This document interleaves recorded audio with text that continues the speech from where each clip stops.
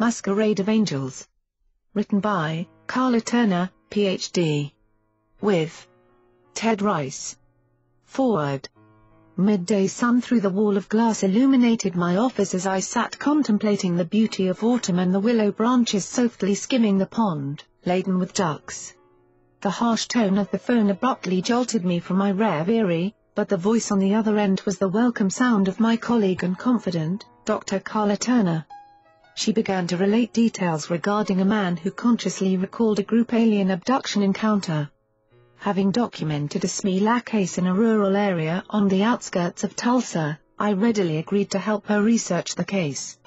November 3, two weeks after Dr. Turner's initial call, Ted Rice stepped over my threshold, and secure reality as we once had both known it was never to be the same again.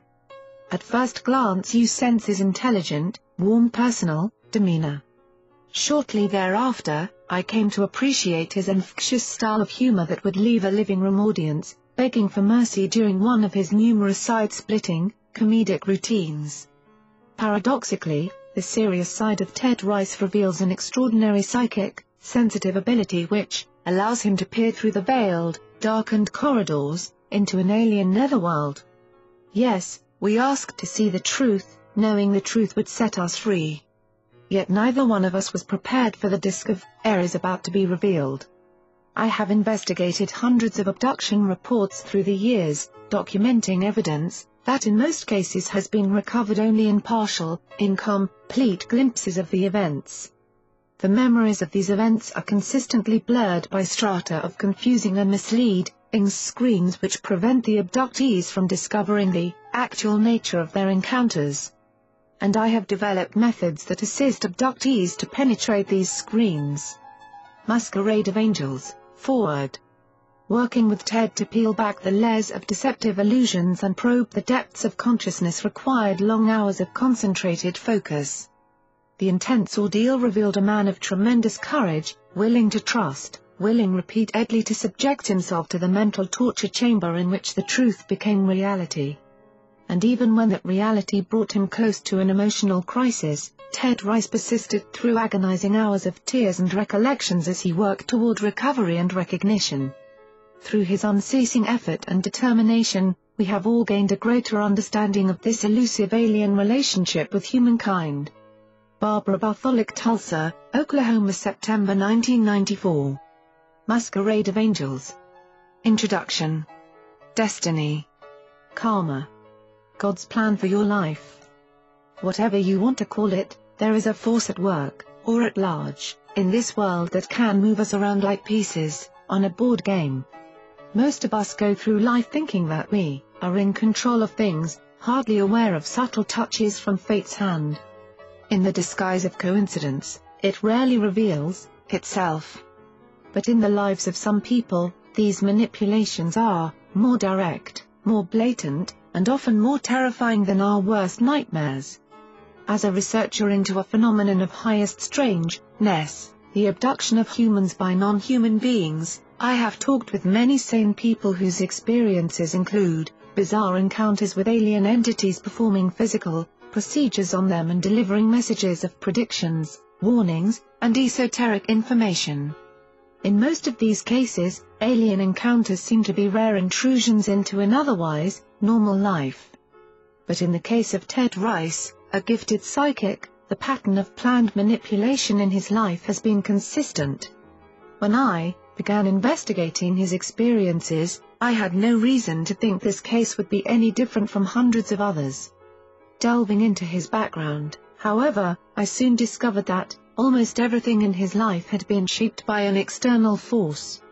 Where he lived, the people he met, the work he performed, even the details of his dreams, all was directed toward molding Ted into a very unique individual, possessed of paranormal abilities, whose course through life has been propelled by the most extraordinary events. In the course of this investigation, Barbara Bartholic and I interviewed almost 30 people who had first-hand knowledge of Ted's various experiences and who had in many Masquerade of Angelsbury, Introduction instances been personally involved in the events in this book. hypnotic regressions were performed with some of these people, eliciting more information, and signed affidavits from all of the principal characters are on file attesting to their per mission for the accounts presented here. For purposes of confidentiality, however, many of the names used in Masquerade of Angels are pseudo-names, and for purposes of simplicity, a few of the characters are composite figures. But all of the incidents are presented exactly as they occurred. My own involvement in Ted's life was an inevitable part of the investigative process, because his experiences continue to occur in the course of our research. In retelling his story, I have referred to myself as a third-person participant, in order to keep the focus squarely on Ted. It is clear now that Ted Rice has been designed. But by whom, and for what purpose? The story of his life, unfolded, in the following pages, explores these questions. And because that story involves both the realm of psychic, paranormal, activities and the realm of UFOs and alien abductions, it also gives us new and disturbing insights into phenomena that affect thousands of people around the world. Although it may read like science fiction, Ted's story is true. His experiences occurred within a reality we all share, and what we learn from this account may tell us more about the hidden nature of that reality than we ever wanted to know. Part 1 The Sage Ships dim discovered dropping from the clouds. James Thomson it looked as if a night of dark intent was coming, and not only a night, an age. Frost. Masquerade of Angels Bit 1. O tribe of spirits and of men, if you are able, to slip through the parameters of the skies and the earth, then do so. You shall not pass through them save with my authority. Quran. The cancer is terminal, Felicia Brown said, fighting back tears. God, Ted, what am I going to do? Jim's too young to die now. Our daughter is just a baby, she won't even remember him. Ted Rice listened in sympathy and took his friend's hand. Sitting beside her in his living room, he paused in the quiet of the evening and searched for the right words. It's hard to understand why God lets these things happen, Ted said, but there has to be a purpose that those of us down here just don't perceive. You love him and need him in your life on this earthly plane, I know but it may be that Jim has fulfilled his mission here, and his higher self realizes it's time to ascend to the spiritual world. All things must work for the good, Felicia, we've got to believe that's true. It wasn't much comfort right now, Ted realized, but there was little else he could say. Felicia was still emotionally stunned. Her usual bearing, as an attractive, vivacious young woman whose profession kept her in the public eye, was gone and Ted empathized deeply with the pain of the frightened, numb, exhausted woman who now sat slumped on the couch beside him. I remember the day you warned me about this, Felicia sighed, shaking her head slowly. That was the first time I came to you for a psychic reading. I didn't believe anything you said, not about the baby and certainly not about Jim. Yeah, I remember, Ted said. You walked up and asked me if I was the psychic, like you thought you had the wrong person. I don't know what I was expecting, Felicia replied, but you sure weren't it. Thanks a lot, Ted smiled. So I'm short, round, balding, and bespectacled. Wouldn't I look great in a cloak and turban, squinting into a crystal ball through my bifocals? It wouldn't have helped, Felicia said. I thought you were crazy when you told me I was going to have a child, a little girl. All the doctors said my chances of conceiving were nearly zero. But the spirit guide showed me the child, Ted shrugged. I don't have any control over what I see. Good or bad, it's whatever the spirits choose to reveal. Although he had been doing psychic readings for 20 years, Ted still didn't understand the process, and he was as amazed as his clients when the information proved to be accurate. Yeah, and six months later, when I found out I was pregnant, you made a believer out of me, Felicia said. But I just didn't think about the other things you told me. That's the hardest part of what I do, Ted replied. When I see wonderful events in the future, like the birth of your daughter, I feel really good about my abilities. But there's always a balance in life, and sometimes I foresee very sad events, I can't help it. That first time I read for you, I sensed serious health problems coming in around your husband. You said I should get him to the doctor for a checkup, Felicia nodded. I wasn't shown enough to know for certain what the problem might be, Ted said, but I did see you leaving town in about five years, and your husband wasn't with you. The images, the vibrations I was feeling, made me believe he just wasn't going to make it. I'm so sorry, Felicia. A knock at the door interrupted them, and Ted went over to let Beverly Michaels enter. Hi, Felicia, Beverly said. Good to see you again. I. Masquerade of Angels, 4, won't keep you very long, Ted, but I wanted to stop by and tell you what's just happened. You won't believe it. Come on in and tell me, then, Ted said. You're pretty excited. Remember when you were telling our UFO study group about the lessons you've been getting from the ETs? Beverly began. About how to manifest the things we need. Sure, Ted replied. That's one of the things they keep stressing, that under natural law we have the right to manifest whatever we want, so long as it doesn't interfere with our life's mission. Wait, Felicia interrupted, explain it to me. I wasn't there when you talked about that, I guess. Well, you know I've been having some ET visits at night, he began, and when they're with me, I'm not very aware of what's going on. But the next morning I can, remember a little of what they tell me. Part of the lessons were about how to ask for and manifest things in this plane of existence. When I started trying it, I didn't understand how it worked, but I learned the hard way. At the time when I was getting all these lessons at night, Ted continued, I needed a second car. So I decided that I'd try to manifest one, like the ETs told me I could do. I meditated and visualized a car being given to me, and lo and behold, it happened. A woman, someone I just knew, casually, offered to give me her old car when she bought another one, and I took it. So the ETs were right? Felicia asked. Sure, I got the car, Ted chuckled, just like I asked for. But apparently I didn't make my request clear enough. I should have asked for a car that actually worked. The one that woman gave me was a pile of junk. It would have cost more to repair the wreck than it was worth. And not only that, but once the woman had given me the car, she seemed to think she had bought me. She started moving right into my life, and I had a heck of a time getting her back out of it.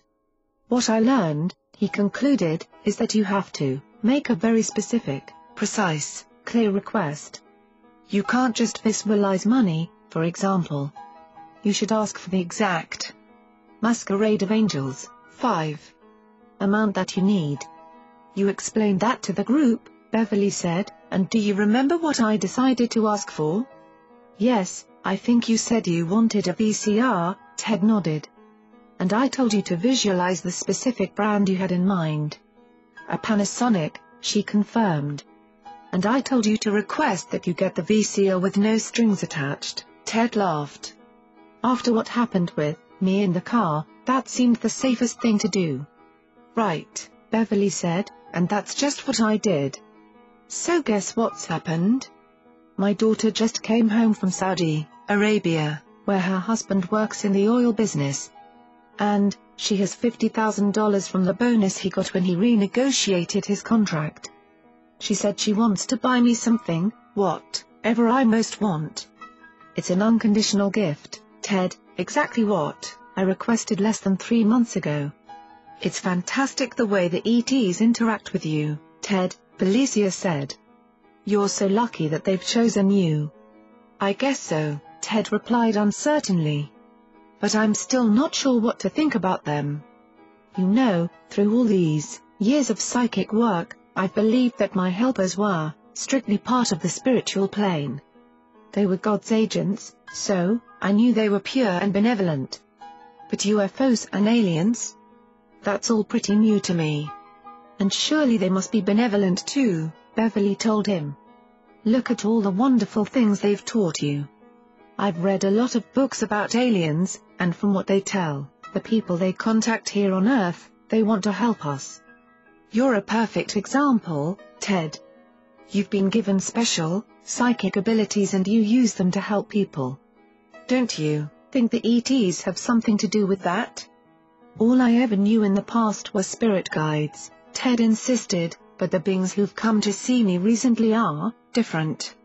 Maybe so, or maybe you're seeing them more clearly than before? Felicia offered. And anyway, Beverly continued, they teach you about spiritual matters, don't they? That shows their benevolence. Masquerade of Angels, 6, towards us. It's possible, I guess, Ted conceded. These alien beings do give me a lot of information about metaphysical matters. But, look, you both know as well as I do that spirits don't need to fly around in UFOs, like some of the creatures that have been coming to me. What if their agenda isn't spiritual?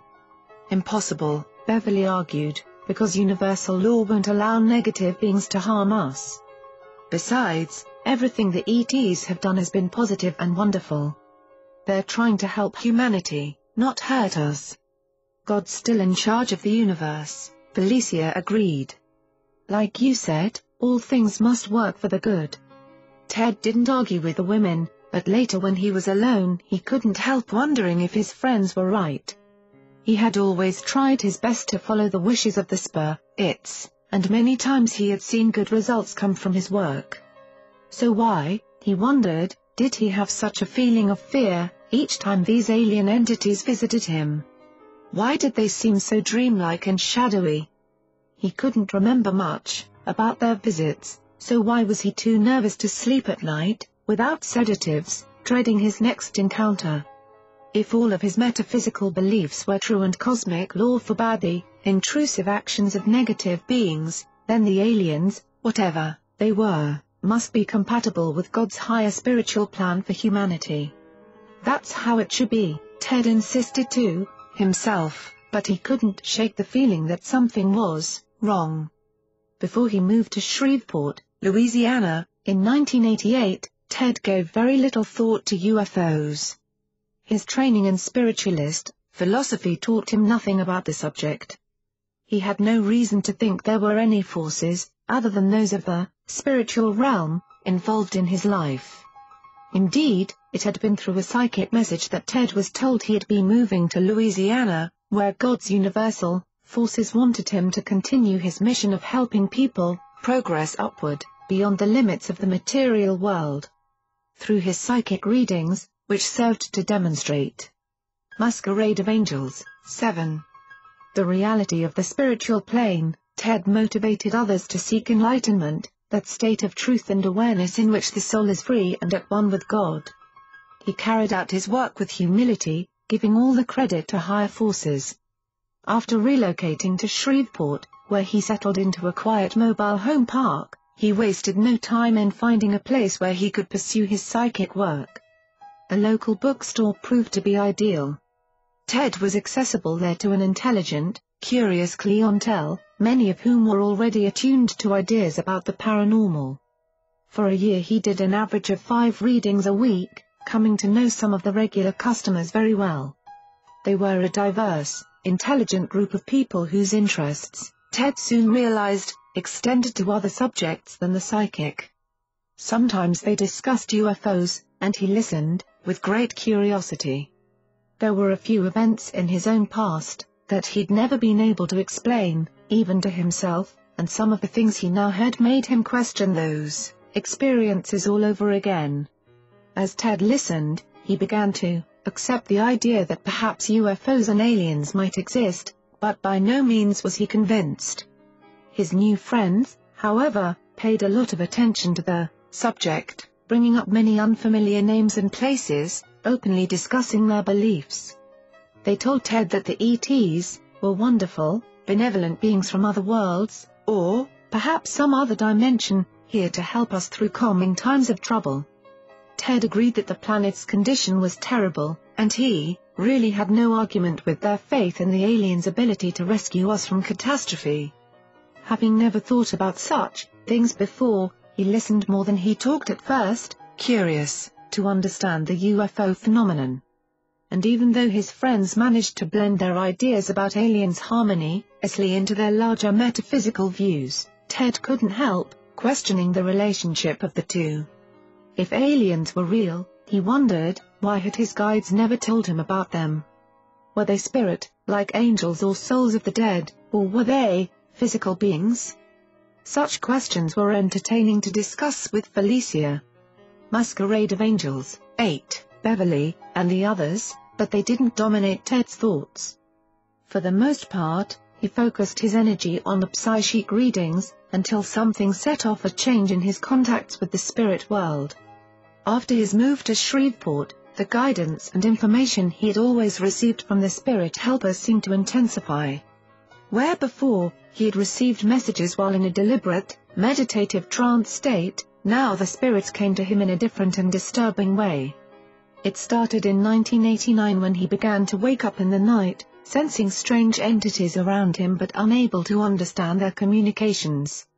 When these visits were over, Ted felt agitated and had trouble getting back to sleep. And then the disturbances grew more palpable. He awoke frequently, startled from rest by the touch of invisible hands on his face, stroking his hair, brushing against his arms or legs. Deprived of sleep, he took medication in order to rest for a few nights, and then he'd discontinue it. But exhaustion inevitably drove him back to using the sleeping aids. And no matter what he did, the visitations continued relentlessly night after night, jarring his nerves and leading to mental and physical fatigue. Ted was familiar with spirits delivering messages, but these new spirits, if that's what they were, spoke to him of things he couldn't grasp or even clearly remember and he didn't like the feeling of their touch on his body. Eventually, his health deteriorated. Ted recognized all the signs, jittery nerves, fear of the dark, restlessness, inability to sleep without sedatives. These were the same symptoms he had back in the 1970s. He had ignored them, until fear and exhaustion drove him into voluntary retreat in a psychiatric unit, and he didn't want to make that mistake, again but he didn't know what to do to change the situation.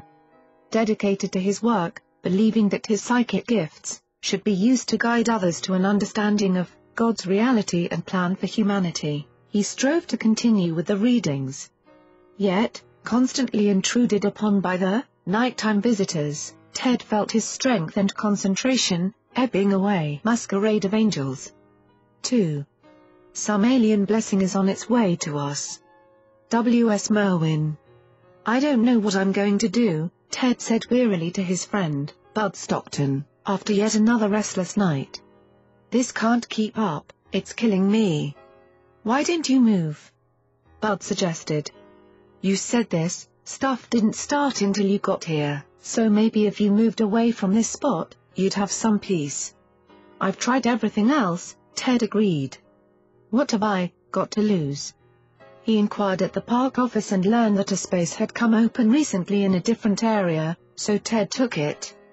Bud helped him move, and for the next four nights after work, the two men set up the trailer, unpacked, and reorganized Ted's belongings.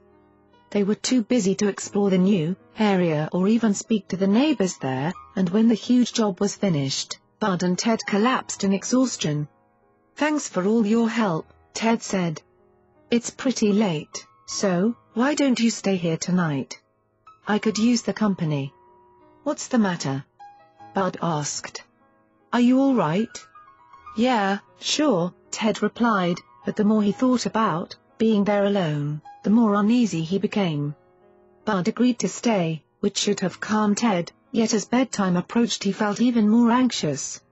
Nervously, he turned on the television, and they sat down in the living room to watch. Hey! Did you see that? Ted suddenly shouted, jumping up from his chair. What? Bud asked, looking around. The siege, too.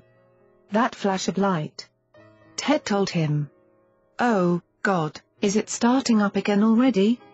Don't go over the edge, Bud said, aware of the strain Ted had been feeling for weeks. You need to stop working at the bookstore for a while, you need to quit those readings, and try to come down out of the stars and be human again. Tell your spirit friends to go take a vacation and give you a rest. You've got to calm down. But it was too late, and all Ted's built-up frustrations, erupted.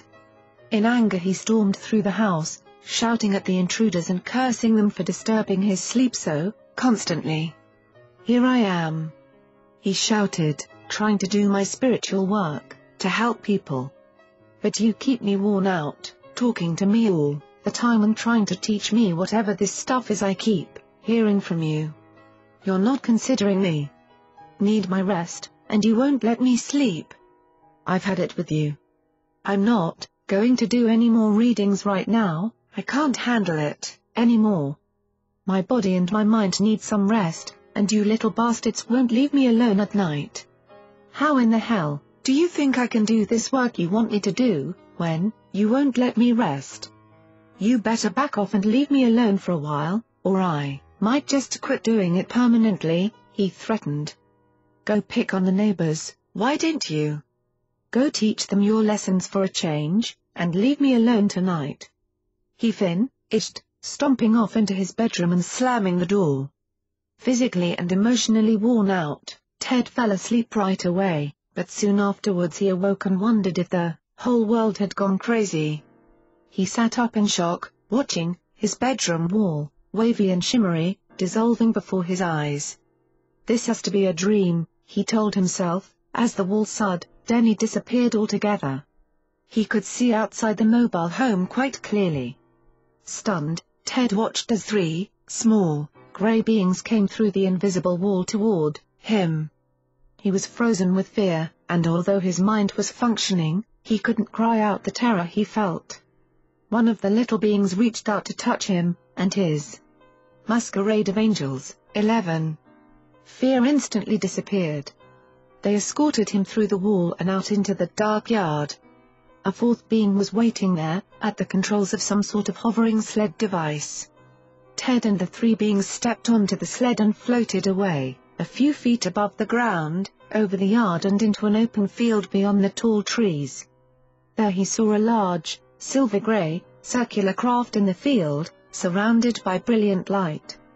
The sled stopped about 50 feet from the object, and Ted was led into the craft. As he approached, he noticed a number of other sleds floating toward him, coming from several homes down the street, and each carried one of his neighbors. They arrived, and Ted and the others were taken into the large UFO, up a ramp into a central room. As they crowded in together, Ted was positioned in the middle of the group. One of the gray beings walked up to him and mentally asked, Is this correct? Is this what you wanted? but before he could reply, the craft seemed to rise up from the ground, and at that point Ted blacked out. The next thing he remembered was being transported back to his house in the UFO and seeing the other neighbors each being returned, as well. He was fascinated by the process. At each home the craft hovered overhead, and the person being returned, stepped onto a great type area. From there, a track of light, carried the person, along with an accompanying grey being, straight into the mobile home below. The grey entity, returned alone, and the craft moved to the next location, repeating the process. Ted was the last person delivered home. When he awoke the next morning, he recalled the experiment quite vividly. He even remembered having a conversation with some of the grey beings when he was returned, and, the way they touched him and thanked him for doing something. He didn't know what it was that he might have done, however, for he recalled nothing of the time between his blackout on the craft and his return trip home from the event. Or the dream, if it had been just a dream. Whatever it was, he couldn't understand what message or information. Masquerade of Angels, 12, this scenario was meant to deliver.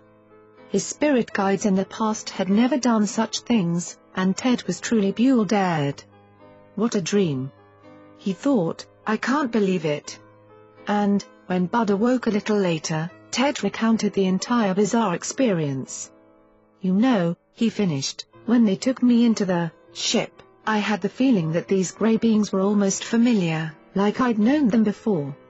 And they seemed to No me too. At least, I remember they acknowledged me in, a way, and welcomed me. Yeah, sure, Bud joked, you and your psychic dreams. That's what you get for listening to those women at the book store.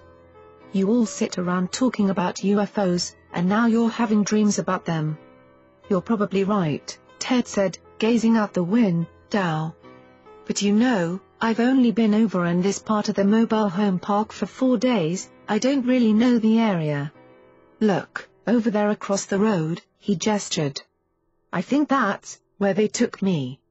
We can't see it from here, but if I'm right, there's a big, open field just beyond there. Bud stepped to the window and peered out. No, he shook his head, there's nothing but woods out there, just a lot of trees. I'm telling you, Ted insisted, in my dream we went, through those trees, and behind there is a big, open field. After we have some coffee, let's go over there and take a look. Bud agreed rather dubiously to go with Ted, but a rainstorm arose, keeping them indoors. Intense wet weather continued for several days, frustrating Ted's desire to explore the area beyond the trees. A few times he and Bud actually started out, crossing the road in the trailer sites that lay between them and the woods, but there was too much water and mud to allow them passage. When dry weather finally returned, Ted and Bud did check out the area, and sure enough, just as Ted had seen in his dream, a large field lay hidden on the other side of the tree line. Looking around, they saw no sign of a craft having Masquerade of Angels, 13. Been there, no landing traces, so Ted tried to dismiss the odd experience as a psychic dream rather than an actual event. Even so, he couldn't deny how totally real the whole episode had seemed at the time. And, at some deep emotional level, how very disturbing. His focus was shaken, so much so that Ted temporarily withdrew from doing his psychic work and kept a rather low profile for a while. Was it a coincidence that the disruptive nighttime intrusions by the invisible spirits also stopped at that time? Ted didn't know, but he was grateful for the chance to catch up on his rest and to let his mind and body recover from the long months of fatigue. Best of all, there were no more voices talking to him during the night, and no sense of tions of being touched. When Ted finally felt strong enough to resume the psychic readings, he said nothing to his friends about the strange dream. And Bud, the only witness to his agitation the morning after, didn't bring it up, so Ted put the whole thing out of his mind as best he could. His rational side insisted that the dreams sprang from conversations about UFOs among his friends at the bookstore, and dreams, even such vivid ones, proved nothing. Let it go, he told himself, just go on with your life. There was plenty to keep him occupied.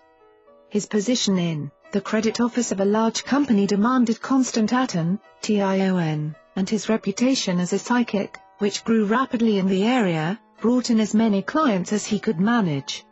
He was so busy, in fact, that it was several months after moving, to the new location before Ted got around to meeting his neighbors. Almost all of the original families on his street had begun moving away shortly after his UFO dream he had been surprised by the number of for sale signs that popped up the next week so by the time Ted started meeting people in the neighborhood, only his mobile home and one other remained of the original neighborhood. The family who lived across the street were amiable people, and Ted enjoyed visiting them and their young children. One evening he sat out on his patio talking with Susie and her husband, while the children, a daughter of four or five, Masquerade of Angels, 14, and a son around two years old, played nearby. As they chatted, the conversation was interrupted by Bud, who was spending a few days with Ted. Hey! He called out from the porch, Unsolved Mysteries is coming on TV, and they're going to show some material about UFOs. Do you want to come in and watch it? Yeah, Ted replied, I do want to see it. I'll be right in, he turned to the young couple and asked, How about you? Want to come watch it with me? Sure, Susie agreed, and the adults went inside for the program, while the children stayed out playing. After the presentation, when Susie got up to leave, she said, You know, that show reminds me of something. Back, last spring, my daughter told us the strangest story, about a night the little spaceman came and took everybody for a ride. Ted looked at her in disbelief. What do you mean? He asked, they took everybody for a ride? Scanning back, quickly, he realized that his dream had been in April. You know that field out behind the woods over there? Susie said, pointing to the tree line. Heidi told us some spacemen came one night and took her and a bunch of other people out in that field to their rocket. She said they took everybody for a ride. Bud and Ted stared at each other nervously. Susie, Ted finally said, do you think you can get Heidi in here and let her tell me about that herself? Heidi came in and willingly repeated the story for Ted. The rocket was round, she explained, and there were lots and lots of other people there. You were there too, I think, you are. I didn't know all the people, though. Why did you go with those spacemen? Ted asked. Weren't you afraid? Well, I told them I couldn't go out at night, Heidi replied, unless my mommy says it's all right. But they made me go anyway. How did they make you go? He pressed. They put their fingers into my mouth, she demonstrated, and they pulled me like that, out to the rocket. That's Masquerade of Angels, 15, The Siege, 2. How they made me go. What happened after you went riding on the rocket? I don't remember, Heidi shrugged. Ted turned to Susie. Exactly when was it that Heidi told you about this? he asked. Can you remember? Yeah, she nodded. It was back in the spring, early, April, I think. And that's when you had your dream, Bud commented. What dream? Susie asked. After hearing Heidi's story, Ted felt compelled to tell her parents about his UFO dream, and they weren't happy to hear it. We just thought Heidi had been dreaming too, Susie said, shaking her head, but now I don't know what to think. Can things like that really happen? Before Ted could reply, Susie continued. Oh, I just remembered something else, she said excitedly. My 18-year-old cousin was in town visiting us during that weekend. He was sleeping on the sofa in the living room. And when we got up the next morning, he told us that he had seen some strange children in the living room during the night. Could there really have been kids in the house? Ted asked, but Susie shook her head. No, she answered, and we didn't know what he was talking about. He said he woke up and saw a soft, pale bluish, light everywhere, and there were some kids running around in the room. He even said he sat up on the couch and talked to them, but he couldn't remember what anyone said. It wasn't enough for Susie to tell him these things. Ted wanted to hear it directly from her cousin, so a phone call was made, and for the second time that evening Ted heard confirmation of at least part of his dream. Only now, he realized, he couldn't call it a dream any longer. 3. Write the vision, and make it plain upon tables, that he may run that readeth it. Habakkuk. With this new confirmation, Ted reluctantly accepted the possibility that his disturbing dream reflected a real event and his instinctive response to that was not a happy one. Since it seemed to involve UFOs and their little grey Aku pants, he decided to tell his friends at the bookstore about the experience. His opportunity came the next Saturday when he was there waiting in his small office for the next client to arrive and listening to a conversation among several of his friends in an adjacent room. Did you see the TV special the other night about cattle mutilations up in Arkansas? One woman asked. It showed all these dead cows with missing parts. Some had their tails, caught out and parts of the jaw cut away.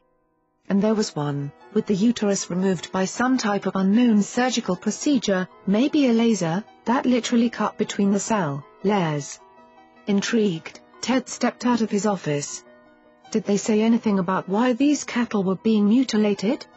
He asked. No, the woman replied. They didn't say it was definitely aliens, they gave several possibilities. But we know the ETs are responsible. Why would aliens be interested in cows? Ted asked. I'd say they're studying the different species on our planet, a second woman said. Probably they're looking for ways to improve the nutrition we get from beef. They. Masquerade of Angels 16 may even be genetically engineering a new cattle breed to withstand the coming Earth changes, so that the human race can be assured of survival. We can't prove it's ETs, the first woman added, but, it must be them. Common sense tells you that our government would stop it if it were only thieves. Besides, rustlers would want the whole cow, not just a cord out, rectum. Everyone laughed, including Ted, and she continued. I think the ETs do their experiments to help mankind, she said. Word has gotten around the universe about how wicked the human race is, and how self-destructive, and they want to help us clean it all up.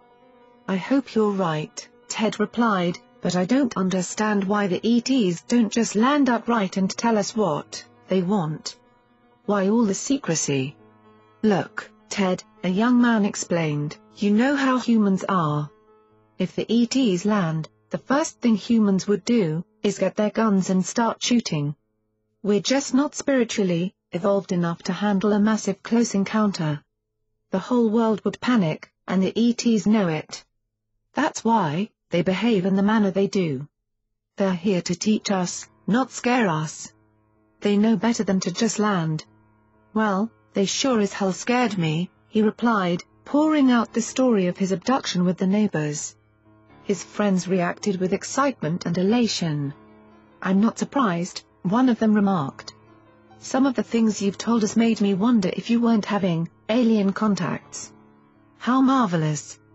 You're obviously a special person, a chosen person. I don't know why this happened to me, Ted said. I don't know anything about ETs, and to tell you the truth, the whole thing scared the living shit out of me. I don't want them coming back to my house, or kidnapping me and my neighbors again. Why did they pick me? You're trying to make it too complicated, Ted, the first woman said, but it's really quite simple. You weren't kidnapped, nor were your neighbors. ETs don't kidnap people, they make contact with them. They've probably been helping you a long time, and you just didn't know it.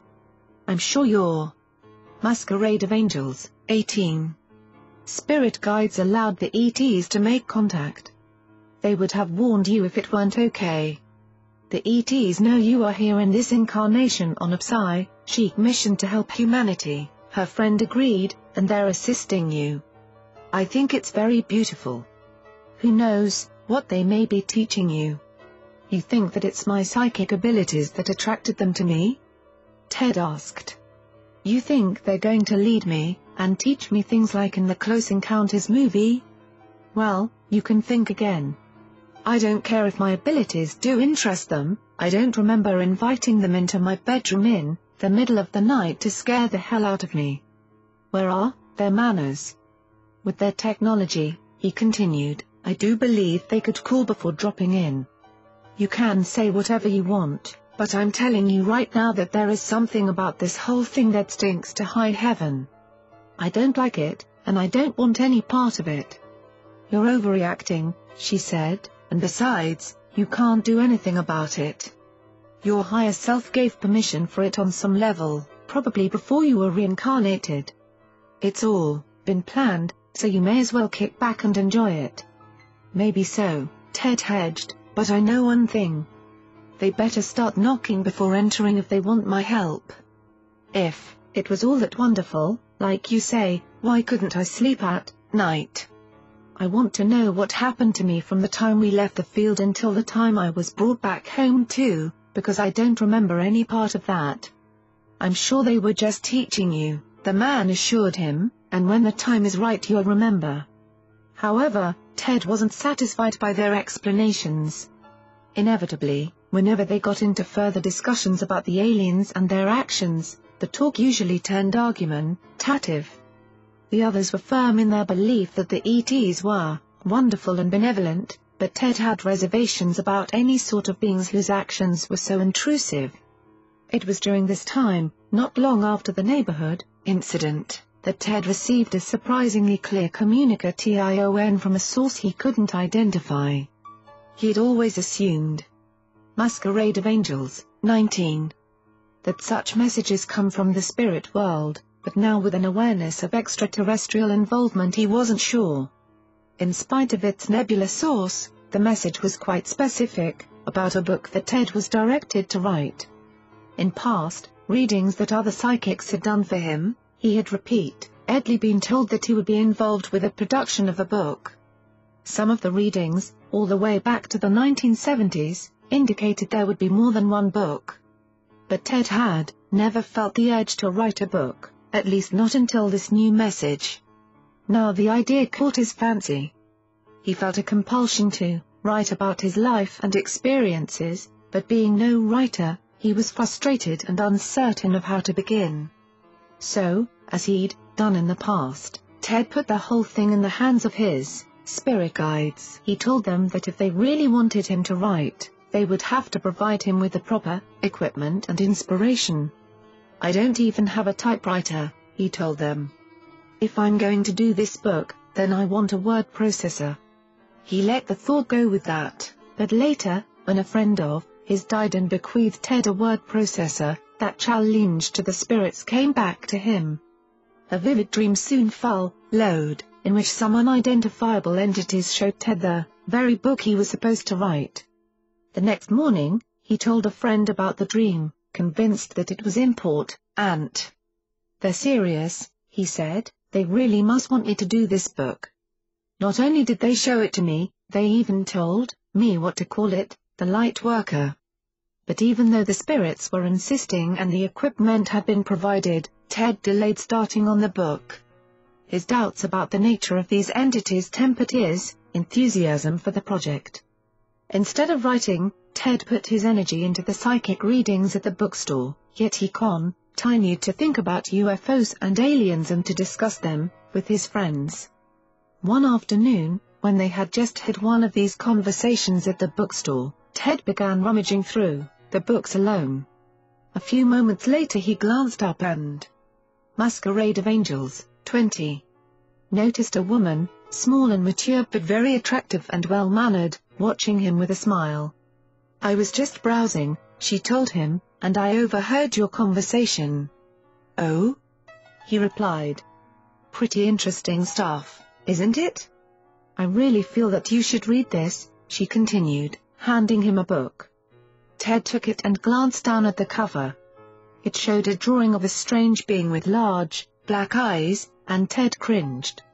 It wasn't that he felt the being was familiar but still it sent a chill through his body. The title was Communion. He looked up to ask the woman about the book, but she was gone. Quickly he searched the bookstore without finding her, so Ted went over to his friends in the back of the room. Who was that woman? He asked. We don't know, Beverly replied. We saw what she did, though. I thought it was someone you knew. I don't think I've ever seen her in here before. I've been meaning to tell you to read that book too, Felicia remarked. Since you're having ET visitations, you ought to read this.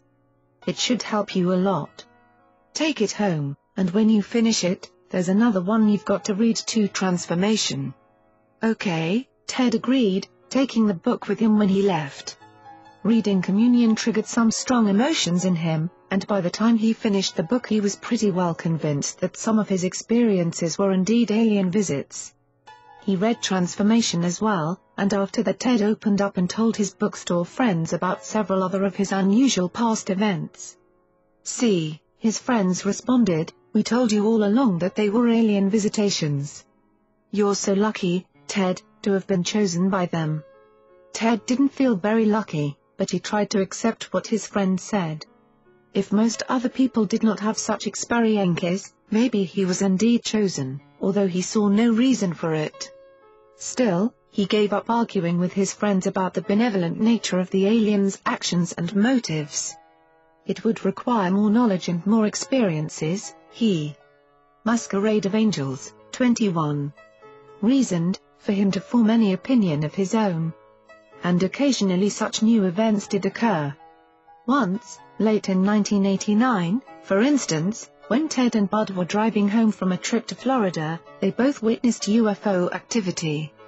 It was around 3 in the morning, as they approached the area near Crystal Springs, Mississippi, traveling along the small, winding roads and trying to stay awake and alert. Bud took the wheel, and Ted climbed into the back seat to take a nap and refresh himself for the next stint of the journey. As soon as he lay back and closed his eyes, Ted had a psychic flash, a vision of several deer standing by the side of the road. Bud, I think you better slow down, he said, raising up again to peer out the front windshield. With all these trees, it's hard to see the roadside, and I just had a psychic glimpse of some deer ahead. If we come on them too fast, they might dart in front of the car and cause us to have a wreck. Bud slowed down accordingly, and about three miles further, there they saw three deer very near the road, refusing to move away. The car went by them slowly, and as he watched the animals, Bud remarked, I wish I could do things like that. It never ceases to amaze me how you can do such things. I don't know how I do it, Ted replied. It just seems to happen. Things like that prove your psychic ability to me, Bud told him. I don't have any doubt about that. But I still have a to be a bright shooting star. Pretty damn brilliant, Ted said, and really clear.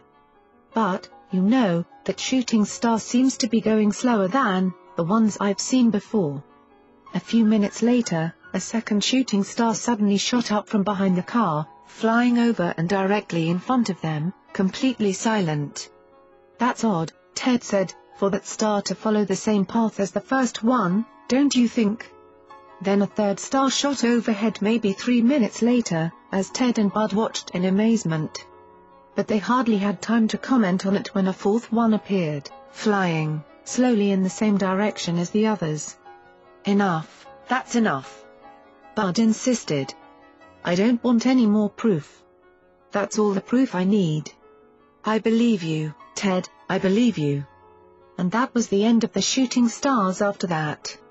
A much more dramatic event occurred in the following spring, in April 1990, when Ted was visited by Marie Jackson, the woman who had first brought him into the Spiritualist Association and who had trained him in his psychic development.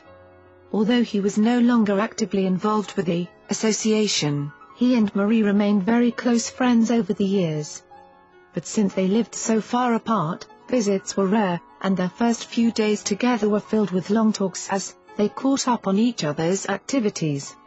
Problem with the UFO stuff. It isn't that I doubt what you've told me, but I've never seen anything myself.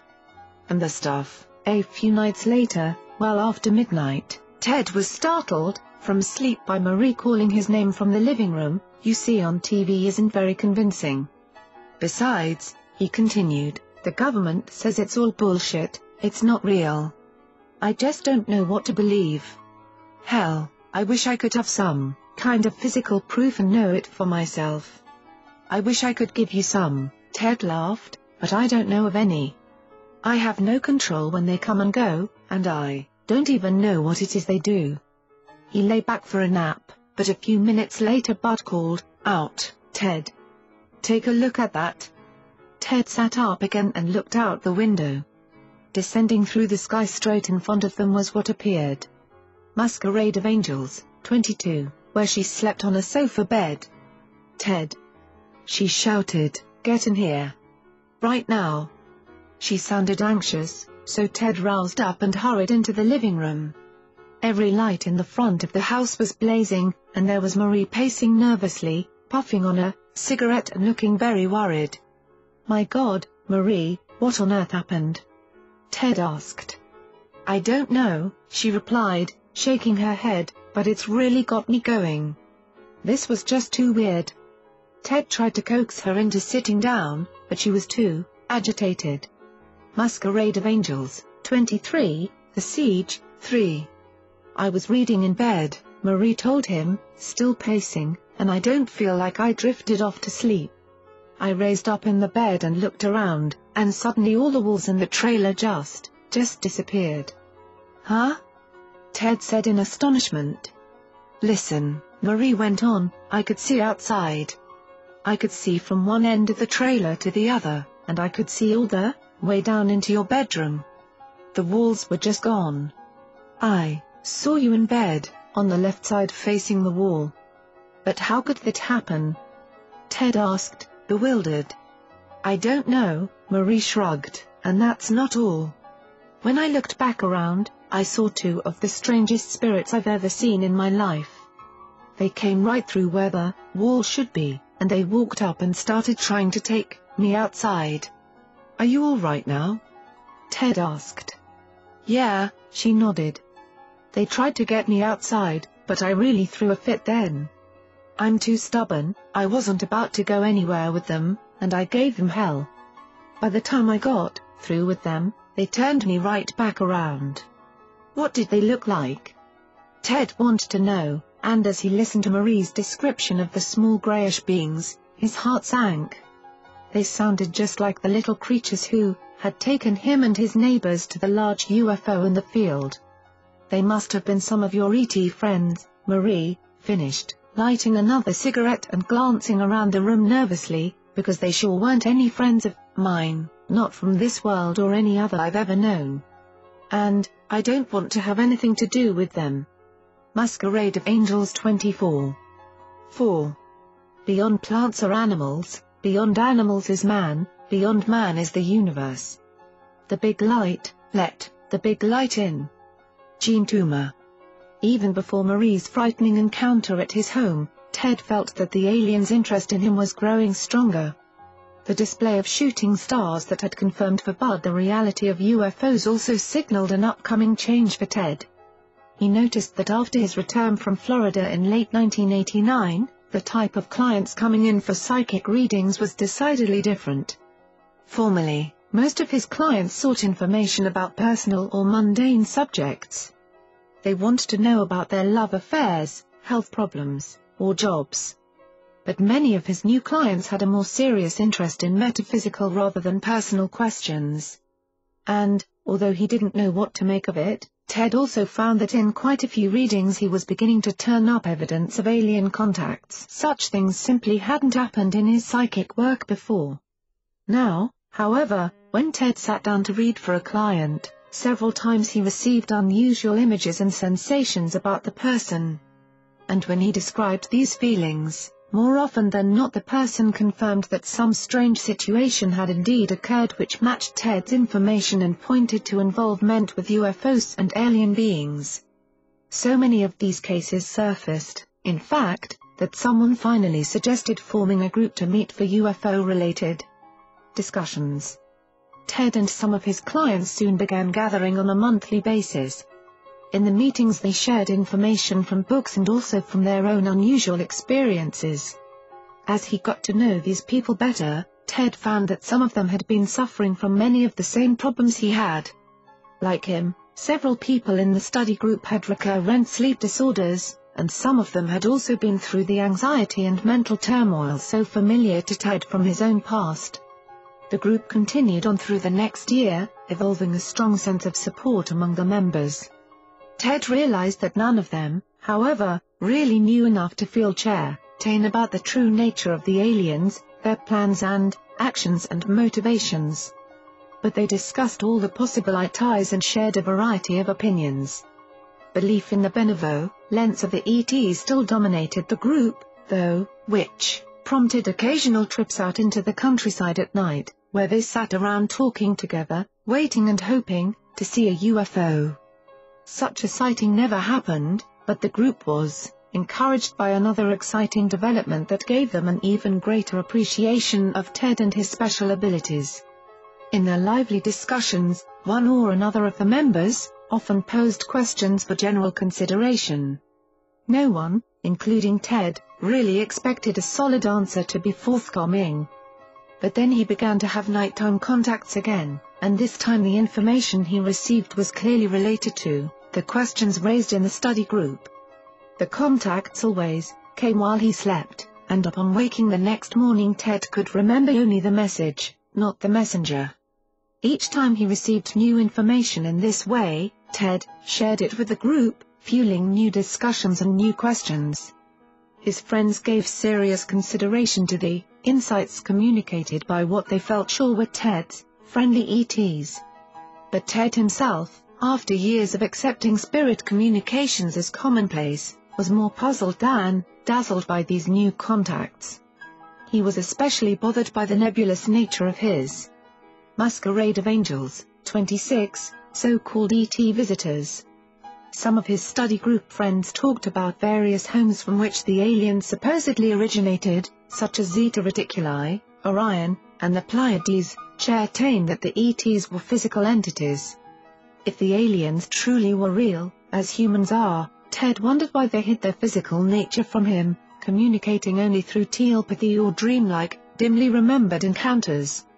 Until he had more objective confirmation of the reality of UFOs, Ted decided, he couldn't be sure just who was communicating with him. Such was his state of mind one even as he sat watching Spielberg's Close Encounters of the Third Kind. He had seen it before, but this time Ted's attention was caught by a scene in which a small round light was shown flying in and around a UFO. Orange and red, with quick movements, it behaved as if it was somehow controlled by an invisible umbilical cord. I wonder what that was all about, he mused, mildly curious, but a few nights later, when part of that movie scene was reenacted right in his own house, his curiosity turned to amazement. After retiring for the night, Ted awoke from sleep with a sudden start, his heart racing. He looked around the dimly lit room, thinking more uninvited guests were about to arrive.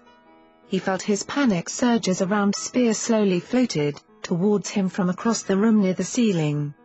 He had seen it just as it made its entrance through the bedroom wall. About the size of a basketball, it shimmered with a red and orange glow. Ted thought that it would probably look like a ball of fire if it was seen moving rapidly in total darkness.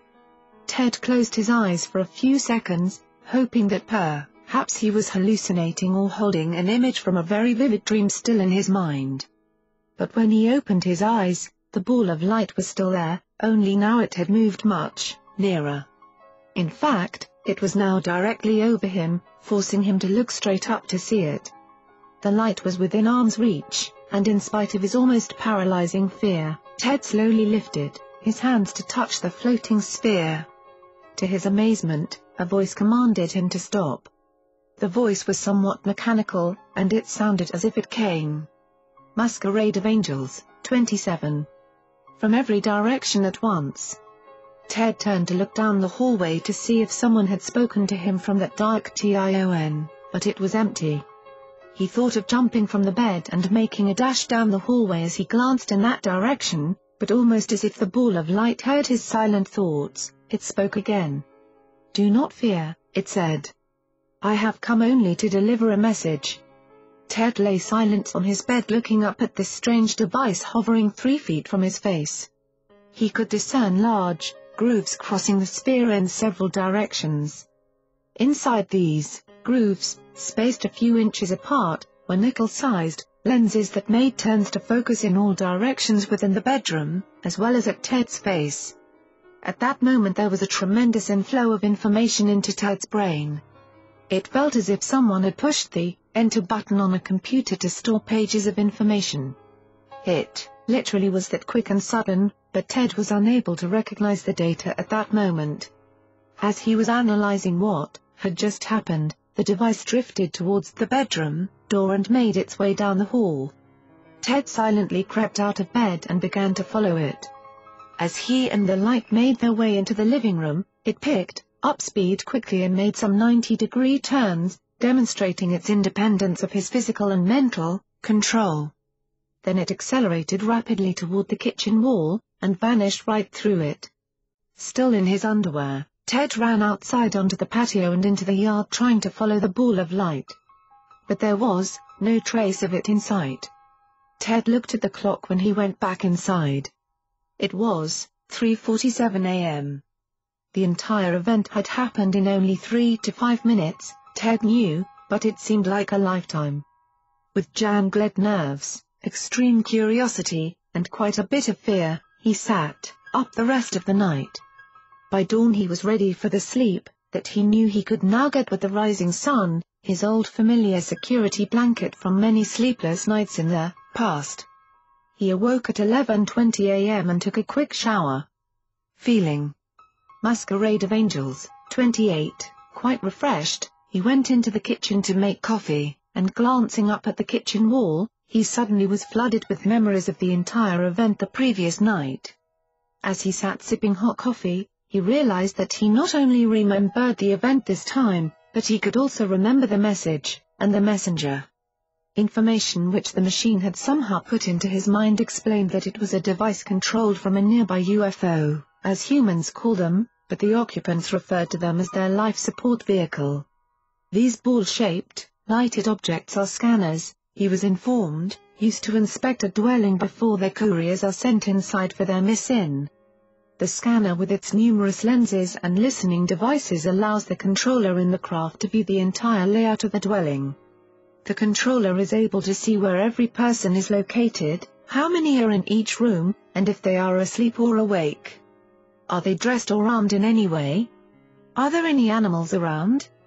Will the contactee need to be manipulated to another room so as not to disturb the others? The object is to complete the mission with as little resistance as possible. As Ted sat there with his coffee, for the first time since all the UFO business had entered his awareness, he felt really violated, intruded upon, and helpless to stop this invasion of his privacy. He decided to call all of his study group members and share this experience with them, hoping someone would have a suggestion as to how he could stop this outrageous intrusion. By 5 p.m., Ted has spoken to five individuals about the nighttime visitation. He detailed the whole event objectively to each one, careful not to overreact or exaggerate the occurrence. Each conversation was openly received until Ted began to bring into focus the negative ramifications, such as invasion of privacy, being spied upon, feelings of helplessness to control the visits, possible danger of radiation, and, just plain agitation at the arrogant attitude that it was all right for the ETs to enter at their convenience, not Ted's, with no invitation whatsoever. Masquerade of Angels, 29 after he finished speaking to his friends, Ted was totally frustrated. All of them immediately turned the situation around to show Ted just how privileged he was to be taught this valuable information. No matter what he suggested, his friends countered with some justification that made it all acceptable. They told him he was being ridiculous to even consider that the alien device wasn't 100% benevolent in its nature and intent. One person came over to inspect the wall where the ball of light entered and exited Ted's house, searching for any evidence of penetration. Another insisted that Ted should try to direct the UFO controllers to his home because he would not show them the lack of respect and consideration which he felt Ted obviously had for the situation. Ted wondered if he was being just plain negative, as his friends accused him, or if they might be walking around with some metaphysical blinders on their eyes. Oh, well, Ted reminded himself, I haven't been injured, just frightened a bit, so maybe something good will come out of all this yet. But one thing I do know. I'm going to play the game like my friends are, that it's all for the good, until I know otherwise, because I'm tired of getting attacked every time I even suggest that there are elements to this that I don't like. Through the people to which Ted told his story, word got around the Shreveport UFO community about the ball of light. Within 10 days, he received three intriguing phone calls from local people who chose to remain anonymous. One man, who worked for a utility company, told Ted that he too, had had a strange experience only a few weeks before, with a marble-sized ball of white and yellow light that made a slight buzzing noise. He noticed it hovering over his head while he was up a utility pole at work. It slowly traversed his entire body, softly humming and making almost undetectable clicking noises. The man said he never saw where it came from, but that when he came down the pole, what had seemed like a 10-minute event had actually taken over an hour. He, too, felt that something had crammed his brain with Masquerade of Angels, 30, information that went in too quickly for him to decipher. The thing that disturbed him most, he said, was that in spite of everything he tried to do, he couldn't get the strange device to go away, and that it finally entered his chest, not to be seen again. He wasn't able to tell anyone about this until talking with Ted, and he wanted Ted to reassure him that it was all right and that he wasn't in any danger. Ted could only share experiences with a man and comfort him with the fact that if anything were really wrong, it probably would have shown up by now. Other than losing a little sleep the first few nights, the man seemed to be okay.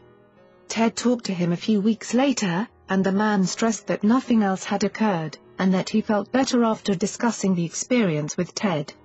Another caller, a woman, told him about a night three years earlier, in which she and a friend observed a similar device floating around her large, open porch during the wee hours of the morning.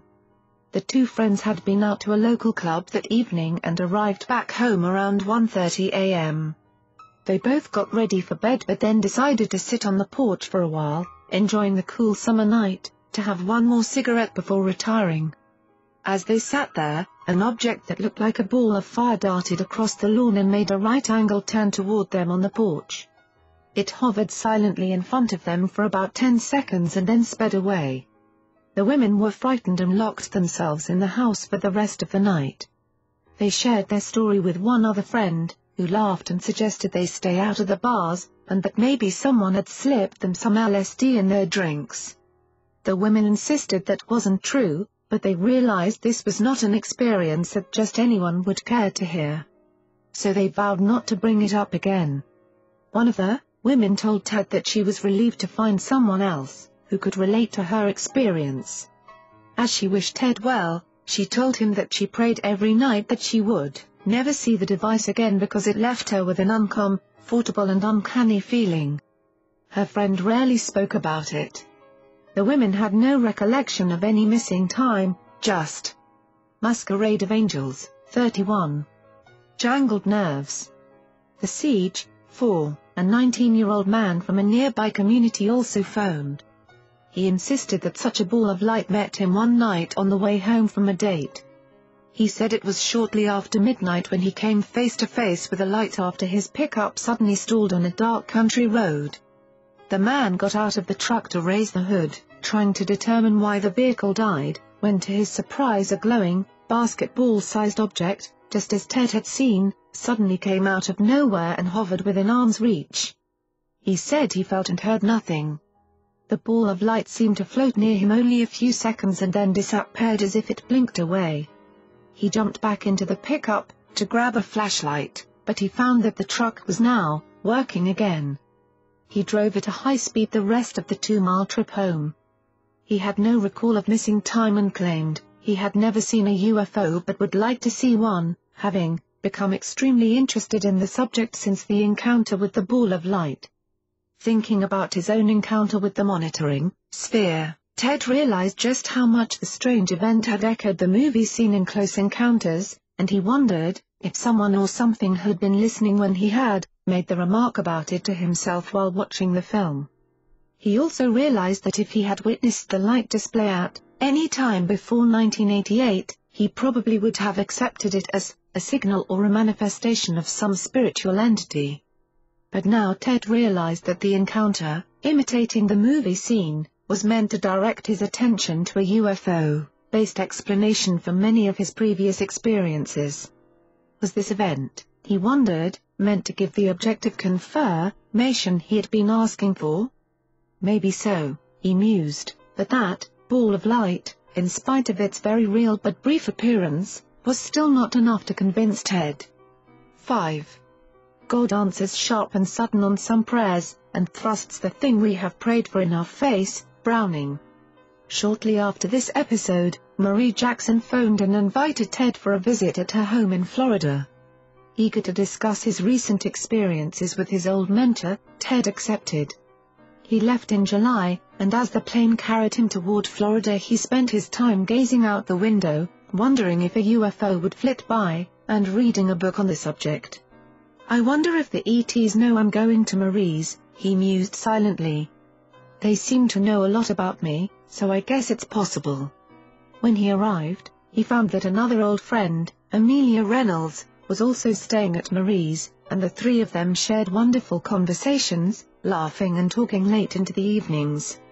Ted told them all about the UFO study group and the many strange experiences he and the others had witnessed. Marie listened with great curiosity, but Amelia dismissed the whole phenomenon out of hand. No matter what Ted told her, she emphatically declared, there is no such thing as UFOs. That's the sort of stuff the National Enquirer prints, so how on earth can you take it seriously? Just after midnight one evening, the three friends said, good night and went off to prepare for bed. Ted's room was at the far end of the house from the bedroom where Marie and Amelia occupied twin beds. The lights were out and the house was quiet, until Amelia suddenly awoke hearing a helicopter hovering noisily overhead. Masquerade of Angels, 32. Marie? She whispered, do you hear that? What's a helicopter doing flying so low around here at this time of night? What helicopter? Marie replied. I don't hear anything. You must have been dreaming. No, I'm not. It's right over us. I can hear it right now, Amelia insisted. What's the matter with you? And then she froze, silent, staring up at the ceiling in astonishment. I can see it, she said slowly. Marie, I can see it. Marie looked up at the dark ceiling in disbelief. Wake up, Amelia, you're dreaming, she said. There's nothing there. I'm not asleep, Amelia protested, raising her head from the pillow. Her eyes still gazed upwards. I swear to you, I can see a helicopter right up there. By that big tree with all the leaves. I see the front of the thing, it's rounded, and the legs are folded underneath. Well, why can't I see it, then? Marie asked, exasperated. I don't know, Amelia replied. It's like the ceiling isn't there. It has disappeared, and I can see right through the roof. A faint bluish glow suddenly appeared around Amelia as she tried to rise from the bed, and Marie jumped up with a start. Oh, my God, she said as the glow increased, surrounding the bed in a circular haze of blue light. Amelia! Get out of there! I can't move, Amelia said helplessly. I'm paralyzed. Where are you? I can't see you anymore. There's something's down there, by the foot of the bed. I tell you, I don't see anything, Marie insisted, looking around the room. What is it that you're seeing? Two people, two beings, Amelia answered, staring at the end of her bed, and they don't look like spirits. What do they look like? Marie asked. One of them is real tall, Amelia described, and he's got greenish skin, like a lizard or alligator. I never saw such a thing before. Its head is egg-shaped, and I can see slanted. Masquerade of Angels, 34, eyes, but no ears or mouth. And this other one is shorter, sort of blue-black colored, like a grape or raisin. What are they, Marie? Can you communicate with them? What kind of spirits are they? Whoa, Marie interrupted. I don't know anything about these beings. They sound like some of Ted's friends, they're not mine. Ted. She shouted, growing more frightened. Ted. Get in here. There's something wrong with, Amelia. Ted was awakened by the uproar, but he couldn't understand what Marie was shouting. He padded out the door and started down the hall, stopping momentarily when he saw a blue glow emanating from the open doorway. Inside, Marie had circled around the room and was waiting for him, pressed back against the farthest wall from where Amelia lay motionless, enveloped in the brilliant light. Ted stepped in uncertainly and then stopped dead in his tracks, staring. What the? He started to say, but then darting sparks of light suddenly shot through the blue haze, making both Ted and Marie jump in surprise. Amelia! He yelled, get out of there. Marie? Amelia called out, Marie? Where are you? I'm right here, she shouted back, and Ted's here too.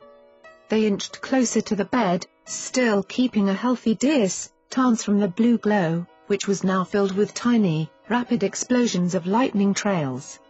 I can hardly hear you, Amelia said loudly. Speak up. What's going on?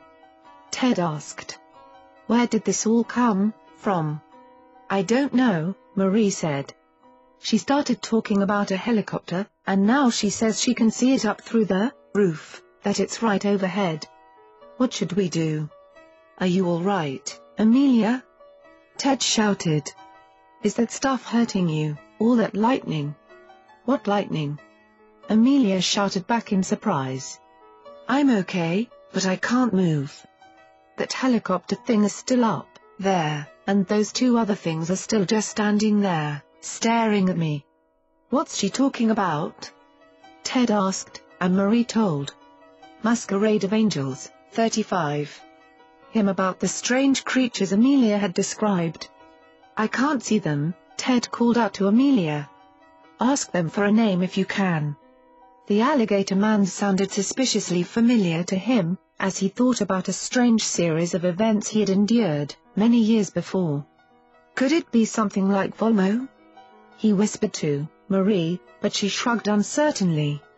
I don't hear them talking, Amelia replied. But it's like they're putting a message into my mind. I see big capital let, to spelling out a name, Raymond. What are they doing now? Marie asked. Are you still okay? Yes, Amelia said, and now I'm seeing another word. I think it's the name of that helicopter thing. It says, Command 2. We've got to help her, Marie insisted. This doesn't feel right. I don't know, Ted hesitated. She's not in any pain, at least. We don't know what might happen if we try to pull her out of that energy field or whatever it is. Maybe we should wait. Are those beings still there? Marie asked, but before Amelia could answer, the blue light flashed off, and Amelia fell back against the pillow. Marie ran to the bed, and Ted turned on the overhead light, looking around apprehensively. But everything seemed perfectly normal. I never saw anything like those beings, Amelia said, clearly shaken. They didn't look like spirits, I tell you that. And that helicopter wasn't normal either. When you were talking about UFOs and aliens the other day, Ted, I didn't believe you. But after this, I don't know. That's the weirdest thing I've ever been through. As they sat up together, trying to calm one another down and discussing the bizarre events, Marie and Ted were sore, surprised to learn that Amelia had not seen the bluish sphere of light around her bed. And then Marie thought about her own odd encounter with unfamiliar beings.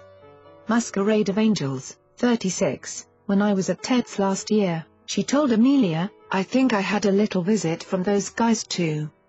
You remember, Ted? Yeah, he nodded, how could I forget? You woke me up screaming and kept me up all night, holding your hand and smoking cigarettes. Well, you'd have been upset, too, she replied, if you'd seen what I did. And she described the whole event how the walls disappeared and the two strange beings tried to take her outside. That all happened while I was with Ted, she finished, and now look what's happened to you, Amelia, with Ted here with us. No, those aren't any spirits that I know of. I think they showed up because of Ted. He didn't argue with her. Like him, both Amelia and Marie had seen the walls or ceiling dissolve and vanish, and they had encountered non-human creatures in unknown, craft. Spirits, they all knew, needed neither spaceships nor helicopters for their travels, but these mysterious beings apparently did. When he returned to Shreveport and told his friends about this latest experience, they were more convinced than ever that Ted was the focus of extraterrestrial interest. Alien activity around Ted was clearly increasing, everyone realized. Yet in spite of these events, and in spite of all their read, and discussion, no one could truly explain what was going on, or why. The more Ted thought about the situation, the more he felt that he needed help. It frightened him that he had no control over his relationship with the aliens. Marie's visitors had come unbidden in 1990 at his home, and certainly he and the neighbors hadn't been asked if they wanted to go for a UFO ride in 1989. Now there was the blue light sphere and Amelia talking to invisible aliens. It was just too much to ignore. He wanted some real answers, and so far the study group had not provided them. Then he remembered what the spirits had taught him, about manifesting the things he needed, and he began visualizing someone who could bring him help. He decided to place an announcement in a local metaphysical newsletter. Masquerade of Angels, 37, The Siege, 5 The Siege, 5. Illuminations. In bold print, the notice simply said, TED Rice would like to start a UFO abduction support group please indicate your interest to PO Box and we will forward toted. It was his way of putting his problem in the hands of a greater force, as he had done many times in the past. He had no idea what results the announcement might bring, but he knew what he and his friends had hoped for, a knowledgeable UFO researcher and a competent hypnotist who could help them investigate their experiences. It was time for some answers. But even Ted didn't expect that a reply would come so soon. A month after the notice was printed, Ted received a letter from Dr. Karla Turner, an abduction researcher in Little Rock, responding to his announcement. As he read through the letter, his excitement grew. Dr. Turner told him that not only had she been working with another researcher whose abduction reports numbered well into the hundreds, but that she herself was an abductee and she recommended that he contact the other researcher, Barbara Bartholic, if he should decide to use regressive hypnosis as an investigative tool. The letter felt like an answer to his prayer. He didn't know exactly what was involved in an abduction investigation, but he was determined to find out. Ted wrote back to Dr. Turner right away, asking her to phone, and once that contact was made, they talked frequently. Karla explained how she had come to work with Barbara a few years earlier when her own family had gone through repeated encounters with aliens. And she had just written a book, Into the Fringe, that told of her family's experiences. She also let him know that there were thousands of other people going through the same sort of thing, and this reassured Ted that he wasn't merely suffering from a mental disturbance. But other than these things, Karla didn't give Ted any new information.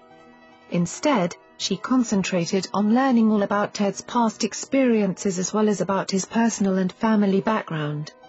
He told her of his childhood in the cottonfield country of northwest Alabama, where he was. Masquerade of Angels, 38, born in 1942 and where he learned to love nature and its wilder creatures. He told her about his career in business finance and also about his psychic work. She listened intently as Ted explained his metaphysical philosophy, which taught him that all life forms evolve upward spiritually, toward perfection and the ultimate source of all genesis. People who come into this world as time to work and contribute to human transcendence are known as light workers, a term commonly used for spirit world teachers and leaders in the metaphysical community. And he shared his sense of mission, that his psychic gift should be used to help others understand their own destinies and to show them how the powers of love and light were at work in their lives. Through these long conversations, Karla came to know Ted as a warm, accessible, insightful man, with the sense of humor of a natural comedian. When Ted went on to describe some of the bizarre events in his life, Karla recognized details that indicated ongoing alien encounters. She put him in touch with Barbara, Bartholic, and soon they made plans to meet in person. Ted was eager to learn about the strange beings whose involvement in his life he could no longer deny, and he hoped that, regressive hypnosis would help uncover any hidden know, edge. But before Barbara consented to work with Ted, she needed to know as much about him as possible. Over weeks, of long phone conversations, she listened as Ted unfolded a most amazing account. From everything she had learned, investigating other abduction cases, it soon became clear to Barbara that Ted Rice had indeed been chosen for a lifelong involvement with forces that most people never knew exist, ED. His recent encounters with UFOs and aliens, she soon learned, were just another twist in the path he had traveled. He had known spirits and spaceships, angels and ghosts, a beautiful female ET and a bizarre reptilian humanoid, and he had been shown scenes of heaven and of horrible destruction. In order to make any sense of these events, his entire life's journey had to be examined. And the story that emerged, of Masquerade of Angels, 39, The Siege, 5. The mysterious forces that shaped the life of a cotton patch kid from backwoods Alabama and transformed him into a light worker, had great implications beyond the merely personal with all that it revealed about illusion and reality, good and evil, and the nature of humanity. Ted Rice's story challenges everything we think we know about the universe. Part 2 The Child. A youth to whom was given so much of earth, so much of heaven, Wordsworth. There is always one moment in childhood when the door opens and lets the future in. Graham Greene. Masquerade of Angels, 40. 6. Resist the devil, and he will flee from you. James 4:7. Unseen forces first intruded into Ted's life when he was very young, no more than four or five, and the events of that intrusion resulted in a scolding and a spanking. This, and the high strangeness of the whole affair, made it something he never forgot.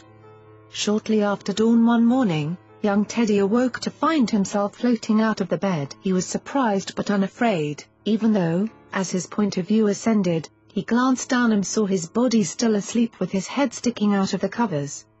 The next thing he knew, Teddy was in the kitchen, apparently hovering near the ceiling, as a busy scene unfolded below him in the room. His mother and grandmother were there, talking with his aunt, uncle, and young cousin Sally who had stopped by unexpectedly. Teddy was so amazed by the situation that all he could do was watch and listen. What are y'all doing out here so early? his mother asked. You must be on your way somewhere. Yes, his aunt said, we decided last night to ride over to Parish today, to see my brother and his family before they leave to go back to Mobile. They've been up there with Daddy for a few days. So we thought we'd stop and pick up, Teddy, if you'll let him come. Sally and him, they always, have a good time together. They keep each other occupied and out of our hair, she laughed.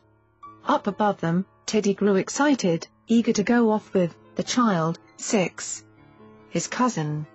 Sally was one of his favorite playmates, and any adventure that broke the pleasant monotony of farm life was a treat. No, his mother said, and Teddy couldn't believe his ears, no, he better not go this time. His daddy is coming in today, and we're supposed to take Teddy to get a haircut and some new shoes. He's got holes in those things he's wearing, so I think we better pass this time. Teddy was heartbroken and angry. What do you mean? He shouted. Why can't I go? But no matter how loudly he protested, his mother and everyone else in the room ignored him. Finally he realized that they didn't even know he was there. They couldn't see him or hear him, and his young mind was bewildered. No matter how hard he tried to interrupt them, they kept talking about the relatives and other trivial matters, and then his, uncle's family prepared to leave. How about y'all going out the back door, around that side of the house? His mother suggested. If Teddy hears, you leave out the front door, he'll surely wake up. He'll throw a fit to go with you, and I'll end up having to spank his bottom to make him stop showing out. They all laughed, and she followed the others out the back door leaving Teddy sputtering indignantly and invisibly. He was angry that he couldn't go, angry that they'd laughed about him getting a spanking, and most of all angry at being ignored. Suddenly, Teddy popped up from his bed and looked around in puzzlement. Apparently he was back in his body, but he didn't pause to think about it. Still bristling with indignation, he jumped out of bed and stormed down the long hallway into the kitchen. His mother and grandmother were, there alone, cleaning the breakfast table. Why didn't you let me go? He shouted angrily. I wanted to go with Sally. I wanted to go on the trip. The two women stared at him and then at each other. What on earth are you talking about? His mother asked. They was just here. I saw 'em.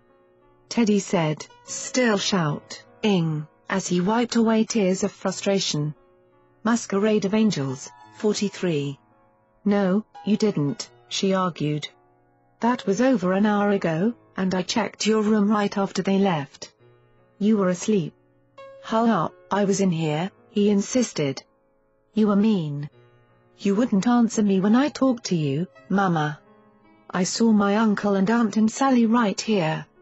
They said could I go with them, and you said no. But I want to go, I wanna go right now.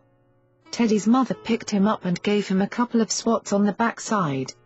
You stop the temper fit right now, she commanded and sent him back to his room.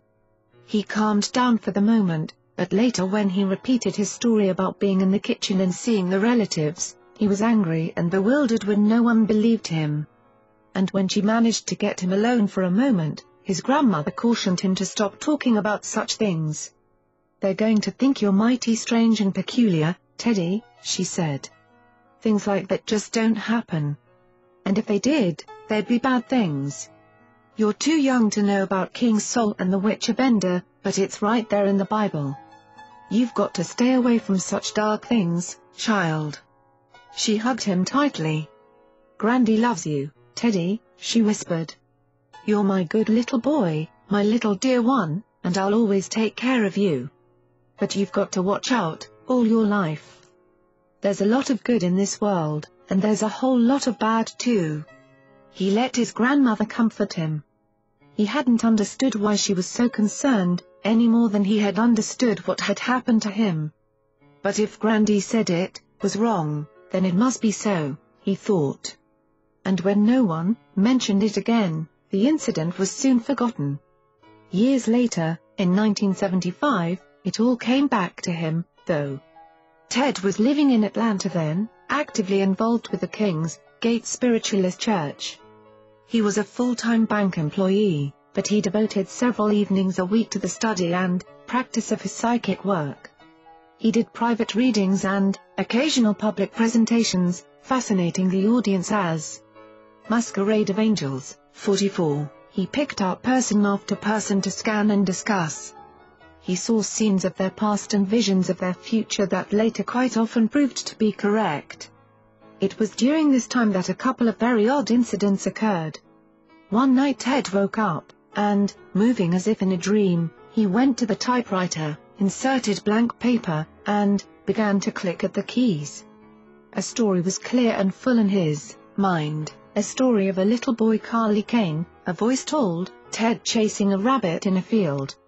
It began with Carly walking home for lunch, with a small rabbit in his arms, when he was overcome by fatigue and went into the shade of a tree.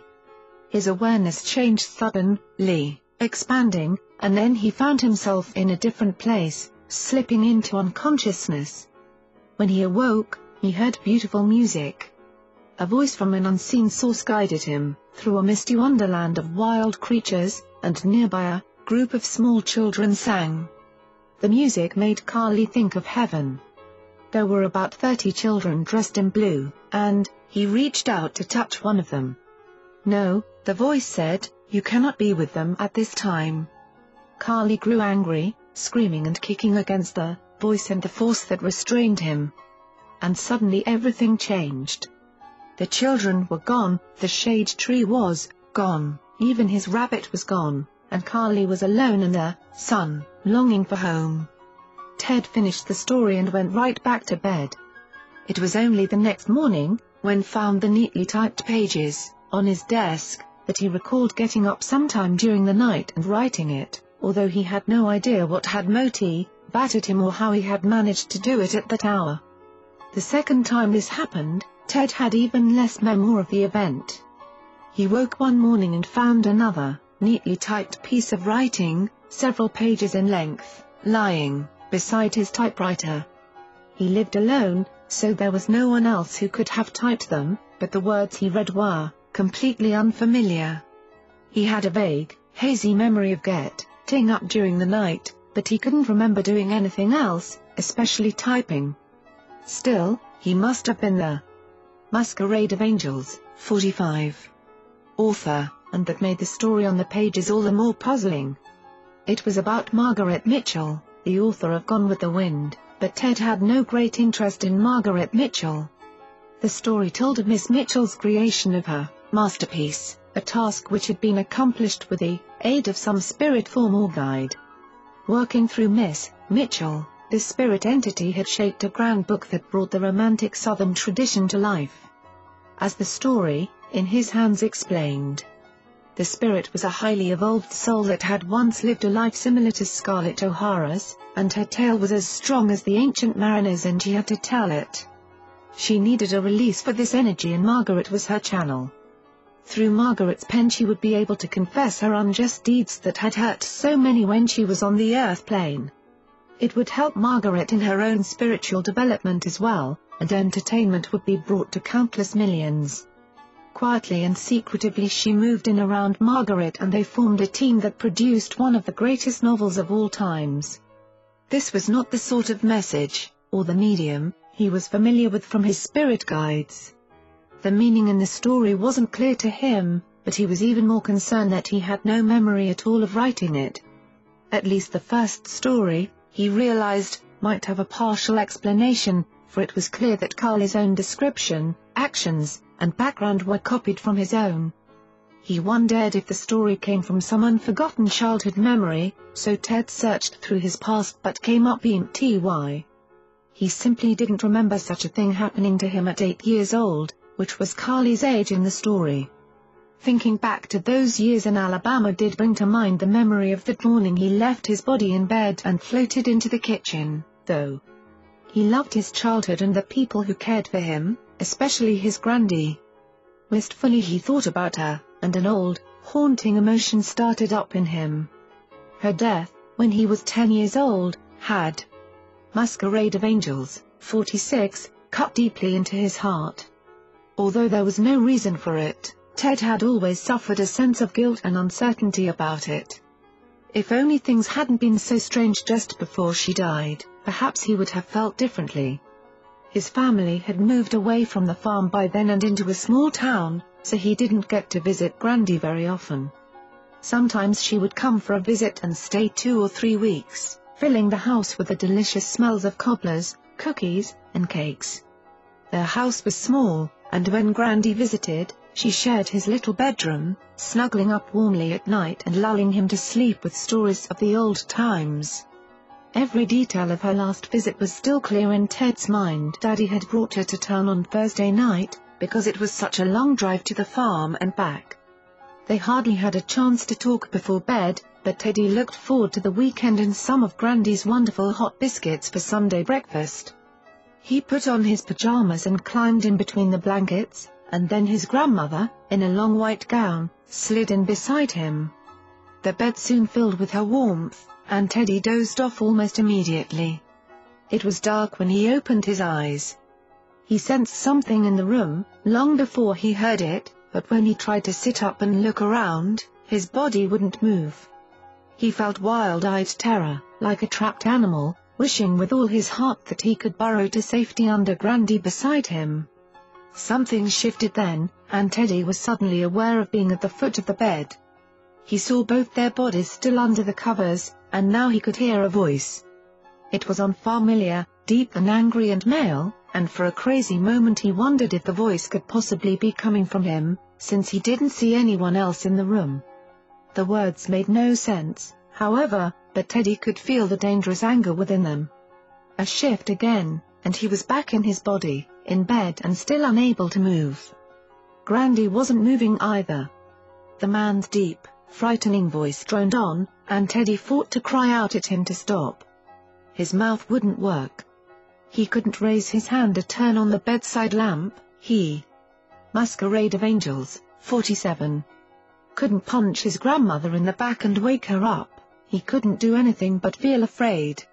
So he closed his eyes, and the next moment, it seemed, he opened them to see daylight streaming in through the lace-curtained window by the bed. Grandy was already up and gone. Sleepily, Teddy went into the kitchen and found her sitting at the table alone. She was dressed in the same clothes she'd worn the day before, and her suitcase stood waiting by the back door. Where's Mama? He asked, looking around. In the bathroom, she answered. And your daddy's gone off to work. Think you ought to get ready for school now? Uh-huh, he said, turning to go but then he stopped and, walked back over to his grandmother with a puzzled look on his face. What was that last night? He asked. What was what? She replied, avoiding his gaze. Didn't you hear it, Grandy? He asked. Who was that man? I woke up and heard him talking. I didn't see him, but, he scared me. Who was that? She reached out and enfolded Teddy into her lap. There were tears in her eyes when she finally answered him, and, the young boy began to cry too. That was the devil, child, she told him. That was the devil, but don't you worry about it none. Your grandma took care of him, so don't think about it anymore. She kissed him on both cheeks and then put him back down on the floor. Now, go get dressed, and I'm going to fix you a good breakfast. Go on, now, she commanded. Teddy obeyed, but he was troubled by Grandy's statement. And her tears.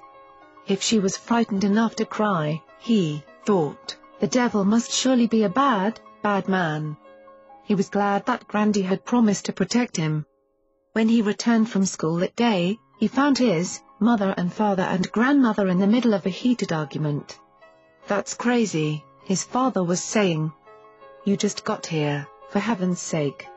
He turned to Teddy's mother for support, but she just shrugged. No matter, Grandy replied. I want to go home, right now. I can't just load up and drive you all the way back to the farm, Mama, his father said. I got things to take care of. Why didn't you wait till next weekend? Grandy's expression never wavered. I'm packed, and I want to leave now. I'm sorry to get in your way, but you've got to take me home. Teddy's father shook his head. I just can't do it, not tonight, he said. The best I can do is tomorrow, but this is just crazy. Tomorrow, then, Grandy reluctantly agreed. You drive me home in the morning. That night in Teddy's bed, she read her Bible out loud to him for a long time. And then she prayed in earnest, rocking the boy back and forth in her arms to the rhythm of his purred words. Before breakfast the next day, she was dressed and packed again, waiting impatiently for the family to get ready. When everything was packed and loaded, they set off on a three-hour drive to the old farm. Teddy played happily in the back seat, but he noticed that in the front the grown-ups were, hardly talking. His father looked perplexed, his mother, bewildered, and his grandmother simply stared straight ahead without a word to anyone. When they reached the farm, Teddy tumbled out of the car and ran into the yard, eager to stretch and play after the morning's long drive. His parents helped Grandy take her things inside, and Teddy raced around to the backyard for the tire swing that dangled from a large tree by the fence. The stress of the long trip soon vanished, and he felt exhilarated, to be back in the place he loved best. A sudden scream echoed out from the house, and Teddy stopped swinging. There was another scream as he raced indoors, but before he could go very far his mother grabbed him up and hurried him out of the living room. Over her shoulder, he could see his father kneeling on the floor and his beloved Grandy lying, they're white and still. Masquerade of Angels, 48, Masquerade of Angels, 49, The Child, 6. Everything went into slow motion. In a daze, he watched as his grandmother slipped away, waiting for an ambulance to arrive. Whatever happened after that was a blurry memory. It was a long time before Teddy stopped grieving for his grandmother, and he never forgot those strange words she had whispered at the breakfast table. It was the devil. He couldn't explain the guilt he felt about her death, either. The doctors said Grandy had died from a massive stroke, but Teddy wasn't sure. He'd heard that evil voice, and if Grandy said it was the devil, then it surely was. So what did the devil want, then? Grandy told him not to worry, that she and God would protect him, but from what? Was that why, his grandmother died, to protect him? Nothing he learned, later in his spiritualist training was able to explain that event, so it remained a distant memory kept tender by his haunting, baseless guilt. 7. Four angels to my bed, two angels round my head, one to watch, and one to pray, and two to bear my soul away. Thomas Ady. For several years after Grandy's death, Ted lived a generally normal, happy life, adapted to his time and place. Small-town Alabama in the 1950s was a narrow world in many ways. Its people professed conservative religious and political beliefs, even if they didn't always practice them, and their expectations in life were modest and provincial. Things seldom changed, and that suited everyone just fine, including Ted. After all, he was popular in school, with plenty of friends, and very involved in extracurricular activities. His high school years should have sailed along smoothly and predictably. But Ted wasn't destined for the life of a typical teenager. Someone or something else whether divine or demented, Ted debated years later had other plans.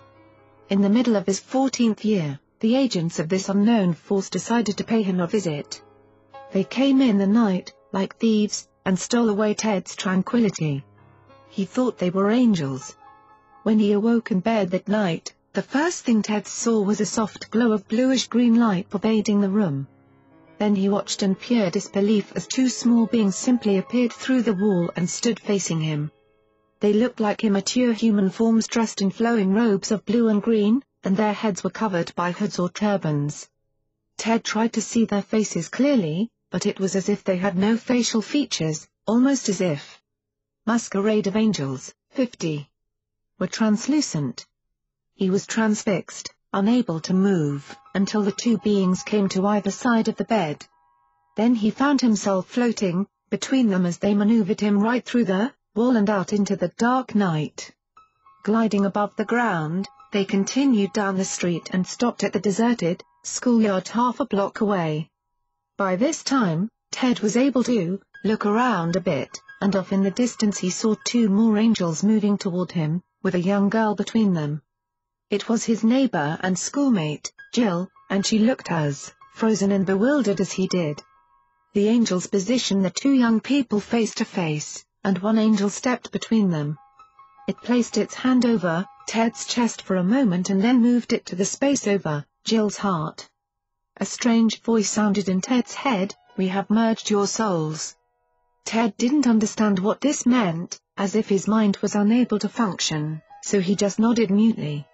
Suddenly, a brilliant light flared up around them on every side, blinding him. When he opened his eyes again, he was back in his bed, shivering. And for the rest of the night he lay awake thinking, about the strange event in the hooded angels. Nothing, about the experience made any sense. Not, that is, until the next day. At school, the moment Ted saw Jill he felt a rush of emotion as strong as a physical jolt. Yesterday he wouldn't have given her a second thought, but today he adored her. Totally, completely, and painfully. The scene with the angels came back to him, and he knew that, somehow he and Jill had been marked for each other, destined to be together. Their love was designed and created by a heavenly source, he realized, and surely Jill must know it, too. But she walked on past him without a word. And although Ted immediately thereafter put all his energy into pursuing her, Jill just didn't seem to care about his burning love. Ted was crushed. He lost interest in outside activities, ignored his schoolwork, and withdrew from his friends. Yet driven, all through junior high and high school, Ted tried his best to draw Jill to him. He carried her books after class, sat Masquerade of Angels, 52, beside her in study hall, dogged her from a wistful distance, but all she ever gave him in return was casual friendship. Through those adolescent years, Ted ached for her. He, watched her with other boys, flirting and dating as all the other girls did, and still he loved her. Once in desperation, Ted tried to get Jill to talk about that night in the schoolyard. Don't you remember? He asked. How the angels put our souls together. For heaven's sake, Jill, how could you ever forget it? Stop it, she said, don't talk about such crazy things. That's too weird, but what was it all about? He pressed. What did the angels do to us? I can't believe you don't feel the same way they made me feel about you. They merged our souls. His look pleaded with her for some sign of understanding, but all he felt back was her growing discomfort and anger, even a hint of fear. I mean it, Teddy, she warned, you better quit talking about that. I don't want to hear it. Just leave me alone. Bewildered by her denial, Ted backed away at last. Mere friendship wasn't what he wanted, so he withdrew. But in their senior year, when Jill broke up with her boyfriend, she sought Ted out again, and this time he relented. They even dated sporadically, but without the least hint of romance. Once he resigned himself to being only friends, a different kind of closeness steadily grew. He took no chances, never, again mentioned the night with the angels, and tried to feel, satisfied that Jill now trusted and relied on him as her confidant. From time to time he thought about the merging of their souls, wondering why the magic of the angels hadn't worked, with Jill. His high school years passed in this way, and no one was aware of Ted's loneliness. Outwardly, Ted was jovial and content, no different from the other students. But his nights, his dreams, set him apart. One recurrent dream always seemed compelling, even portentous. The first time it came to him was shortly after the angels took him to the schoolyard, and it recurred three or four times a year after that. The dream always seemed the same. Ted found himself. Masquerade of Angels, 53. Floating up gently from his bed and through the ceiling. Traveling at a great speed, he passed through lights, momentary streaks of brilliant color, and then he was looking down on a sagebrush desert area, with snowy mountains in the distance. Below, an old Greyhound-type bus, inexplicably painted yellow, moved along a small road. Ted felt himself drop through the roof of the bus into a seat about halfway back from the driver. Several other people were on the bus too, but they ignored him. The bus drove north toward the mountains for a while, and then it suddenly hesitated and came to a stop on the pavement, as if waiting for something. Curious, Ted walked up to the front and peered through the windshield. Ahead he could see cowboys on horseback, herding hundreds of sheep across the road.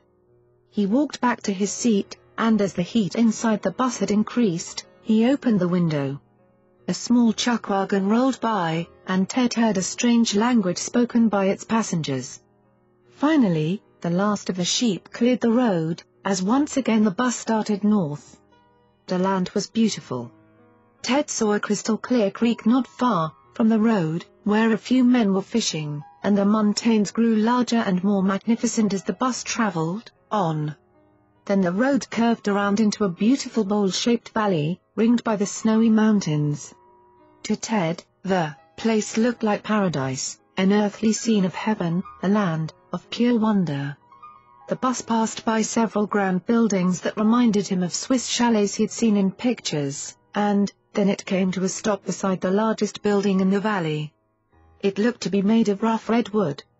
Ted got off the bus, walked straight to the side of the building, and then inexplicably reached out to scratch his fingernail across the surface, feeling a sense of surprise. The dreamscape changed, and Ted saw himself wearing some sort of uniform. A middle-aged man was talking to him, but Ted couldn't make out the words. There was a woman with light brown hair nearby, dressed in a maid's outfit, and he also saw a chubby, smiling woman sitting, behind a cashier's desk. He was in a small room cluttered. Masquerade of Angels, 54. With trays, and beyond that was a huge dining area filled with guests. A band played dance music in the background, and through the window Ted could see a frozen rink where skaters wove smoothly among one another on the ice. That's where the dream always ended. What it meant, Ted didn't know, but each time it returned the details were identical. He treasured those dreams that were such a beautiful part of his private world, throughout high school and into his first year of college. He didn't have Jill, but at least he had the magnificent valley, if only in his dreams. After high school, Ted enrolled at the University of Alabama. Jill decided upon another college, but they maintained their friendship with frequent letters and phone calls. His heart still responded only to her, so that at a time when most young men would be dating a number of girls, Ted had no interest in campus romance. Besides, he was rather in awe of those sophisticated students with whom he attended classes. They all seemed to have done so much more, traveled to different places, to have lived more exciting lives than he had. All he'd really ever known were the farms and small towns of backwoods Alabama. He had never been taught to question his life or his place in the world. People planted their crops, worked at their jobs, tended their families, and went to church on Sundays, and, that was the meaning of existence. But college life exposed Ted to other possibilities. Students from bigger towns like Tuscaloosa and Birmingham knew a lot more than Ted, and he became curious to know more himself. Whatever strange, events that had occurred in his past were forgotten in the dazzle of his present new world, and he felt the first stirrings, of an exploring mind. He wanted to discover a greater uni universe than that which he'd known on the farm. Toward the end of his second year, some of Ted's friends began to talk about their summer plans, and he realized that, like most of them, he too, needed help to pay for schooling. That meant finding a job, something he had never had to think about before. His roommate told him about the fun he'd had working at a resort, and the idea caught Ted's imagination. Masquerade of Angels, 55. That spring, then, Ted went to the student placement office on campus to meet with the counselor. He sat in the waiting room, listening for his name to be called, and thumbed through magazines. As he scanned the pages disinterestedly, an advertisement grabbed his attention. It was a picture of a mountainous area, with ponds for ice skaters and snow-covered slopes upon which glamorous people skied. Come to Sun Valley, Idaho, for the vacation of a lifetime, the caption read. Ted was mesmerized by the scene. He decided that Sun Valley was the resort for him, and when he was ushered into the counselor's office, he laid the magazine down before her and announced his desire to work there. You and every other kid in America, she replied. I've been in this office for years, Ted, and we've tried many, many times to get summer jobs in Sun Valley for our students, but, we've never succeeded. Never. But I really want to work there, Ted insisted. Surely there's some way you can help. She shook her head. That's where the rich people take their vacations, and lots of celebrities have homes there the wealthiest people use their connections to get jobs for their own children, that's how exclusive the place is. Once we persuaded a congressman to pull some strings for us, but he failed too.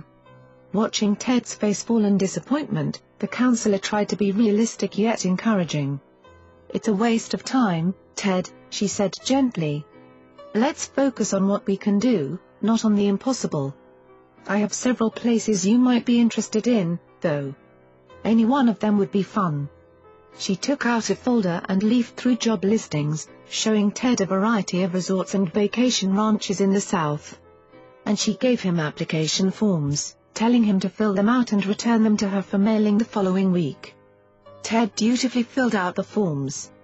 When he went back a few days later to turn them in, however, he was still thinking of the beautiful place he had seen in the ad.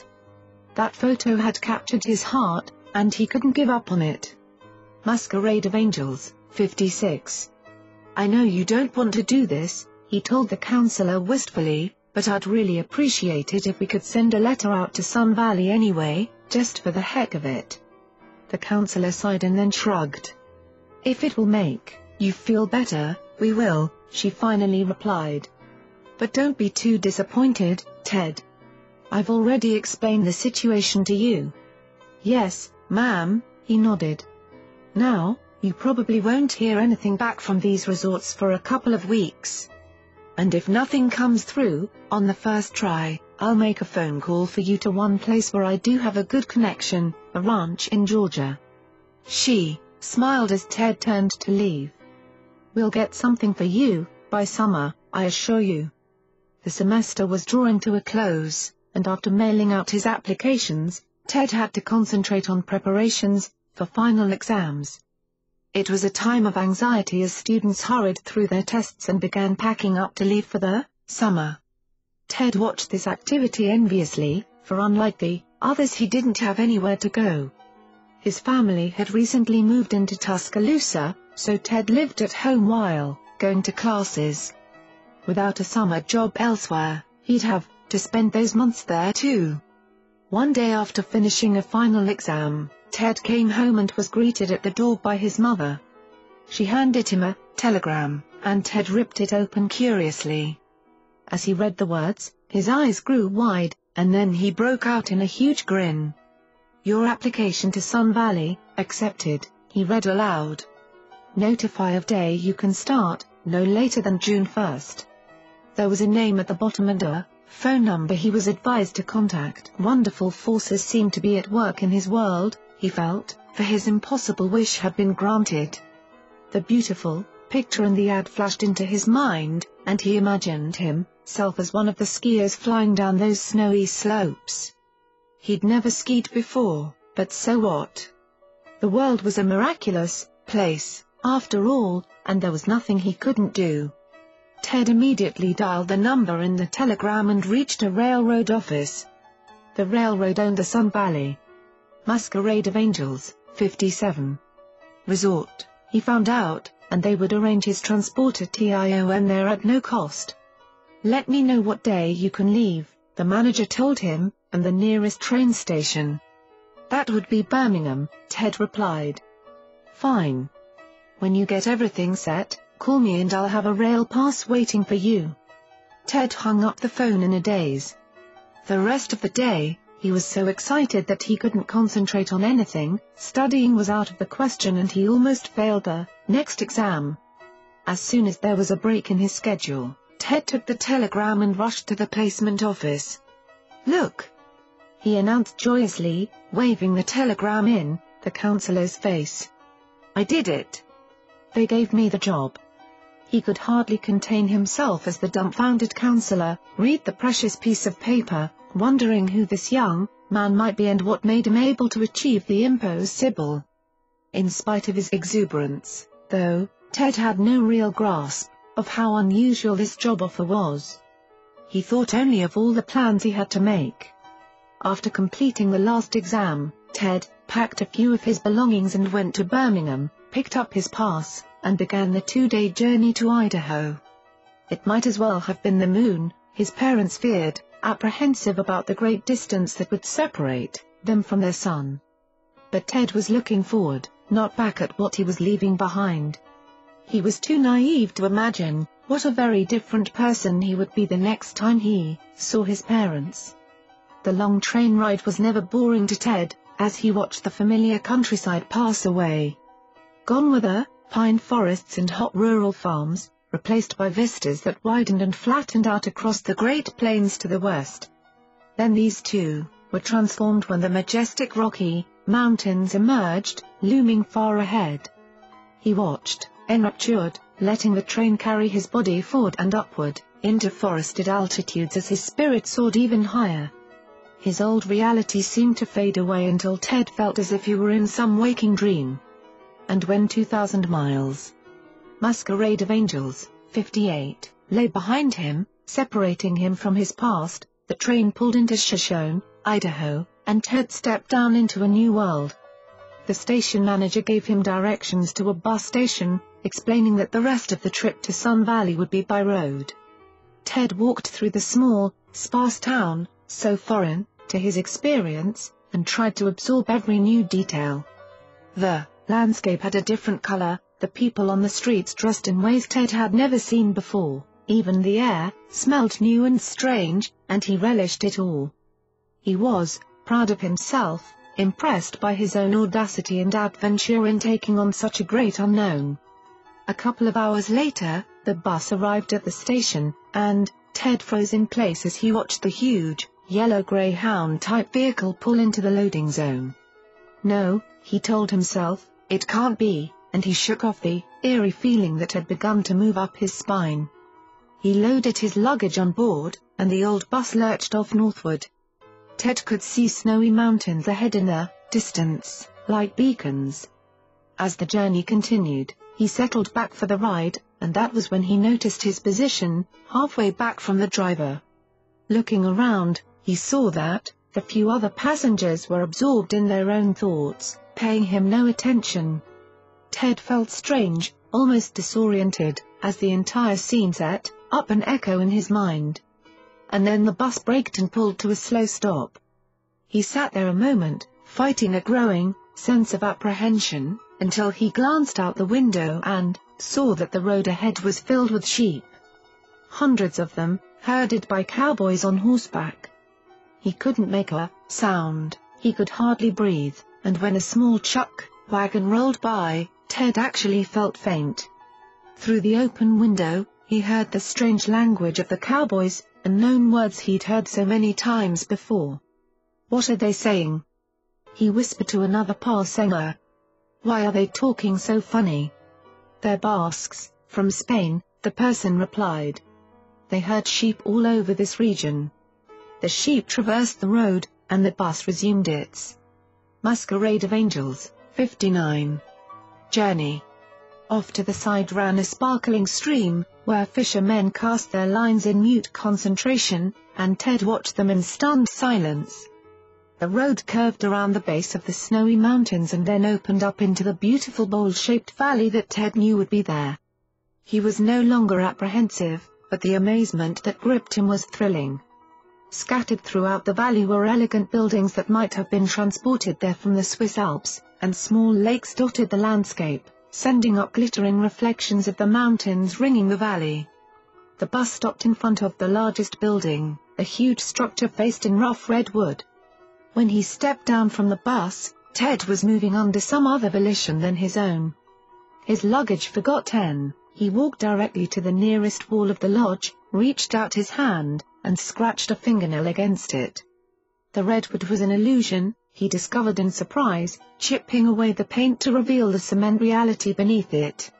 Very clearly, Ted should have learned that appearance was not always what it seemed, but he was too shocked to take note of the lesson. Playing out the well-rehearsed scenario, Ted was propelled forward, to the personnel office, where the manager handed him a key to the employee dorm. The next stop was at the lodge office to get his assignment as a busboy in the room service division, and Ted stared at the uniform he was given, remembering how often he had seen it before. Whatever happened after that, his unpacking in the dorm room and falling asleep immediately upon hitting the bed, Ted could never remember clearly. But the next morning when he went to report for his first day on the job, he almost fell over in surprise as a middle-aged man greeted him and took him around to meet the other employees. There was the brunette waitress in her familiar lodge uniform, there was the chubby, jovial cashier behind her well-known desk. He turned and looked into the great dining room where guests chatted, spotting the band stand in the background. And then he was guided by Bert, his new boss, back into the work area. Masquerade of Angels 60. Filled with empty trays. A thought, so distant as to be almost imperceptible, whispered in his mind see and believe. You are watched over. You are special. You are ours. It is we who have given this to you. We will give you more. He didn't really know if he had heard these words or imagined them, but Ted did feel special. He wondered who had brought him all those dreams about this valley. Whom could he thank?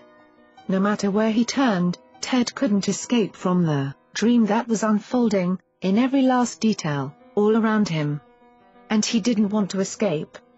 His paradise valley was real, and Ted found himself welcomed into a literal heaven on earth at last. Masquerade of Angels, 61. 8. I had a dream which was not all a dream. Lord Byron. There are moments in life when everything changes. We turn a corner, make a choice, and the path we were on is left behind forever. In Ted's life, that moment came when he arrived in Sun Valley.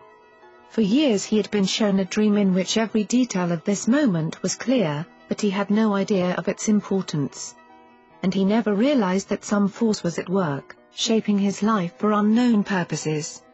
When unusual things had occurred before, Ted simply dismissed them from his mind, for there was no larger context into which they fit or made sense. He had even come to think that his meeting with the angels who merged his soul with Jill's must have been merely a dream. For Jill, after all, hadn't responded with transformed emotions as he had. But now, watching his recurrent dream emerge into living reality in Sun Valley, Ted felt his understanding of the world shaking. What was it, he kept wondering, that had shown him those dreams? What had brought him here to this place and given him the position that so many others before him had tried and failed to obtain? That initial wonderment soon passed, however, as the dazzling surroundings and fast pace of life in Sun Valley bewitched him. It was nothing like the life he had back in Alabama. He was on his own for the very first time, a young man easily accepted by the other employees, making friends from all over the country and rubbing elbows with people of, the child, 8. Importance and fame. How could he not be impressed by it all? Out on the rink he watched Peggy Fleming skate, and in the lodge he served such celebrities as Andy Williams, Ann Sothern, and Lucille Ball. He got to know the Hemingway family, whose home in Ketchum made them frequent visitors to the valley. And he was even called upon to babysit with the children of the famous guests, such as Janet Leigh's young daughter, Jamie Lee Curtis. He was also surrounded by another wonderful attraction, the overwhelming beauty of the place. Ted spent much of his summer wandering through the mountains, exploring the nature trails that led far from the valley into a world of wild majesty and tranquil isolation. The little cotton patch kid who had once chased rabbits in the fields now roamed through mountain meadows with a renewed appreciation of the great creative force of the universe. Sometimes as he lay back to rest from the climbing, Ted gazed down upon the valley below and felt that he was peering into paradise. The summer passed by swiftly and happily. Ted's job at the lodge was so enjoyable that he almost felt guilty to be paid for it. His co-workers were friendly and stimulating, and, among them Ted was rather special, with his unique South End drawl and infectious good humor. Every day was so filled with excitement and fun that he didn't think about tomorrow until at last the summer season began to draw to a close. One day in August, Ted's boss Bert called him over to discuss plans for organizing the winter season crew. He needed to know who would be available after the month-long shutdown before the lodge reopened in October. Ted suddenly realized that his stay in paradise was about to end, and for the first time since arriving he had to think about going back to Alabama and the university. Every time he thought about boarding the train and heading south, he felt sick. His whole being resisted the idea, and finally he sat down to write a letter home, informing his fam, Eiley that he would not be coming back. It was the opportunity of a lifetime, he explained, where he could take advantage of free skiing privileges, flying down the winter slopes with Masquerade of Angels, 63. The Child, 8 movie stars and moguls. He had new friends from all over the world, he told them, and besides, the university would always be there. Nothing would make him leave, he insisted, at least not yet. Ted also wrote to Jill, for the first time since arriving in Sun Valley, and let her know of his plans. She replied immediately, berating Ted for not contacting her sooner with such great news. If I had known you were taking this job, she wrote, I would have come up to Idaho with you for the summer. Surprised by this enthusiasm, Ted wrote again, explaining how quickly the job offer had come, that he simply hadn't had time to inform her. He said he missed her, that he cared about her as much as ever. And he pointed out how little they'd actually seen each other anyway, with the distance between the two universities they attended. Ted thought it odd that Jill would have wanted to accompany him to Idaho, since there had never been any romance between them, but he didn't dwell on her letter. Instead, he looked forward to the break between seasons in which he could travel a bit and see even more of the country. All thoughts of Alabama were forgotten. A few days before his vacation started, however, there was a knock at Ted's door. He opened it and saw Jill standing there with a smile and a suitcase.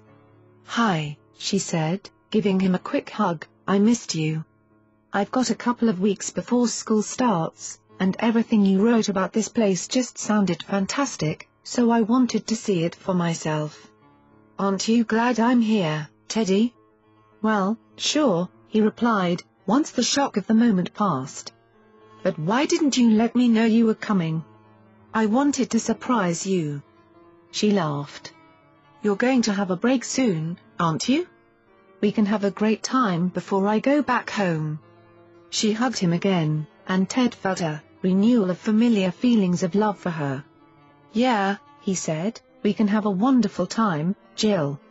Ted took her on a tour of the valley, proudly introducing her to his friends, flattered that she had come so far just to be with him. He showed her around as if he owned the place. Masquerade of Angels, 64, The Child 8. Everyone seemed to like Jill immediately. Even Bert warmed to her after a few minutes, going so far as to offer her a waitressing job if she wanted to stay on for the winter.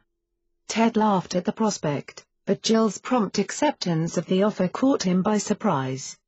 What about school? He sputtered, and what will your family say, for heaven's sake? I don't care what they think, Jill said. If you can stay out here and forget about college for a while, so can I. You're my best friend, Ted, and we'll have a great time together. Ted didn't argue anymore. With Jill in Sun Valley, his paradise would be perfect. The love he had felt for her since he was 14 had never died. And when the lodge closed, down for September, Ted and Jill set off to explore the world.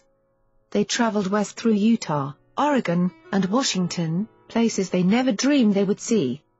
All the restraints, of their past were broken, the world was new and unlimited, and they were answerable to nobody but themselves. Somewhere along their journey, Ted and Jill crossed another boundary, moving from friends to lovers. It seemed to Ted there was nothing more he could ask from life, and he thanked the angels who had destined them for one another. They drank in everything, the new sights, new cities, and their new relationship. When the vacation ended, they rode back to Sun Valley, exhausted but exhilarated, to prepare for the winter season. It was a non-stop round of fun, punctuated only by easy stints on the job. Many of Ted's summer friends had stayed on for the winter, and there were other new employees to meet. Camaraderie was high as they all trooped into town, after work, to dance and drink and party in the local bars, with the energy of youth. Jill especially loved the nightlife, and although she and Ted had never been exposed to such freedom, or perhaps because of that, she grabbed it recklessly. The quiet, proper young girl Ted had loved in Alabama transformed into an outgoing woman full of zest, who could drink and dance, until the bar closed down. Ted's stamina, however, soon reached its limit. At first he Masquerade of Angels, 65, the child ate. Partied and drank with sheer exhilaration, but coming home drunk every night, grabbing a few hours sleep in his room and then trying to work his shift with a hangover soon diminished his enthusiasm. He was young and healthy, but keeping up with Jill, he came to realize, could kill a horse. The next night when Jill came to get him for their usual trip into town, Ted suggested they stay home instead and get a little rest for a change. But I'm not tired, she laughed. Come on, everybody's already down there. Let's go. No, really, not tonight, he shook his head. They won't miss us this once. Well, I'll miss them. Jill said with a hint of anger. What do you want to do around here, anyway? Read? Yeah, maybe I will, he replied. But you go on if you like, with everybody else, and maybe I'll see you later. He could tell Jill was determined to party, and just because he, wasn't didn't mean that she shouldn't have some fun. Fine, Jill said flippantly. Enjoy your book, Ted. Then she was out the door and gone without a backward look. He felt guilty for a moment. Jill was young and free, determined to make up for all the years she'd spent being serious and responsible and good. If she wanted to overindulge a little, Ted told himself, well, then, why not? He understood or at least he thought he did. But he was more mature himself, an old hand at this fast, lame living, with four whole months of freedom under his belt. He was a veteran now of making life-changing decisions, and when he had opted to drop out of college, Ted had begun to see other possibilities for the future.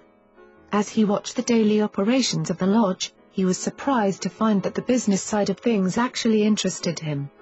While in college, his studies had no particular direction, and career decisions seemed far in the distance.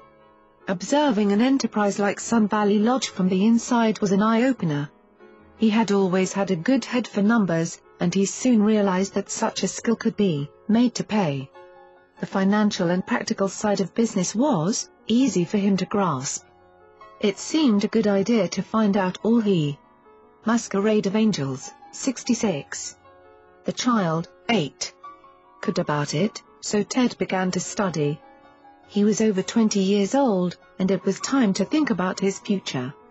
Someone had given him a book, The Peter Principle, by Laurence J. Peter, and that night he read the first few pages with rapt attention.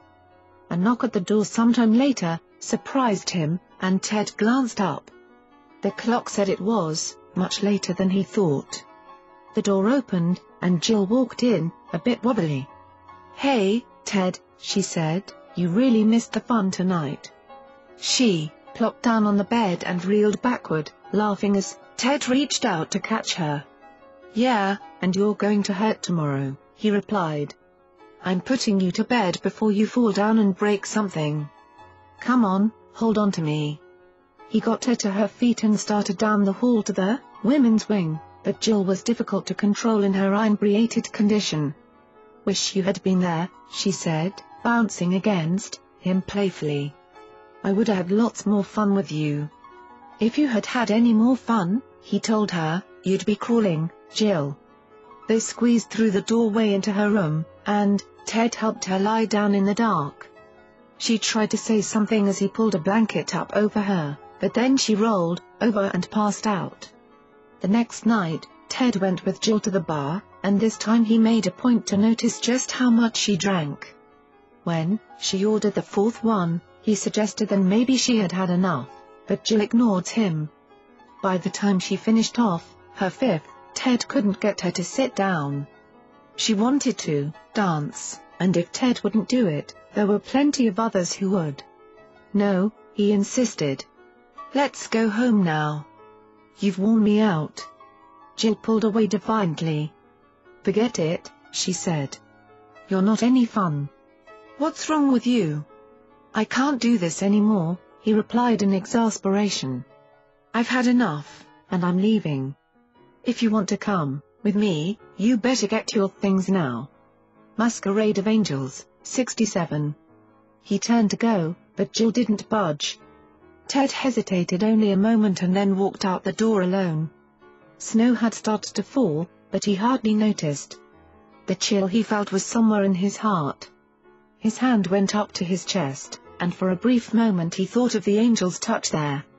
The Jill he had been made to love was not the girl he'd just left in the bar, after work the next evening, Ted wondered if Jill would come down and ask him to go out by 9 p.m. when she hadn't appeared, his curiosity won out, and he went to the women's wing. Jill's room was empty. It was much later when she finally showed up at his door, slightly inebriated, and made a conciliatory gesture. Nothing more was said after that, but they both knew the old routine had changed. Jill went to the bar most nights by herself or with some of the others. Ted stayed home. And then Jill would pop in for a quick good night when she returned. During the day, their relationship seemed the same, though, and Ted hoped the crisis was over. One night when he had nothing in particular to do, he decided to go down to the bar and surprise her. He trudged through the cold night into town, and by the time he reached the bar he was ready for a warming drink and maybe a workout on the dance floor. He moved from table to table, looking for Jill without any luck. Finally one of his co-workers waved him over, and Ted sat down. It's been a while since you were out here, his friend remarked. Let me pay for that one, okay? He offered as Ted ordered a beer, his usual indulgence, from the waitress. Thanks, Ted said. You haven't seen Jill, have you? Nope, not tonight, the friend replied. Thought maybe, the two of you were having a private party. Ted laughed and shook his head. Everyone knew that he and Jill were a couple, but since she'd been coming to the bar alone, their intimate late-night romancing had waned. That's why he was there now, hoping to share Jill's fun and then return to the dorm together. Really together, for the first time in weeks. Masquerade of Angels, 68. He had a couple of beers and waited for an hour or more, watching for her but at last it was obvious that Jill was elsewhere, so reluctantly he walked back to the lodge alone. It was almost 1 a.m. by the time he arrived. Before going to his own room, Ted stopped by Jill's and started to knock. The muffled sound of voices inside made him hesitate a moment, but he tapped lightly and pushed the door open. In the dim light, the first thing he saw was his roommate, Gary, sitting on the couch with his arm around someone. Jill. They were kissing, but when the door opened they both looked up in surprise. Jill started after him as Ted backed, slowly out of the room, but the look on his face warned her not to follow. Thirty minutes later, Ted was back in town, at the first liquor store he saw. Then he went on, to a small hotel, checked in, and proceeded to empty the bottle he had bought. He couldn't quit crying, and the alcohol didn't stop his pain, but at last he passed out on the bed. Two days later when he finally returned to the lodge, Bert was alarmed and angry. Where the hell have you been? He demanded. You missed your shift yesterday, and you don't look like you can work today either. That's not like you, Ted, to be so irresponsible. I'm sorry, Ted said miserably. You know I'm always on time, Bert. I've never let you down before. But this was personal. I had to have some time alone to think about things. Am I fired? No, you're not fired, Bert replied, and from the tone of his voice, Ted guessed that his boss must have heard something about the situation. You're one of my best workers, I think I can let it go this time. But make sure I know where you are before you disappear again, okay? Okay, Ted nodded. It won't happen again. Thanks, Bert. When his shift ended, Ted reluctantly headed for the dorm, uncertain what would happen when he confronted Gary. That was the first thing he had to get through. Dealing with Jill was more than he could think about just then. But. Masquerade of Angels, 69. When he got to his room, it was clear that Gary had moved out. In a way, Ted was relieved, but part of him wanted the confrontation. He had been betrayed by a good friend, and he wanted to know why. Gary wasn't hard to find. Half an hour later they were alone together in Gary's new room, and when Ted looked at his friend's embarrassed expression, his anger relented. Man, I'm really sorry. Really sorry, Ted, Gary said. I know that's not much help. I trusted you, Ted said. Jill was my girl, and you were my friend. How could you do that to me? Listen, Gary replied, I never meant for this to happen. But Jill can be real persuasive. She brought a bottle down to the room, looking for you, but I was there, and she stayed a while. Didn't you think about me? Ted asked. If you wanted a girl, there are plenty around here besides mine. Sure I did, Gary argued, I even asked Jill why she was flirting with me when she was your steady. And you know what? She just laughed and said she didn't belong to you, that she loved you like a friend, that's all. She said she was free to do what she wanted, and so were you. Ted didn't listen to any more. He walked away, determined to find Jill and hear it for himself. He couldn't believe that her interest in Gary was serious, in spite of what he'd seen in her room. The only way he would really know was to see her face, look into her eyes, and listen to her explanation. If she had one. By the time he found her, Ted's obsessive need for Jill was raging, and he was desperate to believe anything she said. He wanted her back, the old Jill who loved him, whose soul had been merged with his. If she said she was sorry, he knew he would forgive her. Jill didn't look pleased to see him when he walked into her room. What do you want? She asked angrily.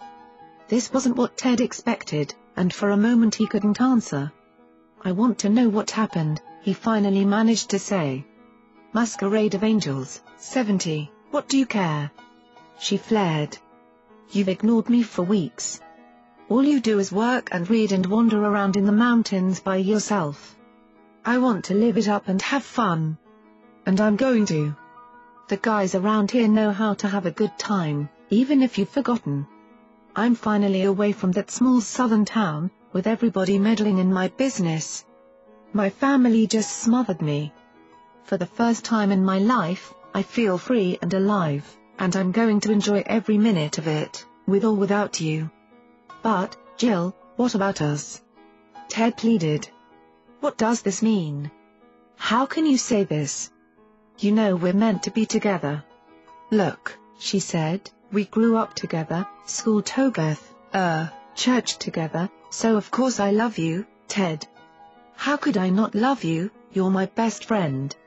And I've tried to love you the way you wanted. But all of this business with the angels and our souls being merged, Ted, that's your obsession. Those were your angels, not mine. Like a dry twig breaking underfoot, Ted felt something snap inside. He waited for the surge of pain he thought he would feel. Jill had finally and completely rejected him, but, astonishingly the pain was gone. Her words, honest and brutal, had freed him, and there was nothing left of her soul in him, not anymore. The obsession was over. Masquerade of Angels, 71. 9. My soul hath power to know all things, yet is she blind and ignorant in all. Sir John Davies. Jill left before Christmas. The holiday season was one of the busiest times at the lodge, and Ted took on extra shifts at work, leaving himself less time to think, or hurt. But the hour always came when he couldn't ignore his loneliness. Questions and doubts crowded him, born for the first time from his heart as well as his mind. How did a God work, he wondered, with angels who could make such a colossal, messy mistake? How could a loving God choose to bind him, his very soul, to a woman who would bring such misery upon them both? The obsession was broken, the angels had failed. Throughout the winter, Ted withdrew, isolated in his own thoughts, coming to terms with the meaning of betrayal and loss. He had little contact with his friends and sought instead a world beyond the human. There were always the mountains, ringing the valley like monuments to calm endurance, and for Ted they were a place of healing. In time, then, he came back to himself. The pain matured into experience, and Ted was able to rejoin the social world of the lodge with renewed gusto. His good humor returned, but there was a new seriousness belying it and new questions that Ted could not yet formulate. All he knew for sure was that things in the world were capable of illusion. Things could appear to be one way yet in reality be something altogether different. Cement could look like redwood. Like Jill's love. Like the soulmating of the angels. The loyalty of a, the child, nine. Friend. He knew the world was not what he saw with his senses, but he didn't know what lay beyond or behind it. And he didn't know how to find out. Still, with all the recuperative qualities of health and a strong spirit, Ted got back into the swing of parties and friends.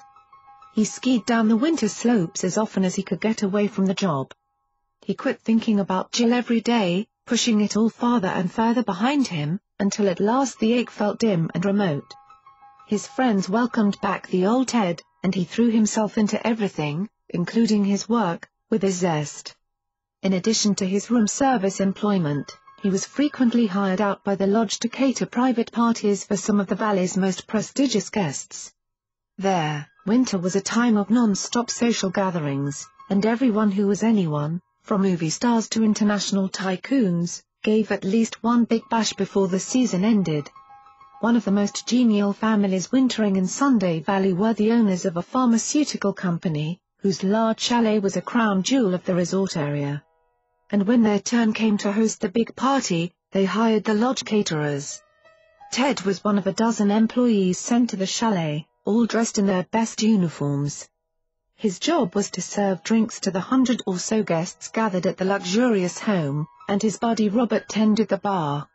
As Ted brought in the drink orders, he noticed that several guests asked for a drink that looked quite enticing, garnished with an orange slice and a cherry. They called it an old-fashioned, something Ted had never heard of, and he thought it looked delicious. What's that taste like? He asked Robert as he loaded another round of glasses on the tray. Super, Robert said. You want me to fix you one? I'm not supposed to drink while I'm working, Ted replied hesitantly, eyeing the glasses. Who's going to know? Robert smiled. Here, I'll fix it, and you just set the glass out of the way somewhere. Then you can sneak over for a sip whenever you're not busy. Scotch or bourbon? Masquerade of Angels, 73, The Child 9. I don't know, Ted shrugged. What's the difference? His knowledge of alcohol began and ended primarily with beer. Never mind, Robert said. I think you'd probably like the bourbon. Okay, Ted relented, I'll have one. When the drink was ready, he took it and slipped around a large potted plant, away from view. Ted sniffed the glass curiously and then stuck his tongue in for a taste. Not bad, he thought, not bad at all. It was so good, in fact, that he downed the entire thing in one long swallow and sauntered out from behind the big plant with a smile. When he had taken more orders from the guests, Ted went back to the bar.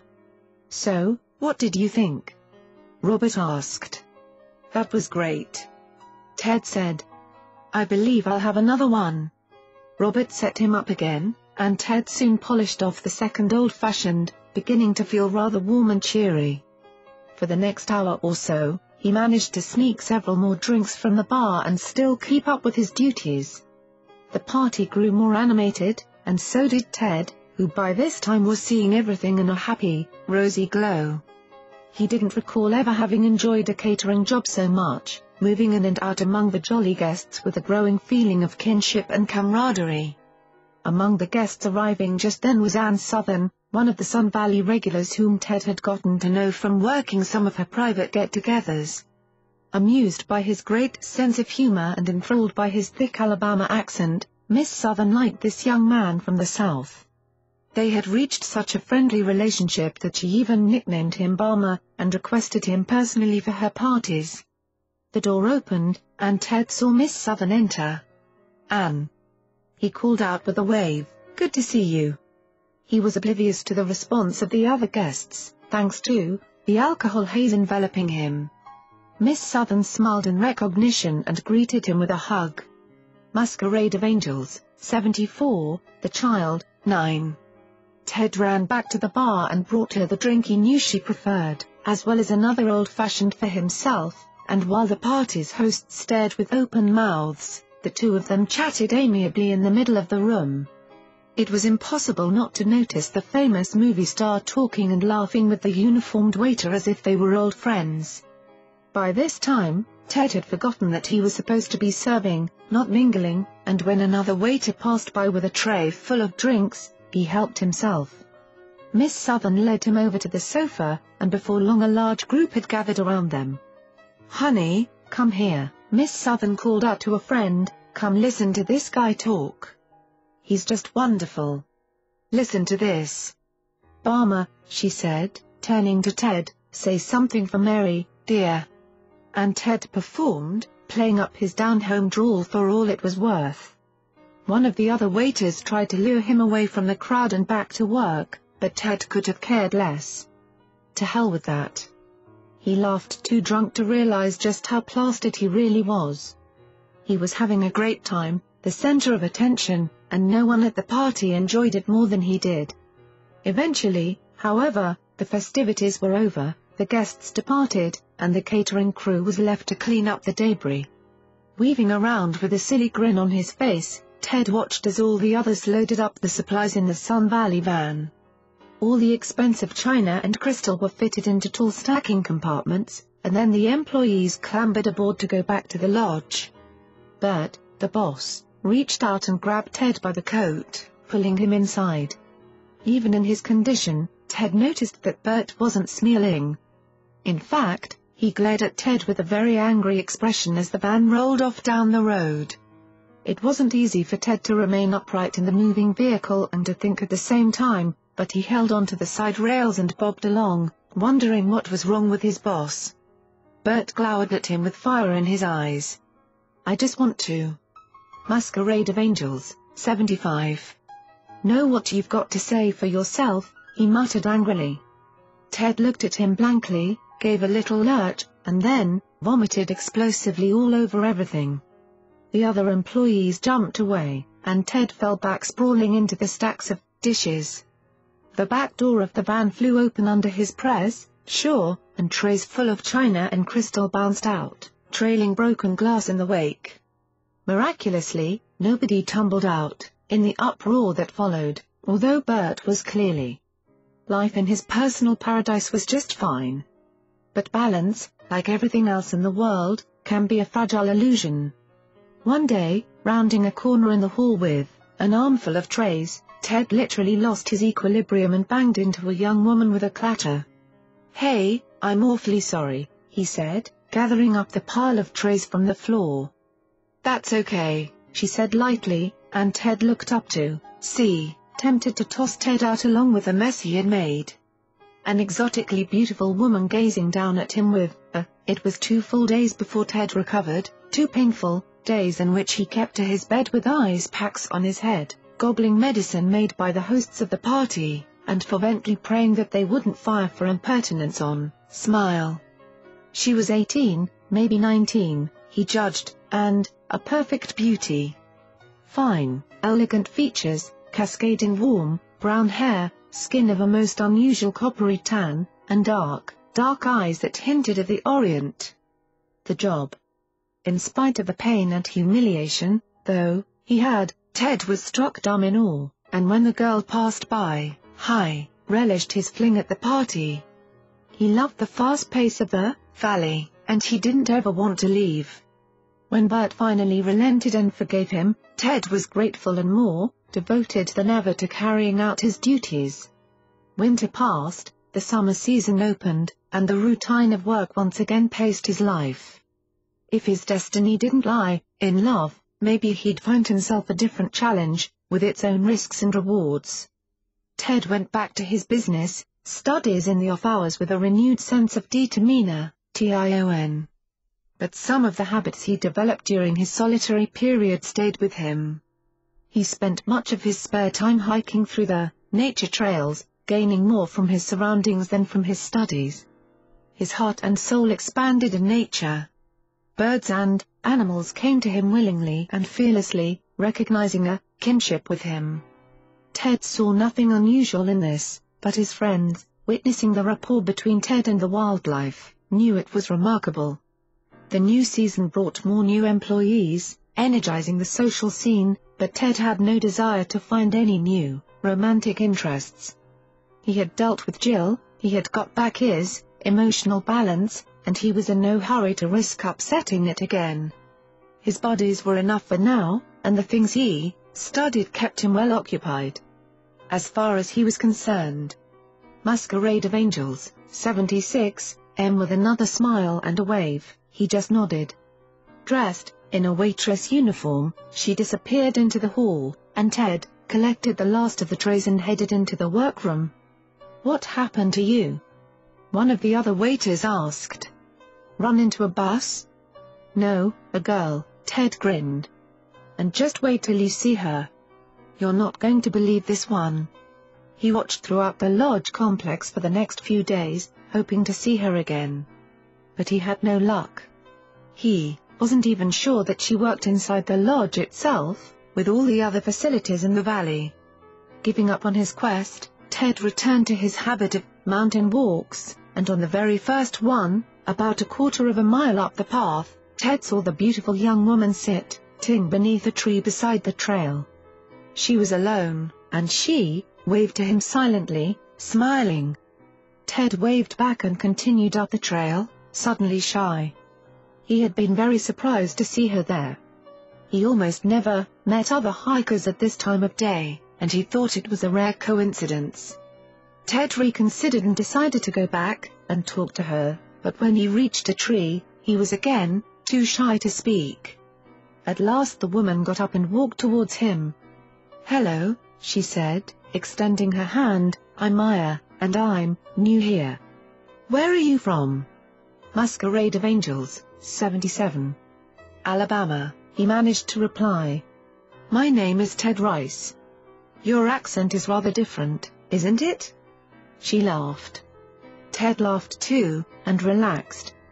Well, yours is pretty different, too, he said. It isn't southern, but you don't sound like the people from around here either. Where are you from? Oh, my people live up in the mountains, she replied with a vague wave of her hand. I'll tell you all about them, sometime. What brings you to Sun Valley? And tell me all about Alabama. Her manner was very mature, Ted noticed, considering her young age. She was much more self-confident than most of the girls he knew, and he intuited a strength and serenity in her that put him at ease. They sat down beneath the tree, together, and Ted began talking, pleased that this gorgeous woman found him so interesting. He told her of his cotton fields and childhood escapades, even of his dreams of Sun Valley years before his arrival there. Maya smiled at this account, encouraging him to continue. She watched his gestures and listened attentively, as if each word were important. But when Ted realized that, almost two hours had passed, he was a little ashamed of having dominated the conversation. In all fairness, he had tried, several times to ask Maya some personal questions and draw her out, but she always replied in generalities and gently steered the focus back upon him. At last Maya said she had to leave for work, so they part, Ed, and Ted went back along the nature trail alone. As he walked and thought about the chance encounter, he realized that in a very short time he had told her many things about himself. Yet from her all he had learned was her first name and that she came from the mountains. He chided himself for forgetting even to ask her last name. It was almost a week later before he ran into her again. They were rushing past each other in the kitchen hall, but, Ted managed to delay her long enough to ask if they could make a date, maybe go to a movie in town sometime. Sorry, Ted, Maya declined, I have to work tonight. What about later, then? Another night. Just name the Masquerade of Angels, 78. Date, he persisted. We can go out any time you'd like. Maya walked away from him. Don't worry, she called, back, we'll see each other soon. I promise. And then she was gone. Ted left the trays in the kitchen and rushed back to the dining room. He wanted to find out her last name and her dorm, for future reference. But Maya was nowhere in sight. Another waiter passed by, and Ted pulled him aside. Hey, Jack, you know that beautiful brown-haired girl that just went through here? He asked. In a waitress uniform? Which way did she go? Can't help you, Jack shrugged, I didn't see anybody like that around here. Okay, thanks anyway, Ted said, but he didn't understand how Jack could have missed Maya. He asked the other employees too, and got the same negative reply. That's how it always seemed to be, a series of sudden appearances and inexplicable vanishings, with Ted as the only witness. Maya kept her word, and they did run into one, another thereafter, although not frequently enough to suit Ted. Days would pass without any sign of her, and Ted would just about give up. Then suddenly there she would be, out on the nature trails as if waiting for him. They would walk together and talk, far away from the lodge, deep in conversations unlike anything Ted had ever discussed before. Instead of the usual trivia that made up a young girl's interests and conversations, Maya preferred to talk about feelings and ideas, approaching topics seriously, without the silliness that Ted usually found in 18 and 19-year-old friends. Time after time, she amazed him with her remarkable insights, or philosophical questions.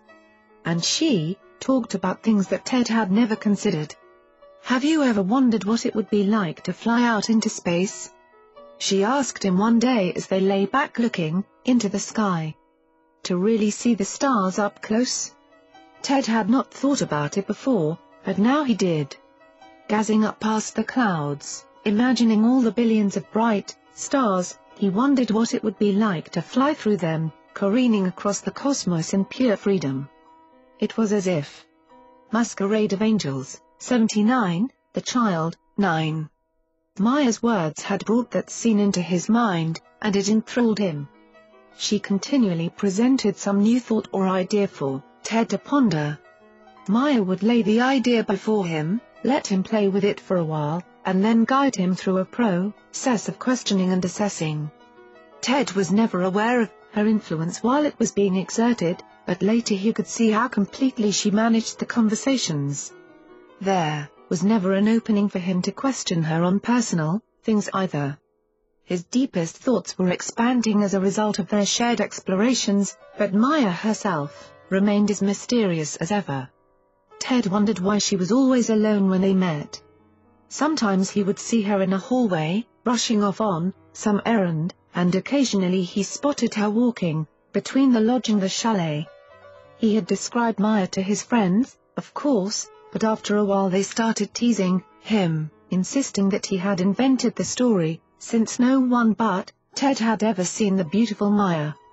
Ted laughed with them, but the more he thought about it, the more suspicious the circumstances seemed. He also wondered why she was so difficult to find in the relatively small environs of the valley. Just once he wanted to run into her, instead of the other way around, for invariably, Maya was the one who did the finding. Ted determined that the next time he saw her, he would get some answers. Where did she live? Where exactly did she work? And why, was she always alone? But the next time he saw her, she wasn't alone. Ted was jogging up a trail, and when he rounded a small bend he saw, Maya and another young woman walking towards him. Maya waved, and her smile had a hint of the mischievous about it. Hi, there, she called out. You're late, Ted. She had been waiting for him, Ted was certain, but his attention was drawn to the other girl.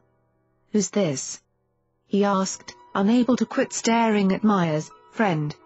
She might have been her twin, with the same surreal complexion and dark hair and eyes. She was equally beautiful, but in a slightly different way, and when she spoke her Masquerade of Angels, 80, the child 9. Accent echoed Maya's perfectly. Hello, Ted, the young woman said.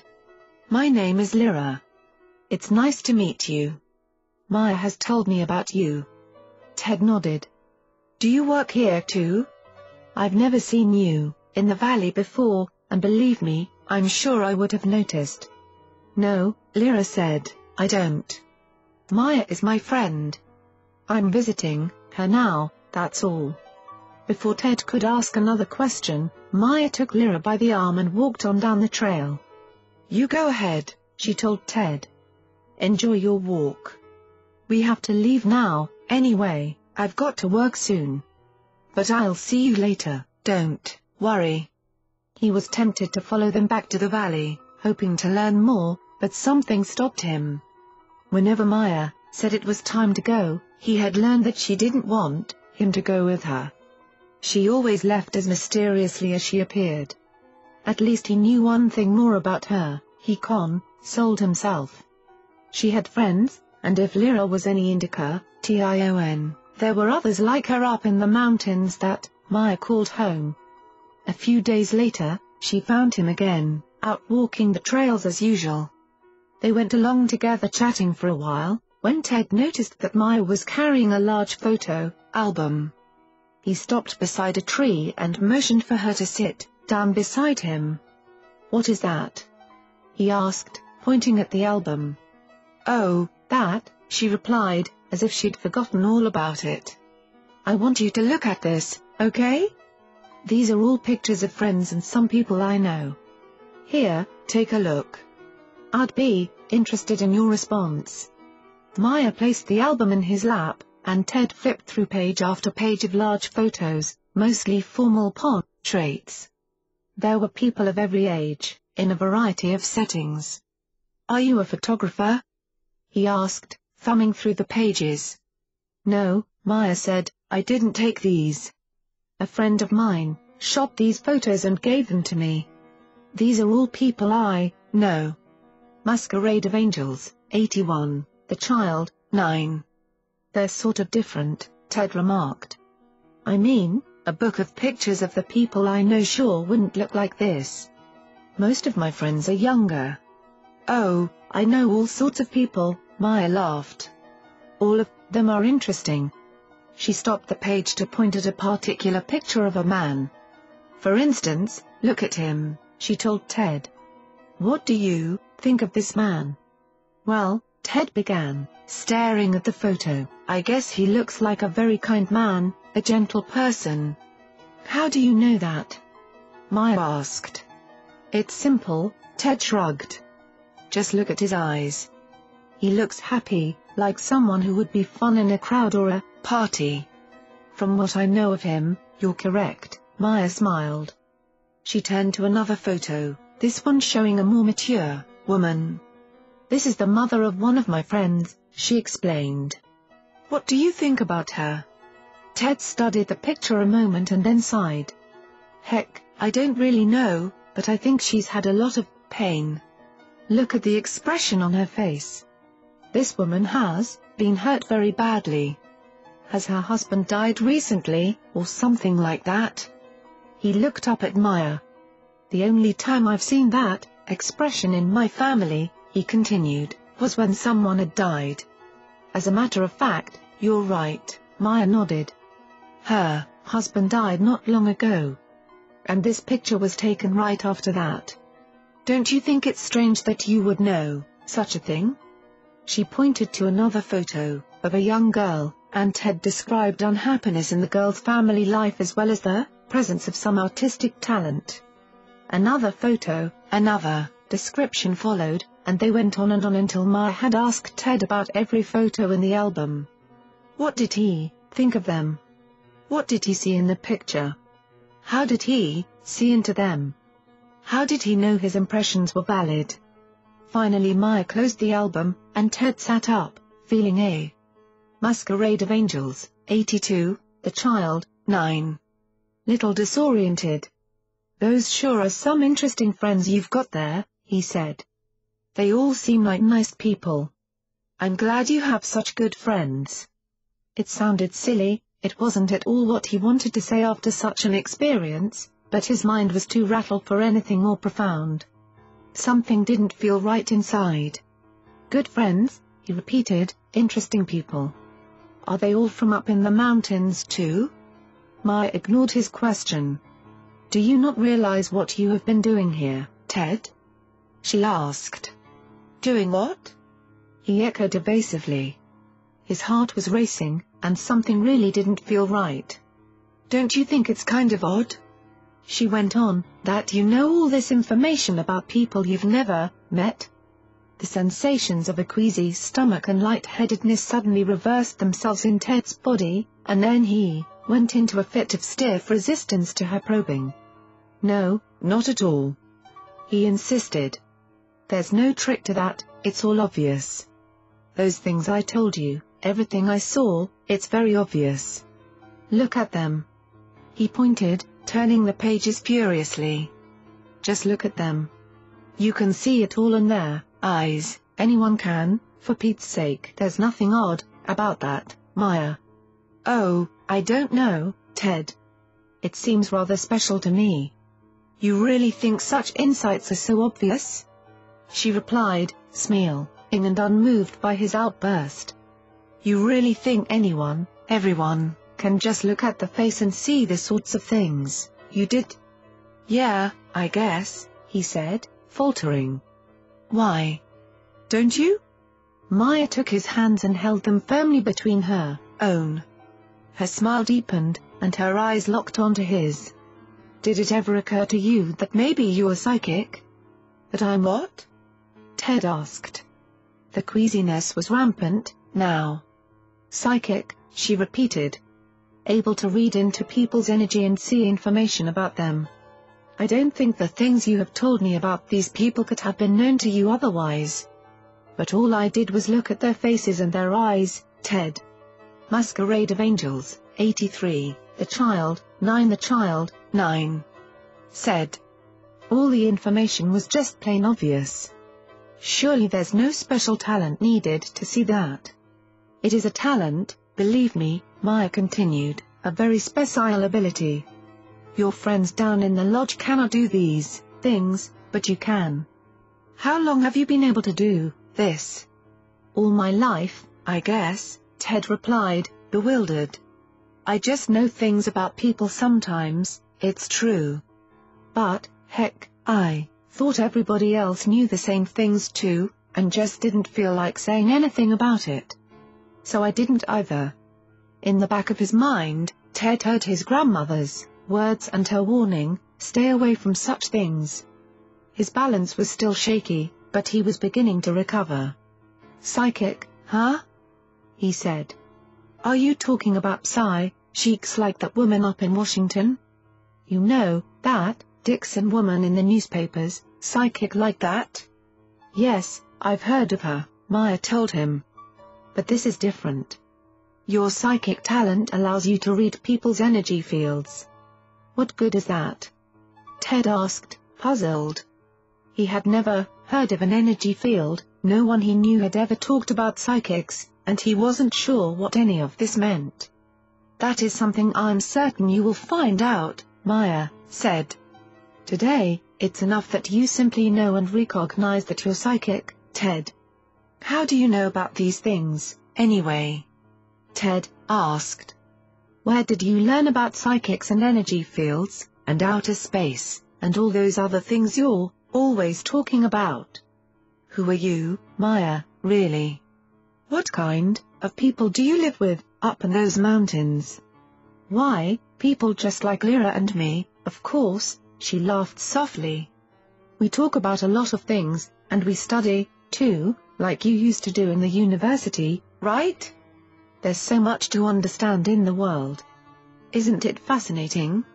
She rose and gathered up the album. I'd love to stay longer and talk some more, she said, but I really can't. It's getting late. I'll see you later, Ted. Maya waved and then headed off down the trail before he could answer.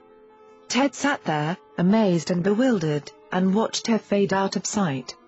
Not only had Maya led him to a new recognition of himself, she also had triggered a sensation of motion that he hadn't felt since Jill's departure. It felt good, intriguing and enticing, but this time it was different. His emotional response wasn't obsessive or controlling, it was unconditional. Masquerade of Angels, 84, Masquerade of Angels, 85. 10. Then the eyes of the blind shall be opened, and the ears of the deaf shall be unstopped.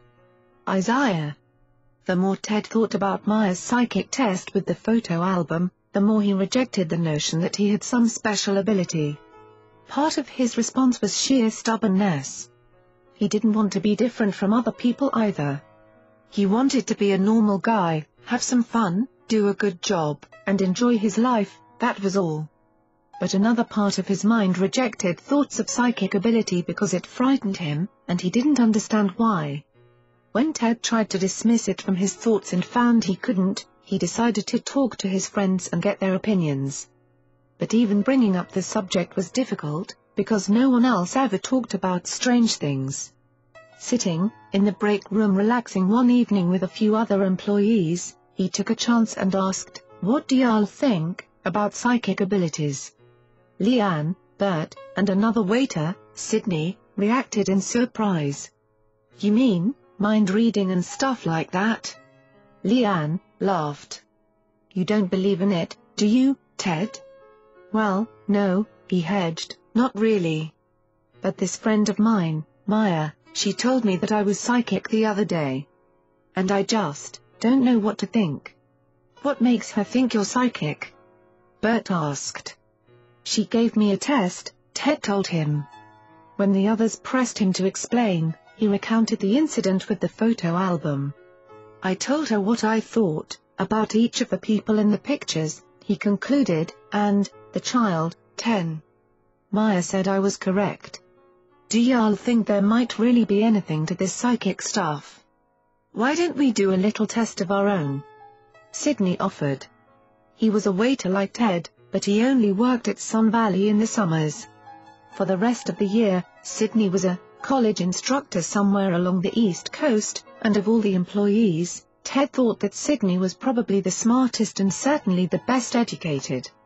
So he listened in, surprise and curiosity as Sydney explained the sort of test he had in mind. You think we could try some experiment that would prove I don't have any special powers? He asked. He wanted to discredit Maya's test and relieve himself of the uneasiness it had stirred up in him. Who knows? Sydney countered. Maybe it will prove that you do. Some people do have psychic abilities, they're able to do things that mere chance says they shouldn't. But I would think that it's a rather rare gift, Ted, and I'm pretty doubtful that you or any of us here would have it. Care to try it anyway? Sure, Ted agreed. If there was a good test, he'd fail it, and that would put an end to Maya's talk. he and everyone else would find out that he was just a typical guy. Alright, Sydney began, here's what we'll do. I'll choose a number of items, and you try to guess what they are. I'll select five things, one at a time, okay? He motioned for Ted to move back, and Leanne and Bert gathered in close around Sydney to witness the process. You go across the room and turn around, he continued. I'll give you three guesses on each item, and if you can get even three of them right, out of nine guesses, I'd say that, would be a higher than average performance. If you do that well, I'll concede that you might have some abnormal abilite eyes. The others laughed and joked as Ted crossed the room, and he laughed along with them. There was no way he could guess the objects, he was certain, and they could all have a good time watching him fail. He faced the wall a few moments, while Sidney chose the first item and then called. Masquerade of Angels, 87. For Ted to turn around. Keep your eyes closed, Sidney directed. Put your hand up to your forehead and try to clear your mind completely. Shut out all thoughts, Ted, and concentrate. I've got something in my hand. Concentrate on getting an image of that. When something comes to mind, tell us what you think the item is. A young man's dignity is awkward and fragile, sometimes, and Ted felt very silly, with his hand dramatically covering his eyes, but he obeyed Sidney's instructions. Tell us, Great Swami. Bert joked, and everyone laughed, especially Ted. Ignore them, Sidney said, and just focus on getting an image. Ted squeezed his eyes shut and tried to blank out his thoughts. After a moment he said, well, it's long and yell, low. Not too big. He paused and then went on hesitantly. I think, I think, it's a pencil? He opened his eyes and looked at Sidney's outstretched hand. In it was a yellow pencil. His eyes widened in surprise, and then he grinned. Wow, this is really fun. He laughed, feeling a rush of excitement. The pit of his stomach winced as it did whenever he rode a roller coaster climbing to the top of the first deep, dizzying dive of speed. He could feel color and heat rising in his face. Not bad, Bert said. Yeah, Leanne echoed, you're a great guesser. Do you hire out for private parties? Ted laughed again and then turned back to face the wall for a second challenge. Behind him, Leanne and Bert rummaged around for an object. Leanne found a safety pin and handed it to Sidney. Turn around, Ted, Sidney said, and focus on the image of the second item. Ted pressed his hand to his forehead again and cleared his thoughts. Soon, another image began to appear, but it wasn't as clearly obvious as the pencil had been. He sharp-ened his concentration and tentatively began to give a Masquerade of Angels, 88. Description Leanne, Sydney, and Bert sat forward. It's grey, he began. No, not grey, silver. Shiny silver, I think. A coin? No, not a coin. A paperclip? It's about the size of a paperclip. You know, like a safety pin. Ted opened his eyes, and when Sidney handed him the safety pin, he bowed his head in acknowledgement. This time, there wasn't as much laughter from the others as before. Bert just stared at him open-mouthed. Ted was beginning to enjoy this little test less and less. The rush of excitement he felt when he identified the pencil, now felt like a rush of something much less pleasant. This wasn't the way the test was supposed to proceed. Two guesses, and two correct answers, Sidney finally, said, breaking the silence. That's pretty amazing, Ted. He looked at the young man before him as if scanning for signs of something that had been overlooked before.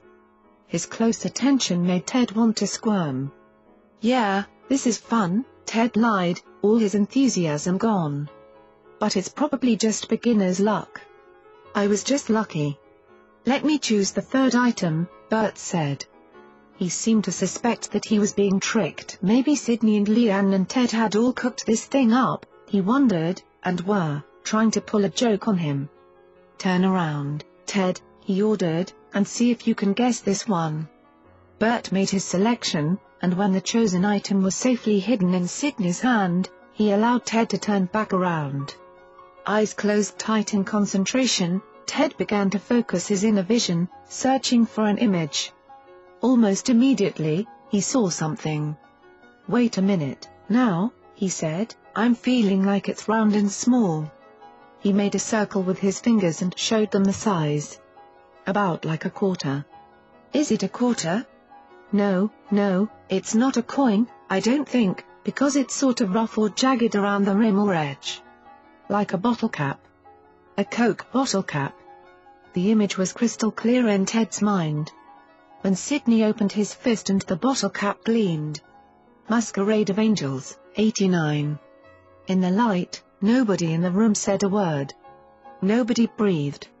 Ted could hardly move, and when he finally did, he thought he might faint. His stomach lurched and he felt lightheaded. Without a sound, he turned and walked out of the service area, into the employee lavatory, where he promptly threw up. Half an hour later, when he was finally able to return to work, no mention was made of continuing the test with the fourth and fifth objects. In fact, nobody ever mentioned the test again, except Ted, when he described it to Maya. They met on the hillside a few days later, and Ted told her about the professor's test with the pencil, the safety pin, and the bottle cap. He didn't tell her about throwing up, however. Maya had very little response, which surprised Ted. He thought that surely she would make a big fuss and say, I told you so, but instead she just smiled and nodded. What do you think about that? He pressed. Don't you think that's pretty strange? I knew it already, she said quietly, taking his hand. Looking into her eyes, Ted thought once again just how very mysterious the beautiful woman was, how much older, she seemed, older in some ways than anyone else he'd known. There was an ageless, perpetual calm about her. She always focused on him in their conversations, yet she seemed lovingly detached from everything. They still met frequently throughout the summer, but Ted was aware of a slight change in their relationship. It seemed that after the photo album test, Maya's concentration on him relaxed. It was as if she'd been working hard at a task, and now that it was accomplished, she could ease up a little. Ted and Maya became more physical and less mental, with each other.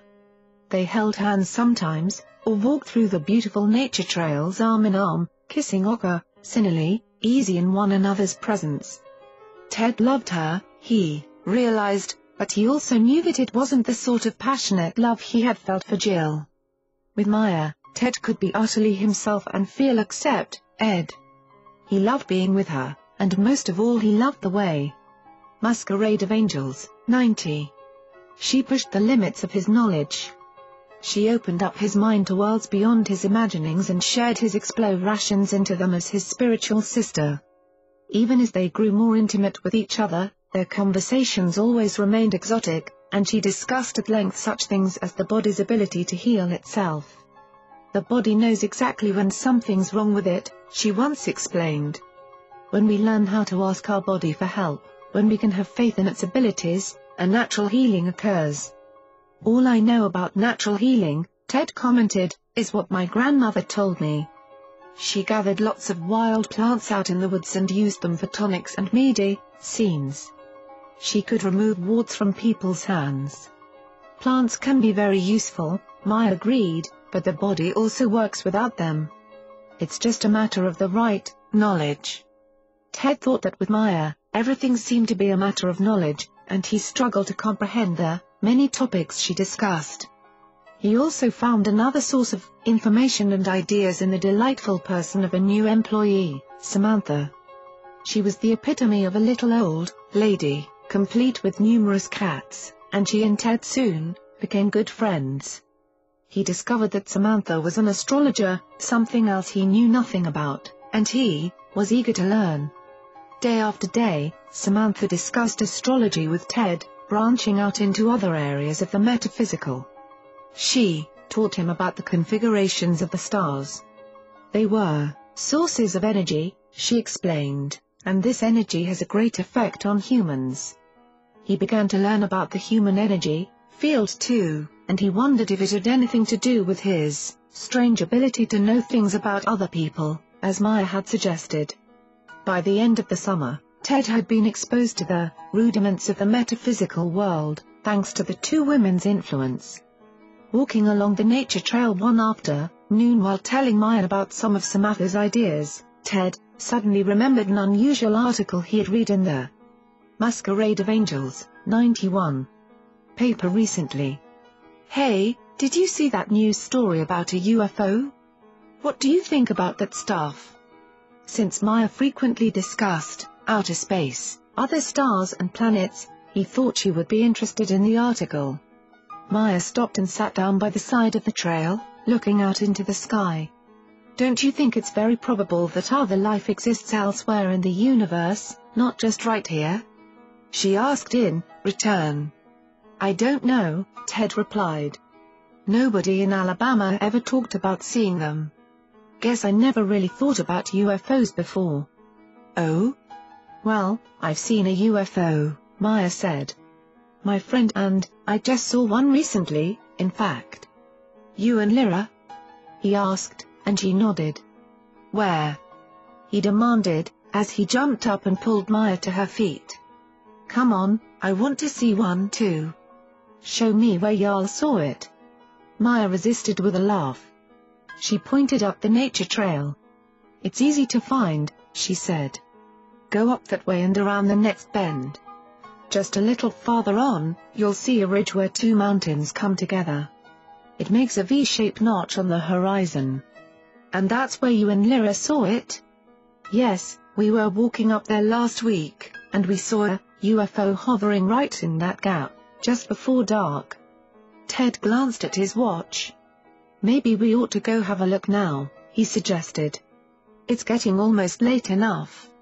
No, Maya said, it's getting so late that I have to go back to work. She started down the trail with Ted following, after her reluctantly. Boy, he said, I'd sure like to see one. Just so I would know for myself. Try it, then, Maya replied. We've seen them a few times. If you'll come back out here late in the afternoon, before dark, you might see it. Lyra and I saw it a couple of times at dusk. Will you go with me? Ted asked. Masquerade of Angels, 92. Well, if I can, Maya hesitated. But my schedule is so busy, and I have to see my friends a lot. Don't wait for me, go have a look whenever you can.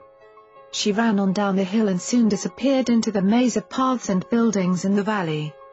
With or without his mysterious friend, Ted determined to go back up the trail the following afternoon and look for the UFO. He kept to the trail until it reached a small bend, and then he walked on farther, scanning the area. At last on the horizon Ted could see a deep gap between two mountains, and through that V-shaped opening he could gaze into the desert. Satisfied that he'd found the right place, Ted sat back on a comfortable perch and lit a cigarette. His eyes moved steadily across the vista as he waited, but he had no idea what exactly to expect. A shiny, whistling flying saucer? Little green men, from Mars, peering out from portholes and waving their antennae at the earthlings below? He didn't have to wait long. Something did appear, but it wasn't at all what he expected. Right above the gap he saw a dark spot in the air. It was an object, a body of some sort, but, it was disappointingly too far away for Ted to recognize any particular shape. He watched silently as the dark object hovered, listening for any identifying sound, but there was none. Then the object left its stationary position and for several minutes made slow, odd maneuvers, always keeping within the space of the mountain gap. After a while, it turned and, leisurely flew away toward the desert. Ted watched until it was no more than a speck against the sky. And then that too, disappeared. He sat back against his perch, puzzled. Was that a UFO? He asked himself. No, it was just a dot in the sky, he replied. But it didn't make any noise, it didn't fly the way airplanes do, the argument continued. As a UFO sighting, however, the whole thing was a big disappointment. No lights, no little green men, just a dot in the sky that didn't behave as it should. It was intriguing, sure, but not identifiable. Sort of, like Maya, he joked to himself. Then his mood suddenly changed, and Ted was overcome by fear. He didn't know why, but he was terrified that the Masquerade of Angels, 93. The child, 10. UFO, or whatever it was, might be coming back to get him, and all he could think to do was run away. The sky was dark, darker than it should have been, and he wanted to get out of that place immediately. Without stopping, Ted ran all the way back down the winding trails and into the valley floor at breakneck speed.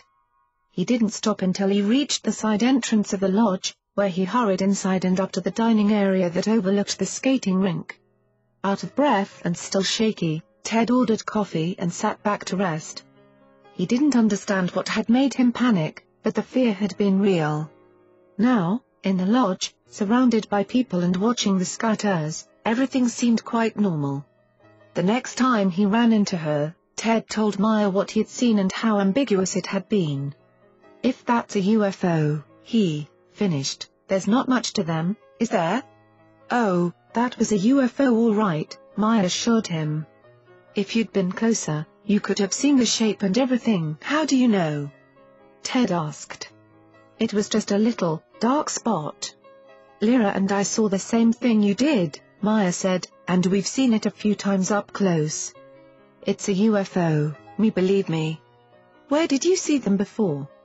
Ted asked. I mean, up close like that. When we were in the mountains, she told him. Which mountains? Those, she pointed vaguely, north of here. Ted started to ask another question, but Maya changed the subject immediately. Listen, she said, I've been wanting to ask you something. Summer is almost over, you know. When are you going to leave the valley and go back to school? Ted was so surprised by the question that he forgot about the UFO. He and Maya had talked about dozens of things, but not about college plans, or any other plans for his future. Never, I wish, he said, thinking of how near he would be to Jill if he went back to Tuscaloosa.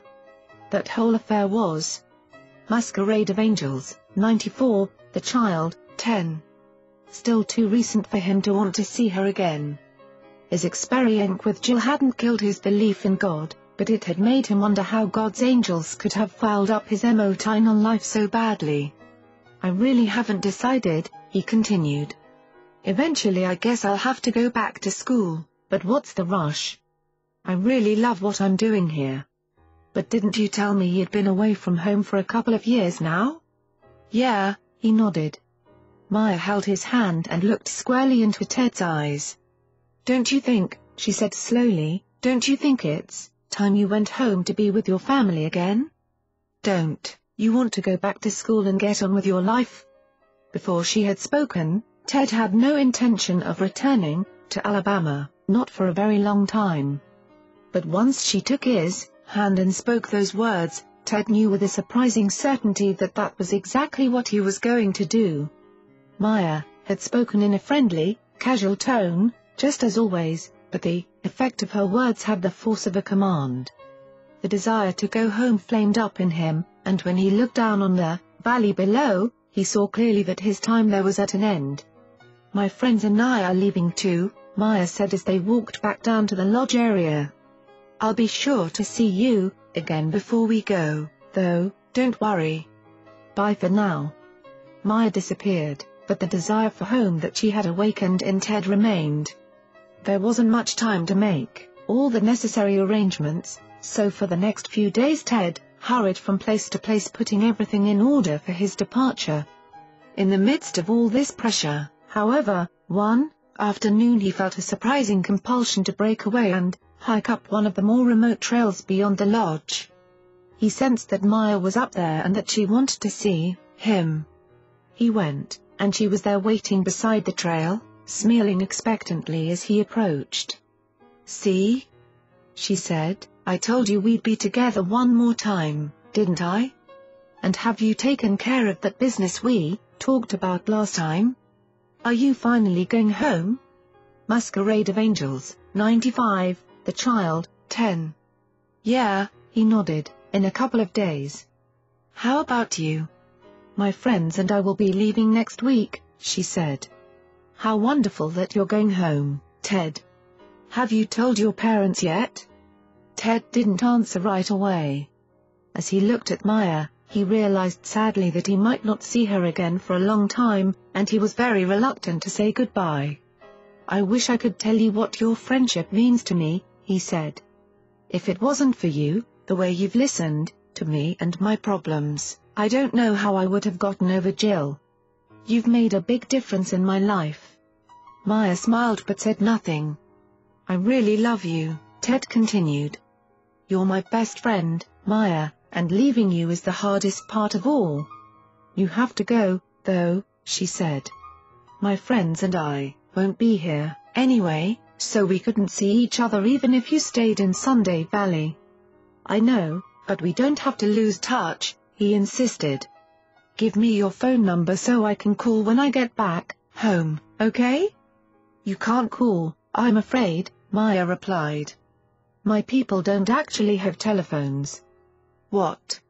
I know you all live up in the mountains, but just where exactly? He asked. A long, long way up in the mountains, she said evasively. It's really very isolated. Well, don't you go to school somewhere? Ted was becoming very puzzled. How could a group of people live without telephones, so far up in the wilderness, and still have the schools that Maya and her friends attended? Yes, I go to school, she answered, but not exactly like you do. What do you mean? You have teachers, right? Oh, yes, she nodded. Is the school in a town? He asked, wondering if he could phone her there. No, not a town, she shook her head. You wouldn't understand. Masquerade of Angels, 96. The Child 10. You're right, I don't understand, Ted said. How do you go to school, for Pete's sake? We have teachers in our group, was all the explanation Maya gave. Ted was completely frustrated by that time, yet he stubbornly determined to keep digging. I've been up in those mountains, Maya, he said angrily, waving his arm toward the northern snowy peaks. All the way across the summit. There aren't any towns up there. There aren't any houses. Most of the time you can't even drive across there because of the snow. And you're trying to make me believe that you live up there? I don't understand why you're doing this, because it can't be true. Yes, it is true. All I can say is that it really isn't me, or my choice, Maya told him. I'm there with my family. They're living up there because we're waiting. For what? Ted asked in bewilderment. For something to happen. Waiting for what to happen? You wouldn't understand if I told you, Maya replied. It's far too complicated, Ted, please believe me. But you will, understand one day. Let that be enough for now. Why do I have to wait? He argued. Can't you at least try to explain? I'm not stupid, I can understand a lot of complicated things, you know that by now. Maya was unmoved. You really would not understand, she shook her head. I'd like to explain it, but you can't grasp it right now. You will someday. Taking another tack, Ted persisted, this time with questions about her family. If you don't have telephones, he said, and you don't live in a town, and there aren't any houses up there, just where does your family live? We live in the mountains, Maya answered patiently. In? Ted echoed, trying to understand. In the mountains? You mean, actually inside them? Like in a cave? Yes, she said, as if no further explanation were required. But how do you get your food? I don't understand any of this. Masquerade of Angels, 97, The Child, 10. We bring it in and keep supplies, she said. Is something bad going to happen, Maya? Ted asked. Is that what you're waiting for? No, she said, no, it's not bad. Well, if you don't have a phone, then, Ted went on, can we at least write to each other? You can't, she replied. We don't have any mail delivery where we live. Frustrated at every turn, Ted pleaded with her. I'm going over 2,000 miles away, Maya, he begged, and you say I can't even write you? I can't call you? You're my best friend, I care about you. I love you. This isn't fair. Don't worry, Maya told him serenely, you'll see me again. I promise. He realized that there was nothing more to say, and nothing he could do to change her mind. Taking what comfort he could in her oath, Ted gave her one last hug and then kissed her, and the two friends parted. Final details kept him busy, but at last everything was arranged and he had his rail pass in hand. His departure, from Sun Valley was suddenly less than four hours away. More than anything, he wanted to see Maya one last time. Ted was bewildered by her insistence that they couldn't stay in contact, and he thought surely there must be a way, if only, he could find her again and persuade her before the bus left. He stored his luggage and raced out of the lodge, but then he stopped, at a loss. Ted had no idea where Maya lived. He went to the other employee dorms around the complex, but nobody recognized her name. Even when he went, from door to door and described Maya, he failed to find one person who knew anything. With time rapidly running out, he realized that the personnel office would know how to find Maya. He raced to the office for help. John, the director, had come to know Ted well and told him how sorry he was to be losing such a great employee. If you ever want to come back and work here, he said, just let me know. Ted thanked him impatiently and asked John where Maya lived. The child, 10. Who? John asked. The name's not familiar. You've got to know this girl, Ted insisted. She's so beautiful you'd have to be blind not to notice her. Believe me, you'd remember. And he described Maya all over again. John shook his head. Sorry, Ted, you've got me stumped. Don't you have a last name, at least? No, Ted admitted, but I know she was a waitress, I saw her in uniform. You're bound to have something in the files. We have hundreds of employees. Without a last name, John explained, there's no way for me to locate her. If she really works here, which I doubt. I've done all the hiring, Ted, and I just don't remember anyone with that name. Ted's hope was collapsing, but he still had two more hours and he wouldn't give up. He went back through all the dorms, through the chalet and the lodge, and finally he ran, up to the nature trails, hoping by chance she would be there. But the mountains were empty. Reluctantly, he returned for his luggage and stood in front of the lodge, silently saying goodbye to his paradise. One, last time he reached out and scratched through the redwood illusion down to the cement beneath it. Then Ted walked, slowly to the bus station, all the while scanning the distance, for any glimpse of Maya. The yellow bus of his old dreams arrived, and he had no choice but to get on board. He thought ironically of how very different his emotions had been the first time he rode that bus. Then, it had been the beginning of a dream come true, but the dream had become a nightmare.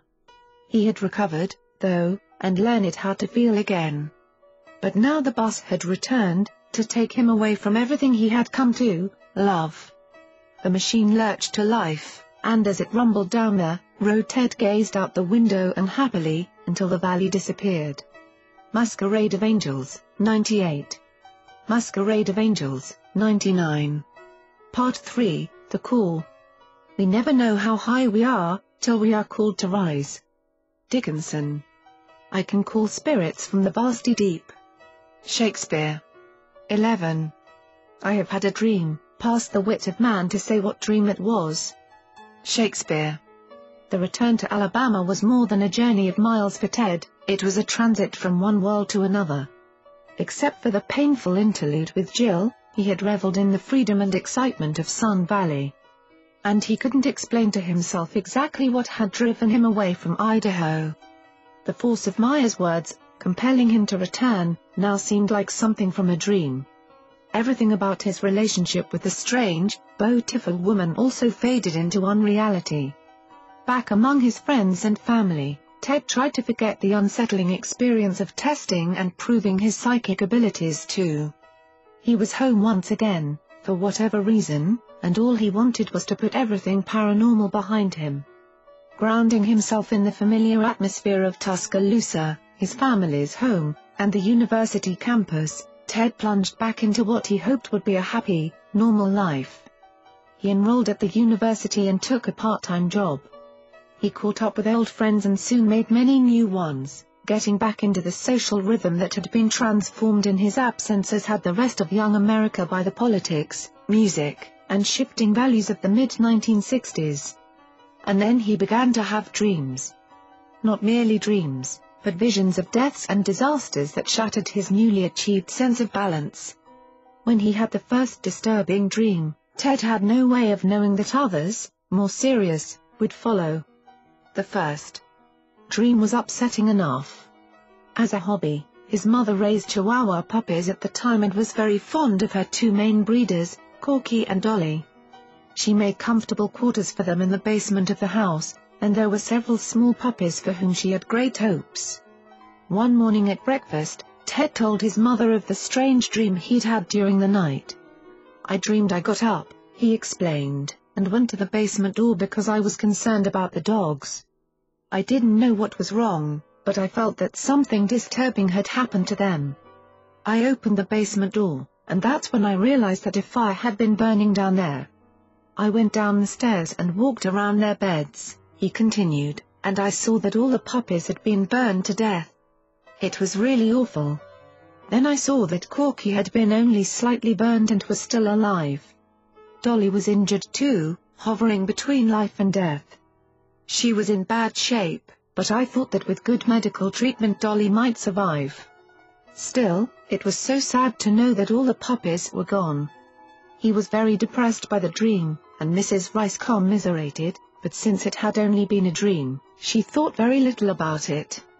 And Ted put it out of his mind too, never thinking that the dream might have had any extraordinary meaning. In less than a month, however, the Chihuahuas were all stricken by a serious illness. Although the veterinarian did his best to save the pets, one by one the puppies succumbed. Corky was the least affected and soon recovered. Dolly, the favorite, suffered for a long time before finally pulling through, but her health was permanently scarred. Ted and Mrs. Rice remembered the dream about the fire, and they realized that in some way it had been prophetic of the illness. The realization made them both very uneasy, especially Ted. He didn't want any psychic abilities to show him such sad events, which he could do nothing to change. There were other dreams too, just as disturbing. Once he dreamed of the death of a relative, and again he told his Masquerade of Angels, 102. Mother the next morning. After what had happened with the Chihuahuas, it was hard for Ted to dismiss the second dream, and when, three weeks later, the family received a phone call announcing the relative's death, Ted became seriously concerned. So did Mrs. Rice, who insisted that he must quit having such dreams. Ted would gladly have obeyed her, but he was helpless to shut down the flow of images in his mind. The most impressive of his prophetic dreams was the third one, and this time the details were sharp and clear. It began with a view of a dark, cloudy sky, Rain was falling, and the air was cold. He saw a rotunda in a large building, and in the center stood a casket draped with an American flag. In the dream, Ted approached the coffin, coming near enough to see a woman lying in it. He didn't recognize the woman, but he could tell that it was a solemn occasion, one of great importance.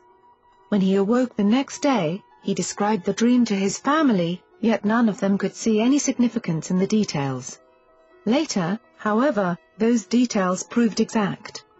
George Wallace had been the governor of Alabama since 1963, but by 1967 he had served all the time allowed by the state's constitution. It was a period of racial turmoil in the South, as in the rest of the country, and the political forces Governor Wallace represented were unwilling to give up control of the state. With no possibility of serving another term, he chose to put his wife Lurleen into the race for the governorship. She would certainly win, and through her he could continue to fight for the principles he held. and as his, Tory shows, that is exactly what happened. But at the time of Ted's dream, no one had any idea that, Lurleen Wallace would become governor of Alabama. His family did have a remote connection to the Wallace family, however, because Ted had become friends with a young man in Tuscaloosa who dated Governor Wallace's daughter for a while. It was exciting to be that close to the historical figure, especially since Wallace's stand against integration had propelled him into the national spotlight. And when Lurleen Wallace won the governor's race and Masquerade of Angels, 103, moved into the public eye, everything the Wallaces did was reported on television. So, unfortunately, was the news that Mrs. Wallace had been diagnosed with cancer. Before her term as governor expired, Lurleen Wallace died in office, and Ted sat by the television with the rest of his family to watch her state funeral. The sky that day was cloudy and rainy and cold. The TV camera zoomed in on the Capitol building, showing the rotunda where an ornate casket stood. The American flag was draped over the coffin. The body of Mrs. Wallace was displayed for all to see. And the details of Ted's dream flooded back with shocking reality, playing out on the news just as he had seen them many months before. All those who had heard Ted's description of the funeral dream were now forced to see him in a new light. He was truly a stranger to them, in some way, and they weren't happy about the changes in the boy they had known. Psychic gifts were not welcome in the Rice family, they were not acceptable in his community, and they did not conform to the religious beliefs upon which they based their lives. No one was more disturbed than Ted. He was miserable in his recognition of the prophetic accuracy of his dreams. He didn't want to know about disasters and deaths, but the truth of his visions was obvious. Although Ted had not been attending church at that time, after Lurleen Wallace's funeral his mental state was so unhappy that he tried to find comfort and answers in religion. He began praying fervently to have the burden of prophecy lifted from him. He started going to church with his family, hoping to free himself from what now clearly seemed to be an evil power. Jesus, he thought, was his only hope. But in spite of his new religious motivations, Ted was still plagued by his powers of foreknowledge. When he bought a new car, for instance, something inside told him that he shouldn't let his father drive it, that something bad would happen if he did. But Mr. Rice insisted on borrowing the car shortly afterward and was injured in an accident. He had to be hospitalized, and Ted feared the worst, since his other dreams had predicted deaths that came true. Fortunately. Masquerade of Angels, 104. However, Mr. Rice's injuries were not severe, and for that Ted was grateful and relieved. His depression continued, though, and out of concern, Mrs. Rice suggested that Ted should talk to their minister for Christian counseling. Ted complied but found it very difficult to tell the minister about his dreams and intuitions. The man listened considerately, however, and Ted hoped for a helpful response. Instead, the minister concluded his parishioner must be suffering from mental problems. At a loss for any other explanation, Ted visited a therapist. But he sensed that the man's primary concern was Ted's ability to pay for long-term treatment and didn't think he would find any help there. Besides, in every other facet of his life, there was no sign of mental impairment. Whatever his problems might be, Ted determined to deal with them himself. He also decided to get into an independent position, by moving out of his parents' home. In Sun Valley he was accus, toned to come and go as he wished, and now their parental restrictions chafed. Also, he felt their concern about his dreams and visions, as well as their disapproval. Whatever might be going on in his inner or external life, he didn't want his parents watching every move.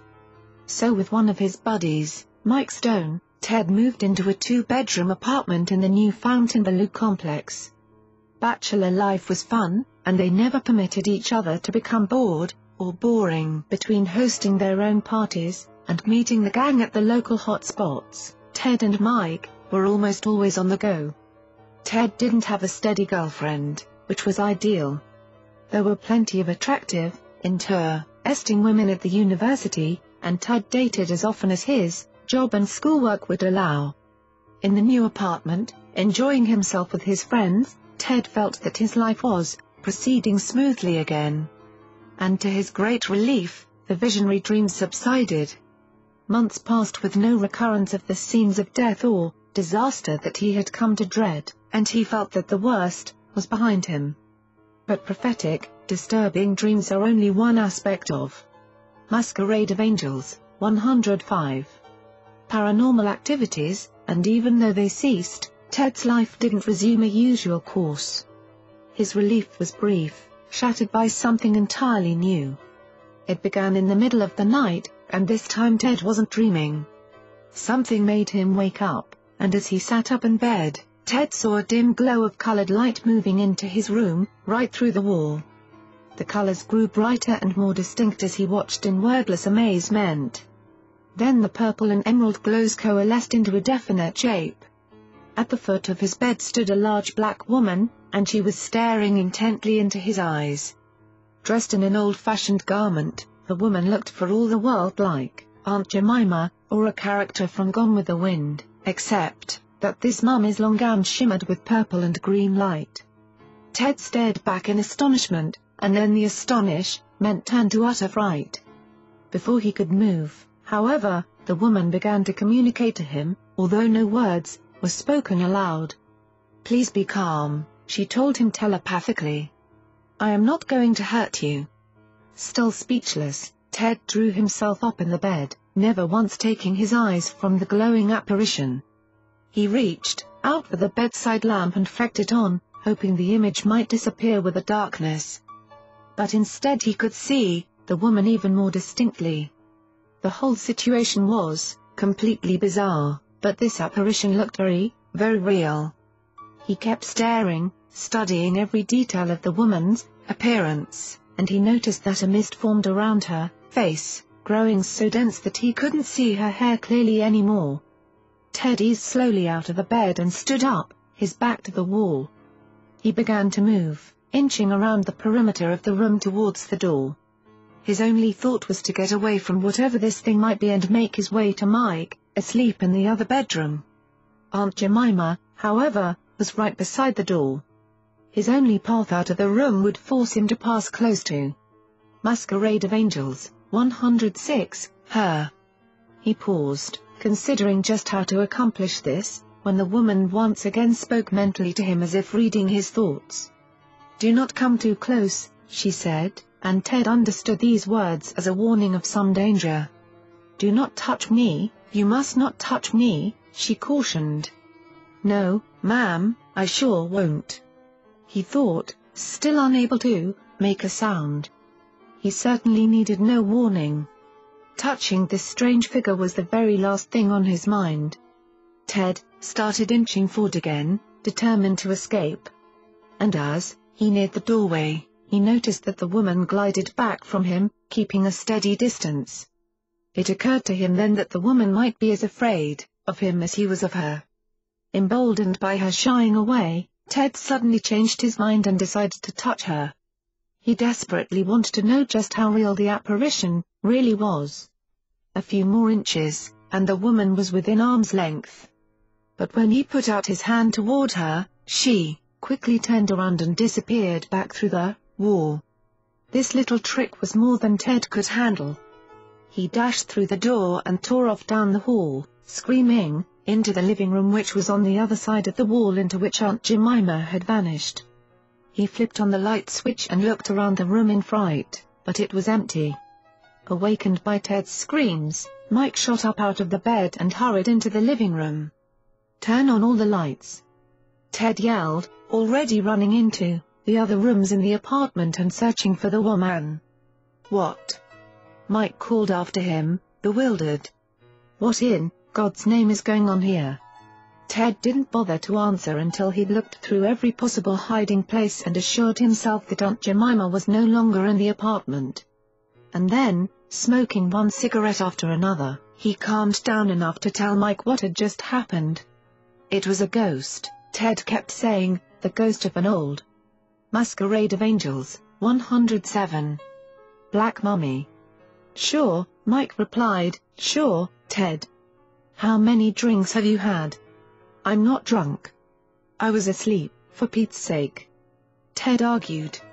And then I woke up and saw that woman, that, ghost, whatever it was, come right through the wall. Man, I wish I did have a drink right now, though. For the rest of the night, Ted kept Mike up talking, unable to get back to sleep. His nerves were ragged, and no matter how he tried to think about the event, he couldn't come up with a rational explanation. Mike questioned whether it might really have been a ghost, but they both knew that the apartment building was new and therefore not likely to be haunted by spirits from the past. When they told Mike's girlfriend, Margie, about the night time visitor, she was instantly intrigued and set about trying to find a source for the spiritual intruder. She quizzed Ted, looking for any connections, and at last she learned that Ted and his mother had recently made a trip back to the old farm.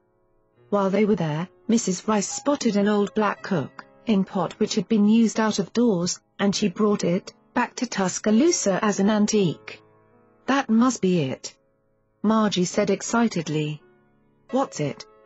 Ted asked. The connection, don't you see? Margie explained. That's the answer, it is to be. Your ghost must be the old, black mummy who used to cook with that pot years ago. I bet, she's unhappy that you all took the pot away from the farm. If you don't want another intrusion, Ted, you should get rid of that thing. Take it back to the farm. Ted certainly didn't want a repeat performance. As soon as he could, he spoke to his mother and told her about the occurrence and Margie's theory that moving the pot away from the farmhouse had upset her and was to blame for the intrusion. I think she might be right, he concluded. We better just take that old pot back to Grandma's farm. Have you lost your mind? His mother asked incredulously. Where is that psychiatrist's phone number? You. Masquerade of Angels, 108. Ought to get yourself right back to his office, Ted, and clear this whole thing up immediately. I don't need a shrink, Ted balked. I just need to get rid of the pot. But Mrs. Rice was unimpressed. Well, she finally said, I tell you what. When that ghost shows up here and tells me to take it back, I might do it. But she hasn't been here yet all, told me a blessed thing. So I'm keeping it. And that was the end of the discussion. Reluctantly, Ted went back to the apartment, and for the next several nights he waited nervously for Aunt Jemima's return. But it didn't happen, and eventually he relaxed. Realizing that no harm had come from it, he was even able to laugh about the incident. Besides, he consoled himself, at least the apparition had not brought a message of death or disaster the way his four boding dreams had done. In fact, the entire incident seemed to have no real meaning at all, and he came to believe that his involvement was merely random or accidental. Maybe the Black Mummy was looking for someone else and had simply stumbled upon him instead. The ways of the spirit world were so unknown to him that this explanation made as much sense as any other. Masquerade of Angels, 109, The Call 12. 12, yeah, Ted nodded. I haven't figured out where I'm going to go. The apartment is nice, but I can't afford it by myself. So I may have to move back home. Listen, Ralph said, how about coming over to my house tomorrow? I've got an idea you might be interested in. What beckoning ghost, along the moonlight shade, invites my steps, and points to yonder glade? Pope. A few months later, Mike was unexpectedly offered a co-op job through the university.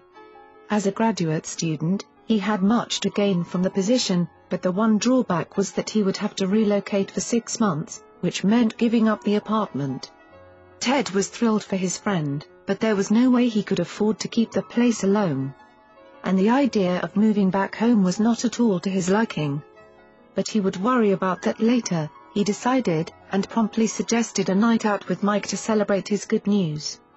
They headed down to the Chukker, a local college hangout, and before long everyone there joined in the celebration. A while later when one of Mike's friends strolled in, he was invited over to the party table. You remember Ralph, don't you? Mike asked Ted. I think so, he said, smiling up at a young man he had met briefly a time or two before. Ralph Miller, right? Right, Ralph grinned back as he shook the hand Ted extended. What's the occasion tonight? A new job, Mike said. Come on, grab a beer and sit. I won't be around much longer, so you better take advantage of my spending spree while you can. Ralph joined them and soon heard all the details of Mike's upcoming move. So what are you going to do? He asked Ted, when Mike leaves. Y'all are roommates, aren't you? What is it? Ted asked. Oh, I'll save it for tomorrow, Ralph said. Tonight's no good for talking. We've got a lot of beer to drink if we're gonna give Mike a real send-off. Ted laughed and agreed by proposing another toast, but the next day he made a point of finding Ralph's house. As he drove up to the street number, he was surprised to see a large, turn-of-the-century home. It sprawled across beautifully landscaped grounds covered with azalea shrubs and graceful trees, now somewhat neglected, and when Ralph took him inside Ted was even more impressed by the great rooms, filled with nooks and crannies. Clearly, the house had been a showplace in its day, and he couldn't understand how a college student like Ralph could own such a wonderful home. They talked for a while, and then finally Ted brought up Ralph's mysterious remark from the night before. What was it you wanted to see me about? He asked.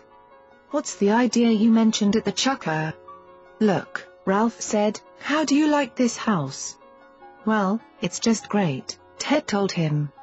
Believe it or not, Ralph continued, this place belongs to me. I inherited it. Actually, I was living here with the owner, Miss Flowers, who was an old friend of my family. And after a while, we got pretty close. She was like a godmother to me, I guess.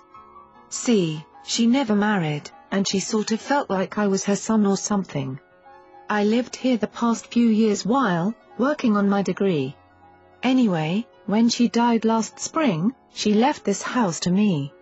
Real nice, Ted commented, looking around again. Sure is, Ralph agreed.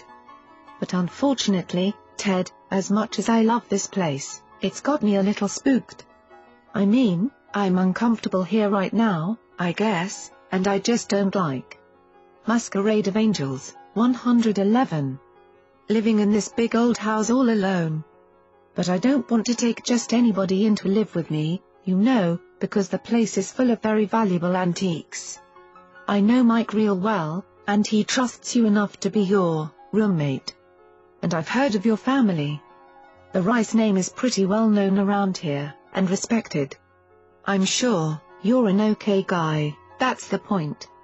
So last night when I heard you were moving, I figured you might want to move in here. You can have the whole second floor, and I've got my bedroom and stuff down here. Are you sure? Ted asked uncertainly. Yeah, Ralph replied, I think it would be great. With other people in and out of the place, I don't think I'll be so aware of the quiet. I still miss Miss Flowers too.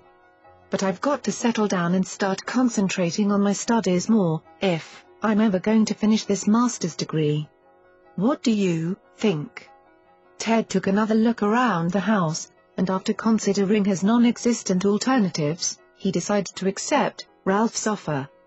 They didn't know each other very well, but Ralph seemed likable and Ted was easygoing, and he didn't see any reason the arrangement wouldn't work. Before the weekend was over, he moved his things into the upstairs bedroom and settled in to enjoy the space and the privacy.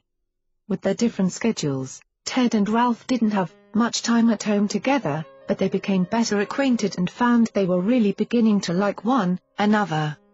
The house was large enough that they could enter, entertain their friends without getting in each other's way, and it was seldom that Ted or Ralph ever went into the other's private space, and then only by invitation.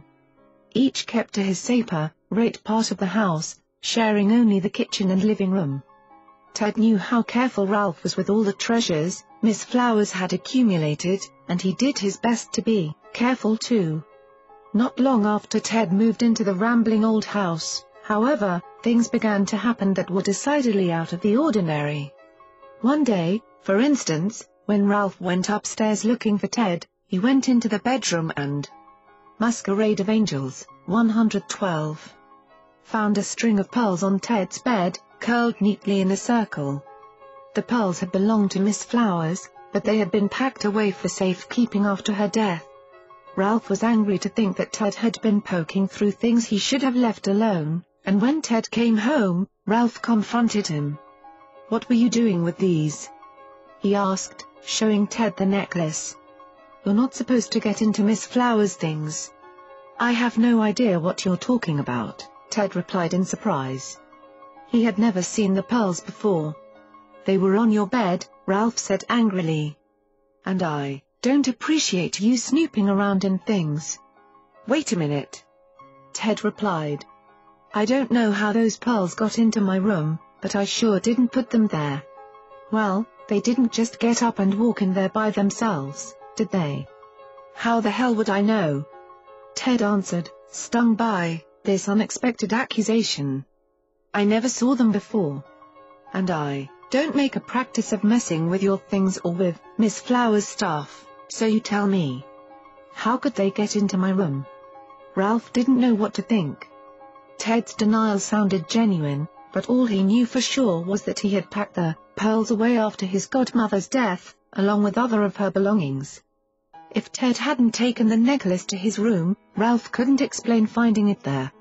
The subject of the necklace was eventually dropped but for the first time there was a feeling of doubt about Ted in Ralph's mind. And thereafter Ted was extremely careful to avoid any part of the house except his own quarters. He didn't like being mistrusted, but, like Ralph, he couldn't account for the strange incident. The same thing happened a few weeks later. Another piece of jewelry turned up in a place where it shouldn't have been, and once again Ralph accused Ted of meddling in his personal things. Again Ted denied any involvement, and again the two men argued but came to no understanding about the situation. A third time occurred, and Ted was Masquerade of Angels, 113. Beginning to wonder if Ralph wasn't trying to set him up for some reason, but both men were adamant they were guiltless. It just didn't make any sense. Ralph couldn't accuse Ted of theft after all, the jewelry never left the house or disappeared but their friendship was starting to deteriorate. By early February, when several such incidents had happened, there was clearly a feeling of breached trust between the men. And neither of them would give an inch as far as their complicity in disturbing Miss Flower's belongings was concerned. Ted realized that Ralph probably regretted having him as a roommate, but he didn't know what to do to Reese, assure him that the incidents were as mysterious to him as they were to anyone else. They continued to share the house, but the atmosphere was decidedly cool. When the early springtime weather turned unexpectedly warm, Ted noticed that the lawn and shrubbery was starting to bloom ahead of schedule. Ralph was too busy with his studies to take care of the lawn, so Ted decided one day to make a special gesture of friendship and do some work outdoors, cleaning and watering the grounds. Miss Flowers had, obviously spent a lot of time to make them as lovely as the house, and Ted wanted to perpetuate that beauty. Ralph came home, saw what Ted was doing, and immediately blew up in anger. What's going on? He demanded. Don't you realize that I'm on a very limited budget? I've barely got any pocket money left after I take care of the necessities of paying the utilities around here. You're just running up a big water bill. Calm down, Ted said. I'd be glad to pay more on the bills, if I'm not chipping in my share, Ralph. Man, I thought you'd be happy for me to work on the yard. Look at these plants. They're going to die if we don't water them. Don't, you want to keep them in good shape? No, the lawn doesn't matter, Ralph told him. When I graduate, I've already made arrangements to sell this property to Miss Flowers Church. And they're going to tear the house down and build a new rectory, so the yard will be destroyed anyway. It doesn't matter if the azaleas die, so, please don't run up the water bill anymore, okay? Masquerade of Angels, 114, okay, Ted agreed, if that's the way you want it. That's the way I want it, Ralph confirmed. A couple of mornings later, Ted's sleep was interrupted by Ralph complaining in a loud voice, on his way up the stairs to Ted's room. I can't believe you didn't listen to me. He snapped. Didn't I tell you to leave the lawn alone? I'm not made out of money, for God's sake. Ted sat up sleepily and stared at Ralph in confusion. Slow down, he mumbled. What are you talking about? The sprinklers, that's what I'm talking about. Ralph shouted.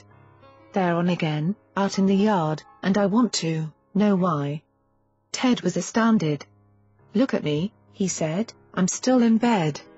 I haven't even been downstairs yet, so how did I turn them on? By magic? Well, if you didn't do it, Ralph asked suspiciously, then who did? God, I wish I knew, Ted told him with a growing sense of resentment. Go yell at someone else, will you? I never touched the damn sprinkler. For several days they didn't speak to one another, until, the sprinkler was found turned on again. Another argument followed, and by then Ted was heartily sorry he had ever moved into the grand house. The electric bill was the next thing to cause trouble, when Ralph came home and found several lights burning in empty rooms. He stormed at Ted again, warning him to quit running up the bill, but Ted stood his ground and refused to accept the blame for things he wasn't doing. Before long, the two men were ready to strangle each other, and neither of them could catch the other turning on the lights. No matter how much they talked about these strange events, they simply couldn't come up with a sane explainer, Tion. At one point in another of their endless arguments, Ted broached the idea that maybe a ghost was to blame, but, Ralph wouldn't consider such an absurd possibility. There's nothing like that going on here, he insisted. These are physical events, not supernatural. Masquerade of Angels, 115. Ted finally wearied of the constant tension between them. He told Ralph that since things obviously weren't working out, he was going to move. He felt there was no other way to convince Ralph that he wasn't to blame for all the odd episodes with the sprinklers and the lights. I'll be out by the end of the month, he finished. My folks have some apartments out back of their place, and I'll move into one of them. Ralph accepted the news without complaint, and Ted could tell his roommate was relieved. That night, after going to bed and sleeping for a few hours, Ted suddenly woke up, sensing that something was very wrong. He looked around in the darkened room and caught his breath in surprise when he made out the figure of a woman standing at the foot of his bed. As his eyes focused, in the dark, he saw that she had short auburn hair. The woman was dressed in a black skirt and pink silk blouse, and around her neck was a very familiar string of pearls. He sat up in bed too frightened to move, and listened as the woman communicated telepathically. Although the conversation was fuzzy in his mind, he felt that the woman was thanking him for caring about the azaleas in the yard. She also indicated that she had wanted to show Ted her jewelry because she knew he would appreciate their beauty. When the conversation was over, the woman simply faded away, into nothingness. Ted sat there a long time, speechless, one daring fearfully about the visitation, until in exhaustion he fell back asleep. The next morning he was apprehensive about discussing the nighttime vision with Ralph. They were already on such bad terms that he was afraid to mention the figure he'd seen, knowing that Ralph rejected the idea of ghosts. But what else, Ted wondered, could the apparition have been? Anxiety won out over caution, however, and Ted as Casu, ally as possible told his roommate about the woman in the bedroom. Ralph listened very soberly, watching Ted's face as if trying to judge his truthfulness. At last he asked, Do you know what she looked like? Masquerade of Angels, 116, sure, Ted nodded. Her hair was cut short, and it was sort of reddish-brown. She had on a black skirt and a pink blouse, silk, I think. And, he hesitated, she was wearing pearls. At first Ralph said nothing, and Ted regretted ever telling him about the incident. Then Ralph got up from the kitchen table and left the room. When he returned a few minutes later, he was carrying a photograph. Here, he said, handing over the picture. Ted stared at it, at a woman with short auburn hair, a black skirt, pink blouse, and pearl necklace. Yeah, he said, that's her. That's Miss Flowers, Ralph replied softly, but Ted could hear a new tone of belief in his voice. And that's the only picture of her in the house. I swear to God, Ted said, I've never seen this before. No, I didn't think so, Ralph told him. It's been locked up in a chest in my room. He sat back down, confused, but this time there were no accusations. The truth of the situation finally hit him, and, whatever animosity he felt for Ted faded away. That, at least, was a relief, but Ted was still set to move out as soon as the weekend came. Bickering for days with his friend was one thing, but a ghost was even more disturbing. Two nights later, Miss Flowers was back. Once again, Ted sat in bed and listened as the apparition spoke to him mentally.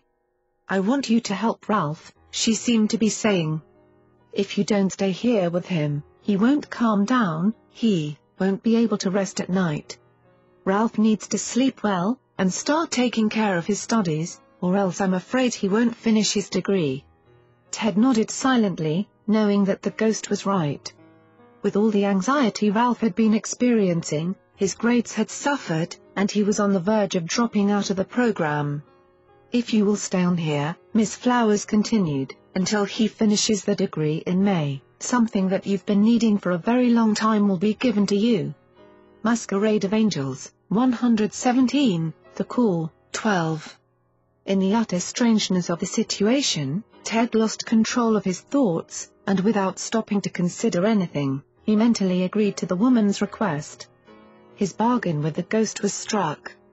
But Miss Flowers didn't stop at that. You are going to become very sick, but you will recover. Do not worry about this illness, for you will be all right, she stressed reassuringly. When this happens, you will go to the hospital and there you will recuperate. But when you are well enough to leave, you must not return to this house.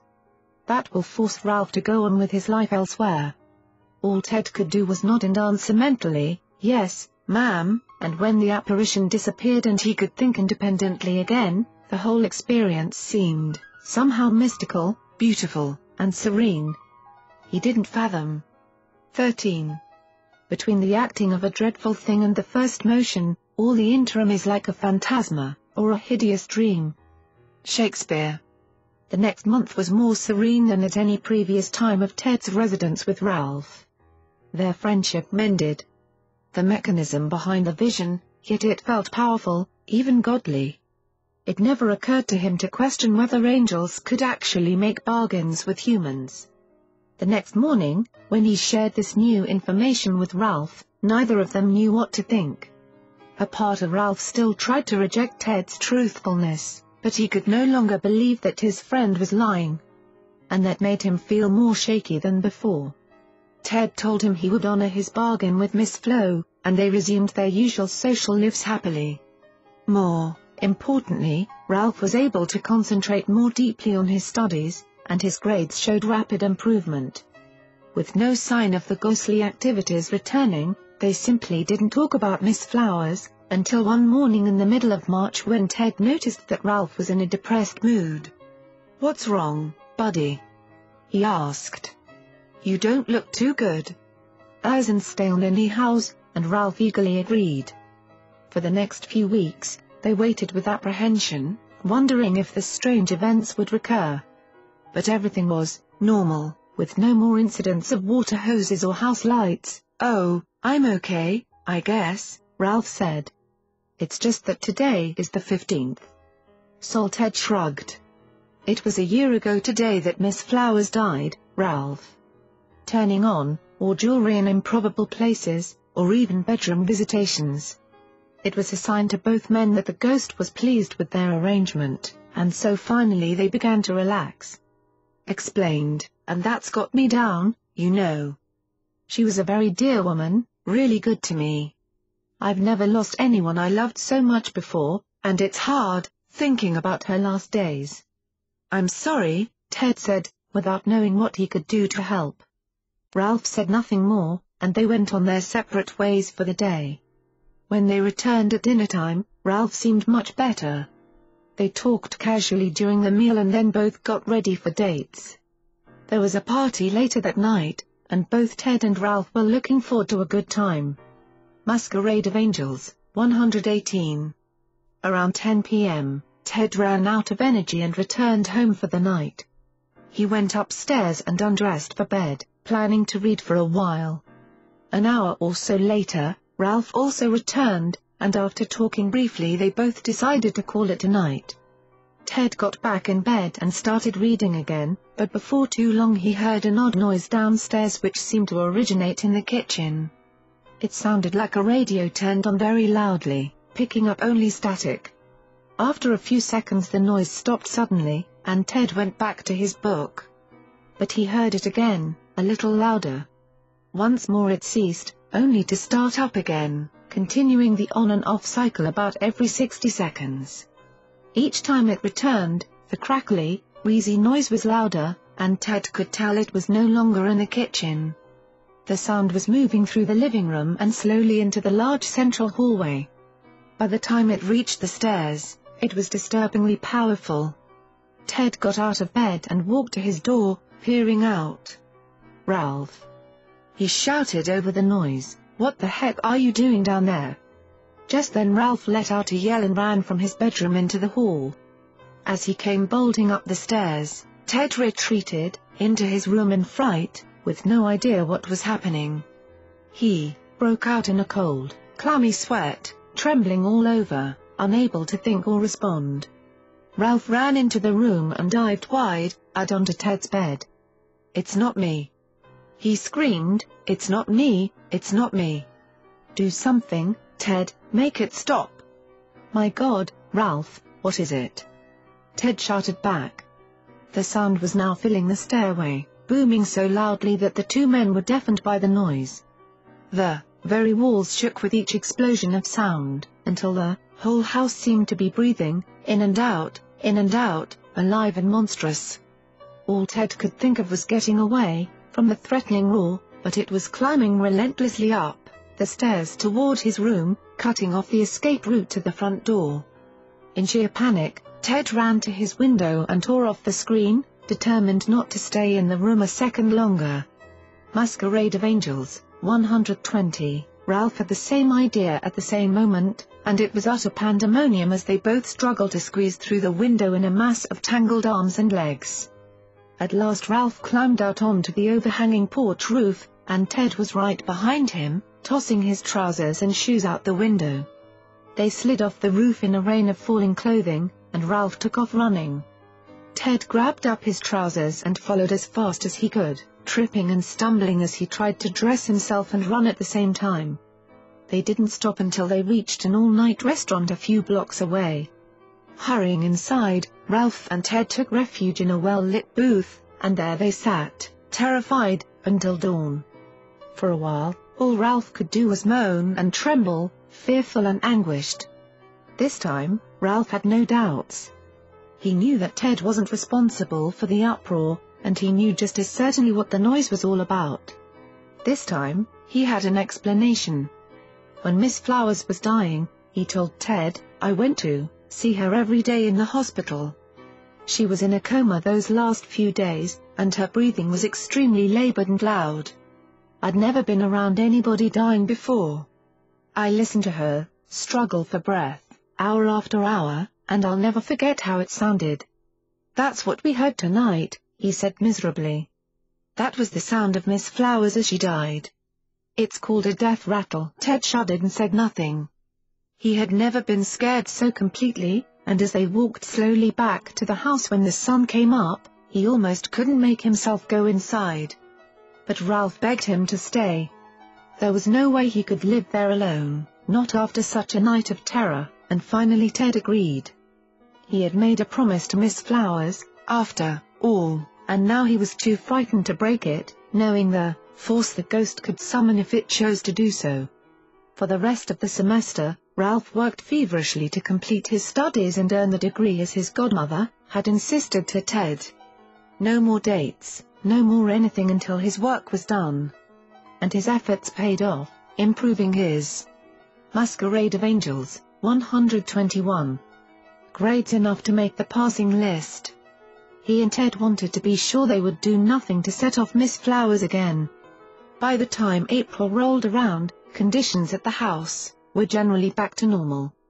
Ralph was no longer so unsettled, and he and Ted were finally sleeping well.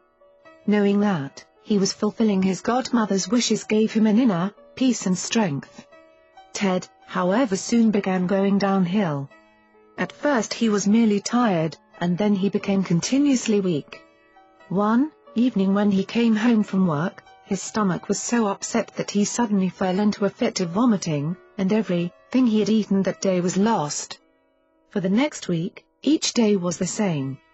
He woke up exhausted, struggled through work, tried to eat, and then, threw up at night. In this state of constant physical upheaval, Ted lost weight rapidly unable to keep anything down, and his fatigue was overwhelming. No longer able to function on the job, at last he went to the doctor. A series of tests were ordered as the doctor tried to determine the problem, but the results were all negative. He gave Ted some medicine for nausea and sent him home with instructions to come back if the situation didn't improve. But if anything, the problem grew worse.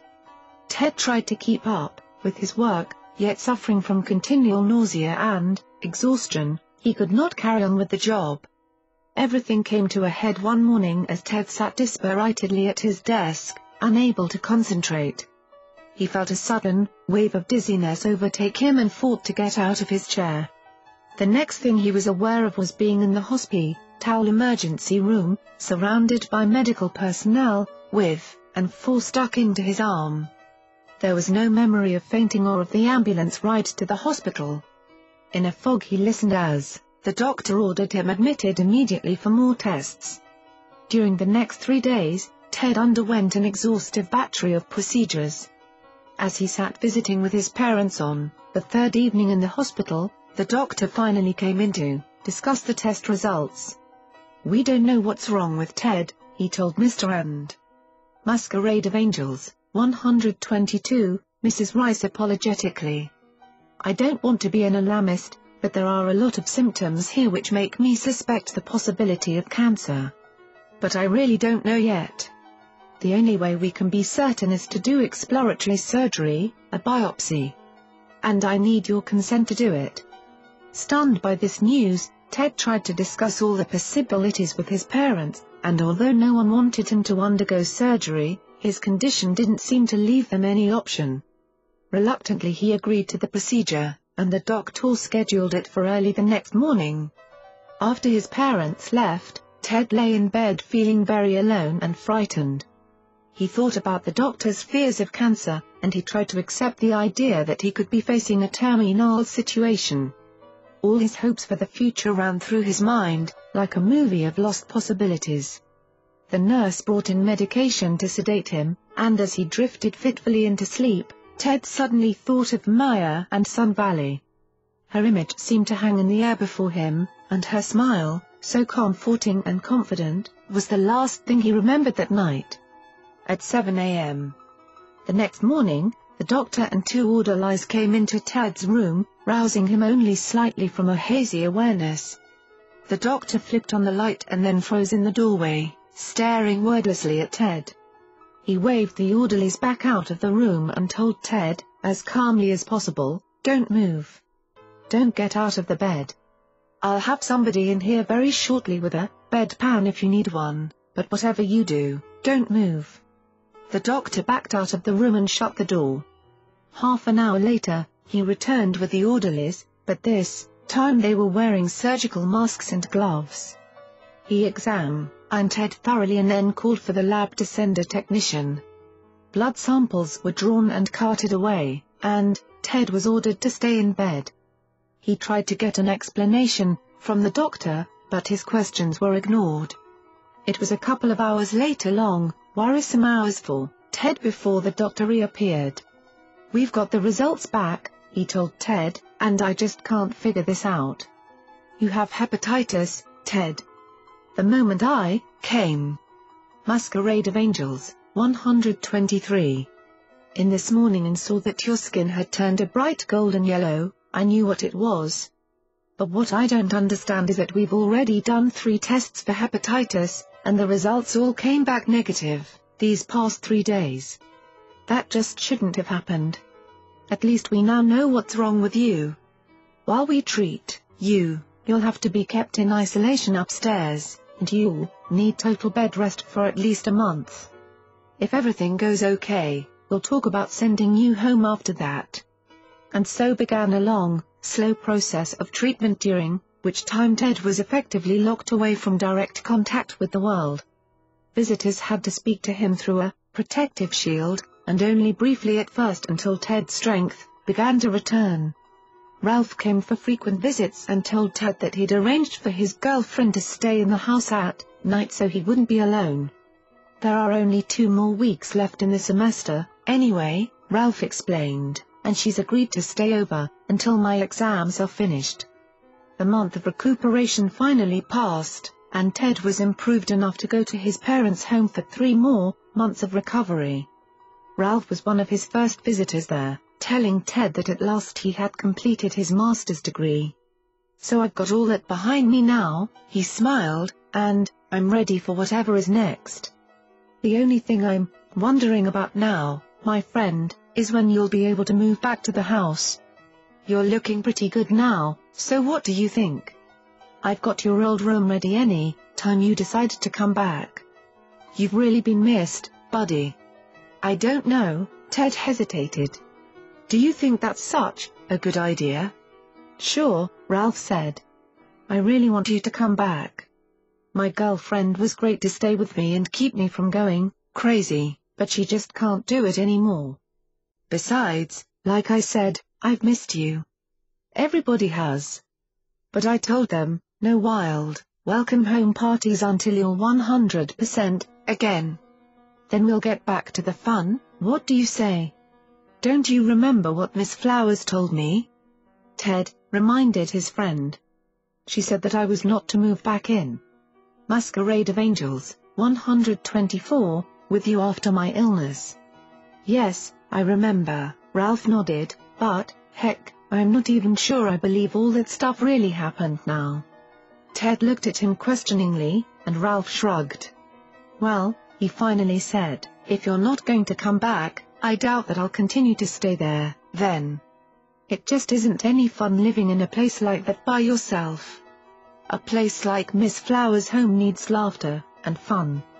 Guess I'll just go over to Atlanta and visit some friends for a while, and we'll talk again when I get back. I'd really like for you to move back, though. I could start on the doctoral program. Anyway, don't forget, it's inexpensive to live there, and you won't want to stay with your folks forever. I wish you'd reconsider it, Ted. But Miss Flowers was right about me getting sick. Ted argued, and after what we went through that night, the anniversary of her death, I don't think we'd better cross her. Do you really believe what she said? Ralph asked. Don't you think it might all have been just some hallucination or something? I don't know, Ted replied. We'll just have to see when you get back. Ralph gave up for the moment and left Ted to rest. He went to Atlanta for the next month, and when he returned he had surprising news. You're not going to believe this, he said. While I was in Atlanta, I reconnected with an old girlfriend who's just coming out of a divorce, and we really hit it off great. She wants us to get back together, and I've decided to take her up on that. I'm going to stay in Atlanta. I've already got a job, a really good job. So all I have to do now is contact the people at Miss Flowers Church and tell them I'm ready to sell the house. Congratulations. Ted grinned. Everything worked out, didn't it? And Miss Flowers was right, after all. She said you needed to get on with your life, and it looks like that's what you're doing. Guess she knew what she was talking about, huh? Yeah, Ralph agreed, I guess so. Who would have? Masquerade of Angels, 125. Thought it? The call, 13, right, Ted echoed, who would have? He was happy for Ralph, but he couldn't help wondering how he was going to get his own life back on track. And he fervently hoped that he had seen the last of any ghosts. His encounters with the Aunt Jemima apparition and with the spirit of Miss Flowers, despite whatever mysterious purpose they were meant to serve, had at least accomplished two things. Now Ted knew that the spirit world was real, in some unfathomable way, and that intimate knowledge made him apprehensive and uneasy. 14. Led by some wondrous power, I am fated to journey hand in hand with my strange heroes, Gogol. By the end of the summer, Ted was back in good health. He contacted his boss, but to his dismay he learned that another employee had taken over the job in his long absence. He knew the company was obligated to rehire him, yet there was no room for him now in the Tuscaloosa office. Instead he was offered a position a hundred miles away in Gadsden. Depressed by the prospect of moving so far from his home and friends, Ted accepted the offer anyway, determined to make the best of the situation. He needed to work, to recover financially from months of unemployment, and he hoped that life in Gadsden wouldn't be too lonely. His good intentions soon evaporated, however, once he moved into a small apartment in the dingy industrial town. He didn't know anyone there, and his depression deepened. Ted's only breaks from the monotony of his routine were visits to Tuscaloosa, which he made almost every weekend. And, every Sunday as he drove back into Gadsden, his spirits sank again. On one of these trips home, when nothing special was planned, Ted decided to drop in at the Chukker, the college bar he used to haunt. The Chukker, for all its local notoriety, was little more than an alleyway, enclosed at both ends, with a roof. Dilapidated tables and chairs littered the floor, it was cold in the winter and steamy in the summer, and cockroaches considered it their homeland. In other words, the Chukker was a favorite spot for students to gather and get. Masquerade of Angels, 126. Rowdy, and Ted was in need of a good dose of laughter. Ralph and Ted had been regulars at the Chukker up until the time of Ted's illness, which in fact had led to one of those incidents for which the place was famous. After Ted's hepatitis was diagnosed and he was hospitalized, Ralph informed the bar's patrons that they had all been exposed to the highly contagious disease. They loudly complained about the gamma globulin injections they would have to receive, none, surreptitious hookers, and plenty of Ted's old buddies. A few black faces stood out in the crowd, and the hippies added a touch of eccentric color to the mix. Even Regina Cook, a notorious ex-ballerina now weighing in at 300 pounds, showed up for a one-time performance on roller. The doors flew open, and there stood Regina, resplendent in an oversized tutu. She leapt into a swan dive arabesque. More loudly than Dr. Eugene Thorne, a professor at the university. He railed at the absent Ted for a while, and then he railed at the doctors, nurses, and medicine in general, declaring he would never go to the hospital. But the gang at the Chukker loaded him up with them and took off, with Dr. Thorne Pro, testing the entire way. When they arrived, the others insisted that the good professor should be first, if only to shut him up, so he was escorted into the exam room by a nurse who told him to drop his shorts and bend over the table. While she was preparing, the hypodermic, a doctor suddenly threw open the door, and, Dr. Thorne, fully exposed, mooned the crowd in the waiting room. This display was met with resounding applause, and, thereafter Dr. Thorne's invectives against Ted turned threatening. He's had it. The professor roared, and I'm going to give it to him. When Ted Rice recovers, he's mine. He's cost me $20 for this damned shot, and he's made me show my ass to everyone in town. And the story grew more outrageous and embellished, every time it was recounted down at the Chukker. So when, Ted showed up that Saturday night, he was a renowned figure. He walked in the door, and all the action and noise, stopped as the crowd stared at him in ominous silence. At a far table, someone suddenly jumped up and pointed in alarm, at Ted, yelling, Run, everybody, it's Typhoid Teddy. The place exploded in laughter, and Ted made his way over to Dr. Thorne's table, ordered a beer, and sat down, looking around at the crowd. It was a typical mix of ditch diggers, and students, CPAs and professors, co-eds and a couple of Masquerade of Angels, 128, and wheeled off through the crowd, scattering chairs and patrons as Dr. Thorne yelled out, Gangway! Reginas, rolling! The screams eventually subsided, and things returned to order, aside from two fights that everyone else ignored until the boxers gave up and ordered another round together.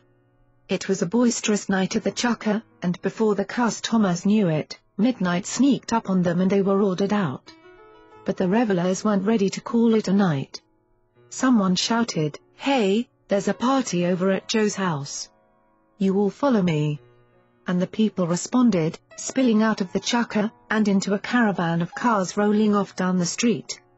Well, you're not going to turn into a pumpkin at the stroke of midnight, Dr. Thorne told Ted. So come on, you're going too. You're the only one who's sober, you've got to, drive. And Ted found himself shanghaied off with a crew of eyes piling into his car. All the passengers, who had been drinking to excess, shouted directions incoherently, with Dr. Thorne thundering loud above everyone else. Soon Ted pulled into the correct driveway and followed the crowd into the party, which had been underway for hours. People crammed into every room, and by this time of night they were a very friendly crowd. Ted wandered through the large old house, waving and talking and listening to music that was unlike any he had ever heard, full of strange rhythms and strange instruments. Sometime later, he came across a small group gathered around a low table in one room, and Ted didn't recognize the Masquerade of Angels, 129 contraption that stood in the center of the table. It looked like a metallic octopus, with tube tendrils coming out from a central urn-shaped device. The people in the room were smiling but unusually quiet, and every so often Ted watched one of them pick up a tube and inhale deeply from its tip. He wondered what they were doing, but he didn't ask any questions, not wanting to appear ignorant. Ted truly had no clue to these activities, having never been exposed to such things, including marijuana, but when one of his acquaintances waved him over and said, Why, don't you have a hit? Ted joined in. He took the tube, put it to his mouth, and filled his lungs in a deep inhalation. He sat there a few moments, waiting expectantly, but nothing happened. The atmosphere was so happy and loving, though, that, Ted sat back to enjoy it all. The others apparently were feeling no pain, and Ted decided that he just hadn't done it prop, Ellie. Trying again, Ted drew on the hook again, sucking like a hoover. And again, he couldn't tell any difference. The people with him, however, noticed a definite change. Ted was deep in conversation with someone, and then, in the middle of a sentence, his face suddenly froze in a strange, grin. Twenty minutes later, Ted still hadn't finished the sentence. Finally his friend gently propped Ted back against the wall and wandered away. Who's that guy with the perpetual grin? Ted heard someone ask later, but he was too far gone to respond. The days continued, and sometime after three in the morning, Ted felt himself being lifted from the floor and maneuvered outside. The party was over, he was told, and it was time to go home. First, However, he had to find his car, a huge Buick he had borrowed from his father. With the help of his friends, Ted's car was located and he was crammed inside. His family's home was only a few blocks away, but Ted was having a problem with his vision. His perspective was all wrong, and so was his sense of motion. Even walking seemed to be done at a breakneck speed. When he started up the car, it was impossible for him to. Masquerade of Angels 130, control the machine. Even the slightest, delicate touch of his foot to the gas pedal made the car shoot forward in a blur of speed. So like a good defensive driver, he kept one foot on the brake as he tapped the gas with the other. Fearfully he backed up and headed for the street, but every time he pumped the gas the car would explode out from under him. He couldn't understand why the speedometer read only 5 miles per hour when he was certain he must be breaking the speed limit. Working his way up the driveway and down the street, Ted paid very close attention to his steering. He passed by large, old homes on spacious lots, wending his way home, and just ahead he saw the street onto which he needed to turn. He circled the steering wheel and gunned the engine, only to find himself heading straight up a private driveway in a head-on collision course with the garage at its end. He had mistaken the residence drive for his street, but it was too late to stop. The mighty Buick had broken free and was stampeding. Oh, my God! He screamed, swerving away at the last possible moment. Without wavering, Ted steered the car toward the curb rolling unceremoniously over the lawn, and, directly into a concrete bird bath. He felt the impact and heard, the scraping knocks of debris under the chassis as the car careened onward. Unfortunately, a row of doomed azaleas lay in his path, and they too were mowed down as he headed for the street, leaving a trail of mangled shrubbery and chunks of cement behind him. Phew. That wasn't too bad. They probably won't even notice he thought, congratulating himself on the narrow escape. Thank God I didn't plow into that garage and do any damage. The street he wanted was just ahead, and Ted was so pleased with himself that he failed to notice the large array of lawn furniture standing between him and his goal. The Buick rolled on, and aluminum chairs crumpled, crunching loudly beneath its wheels, but Ted didn't care. He had done it. He'd made it to the street, and he was still alive, that was all that mattered.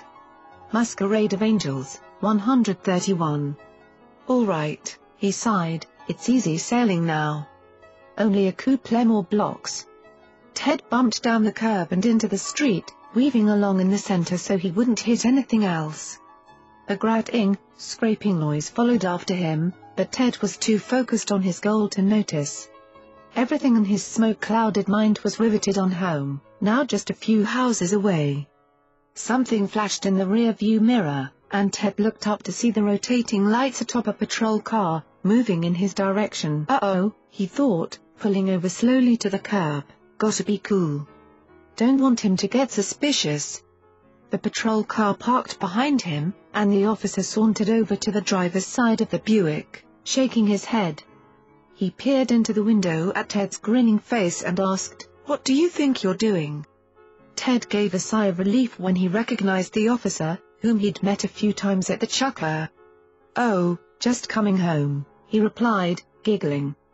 Do you know that you've left a trail of lawn furniture scattered behind you for the last three blocks? The officer asked.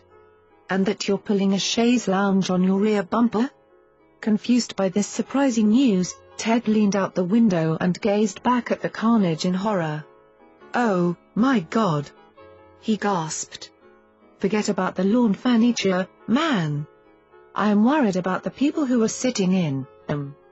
Terrified, he waited to be dragged off to jail, but the officer, who knew from personal experience what could happen to someone after a night at the chukker, didn't arrest him.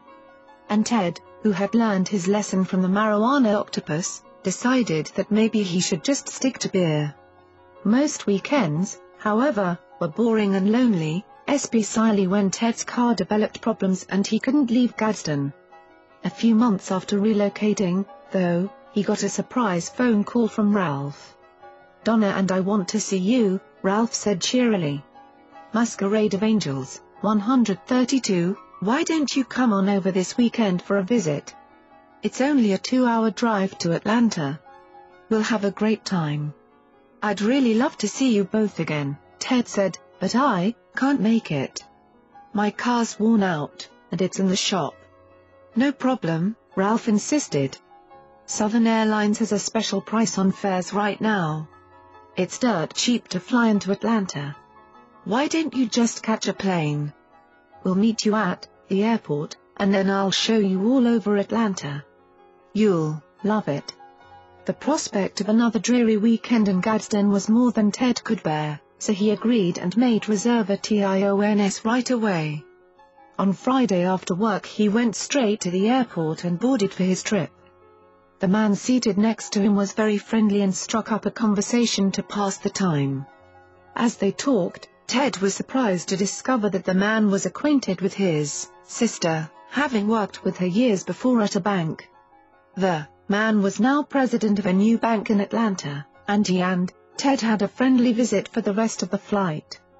By the way, the man said as they parted at the airport, if you ever think you'd like to move to Atlanta, Ted, come see me at the bank. We'll be doing a lot of expansion in this area. Since you've got experience in finance, we might be able to use you. Thanks, thanks a lot, Ted said, shaking the man's hand. That's really nice of you. Ralph and Donna were waiting outside and greeted Ted warmly. The next two days were a whirl of visiting and sight, seeing as his friends toured him around the city. For the first time since moving to Gadsden, Ted was having fun, and that made his return to the lonely apartment all the more depressing. He thought about the affable man he had met on the plane, and the offer of a job was seriously attractive. Ralph encouraged him to pursue the offer, and the two of them decided, that it would be a way for Ted to get out of Alabama and away from the weird and frightening psychic phenomena he had known there. Telling himself not to expect too much, he contacted the bank president and asked for an appointment. Masquerade of Angels, 133. For an interview. He was invited back to Atlanta, and after an entire day of touring the bank and meeting various employees, Ted received the offer of a position. It didn't take him two seconds to accept, and when he returned to Gadsden he gave notice and prepared to move. Two weeks later, Ted had found a new apartment in Atlanta and was busy learning about his new job. His first assignment was in the credit card department, working with a woman named Harriet Wallace. They quickly became friends, and Ted found that she was easy to talk with and a real help in accustoming him to his new surroundings. In fact, everything about his life in Atlanta Devil, oped so smoothly that he knew he had made the right decision in relocating there. One afternoon, as he sat working at his desk, Harriet leaned over and said in a whisper, Hey, Ted, do you believe in ghosts? His eyebrows raised apprehensively as he thought back to the night of terror in Miss Flower's home. Why did you ask me that? He wondered. My friend Julia has a friend named Marie Jackson, Harriet explained, and she just told me they're starting some ghost classes. Ghost classes? Ted repeated. What on earth is that? It's psychic development studies, Harriet said. They teach you how to communicate with spirits. My friend wants me to come along and participate, but I really don't want to go by myself. I thought maybe you'd go with me. Hull up, no way, Ted shook his head. I don't want any part of that. No, ma'am, I don't want to talk to ghosts. Harriet looked at him in surprise. What is it? She asked, what's happened that you're not telling me? Honey, he laughed nervously, you really wouldn't, believe me if I told you. But Harriet refused to be put off, and finally Ted relented enough to tell her a little about the experience with Ralph in Tuscaloosa. If you'd been through that ordeal, he concluded, you Masquerade of Angels, 134, wouldn't want anything to do with ghosts either. So just let it drop, please, Harriet, and don't ask me to go to those classes, okay? Okay, sure, she conceded, and for a while nothing else was mentioned.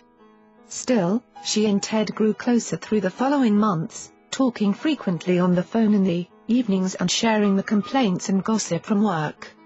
One night after they had been conversing for a while, Harriet once again brought up the psychic development classes, asking Ted to reconsider and go to a meeting. If only you knew how all that stuff still upsets me to think about it, he said in irritation, you wouldn't keep harping on it. Harriet, you just don't understand. I moved all the way from Alabama to get away from that business, and now you're trying to bring it back into my life. Besides, maybe the Baptists are right. Maybe it's all the work of the devil. It's something I just don't want to deal with, so if you're really my friend, you'll drop it now. Alright, I'm sorry, Harriet apologized.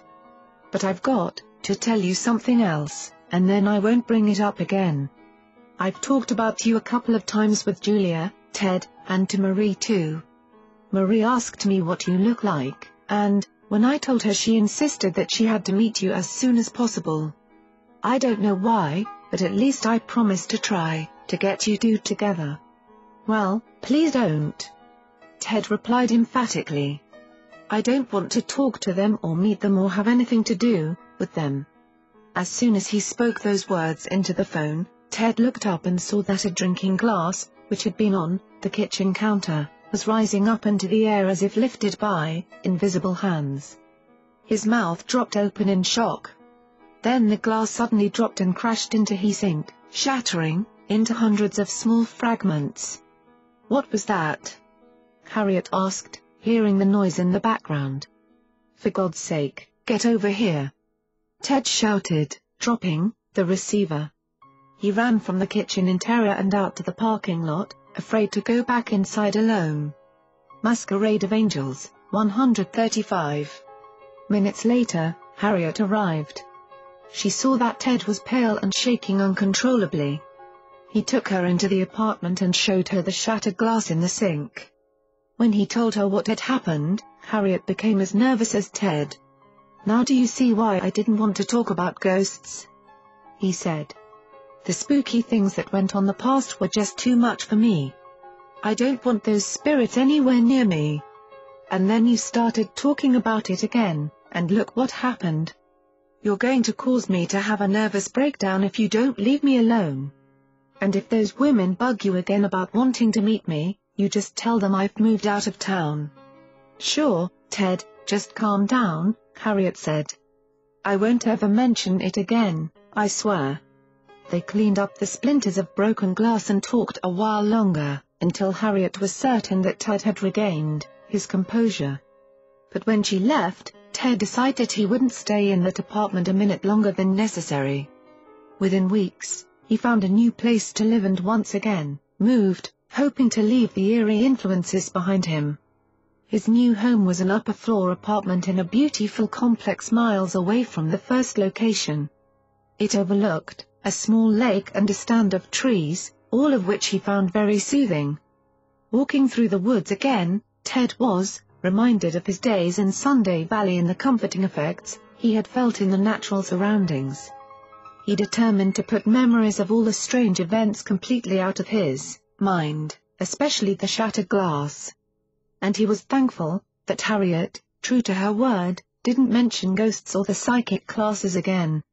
A few days after settling into the new apartment, Ted was enjoying a quiet evening alone when the doorbell rang unexpectedly. He opened the door and saw two women standing there, one of whom was holding a Bible. Great, Ted groaned inwardly, Jehovah's Witnesses. How the hell do I get rid of them? Hello, the first woman said, but Ted interrupted quick. I'm not interested, he told her, starting to shut the door. Masquerade of Angels, 136, the woman, however, stuck her foot in the way and began inching into the room, ignoring Ted's words. He backed up helplessly, unable to react rudely to the women, who were talking their way through the door. Besides, he could tell by the looks on their faces that they wouldn't take no for an answer. So he relented and ushered them inside, expecting to spend the rest of the evening bombarded by warnings of hellfire and damnation. But the first words the woman spoke blew away his expectations. I'm Julia Black, the woman said, Harriet's friend. And this is Marie Jackson. I'm going to kill Harriet, Ted thought miserably, and they'll have to bury her tomorrow. But aloud he was a gentleman and offered the women seats in the living room. He took a position as far across the room as possible, in a chair beside the fire escape window. If glasses started floating and crashing again, or anything else, spooky occurred, he wanted a quick exit route, and the women could deal with the ghosts without him. Marie looked squarely at Ted and began to tell him about her psychic development class, pinning him down with her relentless stare. She was doing this work, she explained, under the auspices of the National Spiritualists Association, and she assured him that her work was all done through God. I'd really like for you to come over and participate, she said. We very much want you in our group. Excuse me, ma'am, but why? He asked. Harriet told me about this a while back, that you were interested in me. But I don't understand any of this, I told her to keep you away from me. Why is it so important that I come and be part of your study group? Marie and Julia hesitated a moment, looking at each other, mysteriously. Why don't you tell him, Julia? Marie finally said. Julia nodded and opened the Bible she'd been holding, to reveal a sheet of paper stuck in its pages. A little over a year ago, she began and Ted maniacally counted back in his mind, realizing that would have Masquerade of Angels, 137. Been around the same time he saw the glowing Aunt Jemima in his bedroom in our meditation with the group one evening I got an image of a short man with balding, light brown hair. I didn't recognize this man, but I was given a message that he would be coming in the future and that it was of the utmost importance to bring him into our group. The message said that without this man's involvement, our group would not survive. Ted listened without interrupting, keeping an eye on the fire escape and wondering how quickly he could get out the window and away from these crazy women. The initials that were given to me, Julia continued, were TR. When Harriet started talking about you, and I found out your name, I asked her to describe you. Ted, her description exactly matched the image of the man I'd been shown, and now that I see you, I know for certain that you're the one we've been waiting for. I begged Harriet to bring you to the class, but you kept refusing. And since you wouldn't come to us, I just had to come for you myself. When Julia has started this explanation, Ted immediately felt uncomfortable. The episode of the shattered glass had set off all his old fears, and he wanted to be completely free of all things paranormal. But as Julia continued to talk, and to explain how her information had pointed directly to him, he slowly began to feel a comforting essence coming from the two women, in spite of the strange things they were telling him. Everything he had been through in the past had only served to frighten and drive him away from the world of spirits. But, Marie and Julia gave him an altogether different feeling, and he sensed that whatever they were involved in, it couldn't be so terrible, since they were obviously gentle and sincerely good people. He listened attentively to the ladies for over an hour, and for the first time allowed himself to feel a curiosity about psi, chic phenomena, untinged by fear, and to acknowledge the wonder his past experiences had evoked. Finally when they finished speaking, Ted found that he wasn't fighting the force, that was drawing him into areas he had resisted for so long. Masquerade of Angels, 138, his fears had turned to curiosity. All right, I'll try it, he whispered, amazed by the words even as he said them. The two women smiled and nodded. Somewhere deep within himself he felt that his involvement was inevitable. The next time Marie's group held a meeting, Ted was there. He knew that a momentous corner had been turned, but he had no idea where the spirits would ultimately lead him. Masquerade of Angels, 139. 15. It sounds like stories from the land of spirits if any man obtain that which he merits, or any merit that which he obtains. Coleridge. Under Marie's guidance, Ted began training to work as a psychic, or a medium, as the National Spiritual Association of Churches defined the phenomenon. According to their statement, a medium is one whose organism is sensitive to vibrations from the spirit world and through whose instrumentality intelligences in that world are able to convey messages and produce the phenomenon of spiritualism. This certainly seemed to describe Ted's abilities. His experiences with the mummy apparition and more especially with the ghost of Miss Flowers showed that his sensitivity opened him to spirit communications. Beginning, then, in late 1970 he studied spiritualist teachings. Marie tutored him in the movement's history and development as well as the church's philosophy, none of which he'd heard before. An entirely new world of the metaphysical was his to explore, and Ted was a star pupil. After his initial study, Ted and several others in the group started actual training sessions. As part of each meeting, they spent at least an hour learning how to meditate and how to recognize and share the messages that were received in this manner. The group usually consisted of 20 or so members, and in the practice sessions everyone had an opportunity to pass along psychic communications to someone else in the group. When Ted's turn came, he found that, just as he'd, the call, 15. done with the photos in Myers' album, he had no trouble at all receiving apparently psychic material in his meditations. His method was similar to, he studied the face of each member and then was able to make statements about each one. The accuracy of his statements convinced Marie that Ted was indeed the man whose coming had been predicted. Clearly he belonged in the group and had strong psychic talents which were already quite active. Even in his early phase of training, Ted was able to do things that Marie could do only after she'd been through long and vigorous training. She realized that his gift was exceptionally powerful. But there were other things she could teach him. A medium needed to know the best way to refine the incoming messages and deliver them without causing any offense or harm to the person for whom they were intended. Marie's expertise in this area was invaluable to Ted. She taught him to keep any highly personal material to himself until it could be communicated in private and thus avoid embarrassing the recipient. And she taught him never to read someone without the person's permission, for such readings constituted an invasion of privacy just as much as listening in on phone calls or intimate conversations would be. Furthermore, Ted had to be shown how to interpret the content of psychic messages which were often delivered in vague signals or symbols. If he saw dark clouds gathering, above a subject, for instance, he learned to recognize what such symbols might mean, there was going to be rain on the parade. There was a whole psychic language of symbols to be learned, and Marie was able to teach him about such things. Ted learned quickly. Before long, Marie had him up performing before large crowds, reading many people in the audience with ease and finesse. One after the other, the individuals Ted selected received messages that flooded into his mind as he concentrated on the person's face.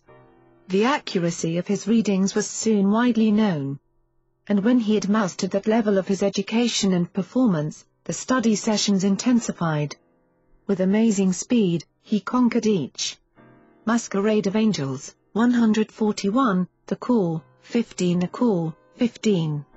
Lesson and was shortly working through the material that would prepare him to be licensed as a medium by the National Spiritualists Association. When Marie felt that he was ready, they traveled together to the association headquarters in Cassadaga, Florida. Part of the licensing process required Ted to speak before the board members and also to deliver psychic messages to a large audience. This allowed the board to assess his competence as a medium. He also took six hours of required written tests, covering the association's history and development, and he passed with a practically flawless performance. Ted received a license from the group, and with that in hand he and Marie were able to appeal for a charter, which was readily granted. After obtaining approval from Georgia officials, they then started the first spiritualist church in the state. By that time, there was a sizable group in the Atlanta area interested in psychic work, and the new congregation flourished. Ted had come quite a distance from his first fear and reluctance to deal with the paranormal. He was gratified by his association with other people who understood his talent and appreciated the work he could do. He found that it was great fun to work with other psychics in the training sessions, sharing a common vision and language and supporting one another's efforts. Sometimes he did see visions or receive information that disturbed, and there were frequently messages that saddened him, just as he had been moved by the dreams of deaths and disasters he'd had in Tuscaloosa. But he also got messages that elated him and the people for whom they were intended. Occasionally he foresaw serious illnesses, for example, and was able to alert his clients to seek medical help that proved to be life-saving. He was shown new job possibilities that often led to more rewarding careers, and many times he assured people about their future romantic happiness, relaying these communications from the spirits with a rewarding sense of accomplishment as he watched the visions come true. Such happy predictions occurred time and again, all of which convinced him that his Masquerade of Angels, 142, work was important. As Marie had taught him, Ted came to see that in psychic work one had to accept the sad messages just as completely, as the happy ones. Both the positive and negative would come to the open psychic mind, and there was no choice but, to deal with this material and to maintain an even balance. Ted had found the existence of the spirit world, from which such material originated, and he felt that it was a benevolent, source stemming from a loving, caring God. By getting in touch with his spirit guides and delivering their communications, Ted believed he was helping this unseen world. Its efforts, he learned through his studies, were to teach humanity that death is not the end of existence, that there is truly an afterlife, and that God is in charge of it all. Ted had several spirit guides who worked through him. One was known as Raphael, who claimed to be a Spanish entity. Another much more vivacious and entertaining guide, was the spirit of a young girl named Sharon. In life, she had been a dear friend of Ted's, but she died at age 16. In her spirit form, Sharon was a delight and an entertainer, just as Ted had known her to be in life, and it was proof to him that the individual continued on after the death of the earthly body. During this training time, Ted discussed with the others his visitation from the Aunt Jemima figure. He gave a detailed account of the event, including the vivid, almost three-dimensional purple and emerald outfit she wore. None of his colleagues, however, were able to get a clear message about her purpose in coming to Ted. But they reasoned that, since Ted had grown up in the backwoods farm country of Alabama, the Black Mammy must have been a spirit associated with his grandmother's farm. Perhaps, they thought, she had come to him in order to open his eyes to the existence of the spirit world and propel him toward a study of such things. This now made sense to Ted, and he accepted that explanation even though no definite communication was ever delivered concerning her purpose. And when he looked back on the experience with Miss Masquerade of Angels, 143 Flowers, Ted could see how he had been instrumental in carrying out a benevolent desire on her part to help her godson complete his education. It all seemed quite wonderful from Ted's new awareness of the loving spirit world. He saw how the spirits had prepared Marie for his arrival in Atlanta long before he decided to go there, and how they'd arranged for him to work with Harriet so that he and Marie would meet. For him, it was still more proof that he was indeed chosen for psychic work, and his life through the next several years was joyous and satisfying. Still, sometimes an event occurred that really didn't fit in his new philosophy. There was nothing in his metaphysical studies to explain these odd episodes and strange contacts with forces unlike anything else he had experienced. The first unusual even came in the middle of the night, a few years after he and Marie started the Atlanta Congregation. He phoned her the next morning, anxious and depressed, to give her a full description, hoping she could help him understand what had happened. This wasn't like any experience I've ever had, he began. I was asleep, and then suddenly I awoke without knowing why.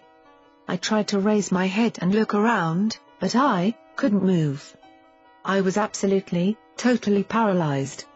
And when I realized I couldn't move, my heart began racing and I knew that something was wrong.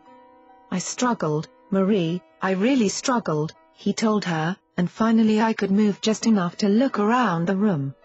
The whole place was filling up with fog, like the fog rolling in across San Francisco Bay. It just kept rolling in around me, until the entire room was engulfed and I couldn't see anything else. I was really scared, I thought maybe the place was on fire. What happened then? Marie asked in concern. I kept struggling to get loose from whatever was holding me down, he said. I wanted to get up and see what the hell was going on. By this time, my heart was beating so fast that I thought it was going to burst out of my chest. And it was painful. I wanted to scream out, I tried to scream, but nothing came out of my mouth. The fog was everywhere. Masquerade of Angels, 144, and then I saw a tiny light in the distance. It came closer and closer through the fog until it was right in front of my face. It looked sort of like a pencil, with the part where an eraser would be just glowing, like a little light bulb. I can't remember what color it was, white, I think, or amber. And as it got up close to my face, I saw there was a hand holding this thing. I've tried and tried to remember what the hand actor ally looked like, but I can't.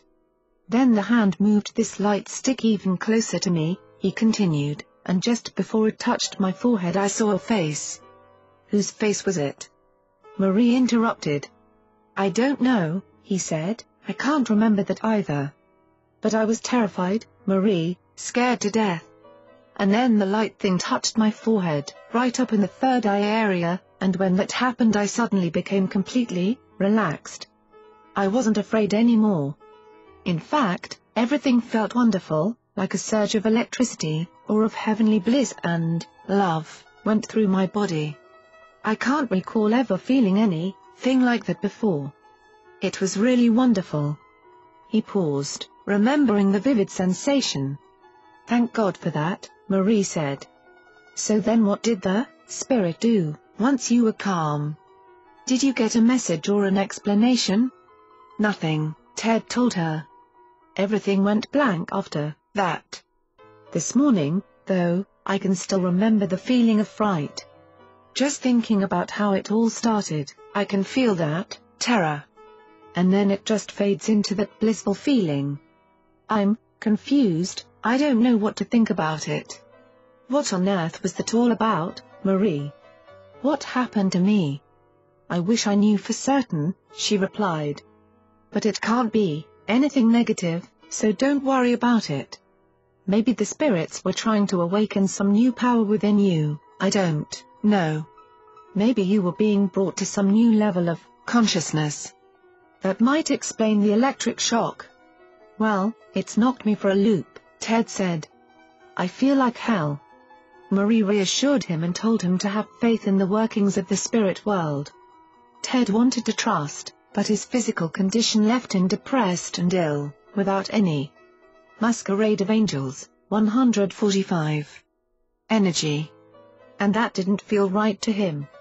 In all his many other contacts with spirit guides, he was never physically affected. What bothered him even more was that there had been no communication and no recognizable spirit guide, just an unremembered face and a hand that touched the light stick to his head. For days afterward, Ted was obsessed with trying to understand the experience. He and Marie discussed it repeatedly, but her explanations did not satisfy him. Deep within, Ted had serious doubts about what had been done to him, and for the first time in years he also felt anger and resentment. On several occasions he tried to question Raphael and Sharon, his familiar spirit guides, but they gave him no answers about the event.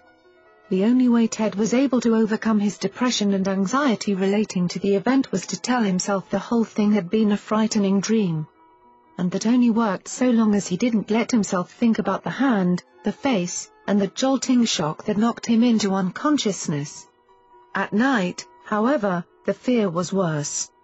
Ted couldn't sleep in the dark anymore, so he got a night light, but still he was nervous and unable to rest well.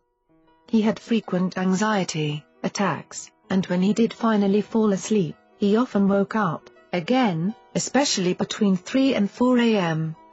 In need of help, Ted went to the doctor and was given a prescription for a sleeping aid. It helped minimally, but it also affected his mood, for Ted noticed swings from a jumpy, jittery state to fits of depression. Not long after the episode of the fog in the room, Ted had yet another new experience for which his metaphysical training had not prepared him. A new spirit showed up, or at least, he thought it must be a spirit. But it was far stranger than any guides he had ever heard of or encountered. And once again, it began in the middle of the night. At first, he thought these encounters were also dreams, because of their utter strangeness. As he slept, an entity would appear and take Ted to an unknown location where he was instructed in what the new entity told him were spiritual truths. This being called himself Volmo, and as Masquerade of Angels, 146. Volmo delivered his instructions, Ted felt as if he were in a very altered state. Each morning after a visit from Volmo, Ted awoke with curiosity and tried to recall the spiritual lessons. But he could only remember a small part of Volmo's teachings, as if much more had been blocked or simply faded away. His lack of recall was bewildering. In the past, spirit messages always came while Ted was fully awake, and he had no trouble hearing or remembering them. But with Volmo, it was different. This is really strange stuff, he told Marie shortly after his first few encounters with Volmo. This spirit, or whatever Volmo is, just isn't human. I mean, the way he looks, the shape of his head and everything about him isn't human. I don't understand, Marie said. What does he look like, then? He's tall, really tall, Ted explained. When I'm standing beside him, he towers a foot or more over my head, so I reckon he's six and a half feet tall, maybe seven. And massive. He's got a strong, powerful body, and it's dark-colored, dull gray or olive brown. I've never heard of anyone like that, Marie said, Pews, sold by this new entity. He seems really friendly and pleasant, Ted continued, but to tell you the truth, the way he looks sure scares me. Volmo's god-awful ugly. His head doesn't have any hair, and there are bony ridges on the top. His eyes don't look human, that's for sure. They're dark, sort of yellow gold, and there aren't any eyelids. But his mouth is the worst part, Marie. It looks like a big fish mouth, with sharp teeth. What about his hands?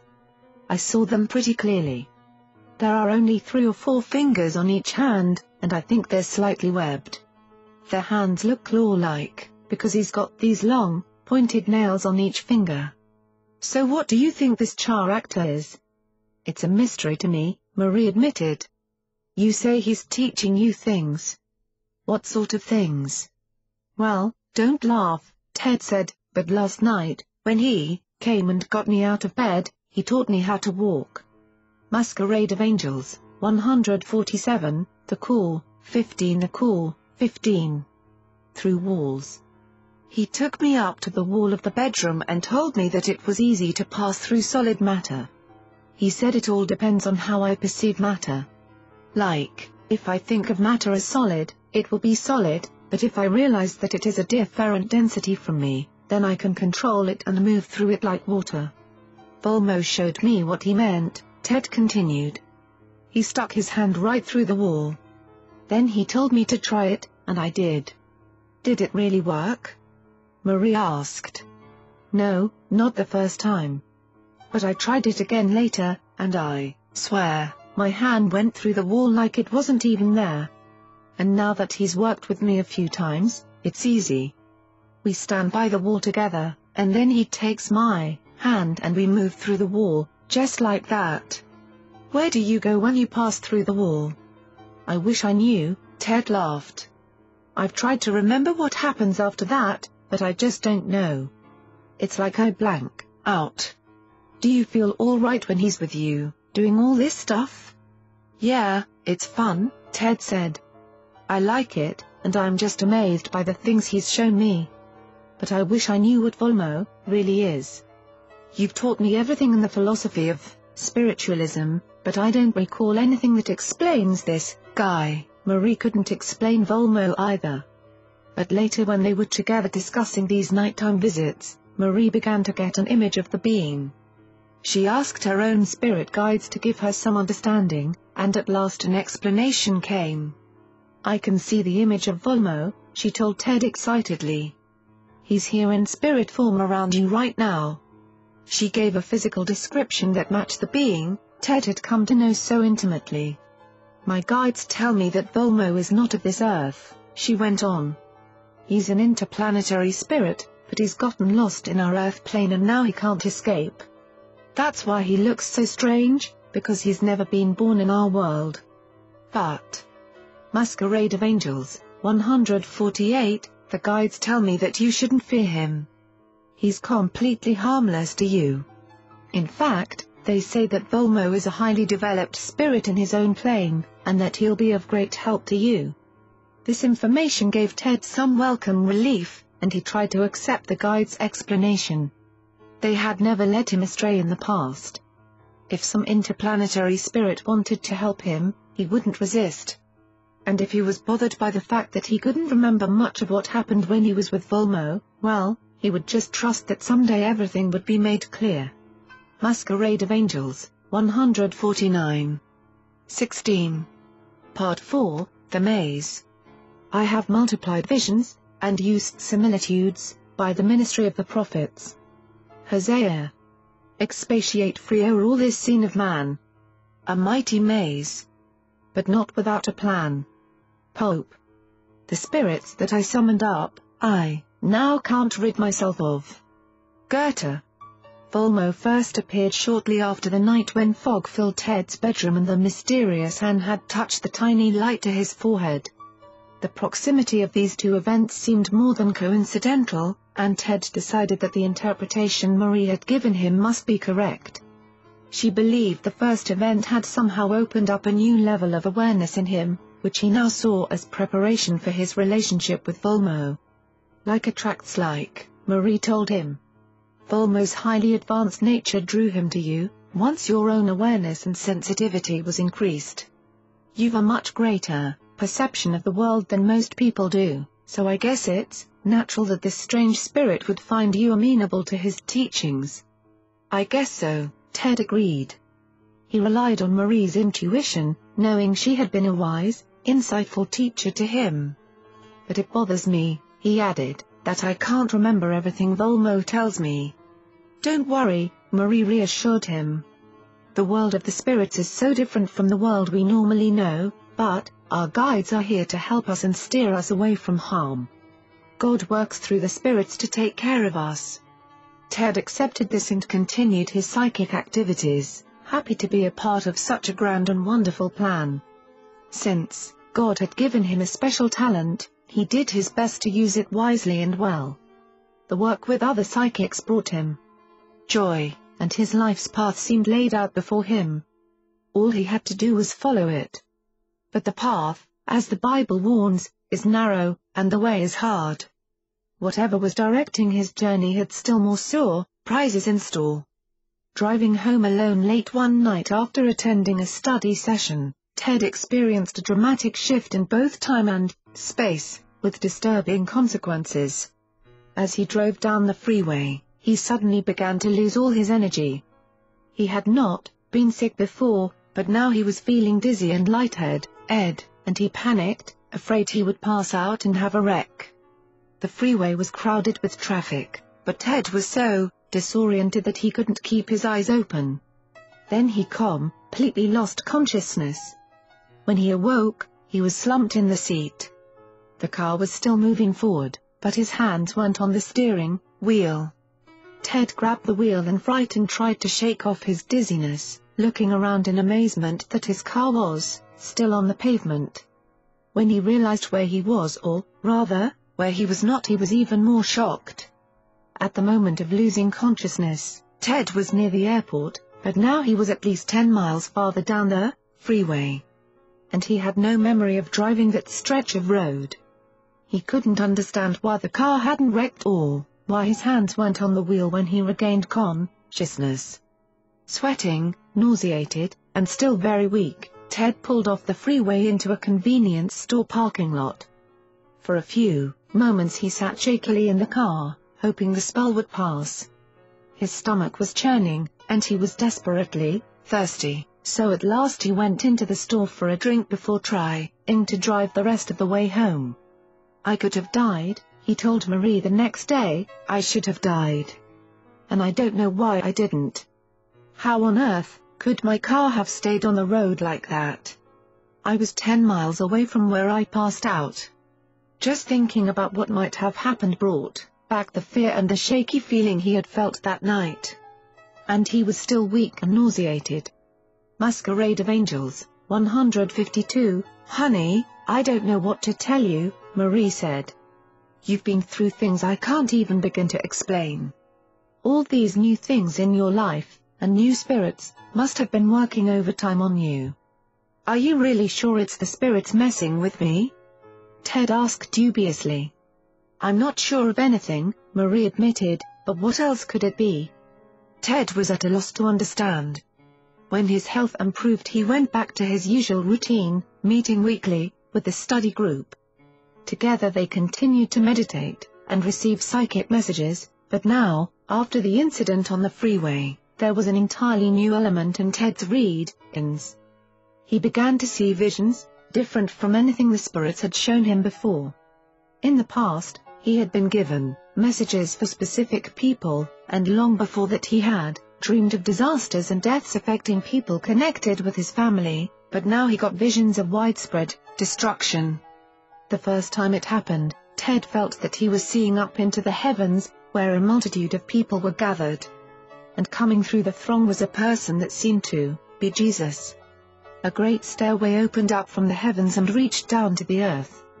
Jesus came to the stairway and began his descent, with the crowd of people following after him.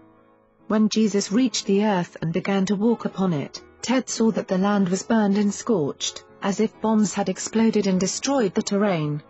Fire raged all across the land, but as Jesus passed through it, everything behind him was transformed back to its normal state, green and beautiful, with birds and butterflies in abundance. Ted had no idea what the vision was trying to tell him. The images of destruction were profoundly disturbing, yet he didn't recognize what part of the earth he had seen. And he didn't know if the vision was to be understood literally or symbolically, for it was unlike all the other visions the spirits had shown him. Masquerade of Angels 153. Another night, while working with the meditation group, Ted was again presented with a vision of terrible devastation. In this one, he first saw a map of the American eastern seaboard.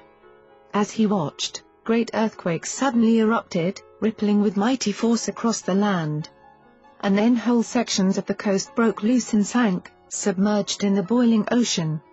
Such visions recurred, each time bringing Ted sorrow and despair. One night when a scene presented itself, this time Ted not only viewed it, he was part of it. He saw himself in a populated low, coastal area, and he was running down the streets, warning the people to move inland. You've got to get away from the coast. He shouted. Earthquakes are coming, and tidal waves, and you'll be destroyed if you stay here. But the people just laughed at his warnings and ignored him. At last he gave up and sadly turned away. As he walked up the road, he paused and turned back for one last look. Behind him, a great tidal wave washed over the town, sweeping all the people away in utter destruction. When the vision passed, Ted was in tears. Overwhelmed by the horrendous chaos, it frightened him to think that these visions might come true but no messages came to explain the purpose of these scenes, nor did they seem intended for any particular person. His spirit guides, usually responsive, were curiously silent when he asked them for help in understanding what it all meant and what he should do about the visions. He felt as if the spirits had failed him then. They told him nothing about Volmo, the fog and wand episode, the missing time on the freeway, or these frightening visions. With this realization, Ted felt an internal shift or turning point, as if he sensed a change coming in his life. Since 1970, when he began his psychic training, his path had steadily ascended in every possible way. But now, his life and his work began declining. At first all he felt was a general loss of well-being. His health deteriorated, and he was plagued by physical pains and discomfort, although when his Doctor examined him nothing specific seemed to be wrong. It. Masquerade of Angels, 154, didn't take him long to realize that his decline had started after the night with the fog and the light. And after this latest episode on the freeway, the symptoms grew worse. Hoping to stop his general deterioration, Ted began a rigorous regimen of exercise and healthier diet. All he wanted was to feel good again, and for a while his new routine seemed to help. At least his body slowly returned to a better state, but psychologically he knew he was gradually slipping downward. It became harder and harder to concentrate on his spiritual work. His nights turned fitful, and without sleep he was losing the serenity of mind so necessary for psychic effectiveness. Night after night he awoke, restless and agitated, without knowing why. His nerves grew edgy, and his usual good nature gave way to fits of depression and doubt. Still, he strove to keep his physical strength, but this too slowly ebbed away. One night, waking up with a start, Ted felt compelled to go to his typewriter. A story was emerging in his thoughts, and he had to write it down. When he finished and read what he had written, Ted was filled with a sense of wonder and confusion. He wasn't a writer, but in his hands was a story, unclear in its meaning but powerfully moving to his heart. Barefoot and wearing his usual overalls and t-shirt, Carly Kane made an interesting sight as he followed closely behind his uncle's combine, waiting and watching for the large, noisy machine to uncover a rabbit's home. This was one of the many facets of enjoyment offered to the small lad, restricted to this isolated farm life, and he never let these opportunities slip by. It was the first time this summer that his uncles had gone to the hayfields, and Carly was beside himself with excitement. He felt as much a part of the harvest as any field hand present, and the excitement of the whole procedure showed in his every expression. The huge machine, the laborers stacking the bales, the shouts ringing over the deafening noise, and the sweet smell of freshly cut hay were all packaged into a composition of a day's work. And to Carly it was all very natural, something not to be questioned, only accepted as part of existence itself, and he lived. Masquerade of Angels 155. Every moment of it with total fulfillment. It pleased him to be part of it, no matter how small or trivial his part may have seemed. Small rabbits would scurry in all directions as the thundering combine slashed its path across the vast hayfields. Carly, alert and, keen-eyed for any sign of rabbit fur, would launch into a wild scene of chasing, darting, and zigzagging over the field. As fast as his lit, legs would carry him, he pursued his favorite sport until he made his catch. He never seemed to grow tired, and the majority of his time in the hay field was spent in such activity. Only occasionally was he interrupted by one of his uncles or farm hands, and then it was only a signal to get out of the way of the combine or the workers. Sometimes one of them would be the first to spot a rabbit, pointing a finger in that direction and watch, in the amusing chase. Hardly a day went by that he did not man, aged to capture at least one of these tiny critters, and when he did, he would coddle the frightened animal carefully in his arms, trying to soothe and calm it after its disturbing calamity. Carly loved Ani, Mals, and his ability to tame wildlife was known throughout their community. Tired and hungry, this eight-year-old boy waved at his two uncles operating the huge machine and turned towards home. He crossed the dusty field slowly, feeling his exhaustion and fatigue. He had been out since early dawn when the dew was still fresh and moist to his bare feet. It was now noon, and the first pangs of hunger began to gnaw at him, for he had eaten nothing since early morning. The scent of the baled hay filled his nostrils with its clean and earthy fragrance. This familiar aroma, so soothing and relaxing, contributed to a restful state of mind that was now enveloping his consciousness. He crossed a plank that lay over the narrow ditch, which separated the hay field from the cotton patch and continued, forward down a long row of cotton which summer had turned into small bushes. It seemed only yesterday that the tiny seeds had been planted into these countless furrows of rich, black earth. Soon they would lose their greenness by turning into brown, ugly, leafless stalks with little bolls of white, fluffy cotton. Carly thought it was all quite magical, and he hoped one day to see the magician at work and take him home to meet his family. Masquerade of Angels, 156, nearing the end of this realm of toil and labor, Carly saw that the black dirt beneath his feet began to lose its darkened hue. Gina allied this would be a welcome sight for this weary little soul, because it meant that he would be drawing close to the sand bed, and that was halfway home. But at this moment his mind had managed to escape him and encircle his total surroundings, leaving him without any point of concentration. For a brief but timeless moment, he was alive and breathing the very essence of his environment. It was the squirming of his captured prey that brought him out of this mystical daze and back into a familiar state of consciousness which divided everything into its individual perspective, cotton, hay, laboring hands, noise, and sweat, all of which had its recognizable seat in Carly's reality. As the hot Alabama sun was blistering down from the cloudless sky, his tired little feet carried him onward through the hot sand. I wish I had worn my sandals, he thought. And some cold water from Grandy's well would be so good. He wondered what he had done with the straw hat that Uncle Jim had bought him in Fayette last week. These were thoughts occupying Carly's mind as he made his way home, toting his little rabbit carefully in his arms. It was beginning to squirm a lot now, Carly noticed, and he held it a little tighter to keep it from breaking loose and scampering away like the last one he had caught. He found himself fighting to concentrate and focus on his new pet and direct himself forward toward the house. Suddenly, he seemed to be feeling odd and sleepy and heavy. Just ahead he saw something inviting, and for a fleeting moment he wondered why he had not noticed it before, as many times as he had, passed Miss Way. Shade. Lying ahead where the sandbed began to fade into the dirt road that led home, there was a sloping bank covered with tall pines and hardwoods. Kudzu, which years before had been planted there to fight erosion, had long since gotten out of control and managed to climb and grab hold of every available limb and twig along the embankment.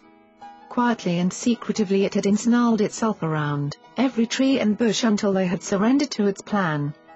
Insidiously, the vine hung from each branch and tree with such thickness that its growth set off an umbrella or shade that anyone. Masquerade of Angels, 157. Would have found inviting on such a hot August day. Carly could not resist.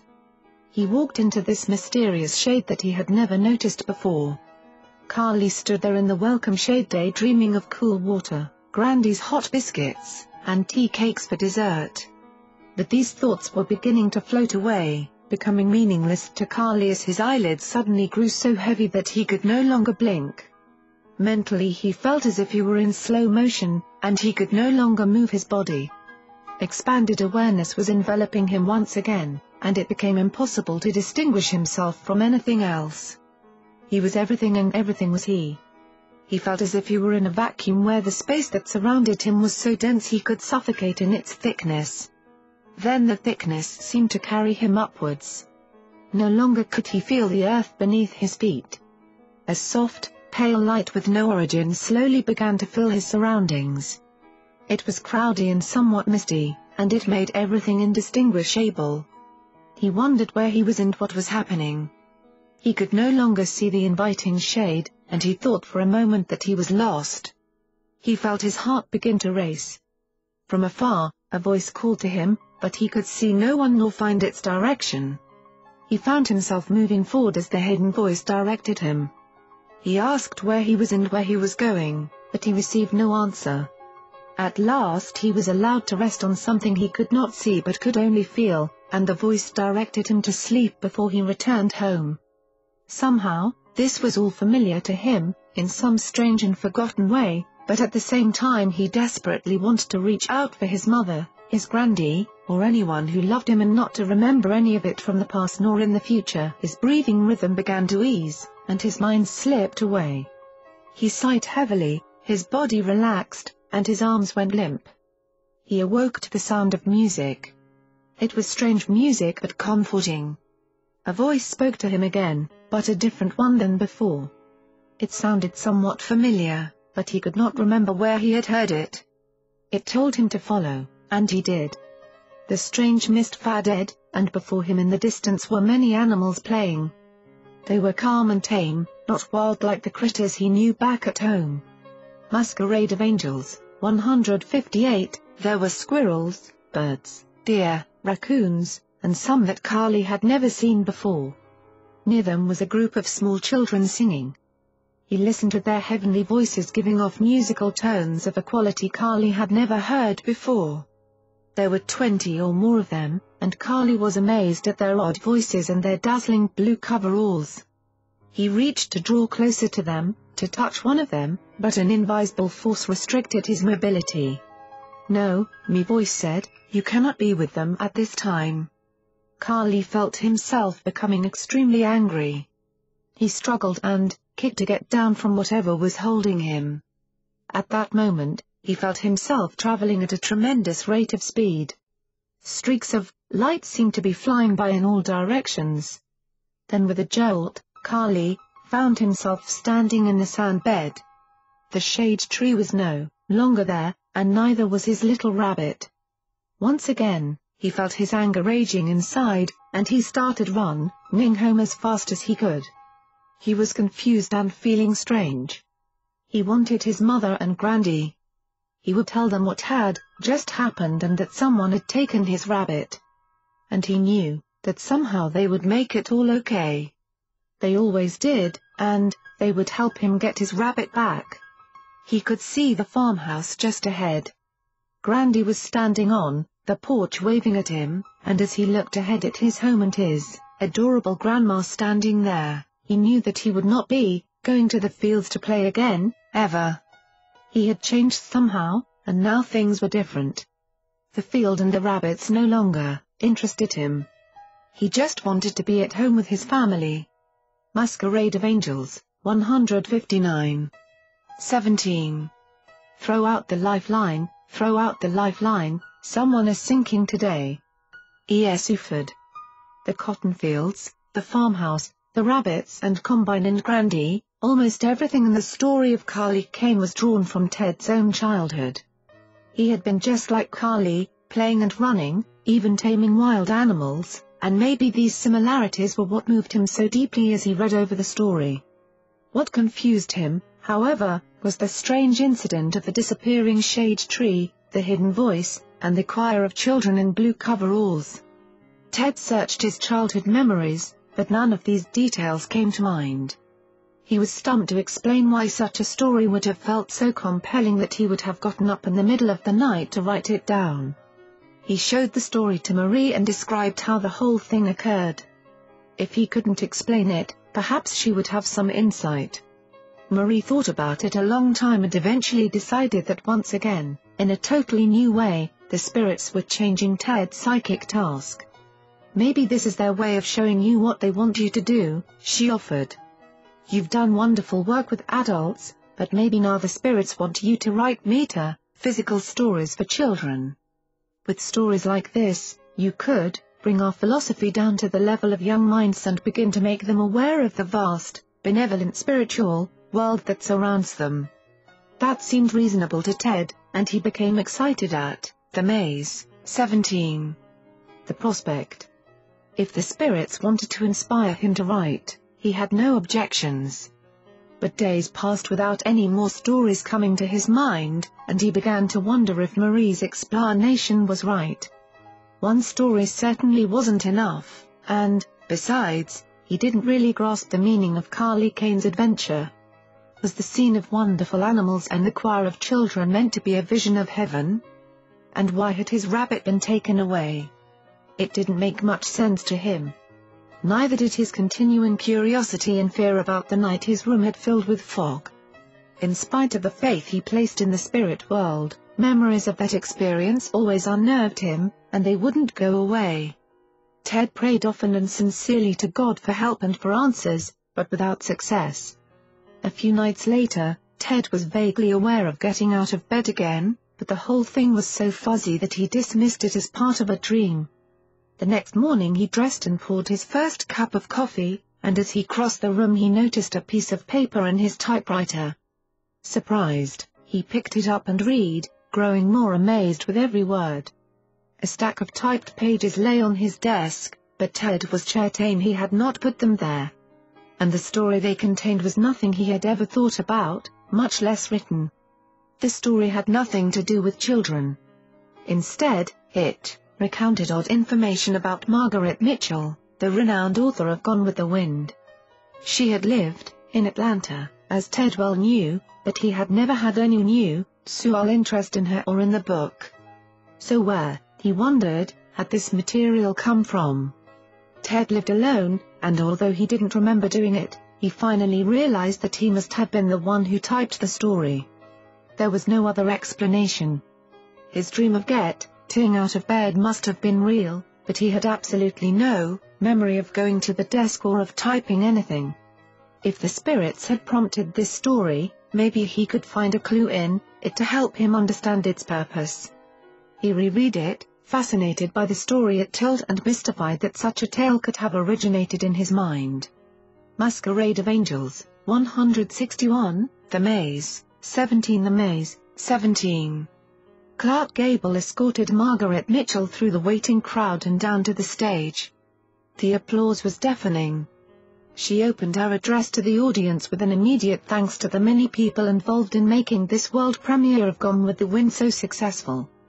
There were many famous names present at this gathering, and her congratulations went to all of them who directly or indirectly played a part in bringing her Scarlett to such fame. She paid special tribute to David Selznick and publicly acclaimed at that moment that he had chosen the perfect cast. She finished with her credits and bowed to the thundering fans, and as she did this her invisible and stealthy partner made similar gestures. This silent figure who was at her side, watching, waiting, giving her strength, followed across the platform close at hand. They were like two sisters who shared a secret that the world would never know nor understand. Margaret had had an impulse to write a story for years. It was a pull within her that she did not understand, and it had been with her long before Scarlett O'Hara was born from her pen. As she grew older and the desire stronger, she stopped fighting the urge and released this boiling energy through paper and pen. When she did, Scarlett, Rhett, Melanie, and all the rest of these vivid characters came forth in a tale of all tales that left their audience breathless as they lived, breathed, and cried through the pages of time Margaret had so well put together. Georgians would not accept that these characters were not historical figures, who had once occupied the streets of Atlanta. Many searched through historical documents and public records trying to uncover any line or connection that would prove these names not to be figments of Margaret's imagination. Even today, the Chamber of Commerce at Jonesboro, Georgia, will verify that frequently tourists will seek directions to the plantations so dear to Scarlett's heart, Tara. As the years crept slowly by and Margaret began to unfold more and more of her story, she came to realize that she was getting assistance from some strange source of which she had no knowledge or understanding. This puzzled her, and she tried at first to deny it. She began to take long breaks from her writing, thinking that she must be tiring herself, but this proved not to be the answer. Rest.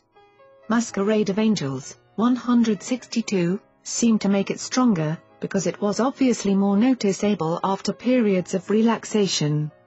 She came to grips with it one day, when to her surprise her pen continued to write quite legibly as her thoughts wandered from the subject being expressed. This frightened her a bit, and she made an effort to discuss it with a close associate, who scolded her and advised a vacation, claiming that Margaret had been working too hard. Margaret did not pursue this matter again with her friend, but she did uncover some of the truths she was seeking in Atlanta's public library. There she discovered enough to satisfy her curiosity through the psychic material available at the time, even though it was limited. She quit fighting with herself and readily gave in to her secret source of thought, which she could not see but only feel. She developed an appreciation for misinspirational writing coming to her, and as she did, her work became easier and more enjoyable. Margaret went to her grave never admitting nor fully understanding that she had been a channel for a spirit who had been with her, guiding her for many years. The spirit was a highly evolved soul that had once lived a life, similar to Scarlett O'Hara's, and her tale was as strong as the sea, Ent Mariner's and she had to tell it. She needed a release for this energy, and Margaret was her channel. Through Margaret's pen, she would be able to confess her unjust deeds that had hurt so many, when she was on the earth plane. The knots that had so tightly held her soul from spiritual perfection would be untied. It would help Margaret in her own spiritual development as well, and entertain, meant would be brought to countless millions quietly and, secretively, she moved in around Margaret and they formed a team, that produced one of the greatest novels of our time. Margaret was aware of the intelligent and friendly shadow that, was around her, and she felt that somehow, some way, there was, more than just a novel unfolding before her eyes. Today, from, beyond the veil, the real truths have been revealed to her. A friend, ship and love of deeper profoundness exist between these two souls. They look back on their novel and its proud achievements, as, together they climb to a more evolved and spiritual expression. Ted finished the last page and lay the story aside in utter. Masquerade of Angels, 163, The Maze, 17. Bewilderment. He knew nothing about Margaret Mitchell's life, and he certainly had never thought that she was possessed of any secret source of inspiration. So what is this trying to tell me? he wondered. Does it have anything to do with the Carly Kane story? But that didn't make sense. no other spirit could have produced that story through him, he thought, because Carly was so much like himself. Everything about his two nighttime writing benches was impossible to understand, and no other stories appeared after that. Like so many other events in his life, these had no clear meaning that he could discern. If the spirits were indeed behind the two tales, Ted decided they would have to be a whole lot clearer with their messages before he could grasp their intentions. The details of the Margaret Mitchell story continued to run through his mind, however. As he saw it, the story revealed how Margaret was used as a channel for the spirit world.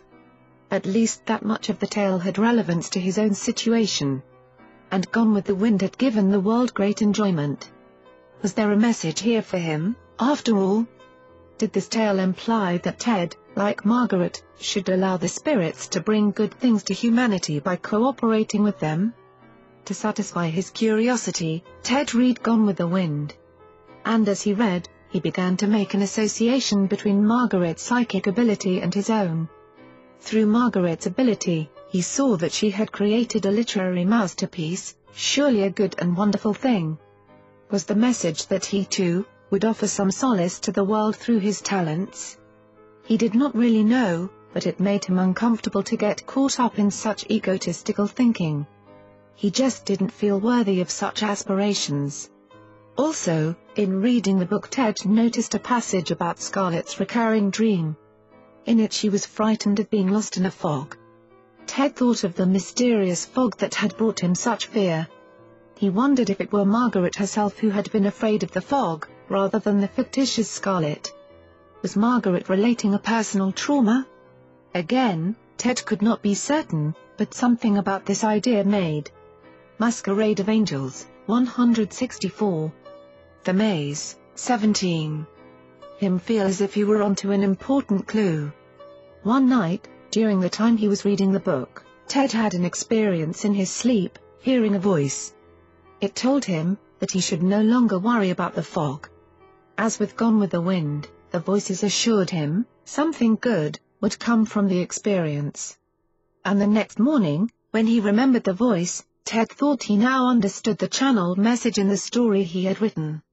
He stopped dwelling on the fearful event with the fog and tried to resume his usual peace of mind and activities. The Az's of anxiety seemed to have ended. He thought back to the terrifying encounter in his bed, room, of the fog, the light wand, and the jolt that made him feel as if he were going to die. That certainly had not been a pleasant experience for him, and neither had the visions of massive destruction which had plagued him, nor the loss of time and the resulting illness from his strange episode on the freeway. All of these things had taken their toll, mentally and physically, and had made Ted question his involvement with the spirit world. But the reassuring story of how Gone with the Wind had come from channeled information acted as an antidote to his fears. Whatever price he might personally have to pay, he concluded that the benefits of giving himself to psychic work were worth the price. With renewed resolve, Ted plunged back into the spiritualist work he tried to regain that sense of the positive and beautiful which had sustained him over the past years. Yet in spite of his dedicated efforts, he felt something changing, a slipping away of his strength.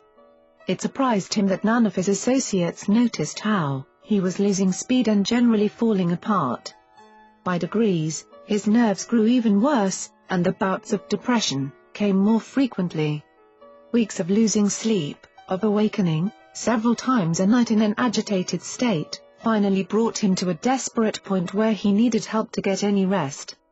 He began drinking at night, hoping that enough alcohol would knock him out by bedtime and allow him some sleep, or at least unconsciousness.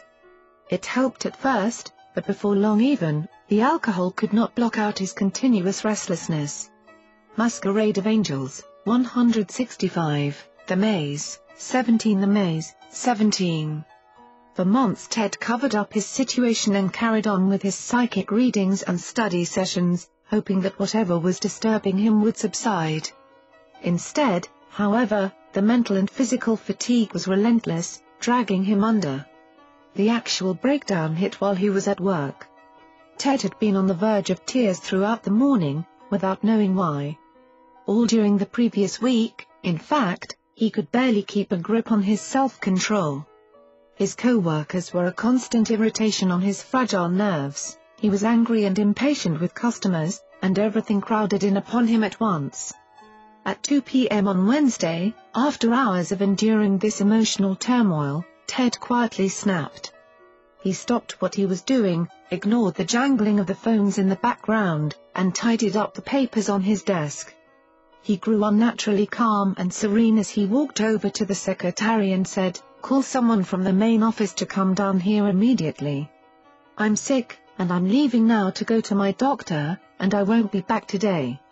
As if under some other control than his own, Ted turned and walked out in a daze, heedless of his job, his responsibility as the only officer on duty at the branch bank, heedless of everything but the need to leave. He got into the car and drove to the doctor's office. I have to see the doctor, he told the receptionist without any apparent emotion. You don't have an appointment? She replied. We'll have to work you in if time allows, or we can give you an appointment tomorrow, perhaps. Ted's calm demeanor did not change, but his voice took on an altogether different tone. I have to see him now. He said emphatically.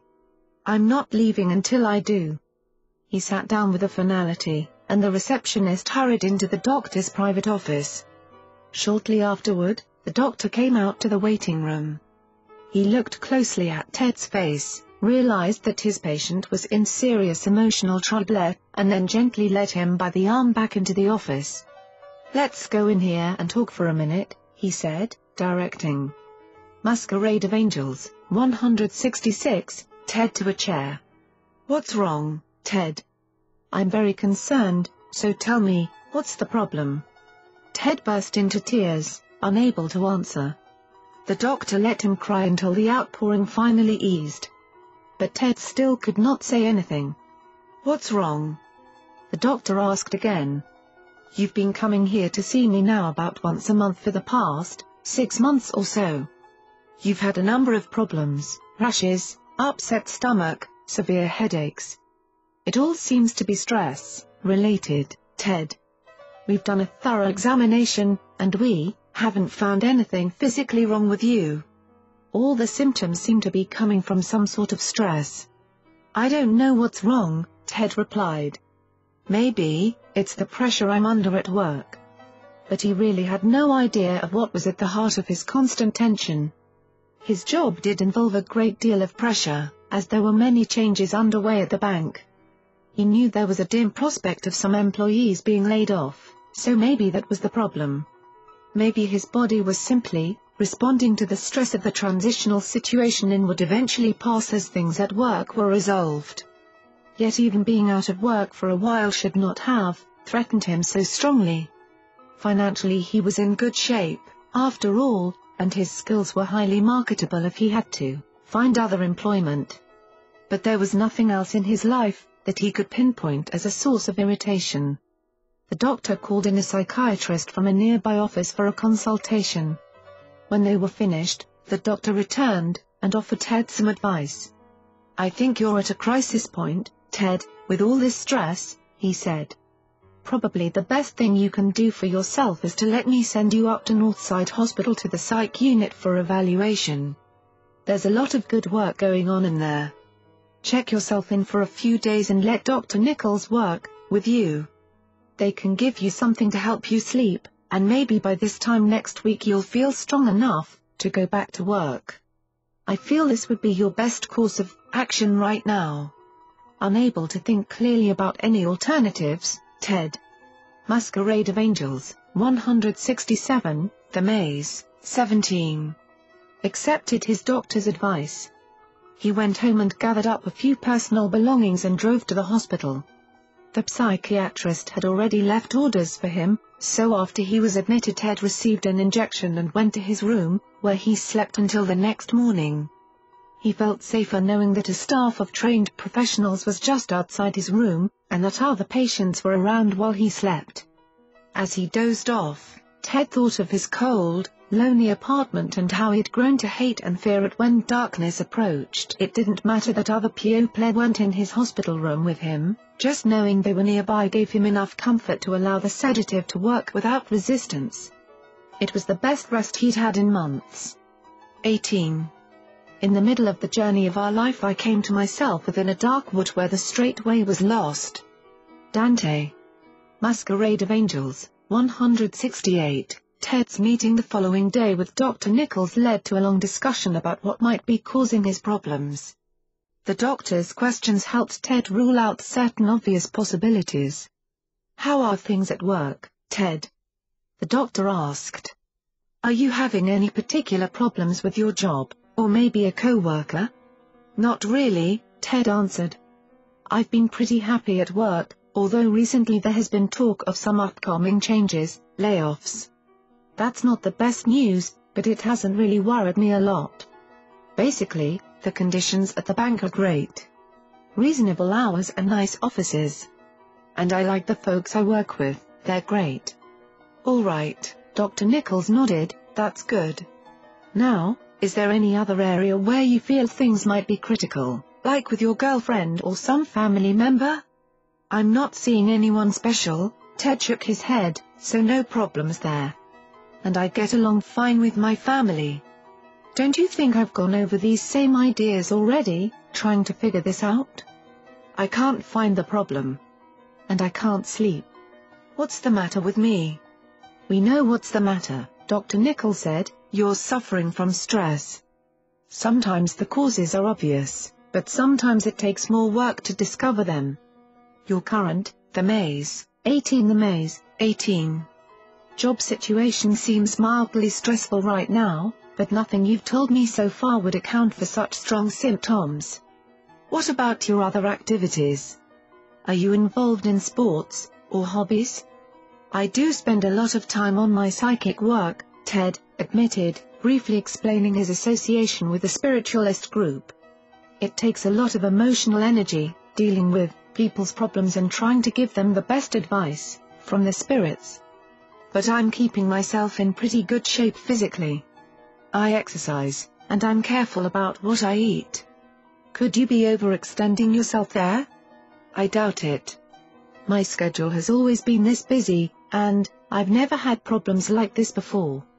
Well, then, perhaps this strain is stemming from a long accumulation of small problems, the doctor commented. If worry over a lot of little things is added to your present mild, stress about a possible job loss, that might explain your over, or fatigue. Let's talk about things from the past that you might still be dealing with emotionally.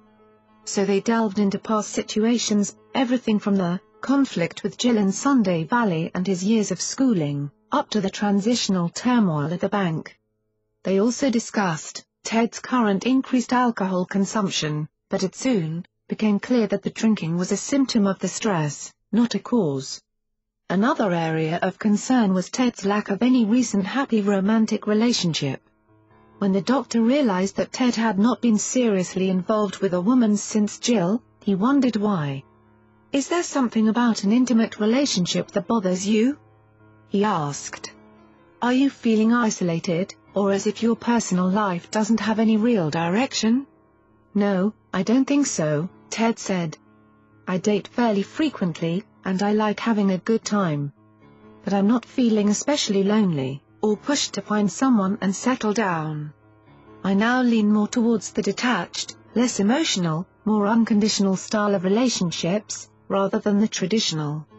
After the brief discussion of the past, all the doctor could suggest was vague, cumulative stress from many incidents.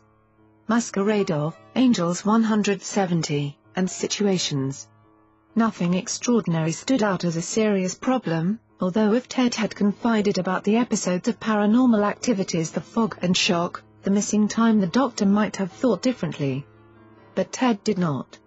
He had insisted to himself that the fog event must have been a dream, and the missing time he attributed to an illness, without trying to explain driving the 10 miles in an unconscious state. Without this additional information, the doctor had no indication to tell why Ted's stress was so severe at that particular time. The doctor prescribed a variety of medications, hoping to find one that would give Ted some relief from his sleeplessness and frayed nerves. None of them, however, produced lasting positive results. Some of them simply had no effect, and when others did cause a change in his energy level or his moods, Ted felt uncomfortable. He had never enjoyed the effects of drugs, not since the night with the marijuana octopus, and even though he had recently been drinking he didn't like the stuporous effects. He preferred his normal personality and state of mind. At last one of the medications proved effective without disturbing him, and the doctor also advised him to stay hospitalized another week, to meet with the group counseling sessions. Take a little extra time now, the doctor said, just to be sure. Frankly, I'd like you keep away from your old schedule at the bank a while longer. You appear to be in much better shape, and maybe all you really needed was a few good nights of sleep, but let's not push it. The same goes for your work with Marie too, not until you're sure you're feeling healthy again. But I'm going to have to go back to those things sooner or later, Ted replied. That's my life. Will putting it off a week really help? I think so, the doctor nodded. I feel like you need a complete break, a total change, to get back your old vitality. And the group sessions are important. Something may come out that we've overlooked. Ted acceded. He was comfortable in the facility, sleeping. Masquerade of Angels 171. More soundly than ever. As his good humor returned with his strength, he enjoyed talking with the staffers as well as with the patients. The two weeks of his residence in the hospital passed quickly, and Ted's improvement was obvious but in order to test the permanence of this change, the doctor recommended a trial run outside the facility. I think you're ready for a weekend pass, the doctor told him. A few days back home, nothing strenuous, just to see how you feel. If everything goes all right, that will tell us a lot about your progress. Fine, Ted agreed, knowing that he really had improved and should have no trouble in the apartment again. Still, his first response was uneasy, a vague disturbance in the back of his mind, which he did his best to ignore. He checked out and returned home, but his first night in the apartment was not what he'd hoped. Even before the sky grew dark, Ted had turned on all the lights and tried to fight back against his increasing nervousness. He couldn't concentrate on the TV programs, but he kept it on for company, to block out the night's uneasy quiet.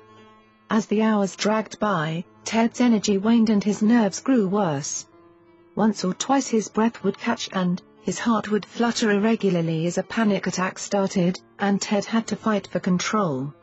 He needed a rest, and no matter how long he delayed it, eventually he would have to go to bed. He gulped down his sedative and waited for it to take effect, and then he reluctantly walked to the bedroom door. The room was brilliantly lit, with even the night light shining in the corner, but it felt cold and wrong. He went through the motions, washed, brushed and got into the bed, turning off the overhead light. Ted was too tired to keep his eyes open, but as soon as he lay back, memories and images flooded into his mind. The room wouldn't let him forget. Being back in the bedroom where he had experienced the fog and the shock of the light one disturbed him so deeply that he couldn't sleep. Even the medication had no effect, and, his fear, shapeless and relentless, grew overwhelming. Less than ten minutes after trying to sleep, Ted was up and wide. Masquerade of Angels, 172, awake, back in the living room as far from the bed as he could get. He stayed up the entire night, walking the floor restlessly, smoking cigarettes, watching TV, anything to pass the time. The next night, it was the same story no sleep, no rest, only inexplicable anxiety. And his depression returned with a vengeance, darkening everything within him. By the third day, Ted suddenly had the feeling that he just didn't want to go on living. It had not been a conscious thought, but all at once it seemed like the only possible escape from his misery. I'm just going to get it over with, he told himself, and then he walked out onto the apartment balcony and climbed over the railing. The ground was two stories below, but there was no fear in his mind as he debated whether he should jump. In fact, he felt curiously free of emotion, as if that part of his mind was already at a distance. His only thoughts were logical ones, questions of execution and repercussion. He wasn't sure that a fall of that distance would kill him, and he wondered if he would be committed involuntarily to a mental asylum if he failed to die. Leaning out from the railing, Ted looked around and noticed some trees in the near distance and behind them another apartment balcony. Somebody was there, watching him, and that realization triggered a response in Ted, snap, ping him back to reality. The stranger on the balcony stared at him intently for a moment and then called out, Hey, man, what are you doing, out there? Guilty and embarrassed by his predicament, Ted wondered what he could say that wouldn't give away his suicidal intentions. The whole situation was quite obvious, however, and the stranger was clearly alarmed. You're not going to jump, are you? He shouted. No, Ted shouted back, trying to sound very casual, no, I'm just getting some fresh air. Everything's okay, really. It was a ridiculous statement, considering his precarious perch over the railing, but he was too flustered to come up with anything better.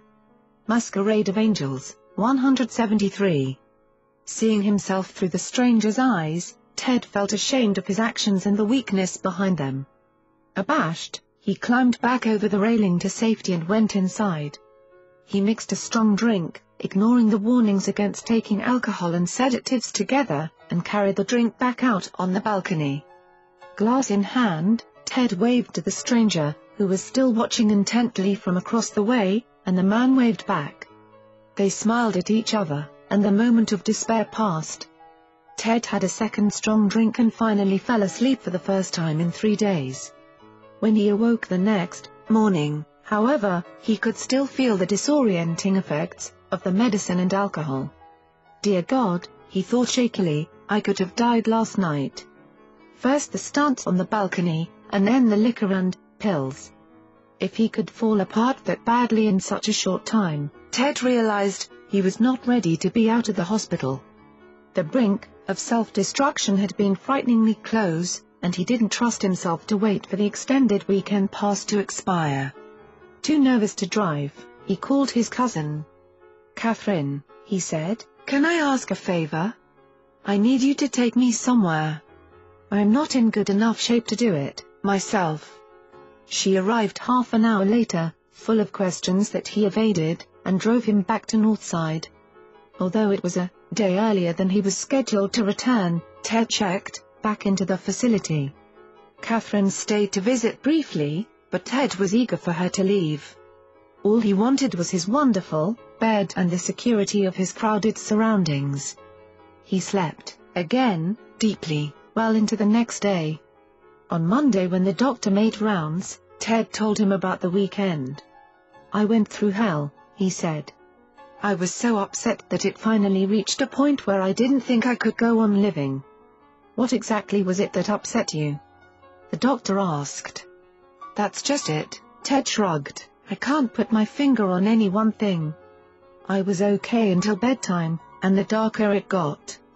Masquerade of Angels, 174, the worse I felt. Neither of them understood why being alone at night there had pushed Ted to the brink of suicide. It had been impossible to relax and sleep in the apartment, but it was no problem at all once Ted was back in the psych unit, and that wasn't consistent. He let himself wonder briefly if his worry had anything to do with the memory of the fog-filled night.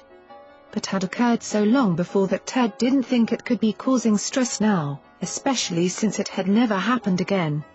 Besides, how could just a nightmare, or encounter with a spirit guide, bother him so deeply?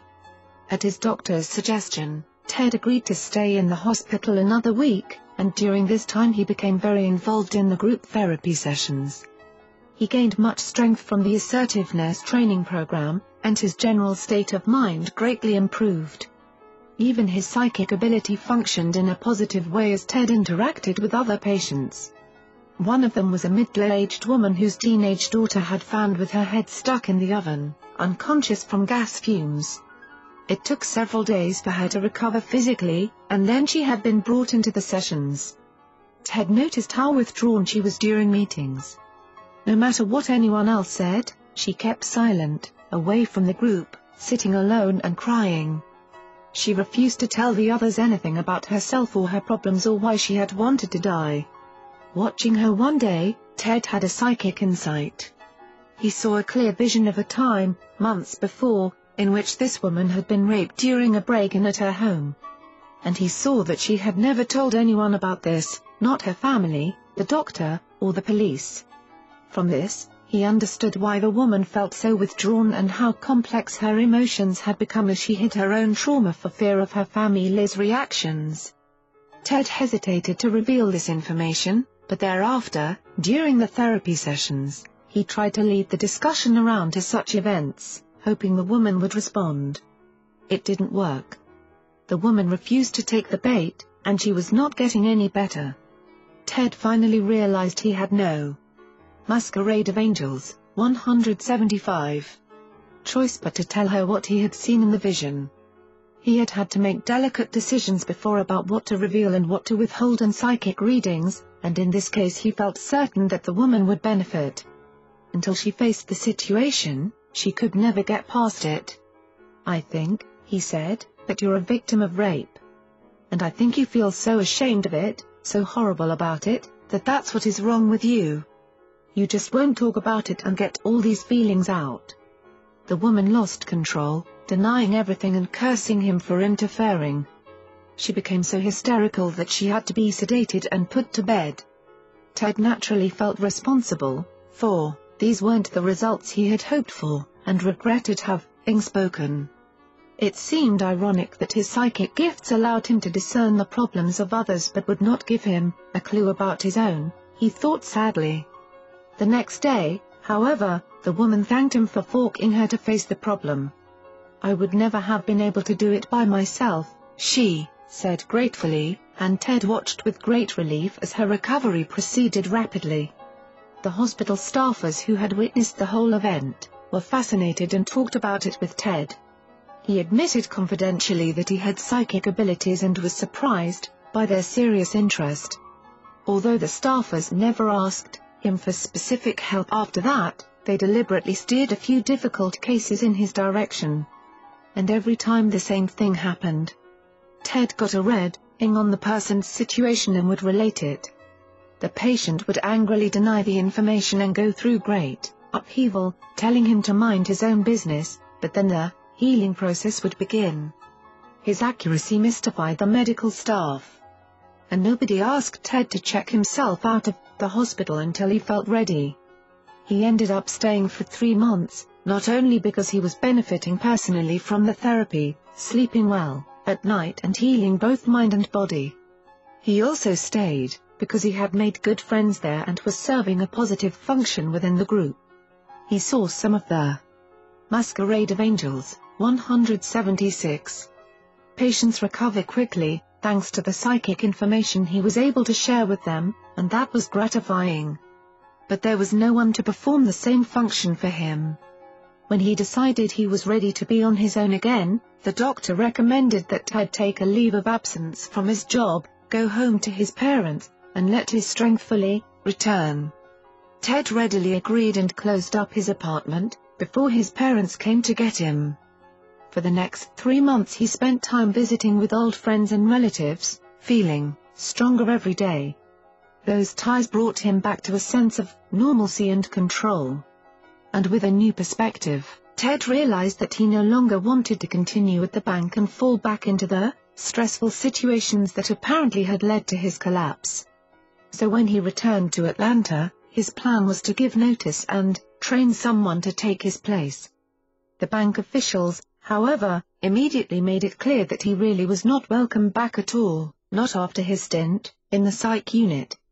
It didn't matter that Ted's commitment had been voluntary, nor that his problem stemmed from stress rather than from a mental disorder. Like so many uninformed people, the officials in charge of personnel suffered from stereotypical fears about crazy people. So before Ted could even tender his resignation, he was advised that the company considered him unfit for work. Instead of taking him back, they offered to put him on their insurance disability program and recommended he receive a paycheck for the next three years. Ted, of course, couldn't have been happier. With this financial security, he was free to return to Alabama, build up his strength, and spend some time with his aging parents. For the first year, Ted enjoyed his renewed relationships with his family and resumed old friendships in Tuscaloosa. But eventually he became restless and wanted more from his life. Since his income was steady, even without working, he decided to do some recreational, therapeutic, travel and exploration. In a very short time, Ted visited many places, such as California, New York, Florida, the Caribbean islands, and Guatemala. His treks gave him plenty of adventure, but Masquerade of Angels, 177, The Maze, 18. At no time did any further paranormal experiences occur. He believed that whatever the spirits had been doing with him, all such matters were now out of his life since he no longer involved himself in the spiritualist group's activities. By 1981, he felt emotionally strong and ready to go back to work. Ted took a job managing a prominent restaurant in Tuscaloosa and gave up the last year of disability income. For the next three years, his life was happy and uneventful, filled with the typical pleasure of close family contact and a comfortable social life. There were problems, of course, but they were just normal situations, not supernatural events. He also kept in touch with Marie, and they remained close friends even though he was no longer with the group. She understood and supported his decision not to continue with psychic work. The toll he felt it had taken on him was too great, he explained, and all he wanted now was a simple, happy life. Marie agreed with him, but she had a message from the spirit guides to deliver. I see that you will continue your work in the future, she told him once. Maybe so, Ted replied, who knows what will happen down the line. But since I've been back home and stayed away from doing any readings, I haven't been bothered by stress, my health is fine, and I wouldn't have it any other way. I'm glad the psychic stuff is gone. 19. If this counsel or this work be of men, it will come to naught. But if it be from God, ye cannot overthrow it. St. Paul. In January 1984, it all came rushing back. After almost three years of a life without paranormal intrusions, Ted thought he was free of such things, but one brief vision that winter night showed him, once again, that his freedom was an illusion. In a dreamlike setting, Ted saw a small man, apparently Mexican, dressed in a serape and straw hat, with a little mustache and the dark skin and hair of his race. Nothing really happened in the dream, no message was delivered, only the presence of the strange, silent, intense little man. Thereafter, once or twice a week, the dream recurred. Ted immediately associated the man with a psychic message Marie had given him in a reading several years before. She told him that a spirit guide named Raphael would be appearing in the future to work with him, and thereafter he did receive contact from such an entity. He wondered if Raphael and the little Mexican man were one and the same, but all he'd had so far was a presence, not a message. Then the dreams began to change. The Mexican man started giving him information, and Ted had no choice in his sleep but to listen. He was confused by what he heard, for although the message was clear, he didn't understand the reasons behind it. Raphael, as Ted now thought of him, repeatedly delivered one single message. You must leave Alabama, he insisted in the dreams. Masquerade of Angels 178, The Maze, 19 The Maze, 19. You must go to New Mexico. Why New Mexico? Ted asked. He had never thought of going so far away, not since Sun Valley, and certainly not to a place he thought of as empty and arid. You must go to Albuquerque, Raphael replied, ignoring the question. All of this made Ted quite curious, but he did not take the messages seriously and had no intention of actually following Raphael's orders. The dreams weren't upsetting, as so many of his dreams and visions had been in years past. Still, Raphael was a persistent visitor, showing up in dream after dream and urging Ted to move. It even reached a point, where the spirit guide named the very date on which Ted should depart for New Mexico. I wish Raphael would just give it up. Ted laughed as he told a friend about the recurrent dreams. there's no way I could take off for New Mexico, even if I wanted to. I've got commitments to my job and the restaurant, and you'd think, the spirit world would know about such things. A few days after this conversation, however, Ted had an accident at work and injured his lower back. He went to a chiropractor for relief from the chronic pain, and the doctor advised several weeks of rest, away from work. With nothing to do but kill time and relax for those weeks, Ted decided to go ahead and make the trip to New Mexico, now that his curiosity had been piqued. Yet he insisted the whole trip was nothing more than a vacation. He refused to let himself believe that the dream messages were anything serious. All he wanted was to stay off his feet so his back would heal, as the doctor ordered. And if he could also, casually check out this place that Raphael harped on, so, much the better. Besides, his long-range plans at work were going nowhere. He had been promised part ownership in future, business expansions, but nothing was moving in that dark tion. When it looked as though the promise would not be kept, Ted took that as a sign to head out into the world again, and look for something better. So he gave the restaurant notice that he was taking a leave of absence, packed up some masquerade of angels, 180, belongings, and rode away from Alabama, accompanied by a good friend. Curiously enough, it worked out that Ted left home on the very date that Raphael had given him. He called it a coincidence. Ted had several distant relatives in New Mexico to visit.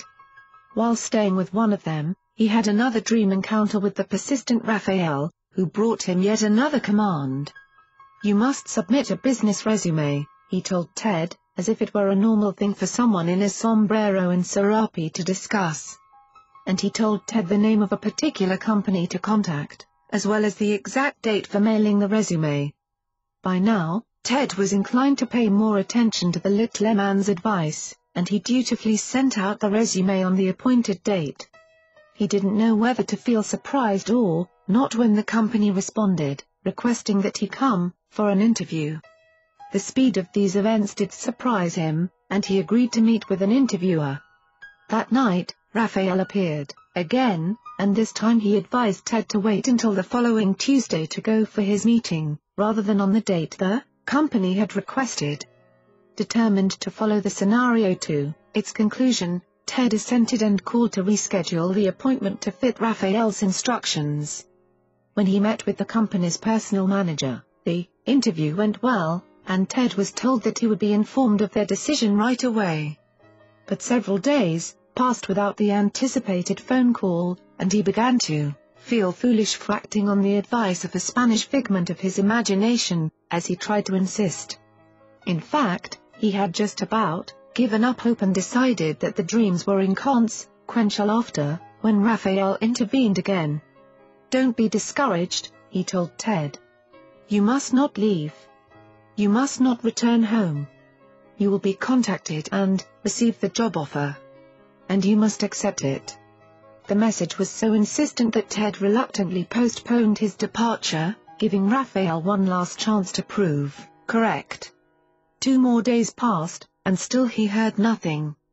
At last, impatient either to be offered the job or to return to Masquerade of Angels, 181, The Maze, 19 The Maze, 19. Alabama, Ted phoned the company. The secretary apologized for the delay and told him that the interviewer had been called away unexpectedly. He would be back in the office on Monday, she explained, and she hoped Ted would be patient a bit longer. The secretary also said that Ted's phone number had been misplaced, making it impossible for her to reach him about the delay. Monday morning, as promised, Ted received a phone call and an invitation to work, starting that very day. He was a lat ed, having fallen in love with the beautiful surroundings, and he accepted readily. Raphael was right, he thought. This will be a good change. I've been at home too long anyway. The friend with whom Ted had traveled offered to go back to Alabama and move whatever belongings he might need, to which Ted agreed. A week later, the friend was back with his things, and Ted had notified his employer at the Res. Toronto, explaining that his leave of absence was going to be permanent. The job worked out well for Ted, and he felt he had made the right decision. Raphael's advice had been sound, but once, Ted acted upon it, the little Mexican man disappeared from his dreams. He quickly settled into a new routine and a stop, established himself in Albuquerque. He bought a mobile home, and set it up in a beautiful park on the desert's edge, relishing the majesty of the Sandia Mountains in the distance. As part of the changes in his new life, Ted kept quiet about his psychic talents, and for the first nine months, his life went smoothly, with no strange episodes of any sort. In fact, he gave no thought to the paranormal until one day, Judy, one of Ted's co-workers, mentioned an unusual event she and her husband had recently witnessed. We were on our way out of town for the weekend, she said, heading toward Estancia. It's just a small, two-lane highway out there. We were driving along in the dark, it was, around 8 p.m., and then all of a sudden the sky lit up all around us. For a few seconds, we could see the surrounding area light up, just like daylight. Even the interior of the car was filled with light. Masquerade of Angels, 182, and then as suddenly as it had appeared, Judy continued, it disappeared. Everything was dark again. We thought that was strange, so my husband Joe and I stopped to see what was going on. We both got out, and I looked up, you know, to see if a plane or helicopter or something was there to justify the bright light. But there was nothing, not even another car coming in either direction. Ted and the others listened curiously, wondering what she and Joe had seen. I guess it was a UFO, Judy concluded. We didn't see a craft or anything directly, but what else could possibly appear and disappear so quickly? And what else could possibly light up the sky that way? Wow! Ted said. He had never known anyone who had seen a UFO except Maya, he suddenly remembered. Judy's friends listened to the account excitedly and asked many questions about the experience, except for Ted, who said nothing. He was thinking about Maya and the distant object he had seen years before, hovering in the mountain gap above Sun Valley. Maya had directed him there with the assurance that he would witness a UFO, but at the time he couldn't feel certain of the object's real nature. He had never been convinced that it was a UFO, although, Maya insisted that it was. But since she had not been present, he wondered, how could she possibly know? Besides, Ted wasn't even sure he believed that such things existed. After all, the government was constantly exposing the mundane realities behind people's fraudulent claims of UFO sightings. Now, However, he knew that Judy was not pulling a hoax, and he didn't know what to think. Shortly after this, Ted received a book in the mail from his niece in Alabama. He appreciated her thoughtfulness, but when he looked at the book cover he didn't find it especially appealing. It was called out on LIMB and was written by Shirley MacLaine. His niece, however, soon phoned and asked if the book had arrived. I read it, she said enthusiastically, and you've got to, read it too, Ted. Why? He wondered. Masquerade of Angels, 183, The Maze, 19 The Maze, 19. This is so strange, she replied, but there's a part one was reading that reminded me of you. Remember the stuff you told us about your years in Sun Valley? Sure, but what stuff, exactly? You'll see, she replied mysteriously. You just read that book, and then let's talk again after that. With his curiosity aroused, Ted did begin reading the book, and it soon became clear why his niece had sent it. At one point in the story, MacLaine wrote of an extraterrestrial, a woman named Maya, from a mountainous area in South America. Ted was astonished. The description of MacLaine's Maya matched exactly with the young, beautiful woman he had known and cared for so deeply in Sun Valley. Everything he read there about her the mannerisms, the conversations, the mysteries seemed the same as with his Maya, and even some of the events in Out on a LIMB felt strangely familiar. Ted had certainly never thought of Maya as any sort of alien or extraterrestrial, but simply as a very unusual person from whom he had learned important things, a cherished friend. This book, however, made him look back on those months with Maya and question the whole situation more carefully. How could he have been so close to her and yet have known nothing about her, not even her last name? Why had there been no record of her employment in the personnel office, and what could he really believe of her fantastic description of the place and the way her people supposedly lived? He longed to contact Shirley MacLaine and tell her that he too, had known this Maya and had been deeply affected by their relationship. It was an overwhelming revelation. Ted phoned his niece immediately, and they discussed all the details he had shared with her long ago. He also phoned Marie, who was intrigued by Ted's possible discovery about Maya. I don't pay much attention to UFOs and all that, Marie said, but it's an amazing coincidence, to say the least. No, I don't think it is, Ted replied, not a coincidence. Masquerade of Angels, 184. Marie. I've remembered something else, something that happened back in Atlanta, and maybe you'll recall my talking about it then. There was this guy, Mark, who was a friend of some people I knew, so I got to know him a little bit too. Mark had an alcohol problem back then, and one time when he just disappeared on a drunk for a few days, his friends asked me to use my psychic powers to find him. This sounds familiar, alright, Marie said, but I just can't remember the details of what happened. Well, I concentrated and got an image of a seedy old motel across town, so I drove over there, Ted continued, and sure enough, Mark was there. He had been doing some non-stop drinking and was in really bad shape.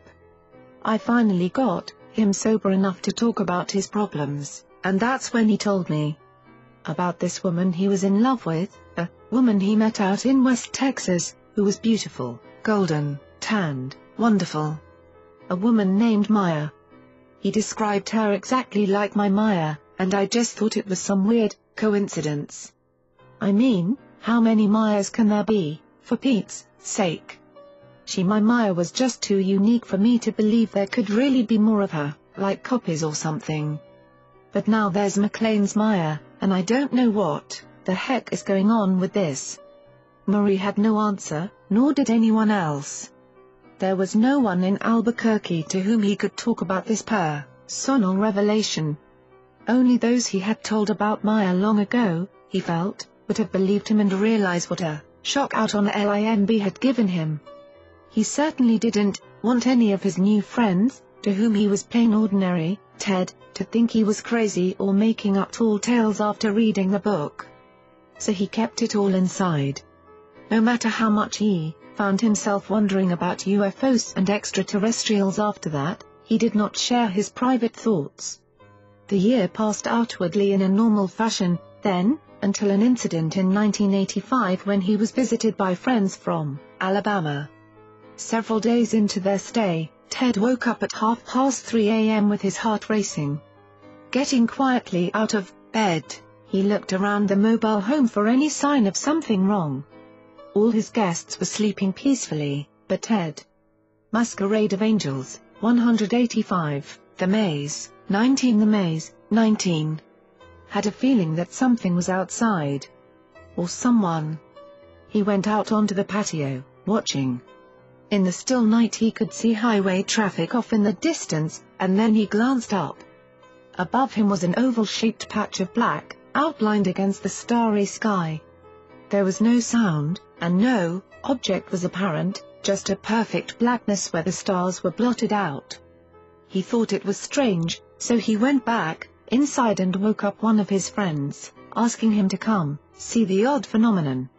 But by the time they returned to the patio, the oval patch had disappeared and the sky looked completely normal. For some reason, the sight had made Ted very nervous, so he lit a cigarette and talked for a while, repeating to his friend the details of the image. A couple of months passed uneventfully, as the autumn nights grew chilly. Then once again, Ted awoke in the middle of the night and bolted upright in the bed, his heart racing wildly. Instinctively he let out a roaring scream, dashed up, and raced out onto the patio, shaking uncontrollably. One of the neighbors, awakened by the scream, turned on a light and came outside, looking around anxiously. What's wrong? He called out. are you okay?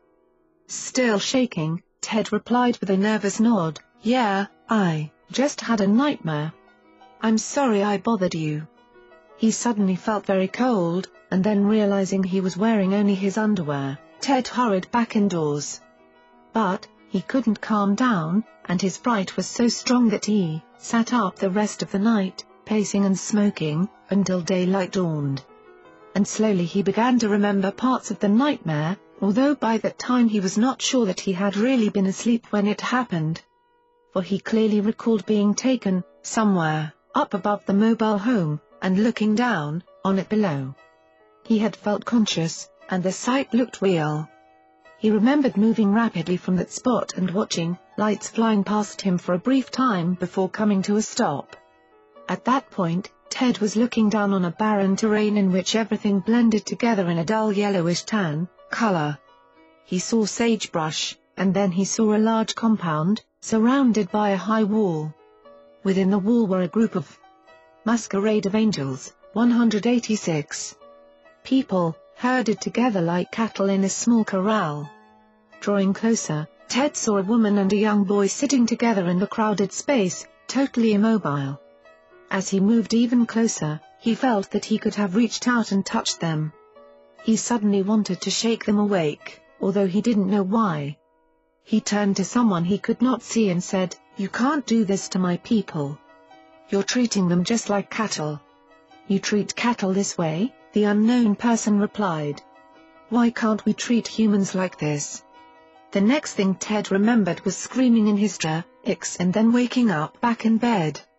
Now, sitting nervously on the patio in the morning sun and trying to make sense of these memories, Ted also felt that he had been to another area, within the compound, one that was underground and whatever he had seen going on with the humans reminded him of cattle, that was clear. For days afterward, he experienced feelings of great anger and fear. He couldn't sleep well and had to resort again, after several years, to a sedative that would let him rest and keep functioning at work. Ted worried about slipping back into the stressed-out condition that had led to his collapse in Atlanta. He was also afraid that the spirit world was once again intent upon this disturbing him and interfering with the normal, happy life he had made for himself in Albuquerque. And he desperately, did not want that to happen. As the next few months passed without further incident, however, Ted slowly began to relax, sleeping better again, thanking the higher powers for his return to a sane, uncomplicated life. There were no more strange shapes in the sky, and eventually the frightening memories of the compound, and the people in the corral faded away too. With persistent faith, he told himself he was free from the paranormal. Somewhere, in another dimension, perhaps, the spirits must have been amused. Looking down on Ted clinging to a desperate belief that he could live his life on everyday terms, they must have wondered how long he could delude himself, with such ideas. It did not matter that Ted had given up the Masquerade of Angels, 187. Spiritualist group and his psychic readings, that he kept his unusual talents a secret from those around him. When the spirits were ready to continue their plans for him, Ted learned he had no choice but to follow. Their return was signaled by a visionary dream Ted had in January 1986. As soon as the dream ended, he awoke with clear memory of the details. He had been traveling along the interstate when he saw a road sign that read, Amarillo, Texas. That was all he recalled, but instinctively he knew that the message was prophetic. The forces that had sent Raphael, with his urgings toward New Mexico, were up to their old tricks, Ted realized. He wondered why they took such an interest in his whereabouts, and he had never understood the significance of his move to Albuquerque. But the message on the road sign was clear he would be moving to Amarillo, although he had no indication of when this would happen.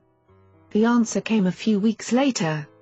His supervisor called Ted into the office and told him that the company had just purchased several facilities in Texas. A rush of exhilaration ran through Ted as he realized what was coming next.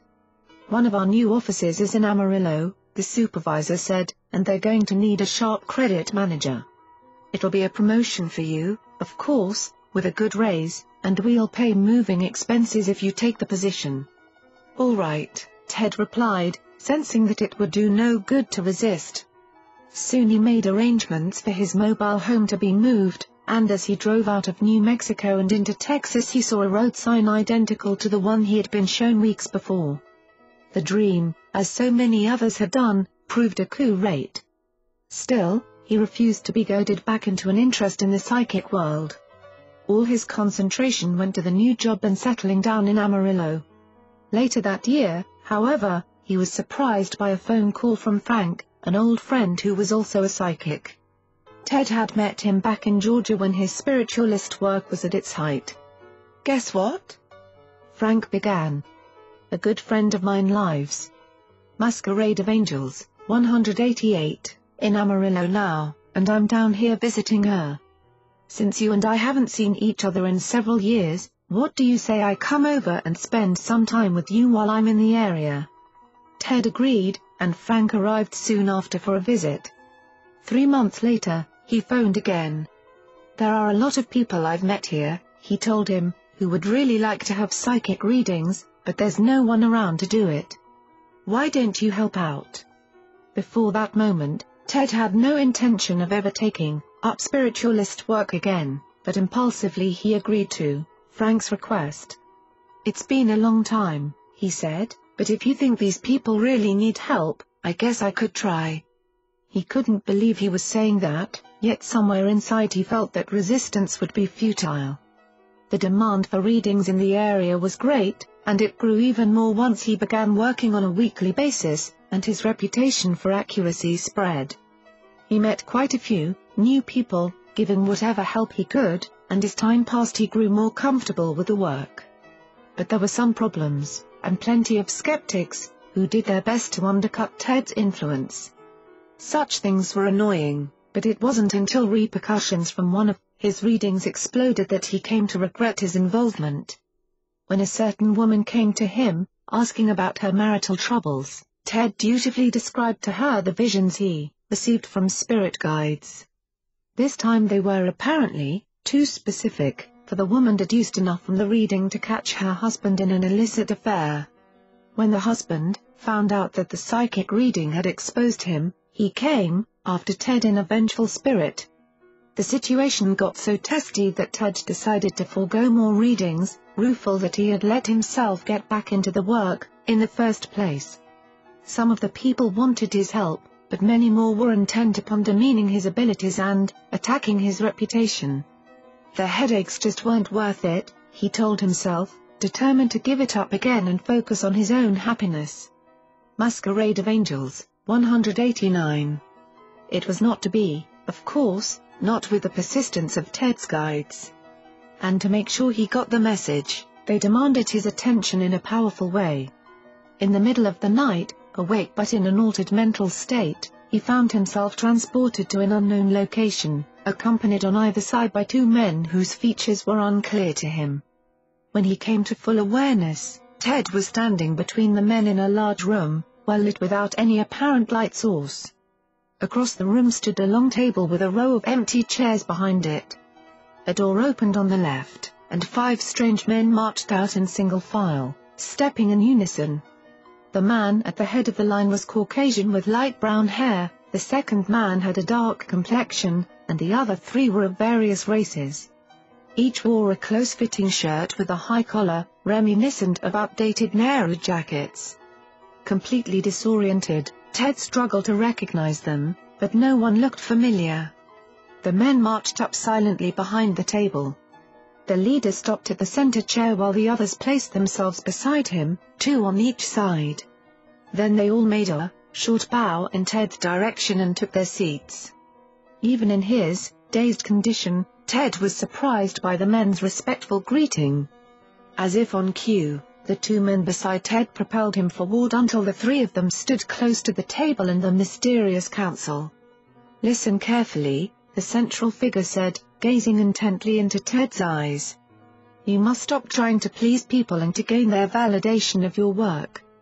We have brought you here to tell you to cease your concerns, for these feelings are interfering with your proper direction. You must not concern yourself with what other people think. You are here to do very important work. This over-concern with the opinions of others is holding back your progress. Ted wanted to respond, but he was unable to move or speak, held firmly in the man's steady gaze. Always remember that the people who need to hear your message will hear it, the leader continued. Those who Masquerade of Angels 190 Do not hear must not concern you. There will never be enough evidence or proof to convince them, at any rate, for they will always find a way to discredit it or justify it away. Do your work, and all will be well, regardless of those and their attitudes. Ted's immediate next awareness was of sitting up in his bed, and it was morning. He remembered everything, and for the first time in months he had a feeling of security and relief. Whether the nighttime event had been real or a dream, Ted accepted the message as valid. The spirits knew of his doubts, and they had given him all the reassurance he needed. With such loving, caring forces on his side, he felt confident to carry on with the readings again. Soon after that, just when things had settled down, a different sort of disruption came along. At work, there were rumors of coming changes which did not make Ted feel very secure. He started looking for other job possibilities, just in case the rumors turned out to be true. Before anything developed, however, he had another visionary dream, similar to the one he had seen before the move to Amarillo. In this dream, Ted saw himself driving around a different city, looking for a place to set up his mobile home. He found one particular site that looked inviting, but he could not tell exactly where he was. When he awoke and cleared his thoughts, however, he suddenly realized that, the city he was shown was Shreveport, Louisiana. Good Lord! He thought, appalled by the vision. I can't imagine myself moving to Shreveport. I'd rather go back to New Mexico, or maybe up to Denver, anywhere, but Louisiana. What on earth could pull me to Shreveport? Masquerade of Angels, 191. 20. Part 5. The Light. Speak the truth and shame the devil. Rabelais. The devil is an angel too. Unamuno, behold, I show you a mystery. We shall not all sleep, but we shall all be changed. St. Paul. The dream turned out to be accurate, of course, Ted said, wrapping up his final interview with Barbara Bartholic. The Amarillo office closed in June 1988, and the only job offer I received after weeks of hunting was in Shreveport. So you moved the mobile home. Barbara started to say.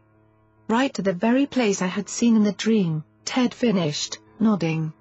And you know the rest of it, Bob, the bed, room intrusions, the neighborhood abduction, the business, with Marie and Amelia and the others. Do you think I'm why? That we're all crazy, or what? It would be a relief to think, so, I'll tell you that. No, I'm afraid you're not crazy, she laughed. If you are, then I've got between three and four hundred other crazy, people telling me some very similar things.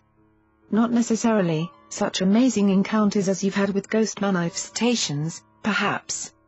But the details you've recalled concerning, possible alien presences, yes, there are possible correlations, with the patterns I'm seeing in other abduction reports. Ted glanced out the window for a moment at the duck pond and quiet rural acreage behind Barbara's home in, northern Oklahoma. On the long drive from Shreveport to, Barbara's Ted had plenty of time to think about his paranormal experiences and to ponder on the mysterious forces behind them. And none was more mystifying than his recent encounters with so-called aliens. The Light, 20. It's very confusing, he said. I've told you all that I've consciously remembered, but I know a lot more is involved in all this. I want to know everything that has happened to me, Barbara, I think I deserve to know the truth. That's why I'm here. If there is a chance that regressive hypnosis will help me uncover anything, I want to try it. Fine, Barbara agreed. We'll try to find out if your assumption that these may have been ET encounters is right.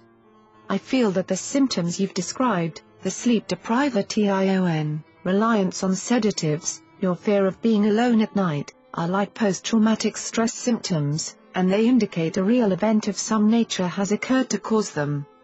we can use hypnosis as a tool and try to uncover whatever experiences may be suppressed in your subconscious, but please be aware that we may not find anything. I understand that, Ted nodded.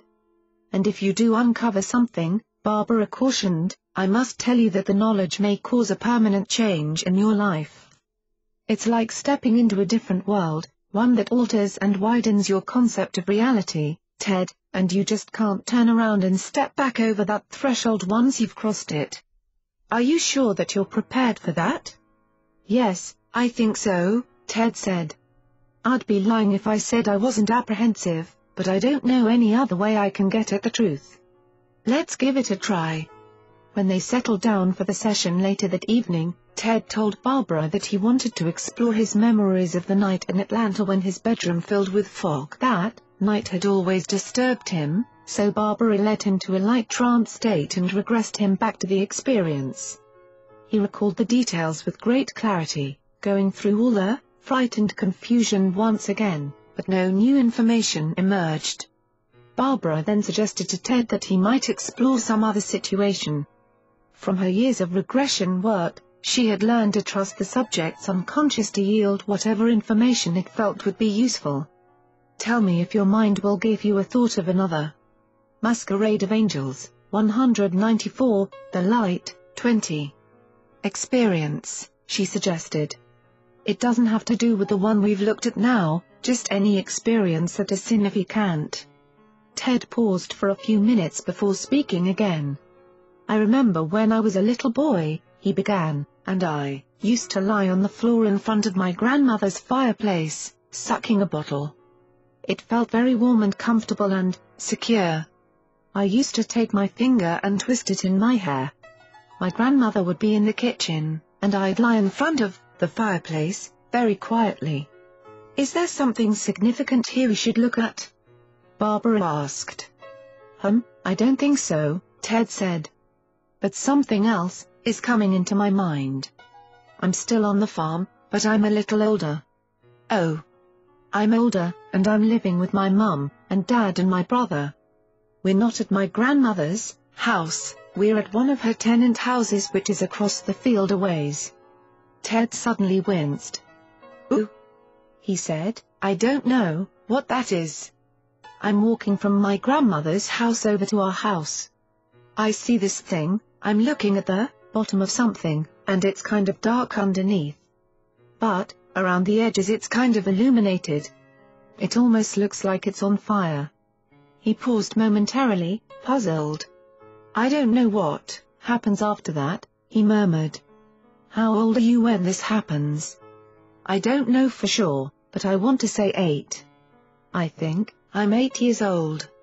Start walking from the moment before you see this thing, Barbara suggested, deepening his level of trance. Tell me what the day is like. Is it daytime?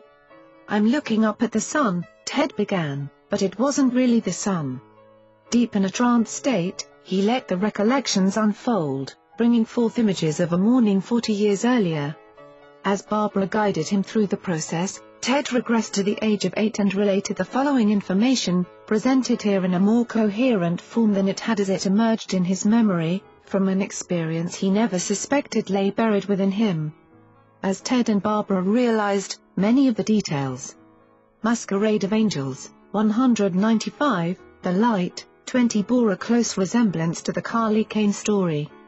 The day was cloudy and overcast, but little Teddy didn't mind. He loved playing alone, roaming through the cotton fields and chasing the small animals he flushed from cover. His bare feet scuffed along, raising dusty clouds behind him. The sky grew darker, and Teddy wondered if a storm might be coming. Maybe he should get back home, he thought, turning away from the open fields and heading for the faded grey house beyond the farmland. As he walked along, something made him look up. A light high above him shone down, and Teddy had to shield his eyes from the blinding radiance. That's not the sun, is it? He wondered. But before he could go further, he felt himself rising from the ground, unable to move, floating up toward the source of the strange light. An image began to emerge from the white brilliance, the image of a grating or grill work. As he approached it, Teddy felt himself pass right through, like smoke through a picket fence, and his mind blanked out. When he was once again aware of his surroundings, Teddy saw that he was in a strange room, and he was not alone. I just saw an ugly face, Ted told Barbara in a whisper. It looked chalky white. The head almost looked like it was plastic, a mask. It had kind of an angular chin, coming down in a V shape, and curved slightly. There are two dark holes for the eyes. They look more like holes than anything else, like it's just a void. Two small, grey beings stood watching Teddy. Who are you? He asked, looking around in confusion. Where am I? The beings made no sound in response, but then he began to hear them in his mind. They told him not to speak aloud, that it was not necessary. Talk to us mentally, they communicated, but they would not answer his questions. The beings guided him over to a small sitting area and placed him beside a window. Looking through it, Teddy became very Masquerade of Angels, 196. The light, 20. Alarmed. He could see his grandmother's house below him, but then whatever he was inside began to turn and move upward rapidly, away from the farm below. Bright, multicolored lights flashed by, and he felt as if he were moving at great speed. The lights disappeared, and all Teddy could see out the window was total darkness. Fascinated, he watched for a while, and then he spotted something in the distance.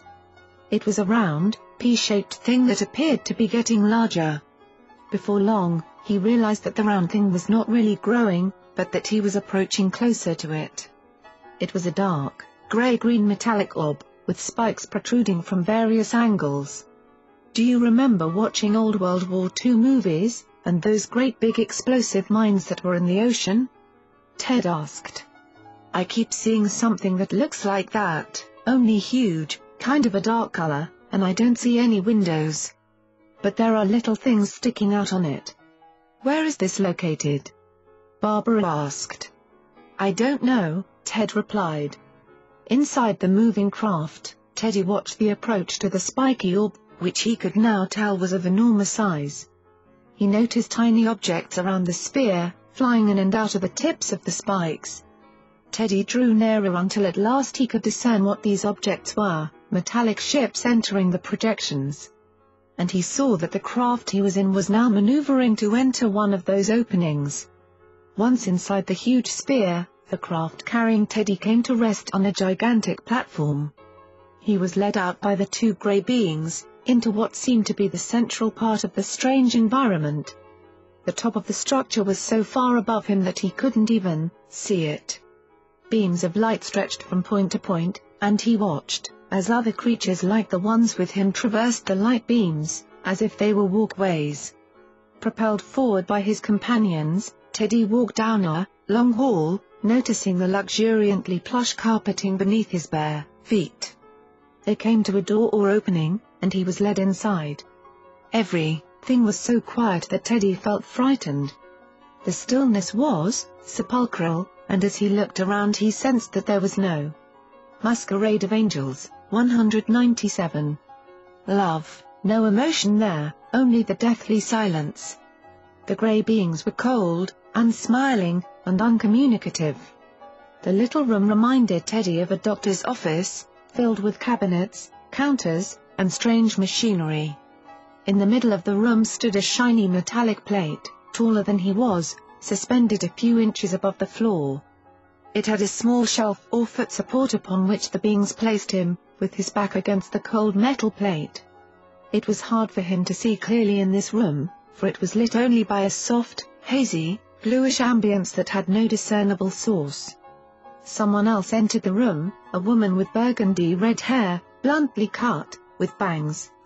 Her face was rouged and her lips darkly painted.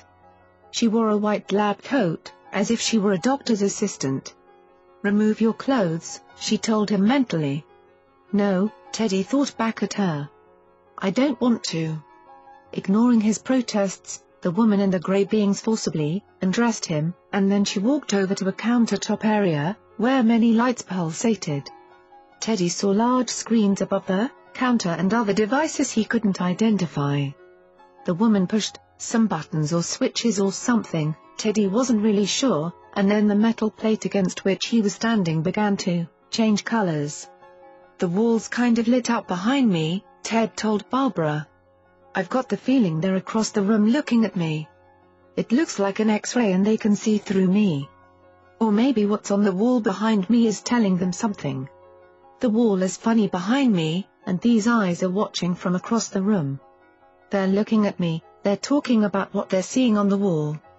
It has to do with me. He paused, concentrating on his interior images. They've done something to me, he resumed, and they're seeing, they're looking to see how it is. What had seemed solid metal behind him now seemed more like a window through which colored lights shone. Teddy saw that on the screens above the counter a series of images appeared. At first he recognized images of his bone structure, and then the image changed to show blood vessels. Next he could make out what Masquerade of Angels, 198, appeared to be his internal organs, and as each image changed, it seemed this device was recording absolutely everything about his body. It was even counting the number of hairs on his head. Teddy was startled when the plate against which he stood suddenly moved, tilting slowly back until it was horizontal, like a table. He raised his head and saw the grey beings approach. They carried a strange device that reminded him of headphones, which they perceived shined on his head so that it covered his ears. Noise come from the device, puzzling at first but growing painful as it continued. He didn't like this noise, he wanted the headphones off his head, and he wanted to get out of that office and away from these beings. The woman returned from the counter area with a glass in her hand. It was filled with a green liquid, and Teddy was amazed by the way the liquid glowed in the dimly lit room. Drink it, she communicated, holding out the glass. No, Teddy shook his head. I want to go home. Drink it now, she insisted, or you cannot go home. If you want to go home, you must mind me as you do your mother. You're not my mother, he thought back at her, but she was, unmoved. After you drink this, she continued, you can go home. No emotion came from the woman, but Teddy was scared into submission. Without another word, he took the glass and drank the glowing liquid. Immediately he became sick, nauseated, and pain flared up as if his insides were on fire. He lay back on the table, growing sicker, until he vomited. Tendrils of green liquid dribbled, down his mouth and chin, still glowing, but at least he no longer felt ill. And then, as if he were standing a few feet away from the table, Teddy could see his body lying there motionless. Am I dead? He wondered. Something cloudy and formless began to rise up from the small body. Teddy was amazed as he watched this mass slowly coalesce into a beautiful image of himself, and he saw that it was attached by a bottom tendril to drops of the green liquid on his face. It's my soul. He thought in amazement. The miniature image turned toward the red-headed woman and looked at her. Teddy could feel great emotion coming from this form. He felt it was showing pure love and total, instant forgiveness. Masquerade of Angels, 199. Toward her, although he didn't understand why.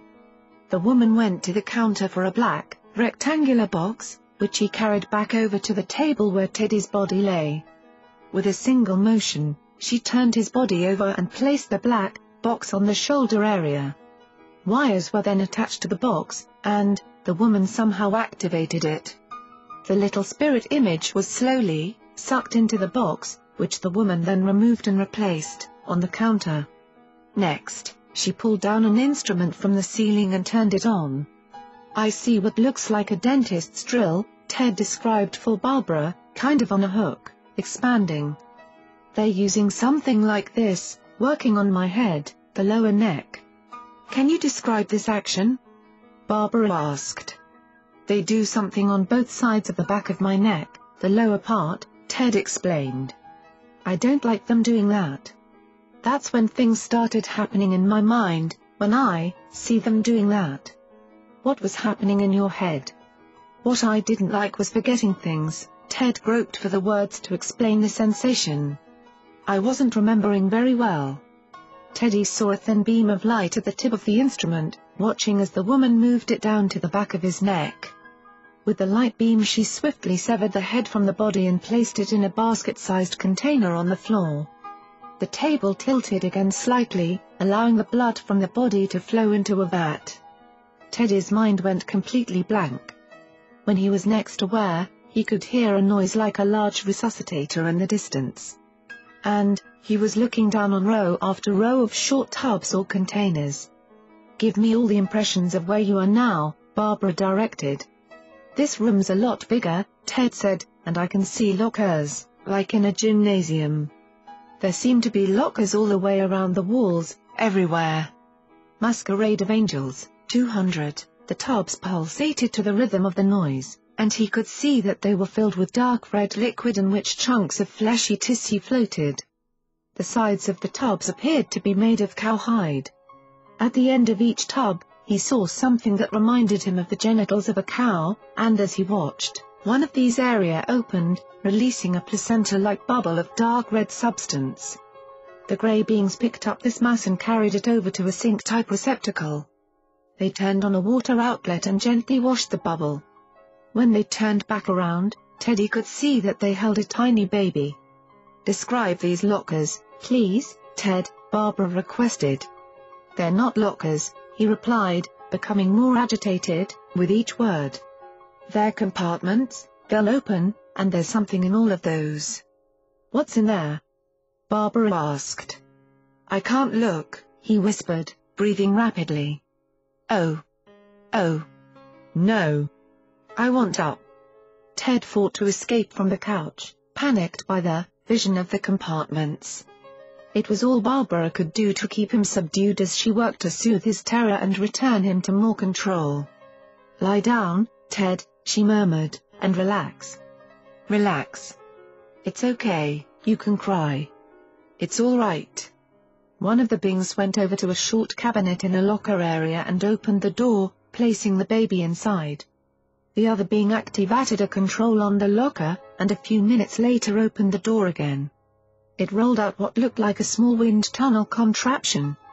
Within it was a tray, and on the tray Teddy saw a body identical to his, completely naked. The beings moved this body over to the tilted table, which now stood empty, and placed it on the metal surface. Then the woman brought back the black box and set it on the body's chest. Teddy could not see exactly what was done at that point, but he could see the naked body suddenly begin to jerk in short spasms. After that, the chest started to rise and fall, as if the body was now breathing. The woman removed the black box, replacing it on the counter. She and her grey helpers next inserted long, needle-like instruments. Masquerade of Angels, 201. Into the bottom of each foot, the chest, and the back and top of the head. They do a lot of things, Ted told Barbara, as he regained his composure. They stuck something in my feet, up closer to the toes. What was put in there? She asked. I don't know, he replied, but I'm being told it will make me big and strong. And they put some kind of drops in my eyes. What was the purpose for that? I don't know. My eyes were hurting like they're real dry and irritated. Somebody keeps telling me that I'll be alright, they'll be finished in a minute and that I can go home. One of the Greys then brought the woman the headphone device. She placed it on the body and activated the counter equipment once again. I have remembrance. Teddy thought, I have feelings again.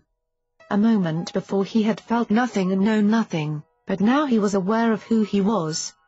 He remembered everything he had, thought and felt when he was in his original body, and with a surge of emotion he mentally cried out that he wanted to go home. But there was more for him to endure.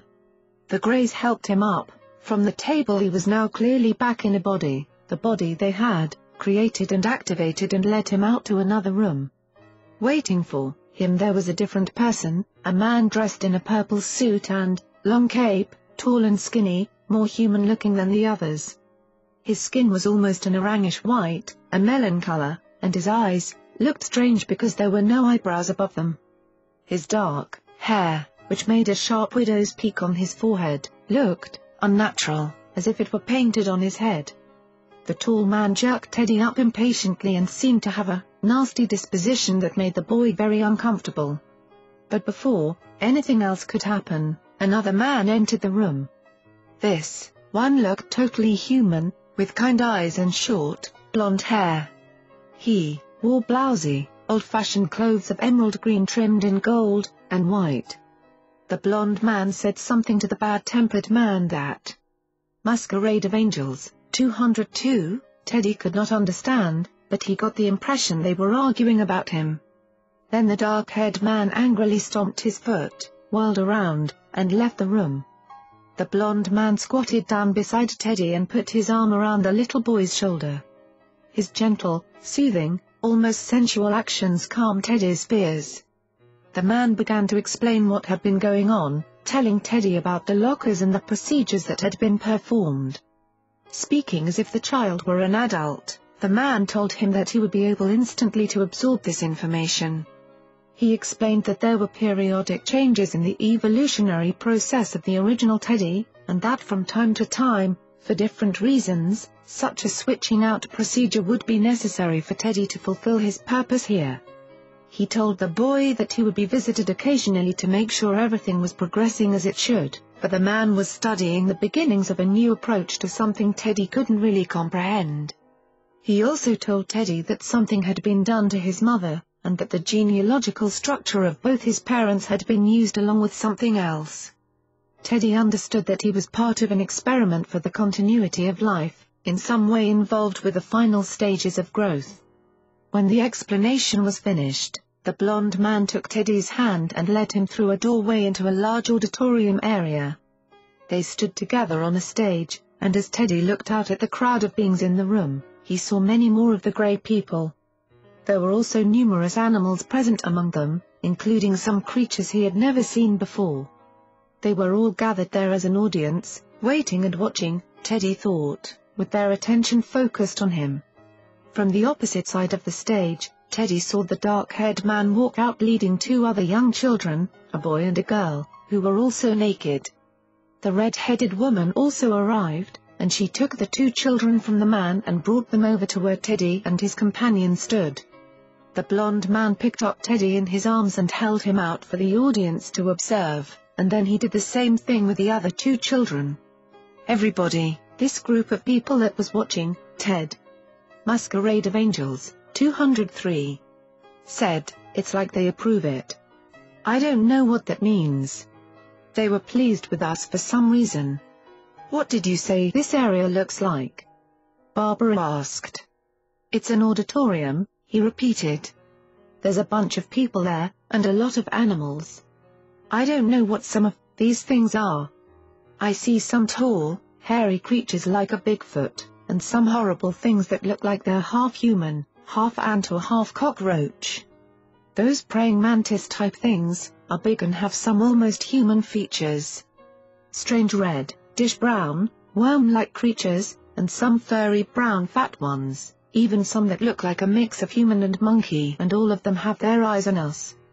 The blond man began to address the audience, talking about future generations.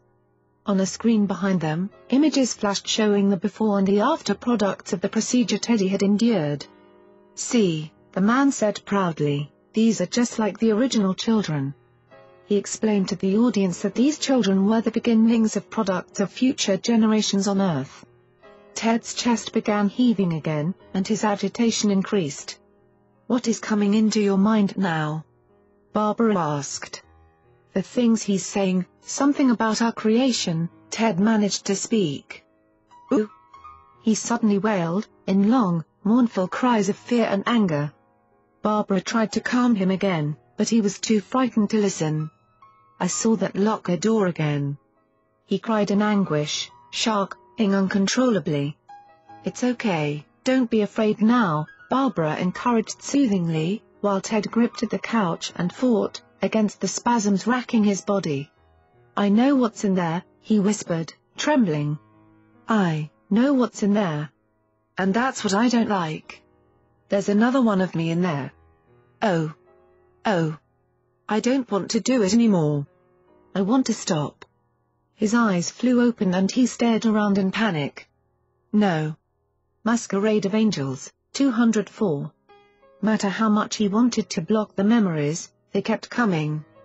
They put me in there and took it out, he whimpered, they changed it. There's another one of me in there. Tears streamed down his face, and the spasms gradually ebbed away. It's fine, it's okay, Barbara repeated. You let that out, you're fine now. You'll feel better now that you've faced it. I wasn't produced in my mother, Ted said, crying, again. I know. I saw it.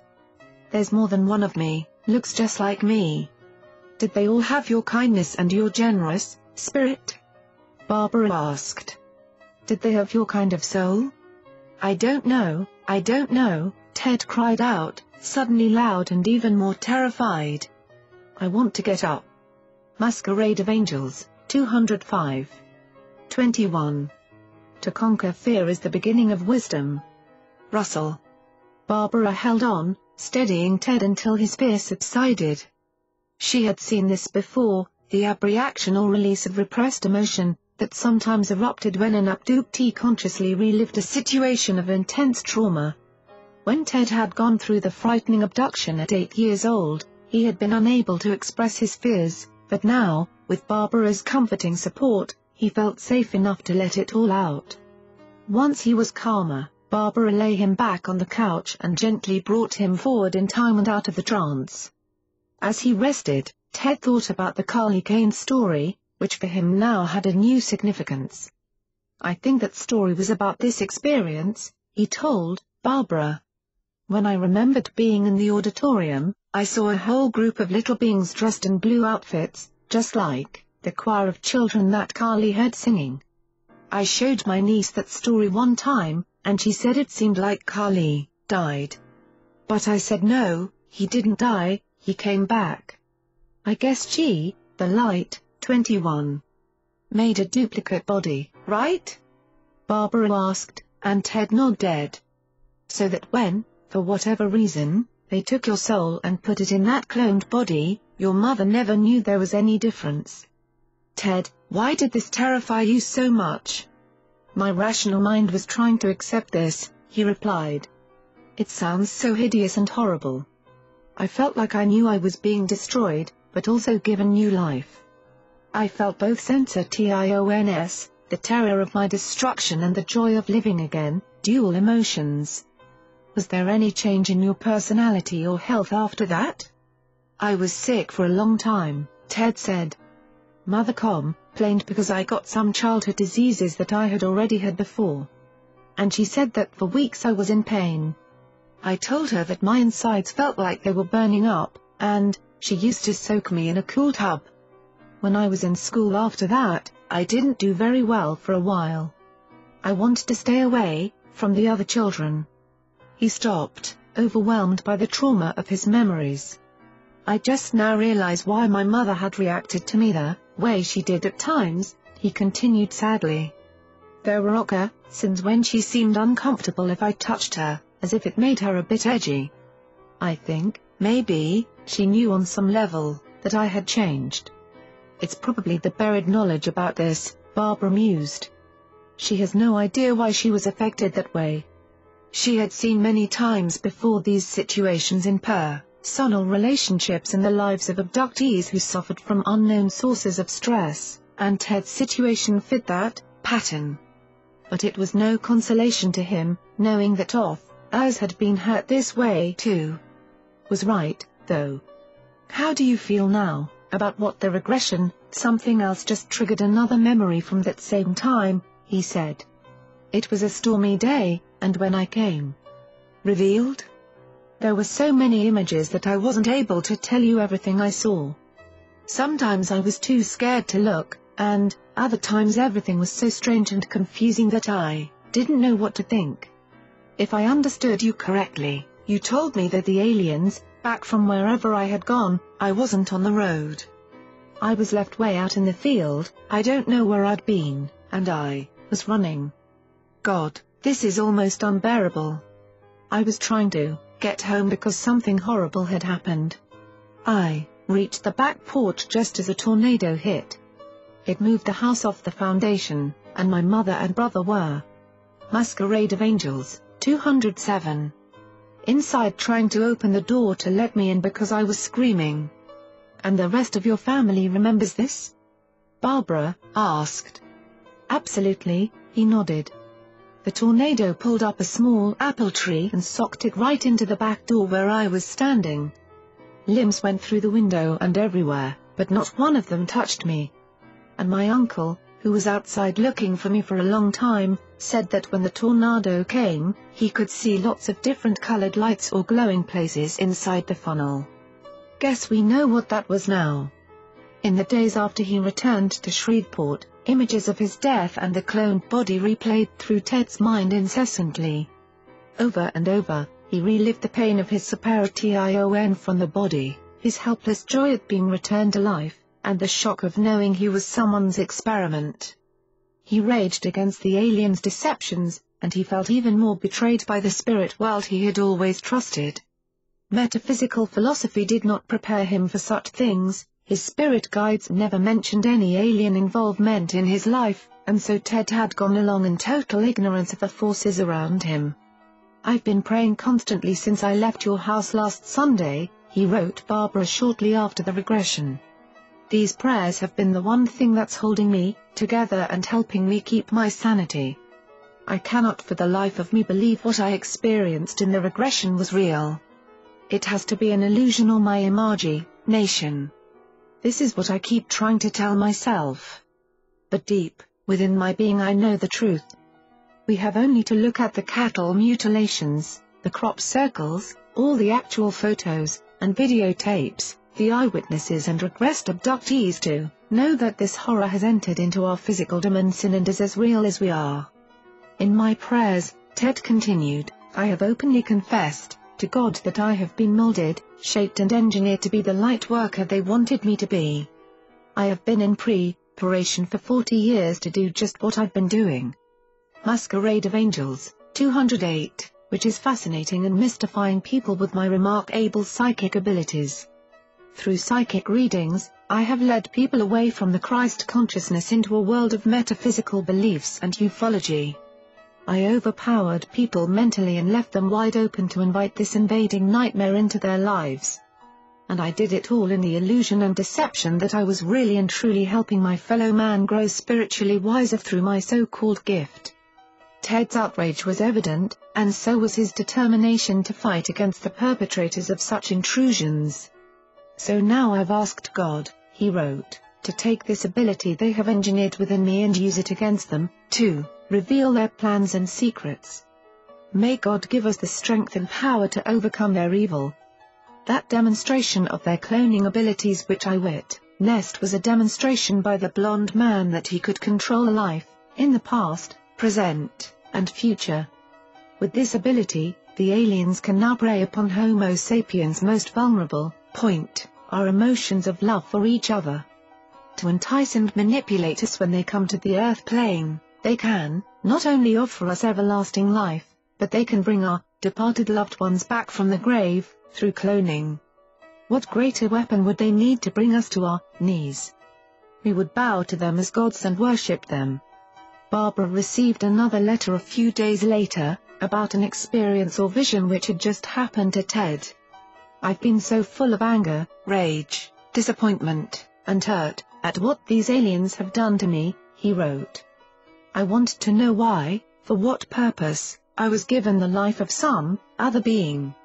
It goes against everything I believed in. These were my thoughts and fears shortly after the regression. At that time I wasn't being given any answers to these questions. Instead, I was shown other things, in the form of images I now feel were probably decoys to divert my attention. These aliens are very clever, they know all the tricks. As I was driving back from lunch today, the letter continued, I suddenly saw in my mind, clear as day, a UFO approaching Shreveport, so enormous in size that I felt it. Masquerade of Angels, 209. Could easily hold thousands of people. It was so huge that it blacked out the sky as it moved over the city. It looked totally round with hundreds of small windows. And as I viewed this craft, I suddenly had a feeling of warmth and security within me, as if I were being given a message that something of this nature would occur and that, it was coming for our protection. But as soon as it vanished, from my mind, my anger and pain returned. I screamed at them as I drove and told them that I would no longer be deceived by this kind of trickery. After what I'd experienced, in the regression, I knew that it would take more than images such as this to convince me that their intentions were honor-able. Ted's trust in the visions of the spirit world was shattered, and he would take nothing on faith now when it came to UFOs and their occupants. What he wanted was the truth. The memories Ted had accessed through regressive hypnosis taught him several things. First, it was clear that some of his conscious recollections of strange events might be deceptive. The disparity between the Carl Kane story and what he had remembered proved that to him. So he deter mind to re-examine other past experiences to probe them for any underlying surprises. And he also learned just how traumatic the abductions had been for him, how frightened and powerless he felt in the hands of these beings. It would take all his courage to undergo further regressions, and he prayed that his need for the truth would be stronger than his fears. Ted wanted to return to Barbara's as soon as possible, then, but the demands of life had to be met too, and for several months he was too busy to make another trip. He was eager for knowledge, and the delay was frustrating. Yet he did everything he could to understand what he had already learned, using his sensitivity and logic and intuition that had been developed through years of psychic work. And he kept himself extraordinarily alert. Anger was a strong motivation for Ted. He resolved to resist if any further intrusions occurred and to demand answers from these beings who waltzed in and out of his life as if they owned it. Masquerade of Angels, 210 Armed with his newly found knowledge of their deceptive tricks, Ted felt ready to fight for the truth. But how could one fight an intruder whose reality seemed to involve other dimensions? Ted's next encounter with the beings showed just how little he could do to stop them. On the morning of December 5, he phoned Barbara to tell her about what had happened during the night, and he was, clearly agitated. I awoke this morning with a vague recollection that I had a visitor last night, he said. It was real dreamlike, but I think it's important to put my thoughts together before it all gets lost. Were you awake when this happened? Barbara asked. I think so, Ted replied. I remember being told to lie still. The voice was feminine and then it came to me that someone was lying beside me on the bed. She lay slightly at an angle on her stomach with her head somewhere near the fold of my arm. What was she doing? She told me that she was taking blood and that it was necessary that she do this. I didn't feel like resisting, and I don't even remember being afraid. That's what gets me, Barbara. It seemed to me that on some level I knew what was taking place and that it was all okay. I vaguely recall that there was no pain. The blood was taken with an object that looked like a needle, but for some reason I felt it wasn't quite like the ordinary needle used by our lab technicians. See if there's a puncture wound, Barbara said. I did, he told her, I looked thoroughly, but there isn't any scar or puncture.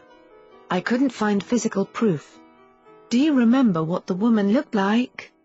No, I don't and I can't find any meaning for this thing.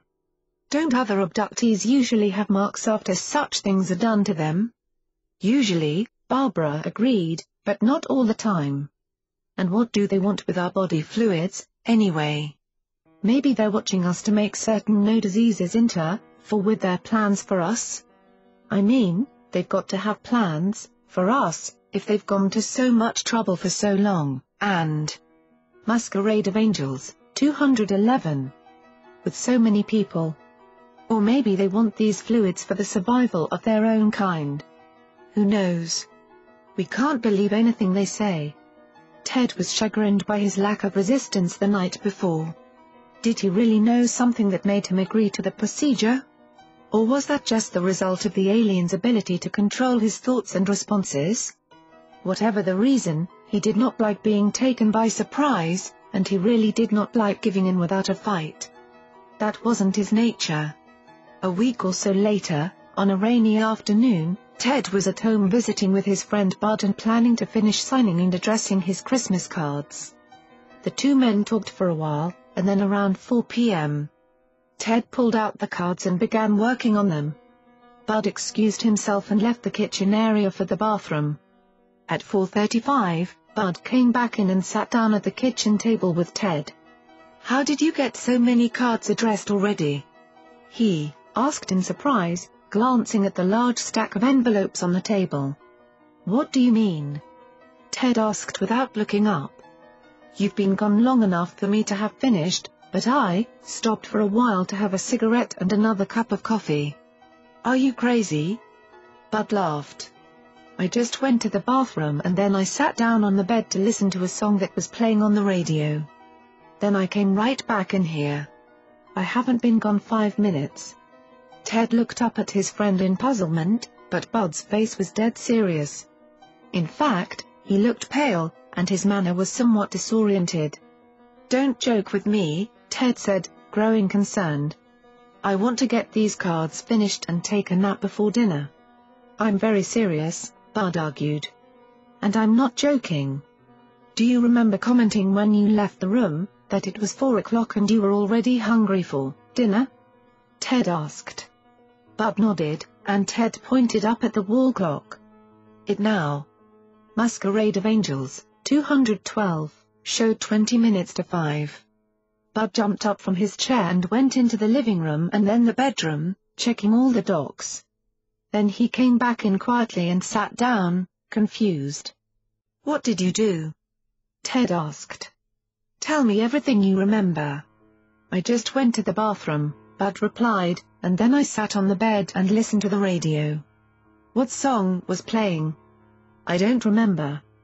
He got up and retraced his path through the house to see if he could recall anything else. Come in here. He shouted to Ted, who followed quickly after him. Bud pointed at the coffee table. Did you put the scissors, there? He asked. Ted stared down at the scissors in astonishment. For two days he had been looking for them, and Bud had helped him search the place earlier that day. Both men were certain that nothing had been on the table except for a potted plant and an ashtray.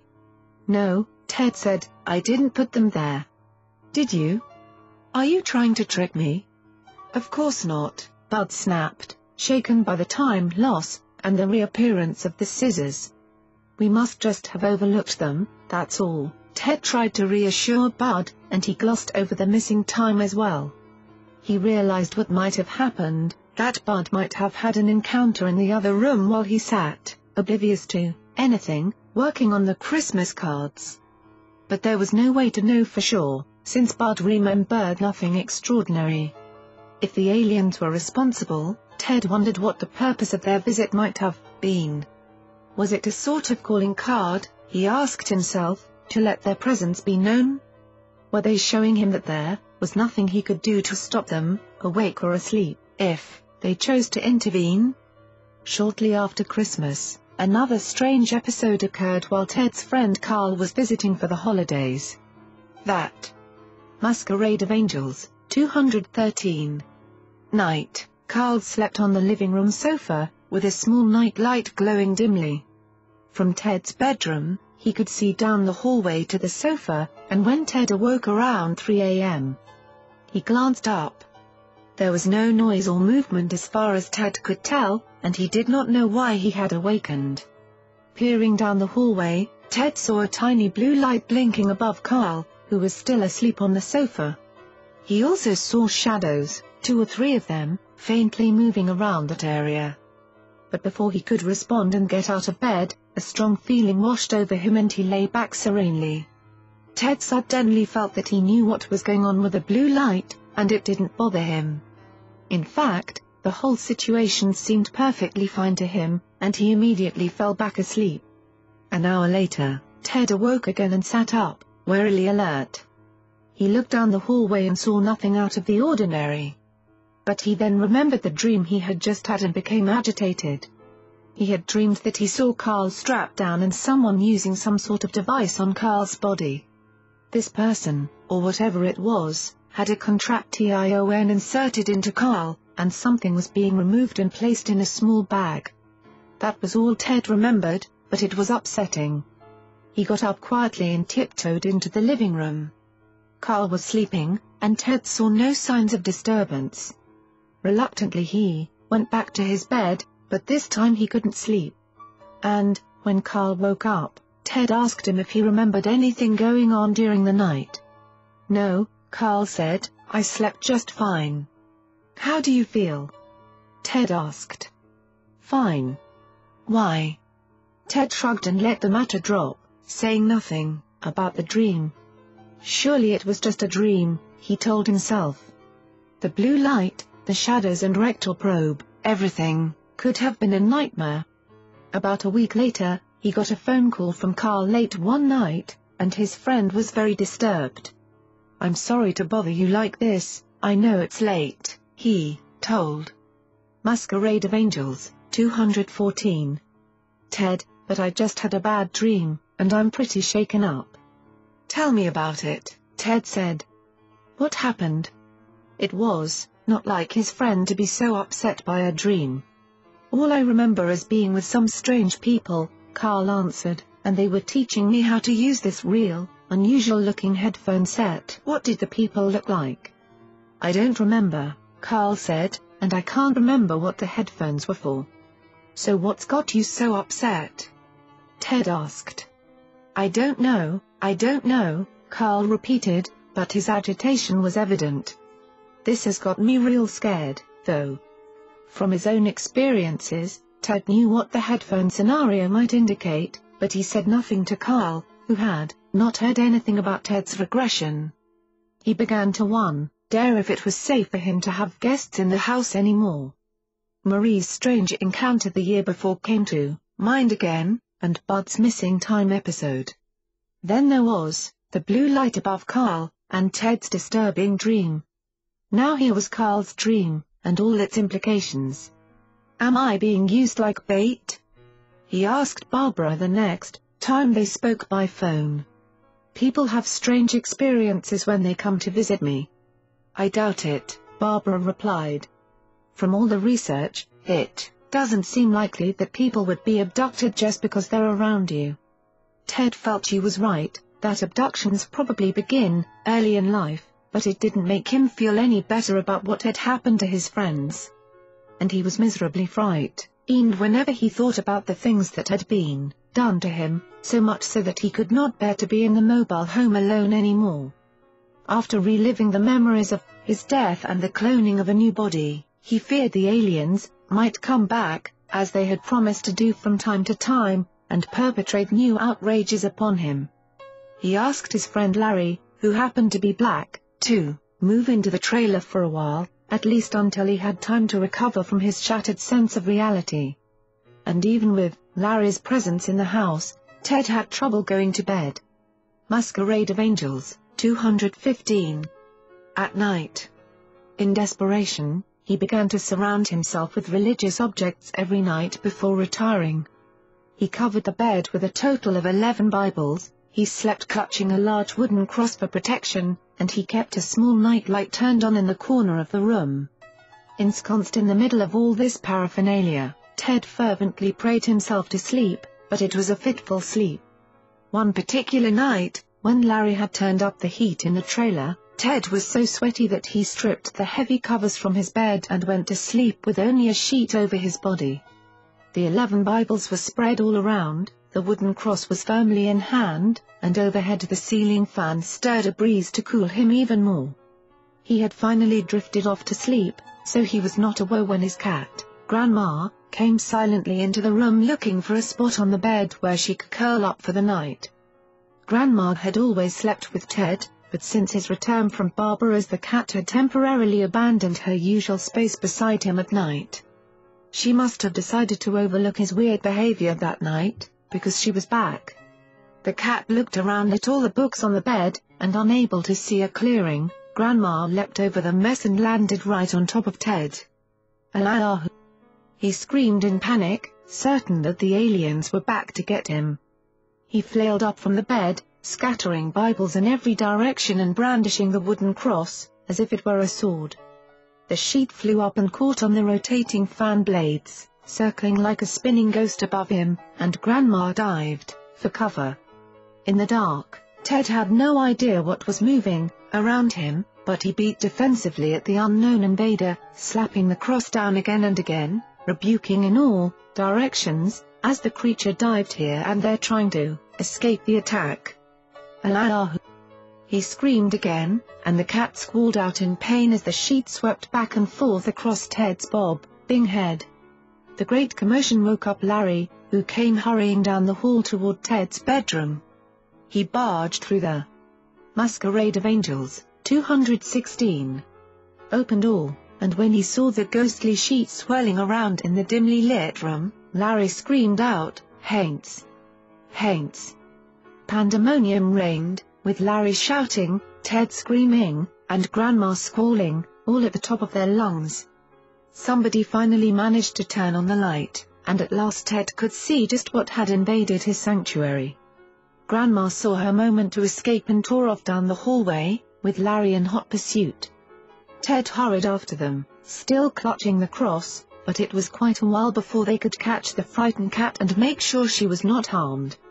Things calmed down at last, and Ted had a good laugh at himself and his paranoia. He and Larry cleaned up the mess in the bedroom and tried to get back to sleep for the rest of the night. My mama always said that white people were strange, Larry shook his head, walking back to his room. She doesn't know the half of it. Masquerade of Angels, 217. 22 who could know heaven, save by heaven's gift. Marcus Manilius. Early in the spring of 1992, Ted went to Central Arkansas for a weekend visit with Karla Turner and her husband, Casey. Through the lengthy investigation into Ted's experiences, he and the Turners had become good friends, so the visit was both for work and for pleasure. After his arrival on Friday, they talked until well after midnight and then rose rather late on Saturday morning. How did you sleep? Casey asked as they sat sipping coffee in the living room. Fine, Ted said, for a while, at least. Don't tell me something happened last night, Karla said, shaking her head at the expression on Ted's face. Many people, including other abductees, have stayed in that room, before, and no one has had any problem.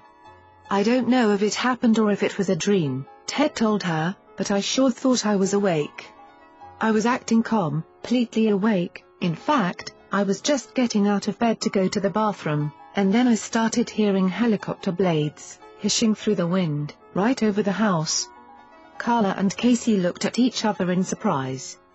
We've had quite a bit of helicopter activity, she said, back when, we lived in Texas and here too. My dogs hate the copters, and they always bark when they're overhead, but I didn't hear anything last night. I know we would have heard it, and, the dogs would have barked. Are you sure about the noise? Yeah, I sat up on the side of the bed, listening to the whir of the blades, he went on, and then the damnedest, the light, 22. Thing happened. This man just appeared, coming right down through the ceiling. A man? What did he look like? Casey asked. Human, or not? Oh, he looked human, Ted said, and he was wearing military fatigues. He came down into the room, and he had a little tow-headed boy with him, about seven or eight years old. You're going to think I'm crazy, he paused, but that boy looked like me. Like I looked at that age, when the aliens cloned me. What did you do? Did anything happen? Not really. The soldier just talked to me. He said that they were returning something that had been taken from me. And that's all I remember. How do you feel this morning, then? Karla asked. Actually, Ted smiled, I'm in a pretty good mood. I don't know what that was all about last night, but I wasn't frightened. It seemed like the soldier was trying to be nice, trying to make up for something. What do you think he meant, about returning something that had been taken? Casey wondered.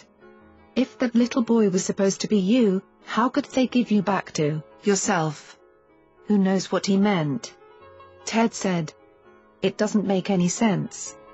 No, Karla agreed, but you do realize how similar this scenario was to the episode you and Marie saw happening to Amelia, don't you? The virtual reality scenario? My gosh, that's right, Ted said. Amelia's experience started with the sound of a helicopter too, and she said she saw through the ceiling. And the two aliens came down into the room, right? Yeah, Ted nodded. I wonder if there was a sphere of blue light around me that I couldn't see from the inside. That, illusion Amelia saw never made any sense, and this one, doesn't either. I didn't see any blue light, but then neither did Amelia, just Marie and me. But five days later, when he was back home in Shreveport, Ted had another experience that seemed related. Masquerade of Angels, 219. To his visitation from the soldier, and this time there was a dear connection to his eight-year-old abduction. Remember what that soldier told me when I was at your house last weekend? Ted asked Karla over the phone. Sure, she replied, why? Have you figured out what he meant about returning something? Maybe, he said. You'll never guess what happened this morning. When the alarm went off, I raised up in the bed, and saw something brown and fuzzy moving in the furrows of the quilt. It scared me, so I jumped, and when I did this, fuzzy thing jumped too. Grandma, my cat, was sitting on the corner of the bed where she sleeps, and she was staring real intently at this thing when I woke up. But when the fuzzy critter took off, so did Grandma, and the chase was on. I was yelling and dancing around, trying to get out of the way of this thing, Ted laughed, because I still didn't know what it was. God, after everything else I've been through, it could have been anything. By the time Grandma cornered the creature, I had climbed up on top of the bookcase, armed, with a pillow and ready to attack anything that came at me. What on earth was it, Ted? Karla asked, laughing too. Did you ever find out? Oh, yeah, he said, and you won't believe it.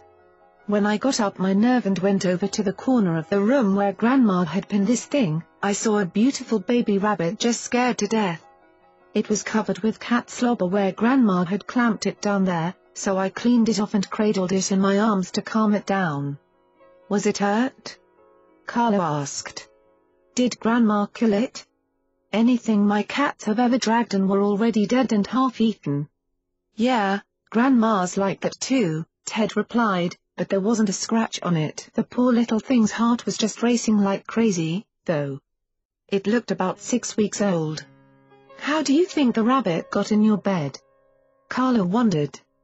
Could Grandma have caught it outside and car, ride it in last night? I thought about that, Ted said, but when I let the cat and the dog back inside for the night, I didn't see anything in. Masquerade of Angels, 220, The Cat's Mouth, or in Lucky's. Grandma's other critters have always been dead, like you said. And you think this might have a connection with the soldier? Right. Stop for a minute and remember back to the Carly story. When Carly was picked up and taken through the fog to the place where the children's choir was singing, he was carrying a baby rabbit, Karla finished. But when it was all over and they brought him back to the farm, the rabbit was gone. Yeah, that's what I thought about, Ted said. I don't want to read too much into this rabbit thing, though. It might all be a coincidence. With all the weird experiences you've been through, Karla remarked, it's hard to say. It could just as easily have been a staged event, coming so soon after your scenario with the soldier and the little boy. That really did sound like a virtual reality event. Maybe the first one was, but the rabbit was real, though, Ted said. I released it back out into the woods. After someone went to all the trouble to return that, which had been taken from you. Karla teased. Real funny, Ted said. Too bad they can't give back everything else they've taken from me. Not long after this, Ted had a surprise visit from Marie. When he told her about the investigation Karla and Barbara were making into his past experiences, Marie offered to help. Plans were made for them to visit Karla and Casey for an extended interview. One of the most important things Karla needed to discuss was the episode at Ted's trailer a couple of years earlier, when Marie encountered the small creatures who wanted to take her outside, In their discussion, Marie described the events of that night in the same way Ted had first related the story to Karla. She had seen the wall dissolve, and then some little beings came through and tried to lead her out. But I was too stubborn, Marie finished, and when I got through telling them off, they brought me right back inside. I thought you said you never went outside in the first. Masquerade of Angels, 221. Place, Karla commented. So how could you come back in? I don't know, Marie replied, puzzled. I didn't think I had gone out, but I do remember coming back in. Maybe I've forgotten something, it was a long time ago. You'd be surprised how much of this stuff we don't remember when things happen, Ted said. If you really want to know what went on, Marie, maybe you could find out with hypnosis. It's helped me enormously. All right, she agreed. If there was anything more than I remember, I surely want to know about it. I didn't recognize these beings, not spiritually, physically, or any other way, and I think we better try to find out what they really are. We can at least have a superficial look at the experience, Karla offered. I won't try to lead you anywhere in particular, but if I help you achieve a trance state, you can go back through the experience yourself and tell us if you find anything you haven't yet remembered. Marie had never been hypnotized before, so Karla led her first through a leisurely period of relaxation for both the body and the mind. When she was clearly in a light trance state, Karla directed her back in time to the night at Ted's. Marie, how are you feeling? she asked. Tired, Marie murmured, but happy to be visiting Ted. We're sharing things, experiences we've had, places we've been since we saw each other last. Fine, Karla said. You're in bed reading a book.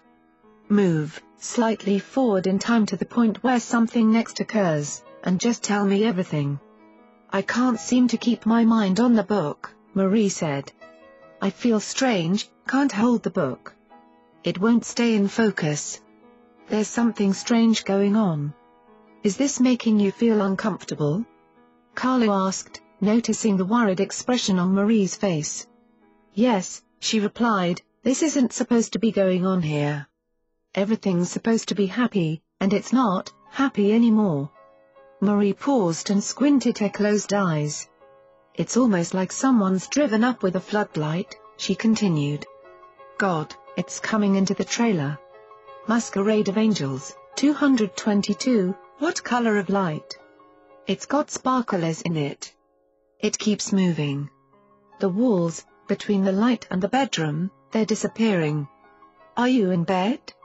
Yes, and I'm going to stay here. There's somebody in the light. The walls are going away. Do you see Ted? Karla asked. He's asleep, Marie said. I can see him, hugging his pillow. There are no walls in the trailer anymore. How are you feeling now? I don't like this, Marie repeated. I don't feel good with it, yet I can't move. You said there was someone in the light. Look and tell me everything you can see about this person, Karla said. But by then the mental images Marie was reliving absorbed all her attention. Don't touch me, she said, apparently addressing the figure in the light. Back off, don't touch me. Has this person reached toward you? Yes, Marie nodded, and somebody's over here. She gestured to the side of the room. So there are two persons present? Get away from me, get away, Marie said forcefully. Don't touch me. Her hands shot out in front of her, warding off the intruders. I can see eyes looking at me. I don't like them. What do they look like? Almost like cat's eyes, very predominant. How close are they to you? Right here, Marie indicated in the air close to her face. I don't want them to touch me. Stop. There's another one, they're watching me. They want me to put my hands down, but I won't. Karla asked her to describe the beings, but Marie could tell her very little other than that their eyes were yellowish. Can you see anything else? Karla asked. A nose, or mouth? Just the eyes. Almost looks like the face is a flat mask, they look slimy. This one's trying to talk to me. Masquerade of Angels, 223. What is he saying? He has something in his hands, Marie replied, like a crystal ball. Small, with some colors in it. He's holding it. What do the hands look like? Almost like sticks, thin fingers. He gives me the ball, Marie continued. It feels tingly, like electricity but not hurtful. He tells me I can have this, but I am not so sure I want it. Looks peculiar to me. Oh, well, I guess it won't hurt. If I look at it more, I might like it better. What do you do with the ball? Karla asked. Nothing, but I'm really sleepy now, she answered. Do you still have the ball? Yes. This one is pointing, saying if I'll hold that ball, he'll help me fly. But I don't know if I want to fly or not. Somebody else just came in, and he's different from these others, almost like a child. He's reaching out his hand, he wants me to take it, Marie explained. He's about 12 years old, dark hair, black eyes, like an Indian child. He says he's lost something, wants me to help him find it. Marie's initial paralysis was now gone, and while the three kata beings watched silently, she let the childlike entity lead her outside and off into a wooded area. The others are following, she said, I guess to see where we're going. Now we're going on, and it almost looks like a tent here. We're in a tent of some kind, odd looking. Doesn't feel like a tent. There's something like a computer inside, standing up against the wall. And this child I'm with goes over to the computer thing. He wants to push the buttons on it, she continued with a worried expression. What happens when he does that? Karla asked. It sounds weird, like a lot of bees buzzing, buzzing, buzzing, Marie replied, imitating the noise. It's in my head, making my head hurt. This computer has different, colored buttons on it, and I can see the screen there, like a monitor, showing lines, almost like a heart monitor. Marie described the equipment and noted that the child was playing with it, and then she saw the images on the monitor start to change. Something like the bones of the face are showing on it. Masquerade of Angels, 224, she said, like a photo negative of a face. Whose face? I can't tell, just the bone outline of a face. Now the picture's moving, Marie said, as if it's going down the body. Are you saying anything to the child? I'm trying to get him to leave the machine alone, before he tears it up, Marie told her, but he just smiles and tells me to be still. Look down at your body, Karla suggested, and tell me what you're wearing. Hum, Marie murmured, I don't see anything. Were you wearing something when you went to bed? Yeah, pajamas. Where did your clothes go, then? I don't know. The boy is moving the machine, she said as her attention shifted, like it's my body he's got on the screen. How could he be doing that? Karla asked. I don't know, Marie said, unless it's that light at the top of this tent. There's a pale light at the top, like a sun lamp, shining down on me. See what is on each wall of the room, Karla suggested. What is in each of the other corners? Looks like a statue over here, Marie began, a statue of a woman, without any clothes on. Like somebody's just molded this. It's big, but maybe not as tall as I am. A female figure standing there on the floor. Marie's closed eyes, squinted as she studied the mental image. And what is the floor like? Like stainless steel. The machine, the computer, is here. And there's a different little machine over here, looks like a tall water cooler. That's funny, and it's got a little gurgling in it. Tell me about the water, Karla asked. Anything in it, any color? I don't think I want any of it, Marie replied dubiously. Looks cloudy. It might not be good, maybe some kind of fungus in it. Move on around the room. What else? Masquerade of Angels, 225, The Light, 22. What is this thing? Marie asked in surprise. Like a bearskin rug? Something up on the wall. A decoration? then her attention was drawn elsewhere. These three people keep wanting to move back in close to me, and I don't want them to touch me. I don't know them. Can you see them more clearly now? They're hiding something. They've got on, not capes, but like choir robes, all the way down to the floor, grayish color. They won't let me see their faces. Like they have a mask on. She reiterated her fear of being touched, and then she noticed that something had apparently upset the child at the computer. There's something he can't work right, she said. He's trying to talk to these people, but I can't understand what he says, he's talking so fast. Something about the ball? Or back to the ball? He's having some kind of tantrum, telling them, back to the ball. And now they're backing, away. He's coming over into the light where I am. He wants me to have some of that water, but I don't want it. He hands me a glass of the water, but I won't drink it. What does he do then? Karla asked. He's not trying to argue with me.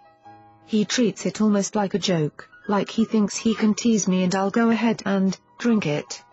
But I don't. There's something going on outside, she said abruptly. He takes the water and sets it down, and now we're going out to see what's happening. It sounds like a bunch of frogs hollering, but I don't see them. It's dark out there. Marie's memory after this became rather vague and hazy, and she could recall nothing more about the stir outside the strange tent. She remembered only being led back to Ted's trailer by the child, with the other figures following, and when she saw herself in the yard, the whole recollection faded away. Unable to elicit anything more, Karla brought Marie out of the trance. Good grief, Marie said as she got up and began to move around, I never knew there was anything more to that experience than I've always remembered. In these encounter experiences, that's fairly common. Masquerade of Angels, 226. The Light, 22. Karla said, and Ted nodded.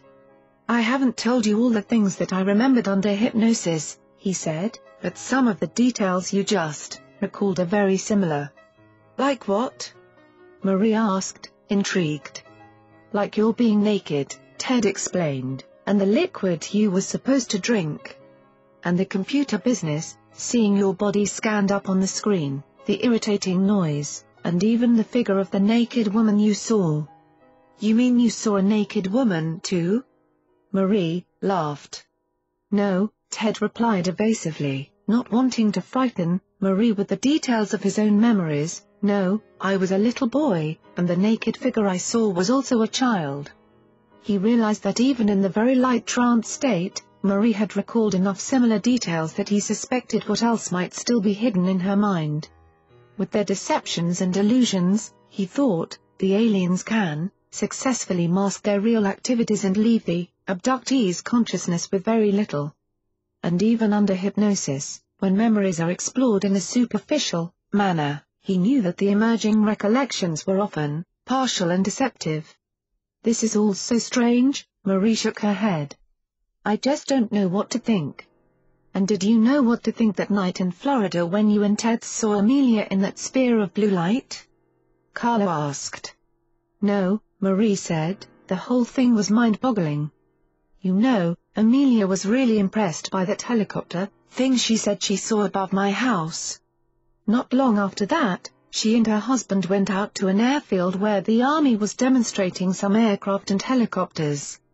She wanted to find one like that device because it was so unusual. They looked all over the field and didn't see one like it anywhere. So Amelia went over to one of the soldiers guarding the planes, and she started describing this device, Marie continued, asking where it might be. Amelia told me that the soldier looked at her very strangely. He told her that he didn't know where she had gotten that information, but that Masquerade of Angels, 227, The Light, 22. There was a design for such a craft. He said it would be a new someday, but not until far in the future, and he wanted to know how Amelia had learned about it. Amelia didn't see a UFO, then, over your house, Karla commented. No, Marie said, it looked like a very weird helicopter. She never saw a UFO, and neither did I that night at Ted's. All I saw was a strange tent. Ted laughed but said nothing. From his own regression, he knew all about alien false appearances. And if Marie needed to think she had been in a tent, he would not disabuse her of the notion. After all, she had only agreed to aid his investigation, not to undertake her own. He was convinced, however, that alien visitors had indeed intruded into his friend's life, at least that once. And he hoped that he wasn't the cause. Masquerade of Angels, 228. 23. Everything that deceives may be said to enchant. Plato. At last the timing was right for Ted to make another trip to Barbara's and continue exploring some of his experiences. The drive from Shreveport was six hours long, tiring him too much to consider any hypnosis that night. Instead, Barbara and her husband served dinner, they all fed the ducks at the pond, and then the three of them talked and laughed and entertained one another until bedtime. Well rested the next morning, Ted was ready to work. Barbara helped him relax and led him easily into a light trance state. As his concentration deepened, she suggested that he should move to whatever experience his subconscious thought was important for him to recall. Before long, Ted began a mental journey back to his childhood. An initial scene resolved itself into details, and he slowly told Barbara what he was seeing. Lights, he said softly, I'm sensing lots of lights, and they seem all to be in my grandmother's house. In what room? They're in her black bedroom. And it looks like there are people moving around in the lights. Is your grandmother aware of these lights? Does she know they're in the room? She seems to be asleep at one time, and then she's up talking to whoever it is there. Where are you when this is happening? I'm in another bed, watching. She's standing up looking out the window, and it's dark. Does she say anything or express any emotion? Barbara asked. I think she comes back and puts me under the bed, Ted said wonderingly. Why would she put you there? Then there were some lights, he answered, and a noise, a whirling kind of noise. We can hear it but can't tell where it's coming from. That's what makes her put me under the bed, and then she gets under there with me. Ted, Barbara asked, how old are you here? Really small, he said, about four years old. What is taking place now? There's a light over us, and it's spinning, creating like a vacuum, like looking up through a tornado. There's movement all around us. Everything seems to be dark. At that point, Ted was unable to proceed any further with the brief recollection, so Barbara suggested that he let himself, Move on to any other significant event. Move forward in time, she said, to the next thing you can see. Soon he began to get new images, also from his childhood but this time involving his other grandmother, and himself at a slightly older age. Ted struggled to regain a clear sense of vision, but something an induced block, perhaps, or his own reluctance held him back. And then, as if bubbling up from somewhere deep within him, information began to trickle into his mind. His recollection started in the midst of a bizarre scene unlike anything Ted had ever consciously remembered. Grandy is standing on something, he started again, after a long pause. She seems hypnotized, she's not saying anything. They remove her nightgown, and they've got something like a little drill, touching to the back of her head. They've done something to her, and she's slightly different. He paused again, as if listening. They're telling her she's very special, he resumed. They put a white gown on her and make her look beautiful, or they're telling her she's beautiful. They dress her up and tell her that she's beautiful, and that she's coming to live and work with them. Masquerade of Angels, 230, How old are you here? Barbara interrupted. I'm ten years old, he said. I remember this, the room, and these beings around her, and I'm watching. She's not in control, and they're all around her. They've loosened her hair, and are showing her how beautiful she'll look when she lives with them. They're preparing her for this. That's all I seem to be able to see right now. And she does look beautiful, and young too. Ted stopped again, pondering. I don't feel like that's all exactly right, though, he admitted. A mental alarm went off, because the words felt false even as he spoke them. We want only the truth, Barbara said, that's what we're aiming for. I suddenly felt like that stuff was what they told me I was seeing, but it's not really, Ted said. Clarify your vision, Barbara told him, deepening his trance, and tell me what is really happening. She's complaining about the pain, he continued, and they've brought somebody else in. I feel like they're antagonizing and torturing her. Somebody's come in who says he's my grandfather, but my grandfather is dead. She's arguing with him that it's not her husband, she doesn't care what they say. Somebody's angry. And that's all I can see right now. Ted, Barbara asked, is this the grandmother you were with in bed the night you heard the voice in the room? Yes. How old were you when that happened? Ten. Let's shift your focus to that night, Barbara directed. Feel the bed, you're in bed with your grandmother. Feel it, and your memory is perfect. Do you feel yourself there, now? Yes, he slurred, sinking deeper into the trance. On the count of three, Barbara continued, you begin to tell me, with truth and clarity, what happened on that night. One, two, three. I can hear her voice now, Ted responded. She's demanding that we be taken home. She's complaining about the pain in the back of her head. She's telling them to get that Masquerade of Angels, 231 thing away from her. How did this start? I remember we were sleeping, he explained, and somebody takes me out of the bed. Then the next thing I know, I'm at the side of the room, and somebody who's got a hood over their head is beside me. My grandmother's in the center of the room, they've taken off her robe and put another one on her and done something with her hair. She does look beautiful, but before that they did something with that strange drill to her head. She got very angry, and I think she hit one of them because they were hurting her. I'm beginning to see, he said after a short pause, what she hit wasn't a person. It was one of those dark grey or brown-looking men, like a lizard-like man, one of those rep reptilian beings. They're offering her something to make her young again, and she's angry, refusing to cooperate. She's demanding that we be taken home. This reptilian guy leaves the room, and he comes back with, Oh, this is making my grandmother very upset. They've brought in my grandfather, who's been dead a while. He looks young and handsome, and they're telling Grandy that she's to join him. How does she respond? Barbara asked. She tells them that it isn't true, that they are lying, that, my grandfather is deceased. They're arguing, and she refuses to cooperate. I hear her calling out to Jesus. He stopped again, listening. The reptilian man is talking ugly, he resumed, and telling her that, he broke off abruptly. What is he telling her, Ted? Barbara asked. He told her that they put something into her head, he said reluctantly, and that if she doesn't cooperate, it would kill her, and only they can stop it. She still refuses. What did they want her to cooperate by doing? I don't know. He exclaimed, but Barbara directed him, to program his inner computer for the truth and then to proceed.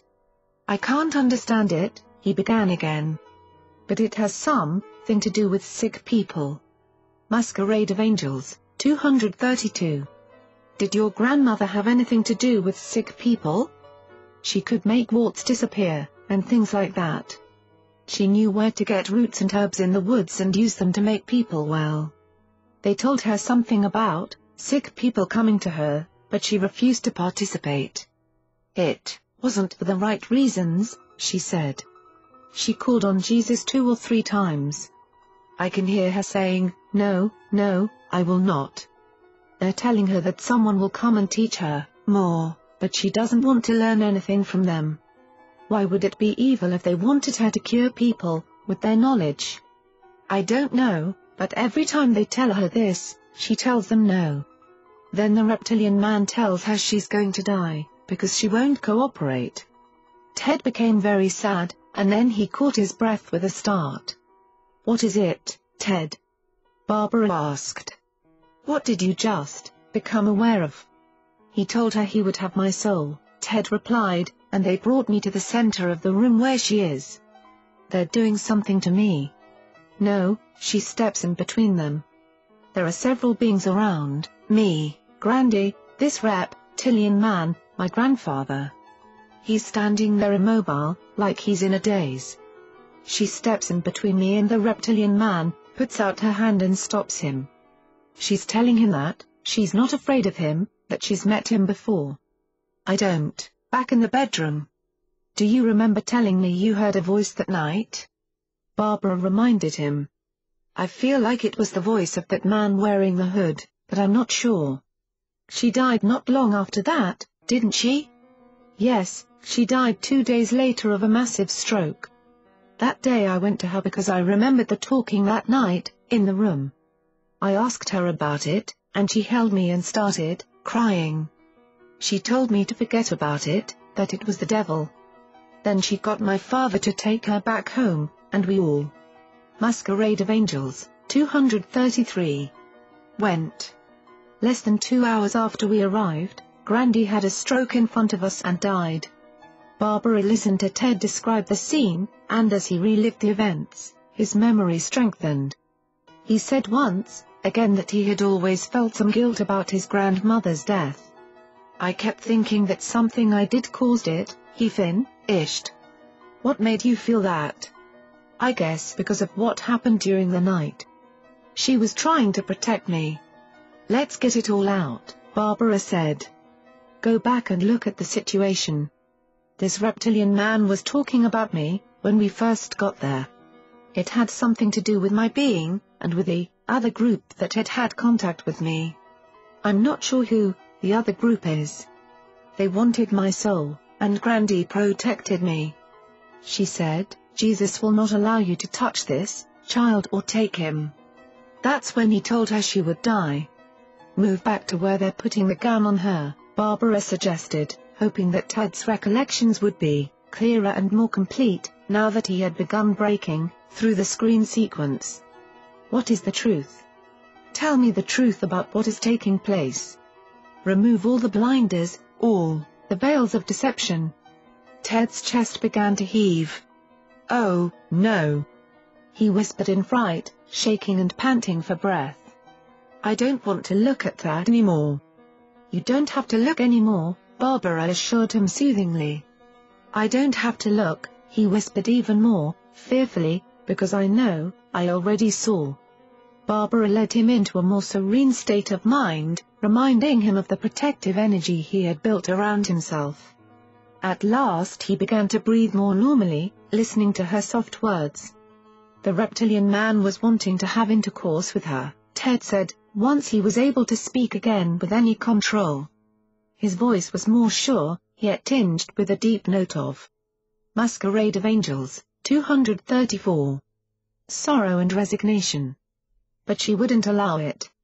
She told him she only did that with her husband, and he was dead. So they brought in their grandfather, and he was having sex with her. But when he got off her, it wasn't him, it was a reptilian man. And that's when she intervened. They wanted me next, I don't know, but I think it was sexual. That's when she jumped in front and blocked the reptilian man. They were arguing, and he told her she would die for that. And she did. It didn't seem to matter that she was older. Barbara asked, referring to the sexual activity. They told her they could make her young again. Can you describe the situation more completely? How did they do it to her? Was it just the one? There were several in the room, as well as the one with the hood who had been holding me back. I never saw his face very clearly, but when he turned it looked pasty white. Did they have her on a table or standing up? Standing up, but leaning back on something like a movable table. Do you want to see the rest? Barbara asked cautiously. Remember, you said he started coming toward you? Yeah, he wanted me for some reason. Do you want to go back and find out? Yes, Ted sighed, let's go back. Barbara returned him to a deep concentration and then asked him to look at the scene again. What is your grandfather doing while intercourse is taking place? she asked. Is he aware? He was doing the raping, Ted tried to explain, but it wasn't really him. When they brought him in, he took her in his arms and started making love to her. They removed her gown, and she was immobile, not speaking. But when they were finished and he turns around, I can see him. It isn't my grandfather, it's the reptilian man. Backtrack a minute, Barbara suggested, back to where they were telling her about the herbs. They were talking to her because she knew a lot about herbs. He tells her that he's got some herbs. Oh, he paused. Masquerade of Angels, 235. Oh, they're wanting her to take some of theirs.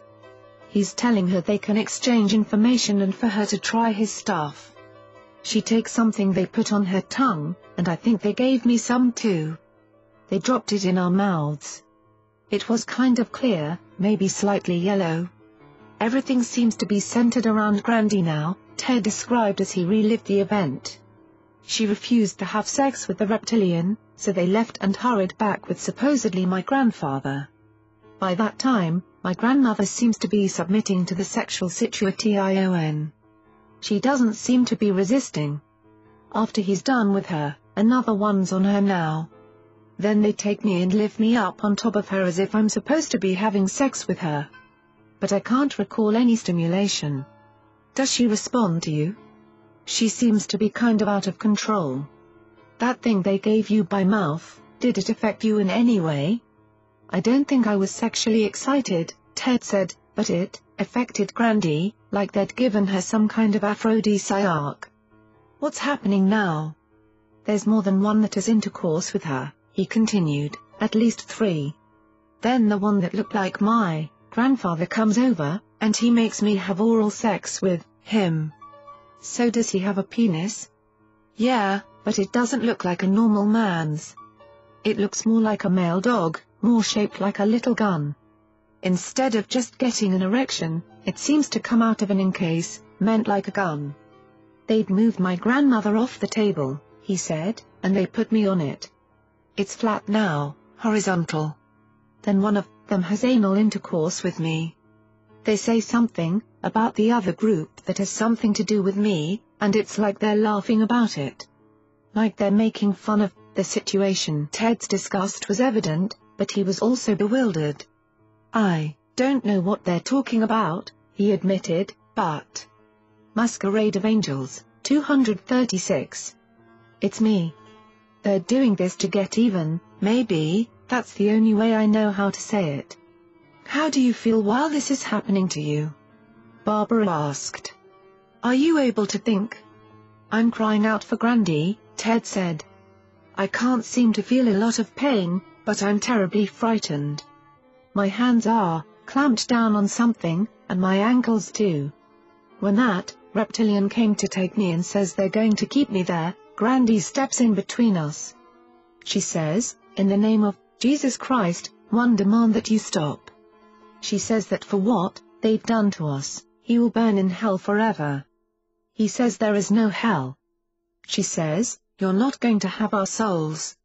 She rebuked him, that's what made him so angry. She's got me close to her, and they're all standing back, and she says, You tricked me, you tricked us. She's angry about the herbs and what they did to us. After a brief pause, Ted concluded the recollection. That's all I can remember. We have our clothes back on, and he tells her, You're going to die for this, because that boy belongs to us. And then we seem to be back in our bedroom. How do you feel now? Repulsed somewhat, he admitted, angry. Hurt. Glad that I looked at it, but it was so hard to look at. The first, regression came easier.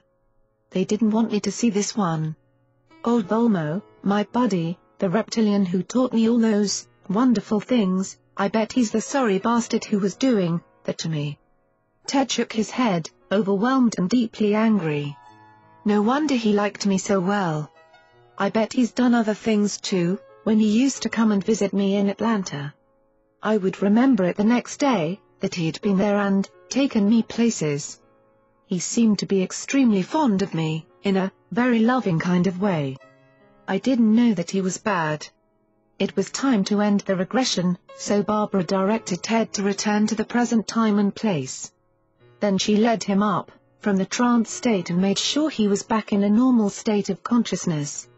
Masquerade of Angels, 237, The Light, 23. Ted needed to talk about the sad memories, relating even more details than he had been able to report in the hypnotic state. And he wanted to talk about Volmo, rethinking those encounters with his new understanding. You didn't remember him from childhood, after he appeared in Atlanta? Barbara asked. Not at all, Ted said. I thought he was just another of the spirit guides, like Sharon and Raphael. He was awful, looking, though. And that place where my grandmother and I were stank, smelled putrid, like a dead animal. I think that's how the reptilian ones smell. What about that surgical procedure performed on your grandmother? Whatever they put in her head, I believe, is what caused her to have the stroke. He got her out of the way, just as he threatened, and then later he had access to me whenever he wanted. She died protecting me, and I carried that hidden knowledge, that guilt, for 40 years. His whole life, Ted now realized, had somehow been orchestrated, on some level he couldn't grasp, by forces he couldn't begin to fathom. He did not know what to think anymore, but he knew what he felt. The old, haunting sense of guilt, at least, was already beginning to subside, but angry, resentment, tinged with fear, took its place. What else in his life, he wondered, had been manipulated? And why? 24. We shall not cease from exploration and the end of all our exploring will be to arrive where we started, and know the place for the first time. Eliot. Gazing out the window a few weeks later, Ted was oblivious to the renewal of life all around him, in the bright spring green of the trees and the outburst of colorful flowers in the yards. His mind was filled instead with the image of a quiet grave in the old family cemetery back in Alabama. It was the 40th anniversary of Grandy's death. He remembered how she had wept the morning before, sheltering him in her embrace, and whispered the name of the devil. Ted mourned for her, as well as for himself and the forty years of guilt that had haunted him like a restless ghost. Thank God, at last I know the truth, he thought.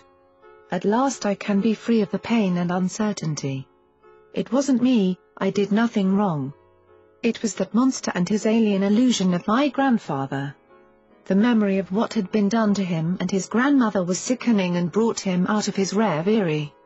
Ted looked up toward the field that lay quietly behind, the row of trees and bushes, and his emotions surged. You came again, didn't you, he murmured, and did things to me and my neighbors. You hid the memories from me, but it won't work.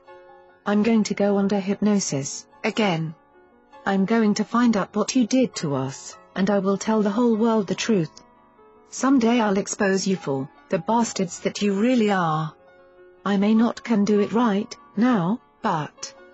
Masquerade of Angels, 238. I'm getting stronger every day, and I will fight back. You can count on it.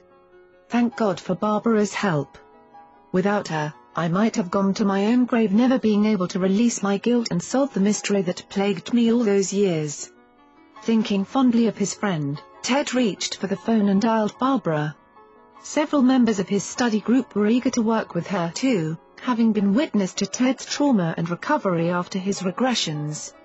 They had also seen a shift in his attitude, away from the tentative acceptance of the aliens, as benevolent superiors coming to aid humanity, and towards uncertainty and skepticism about the aliens' true intentions. This change made his friends concerned about the nature of their own experiences, although Ted had not shared the details of his recollections with the group. He told them only that what he had learned had been shocking, painful, and extremely disappointing. His friends tried but were not successful in learning anything more from him, as he insisted the information should be reserved until the others had gone through their own regressions. I don't want to influence what you might see or how you might feel about it, Ted explained when pressed to discuss his memories. And besides, just because my experiences weren't what I hoped they would be, that doesn't mean yours won't be positive. you should just go through it and decide for yourself what it means. Ted heard the receiver lift, and when Barbara answered the call, Ted said, Greetings from the alien capital of the world.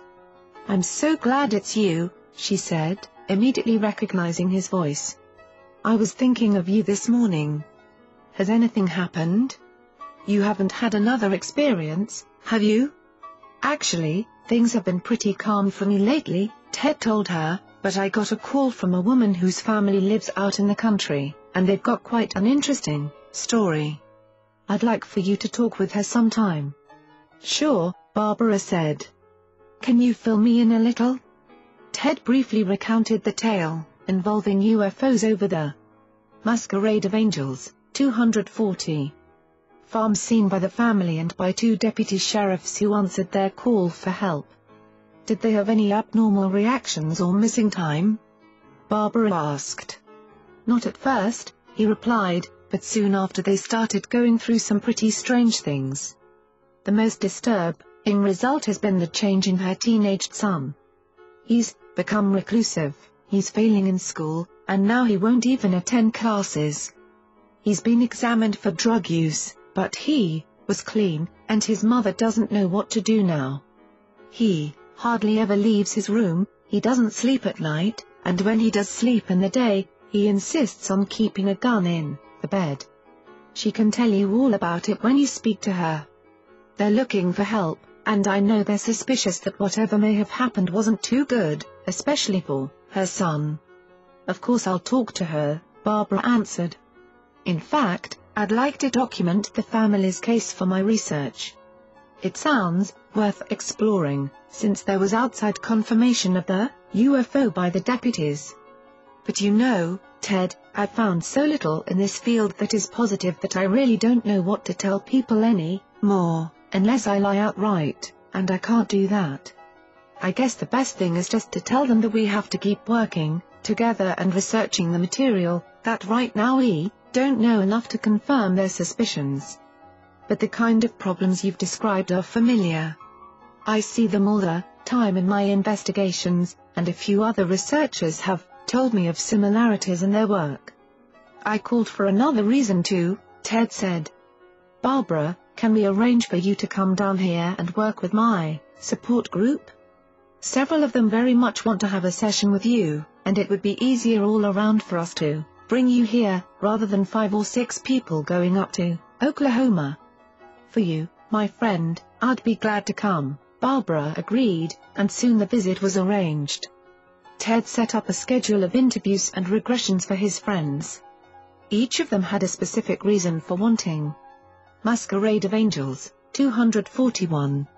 Hypnosis, such as disturbing dreams, possible missing time, mysterious visions or communications, and soon the entire week of Barbara's visit was filled with appointments. Several times Ted considered scheduling a block of hours for himself, but reluctantly he concluded that he just was not ready yet. He was still trying to heal, to cope with the nightmarish memories, and to regain the reality they had taken from him. But his pledge to continue the investigation was resolute, and he knew the time would come when he would be strong enough to face the next revelation. In the meantime, there were others who needed help. Barbara arrived the following week, and Ted welcomed her warmly. I'm so glad to see you, he said as they hugged. All sorts of thoughts have been coming back to me about the things we uncovered, and I can't wait to discuss them with you. He carried her luggage inside, and soon they were deep in animated conversation. Barbara was not scheduled to meet with anyone until the next day, so the first night the two friends talked, giving her a chance to gauge Ted's progress, since the last regression. Has any other specific information come to you? She asked. After hypnosis, sometimes more memories start to surface on their own. Maybe not new memories, Ted replied, but I've been able to look at all the things I did see and analyze them more clearly now. It was so overwhelming, trying to take in everything in the state I was in, that I couldn't understand all that went on at the time. Like that woman I remember doing things to me when I was cloned, the one with red hair and lots of makeup. What about her? Barbara asked. She wasn't a woman, Ted said, she was an alien, but they had her disguised to look more human. Maybe they thought it would calm me down, and I guess it did. But now that I realize how they were able to trick me, I wonder about a lot of the things other abductees report seeing. How much of it is fake? People recall seeing those beautiful blonde human masquerade of angels, 242 types on the UFOs, and hybridized, half-human half-alien babies and people, but I wonder if those aren't just more cases of disguised ETs and false illusions. People sometimes are able to see through the disguises, Barbara told him, but most of the time they don't even question what they think they see. Right, Ted nodded, and that's why I've gone back over everything so thoroughly. Some of it's starting to make sense now. Remember my description of the process that woman performed, putting my soul into the cloned body? Of course, Barbara replied. I think that showed me something very important, he continued. When the cloned body was placed on the table, it was completely inert. The woman placed the black box with my soul on the new body, and then they did something that activated the body, because I saw it twitch and jerk, and then the chest started expanding as it breathed. That's when I found myself in the new body. Remember that they didn't remove my soul from my original body until I drank the green liquid and apparently, died, Ted went on. Looking at both procedures, I think I understand now that the soul is apparently locked into the body by an energy field, the aura, that forms once the body is breathing. They can't take the soul out without killing the body, and it isn't locked into a body until breath is drawn. You know, he paused, I wonder what that might mean, to the abortion question. If I'm right and the soul only connects with the body after it's breathing, then fetuses may not contain souls until after they're born. And what about, the walk-ins that Ruth Montgomery has written about? They're supposedly cases where souls are changed out of a body, so that a second soul can inhabit it for a while. Is this, the same process the walk-ins used to get into those bodies? I wonder if they're aware that the body has to die in order for the trade-out to take place. The conversation continued for hours, but at last they needed to sleep and rest up for the next day's work. While Ted was at work, Barbara met with Joel, a single man in his mid-thirties who had been plagued by restless masquerade of angels, 243 nights and other symptoms of stress after a UFO sighting the previous year. Joel had difficulty relaxing enough to achieve a deep trance state, but eventually he remembered a few details, including the typical on-board examination and a group of humanoids who appeared dressed in medieval-type clothing. His memories were sparse, however, and although he did not recall anything particularly traumatic, Barbara noticed that his emotional and physical responses under hypnosis were overly intense. Joel's stress was clearly apparent, she told Ted later that evening. That's one of the indications I watch for, the discrepancy between the events and the emotional response. The things Joel remembered shouldn't have been that upsetting, so probably there are other details still hidden from his recall. He's responding subliminally, even if he can't remember them. Well, if he's been through anything like I have, Ted commiserated, then I can understand his anxiety. Who are you seeing tomorrow? A woman named Paige, Barbara said, checking the schedule. You'll really like her, Ted nodded. Paige is a wonderful person, really sweet and intelligent. She's been going through some problems of her own, though, and I'll bet that her UFO experiences are involved.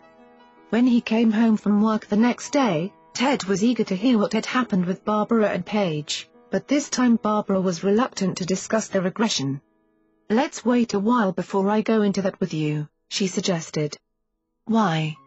Ted asked. Paige already told me that she wouldn't mind me knowing whatever she found out. Trust me about this, Barbara replied. Paige's experience may turn out to be similar to something you and I haven't yet explored in your case.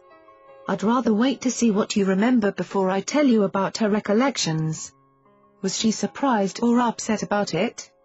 He asked, intrigued. Yes, Barbara nodded, she was pretty disturbed, but... Masquerade of Angels, 244. she did feel better when it was over, relieved to have gotten it out finally. God, Ted, some of the things people report to me are just incomprehensible. Knowing how the aliens can manipulate our perceptions, I can't help wondering just how much of what abductees see in their experiences is actually real. How do we know that all these things aren't simply hallucinations programmed into our memories? Some of it obviously is false, Ted agreed, but in my case, at least, there were some very real events that several other people witnessed. When I was taken and cloned at eight years old, I remembered being returned to the house in a dark, swirling atmosphere, and all of my relatives saw what they thought was a tornado. They'd been out looking for me, because the storm was coming up, and nobody could find me, until it blew over. My uncle said that he saw different colored lights inside the funnel cloud, which probably came from the UFO. And after that, Ted continued, Mama and the others remember how I changed. For weeks I complained about horrible burning in my body, and my mother bathed me with cold, wet towels trying to soothe me. My personality changed too, and I was withdrawn and real quiet, not at all, like I'd acted before. Your grandmother witnessed whatever had gone on with you two later on, Barbara pointed out, even though, she thought those beings were devils. Can you blame her? Ted replied. I wish all this stuff wasn't real, but it sure seems to be. Either that, or these beings are going to extreme measures to make people believe that it is. Why would they do that, though? What are they getting out of such intrusions, real or contrived? That's the big question, Barbara mused. Just pray that, someday we have an answer. She met the next day with Leslie, one of Ted's co-workers. As they got to know each other, Leslie explained that she had met Ted when he was doing psychic readings in a town where she was living. She was just one of many people attending his presentation, until Ted singled her out with a message that someone in the spirit plane, named James Masquerade of Angels, 245, wanted to get in touch with her. I was really excited, Leslie said, because my teenaged son had just recently died after a motorcycle wreck and his name was James. A few months later, I went to Ted for a reading and asked about James. Ted said that James was telling him that he was busy helping his new friend Rodney adjust to the spirit world. That made no sense, Leslie continued, because James didn't know anybody named Rodney. I told Ted he was wrong, but he wouldn't back down. He insisted that he was delivering James' message accurately. Later I asked all of James' friends if they knew a Rodney, but nobody could identify him. So you thought Ted's information wasn't genuine? Barbara asked. Yes, Leslie replied, until a few weeks later when I was in town shopping. I spotted a couple who looked familiar, and then I remembered having seen them at the hospital before James died. While he was in a coma, another young boy was brought into ICU, the victim of a car accident. That couple had been up there with him, he was in a coma too, but I never talked to them. This time, though, I did, and asked about their son. They told me that he had remained in a coma for a few more months and just recently had died. His name was Rodney. She looked at Barbara a moment before continuing. I had not known his name in the hospital, and both Rodney and James were in comas the whole time they were together. How could Ted have known those names, unless James' spirit really is on the other side, with Rodney's? Maybe Ted wasn't wrong, after all, Barbara remarked, and Leslie agreed. After listening to some of Ted's discussions, she con, continued, her interest in UFOs started to develop. And when he mentioned missing time episodes, her curiosity changed to concern. As she told Barbara during their interview, Leslie, had been driving one night several months earlier and found herself lost in a sudden fog. She remembered driving around, for quite a while before the fog lifted, and she felt there may. Masquerade of Angels, 246, have been some missing time then. Barbara put Leslie into a trance state and guided her back to the night in question. But after a long, patient exploration of her memories, Leslie uncovered only a brief memory of being on a table and seeing grey forms standing around. The beings were familiar, however, and this recollection sparked others, concerning the presence of such creatures at the conception and birth of each of her children. Describing one of these deliveries, Leslie told Barbara, how the alien beings held the newborn child and, as one might dust a baby with talc, somehow powdered it with light. But her memories were too fragmented for her to gain any overall understanding of the beings or the extent of their involvement in her life. Only one more person was scheduled to meet with her, and the next afternoon Barbara interviewed another of Ted's co-workers, a young man named Al. He told her about some, possible UFO sightings he remembered, as well as about odd, dreams and other occurrences symptomatic of alien contact. For Al, the most important event was a vision he had had of Jesus, whom at first he saw hanging on the cross. Al remembered feeling great pity and love for Jesus, and then being astonished when the figure looked up and began to move, away from the cross and toward him. The last thing he remembered was Jesus kissing him, and when the vision was over, Al felt very moved and blessed by the event. When Barbara helped him mentally return to that scene, however, Al described more details, and as the event grew clearer in his mind, he suddenly began to shake. The spasms increased, until at one point Al was jerking violently as the intense emotions surfaced. Barbara worked to calm him, and when he was able to continue, the vision he had recalled, faded away and he saw something quite different. Instead of Jesus, the image transformed into a grotesque reptilian creature, forcing itself sexually upon the terrified man. He was so appalled and disturbed that Barbara brought the session to an end as soon as he had released enough motion to regain his composure. After the session, Barbara told Ted that evening, Al. Masquerade of Angels, 247. Was totally confused and upset. All along he had believed that his experience was spiritual and positive. He had no conscious memory of the rape or the deception that hid it. Damn those creatures! Ted said angrily. How dare they treat us in such ways? That's just like what they did with my grandmother, tricking her by bringing out that E.T. disguised as her dead husband. He was very shaken by Al's experience, empathizing with his friend's trauma because his own had been so great. Before you told me about Al's situation, he said, I don't think I really could let myself believe that my own memories of sexual abuse were true. I guess I was in denial because it was just too horrible. I hate that Al had to endure such a thing, Barbara, but in another way I'm relieved to know that I am not crazy myself, knowing that this sort of thing has happened to someone else. You two aren't the only ones to report sexual intrusions, she replied. I can think of at least three other recent cases like this, involving a housewife, an office employee, and a college science professor. If this is so common, Ted asked, why haven't I read more about it in the UFO books? because so much of what abductees recall, even under hypnosis, is a screen memory, she answered, not the actual event. When I was under hypnosis the first time, Ted said, I had no idea that I would uncover anything like I did. I expected it might be a little spooky, but not traumatic. Did you already know that the aliens were doing these kinds of things? Not the entire picture, Barbara told him. Ted, I've worked on hundreds of cases over the years, but I've never had a person who was able to break through the screen memories as clearly as you did, or who could get around the blocks so well. You've provided a tremendous breakthrough, and your information will be invaluable to the researchers. What exactly do you mean by screen memory and blocks? He asked. I remember that you mentioned them at the time of my regression, but I was too emotional for very Masquerade of Angels. 248, much of it to sink in. Working with so many people, she said, I've discovered that most abductees have been given screen memories. These programs are installed so that if the abductee begins to remember anything, it will not be something disturbing.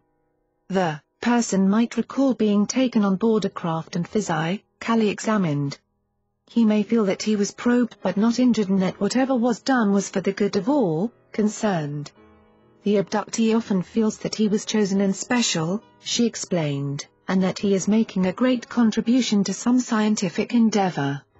Many people feel that the alien contact is truly good, but they are programmed to the extent that they're unable to see anything else, no matter what actually took place. Like when I thought the reptilians were exchanging medical information with my grandmother, Ted remarked. Right. But very often I find there is another story underneath. As once you get past the screen, you then find out what really occurred. When people break past the screen and see the truth, they are usually in shock and terrified just as you are. And sometimes there are specific blocks installed at the same time, that can appear to be many different things. In your case, you saw strange colors and extremely ugly, grotesque faces that frightened you. But once you realized they weren't real, that they were put there to disturb you and prevent you going further in your memories, you determined to get past them. And you did, she finished, with remarkable ability, I might add. With most people it takes much more work.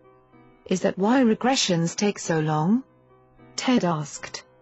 Well, it usually doesn't take long to get down to the screen memory, Barbara replied, but, yes, from there we start peeling back the layers, working our way down below the screen in order to reach the true material.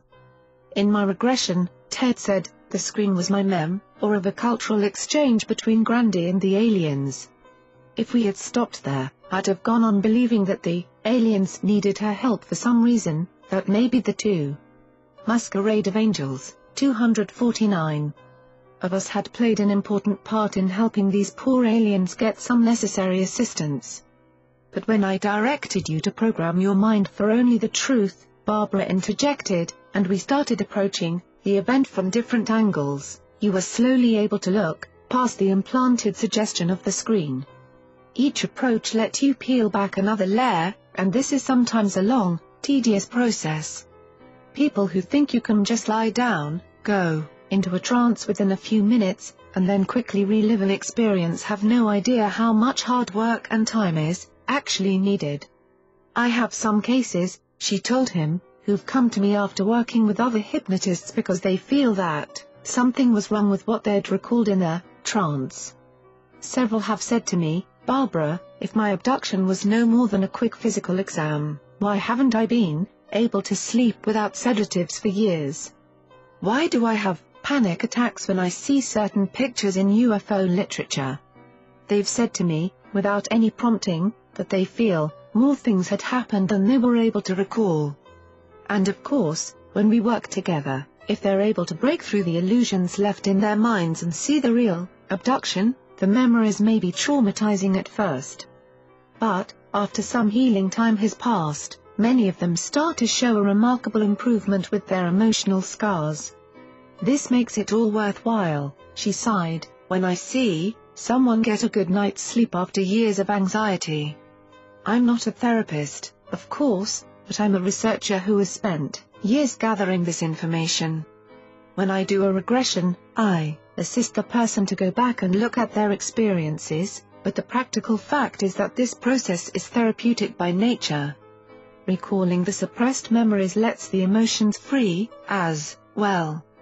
Too many abductees aren't getting the time spent with them that is necessary to release all the abduction garbage and start the healing process. I guess there aren't many places for them to go for help, Ted said. There are a few qualified and trained out there, Barbara replied, but not many, and certainly not enough.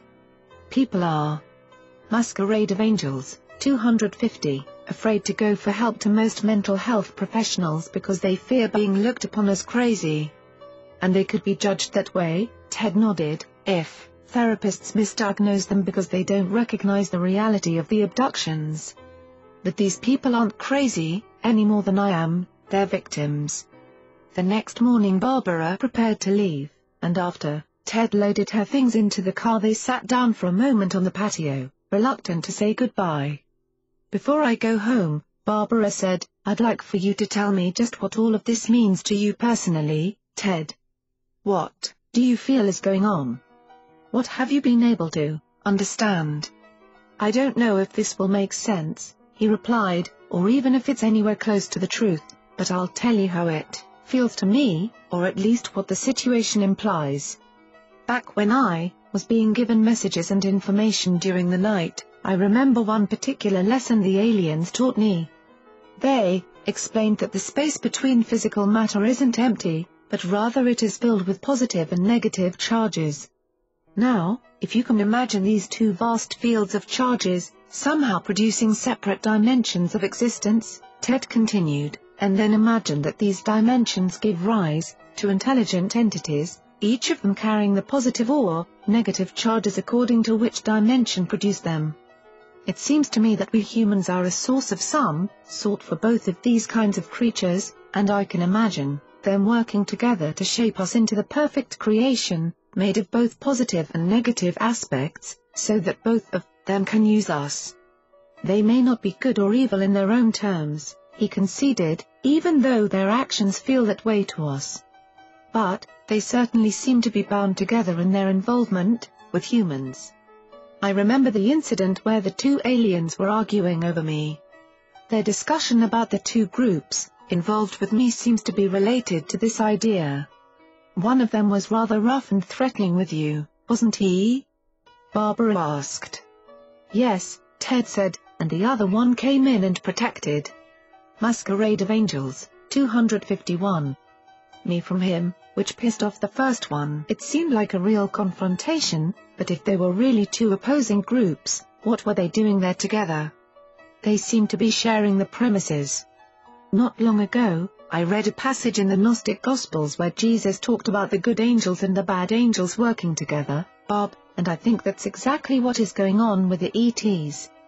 Do you really think they are spirits or divinities or gods of some sort, then? She asked. No, at least they aren't any gods I would find acceptable, but I don't know what I believe anymore, to be honest. All the metaphysical and traditional religious beliefs I once had are gone with the wind, he smiled sadly. I don't have any reality to hold on to now.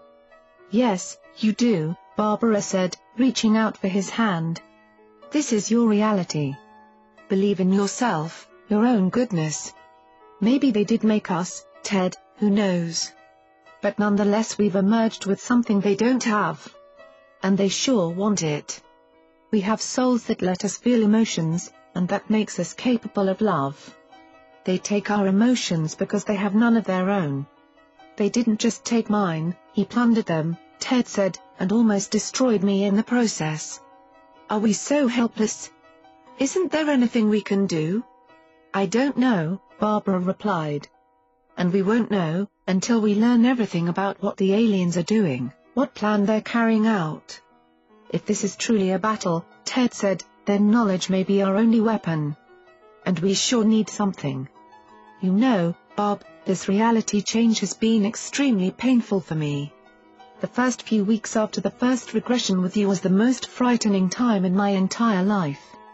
I prayed, I cried, I doubted my sanity and I feared they may have done something to me that would cause me to hurt myself or someone else.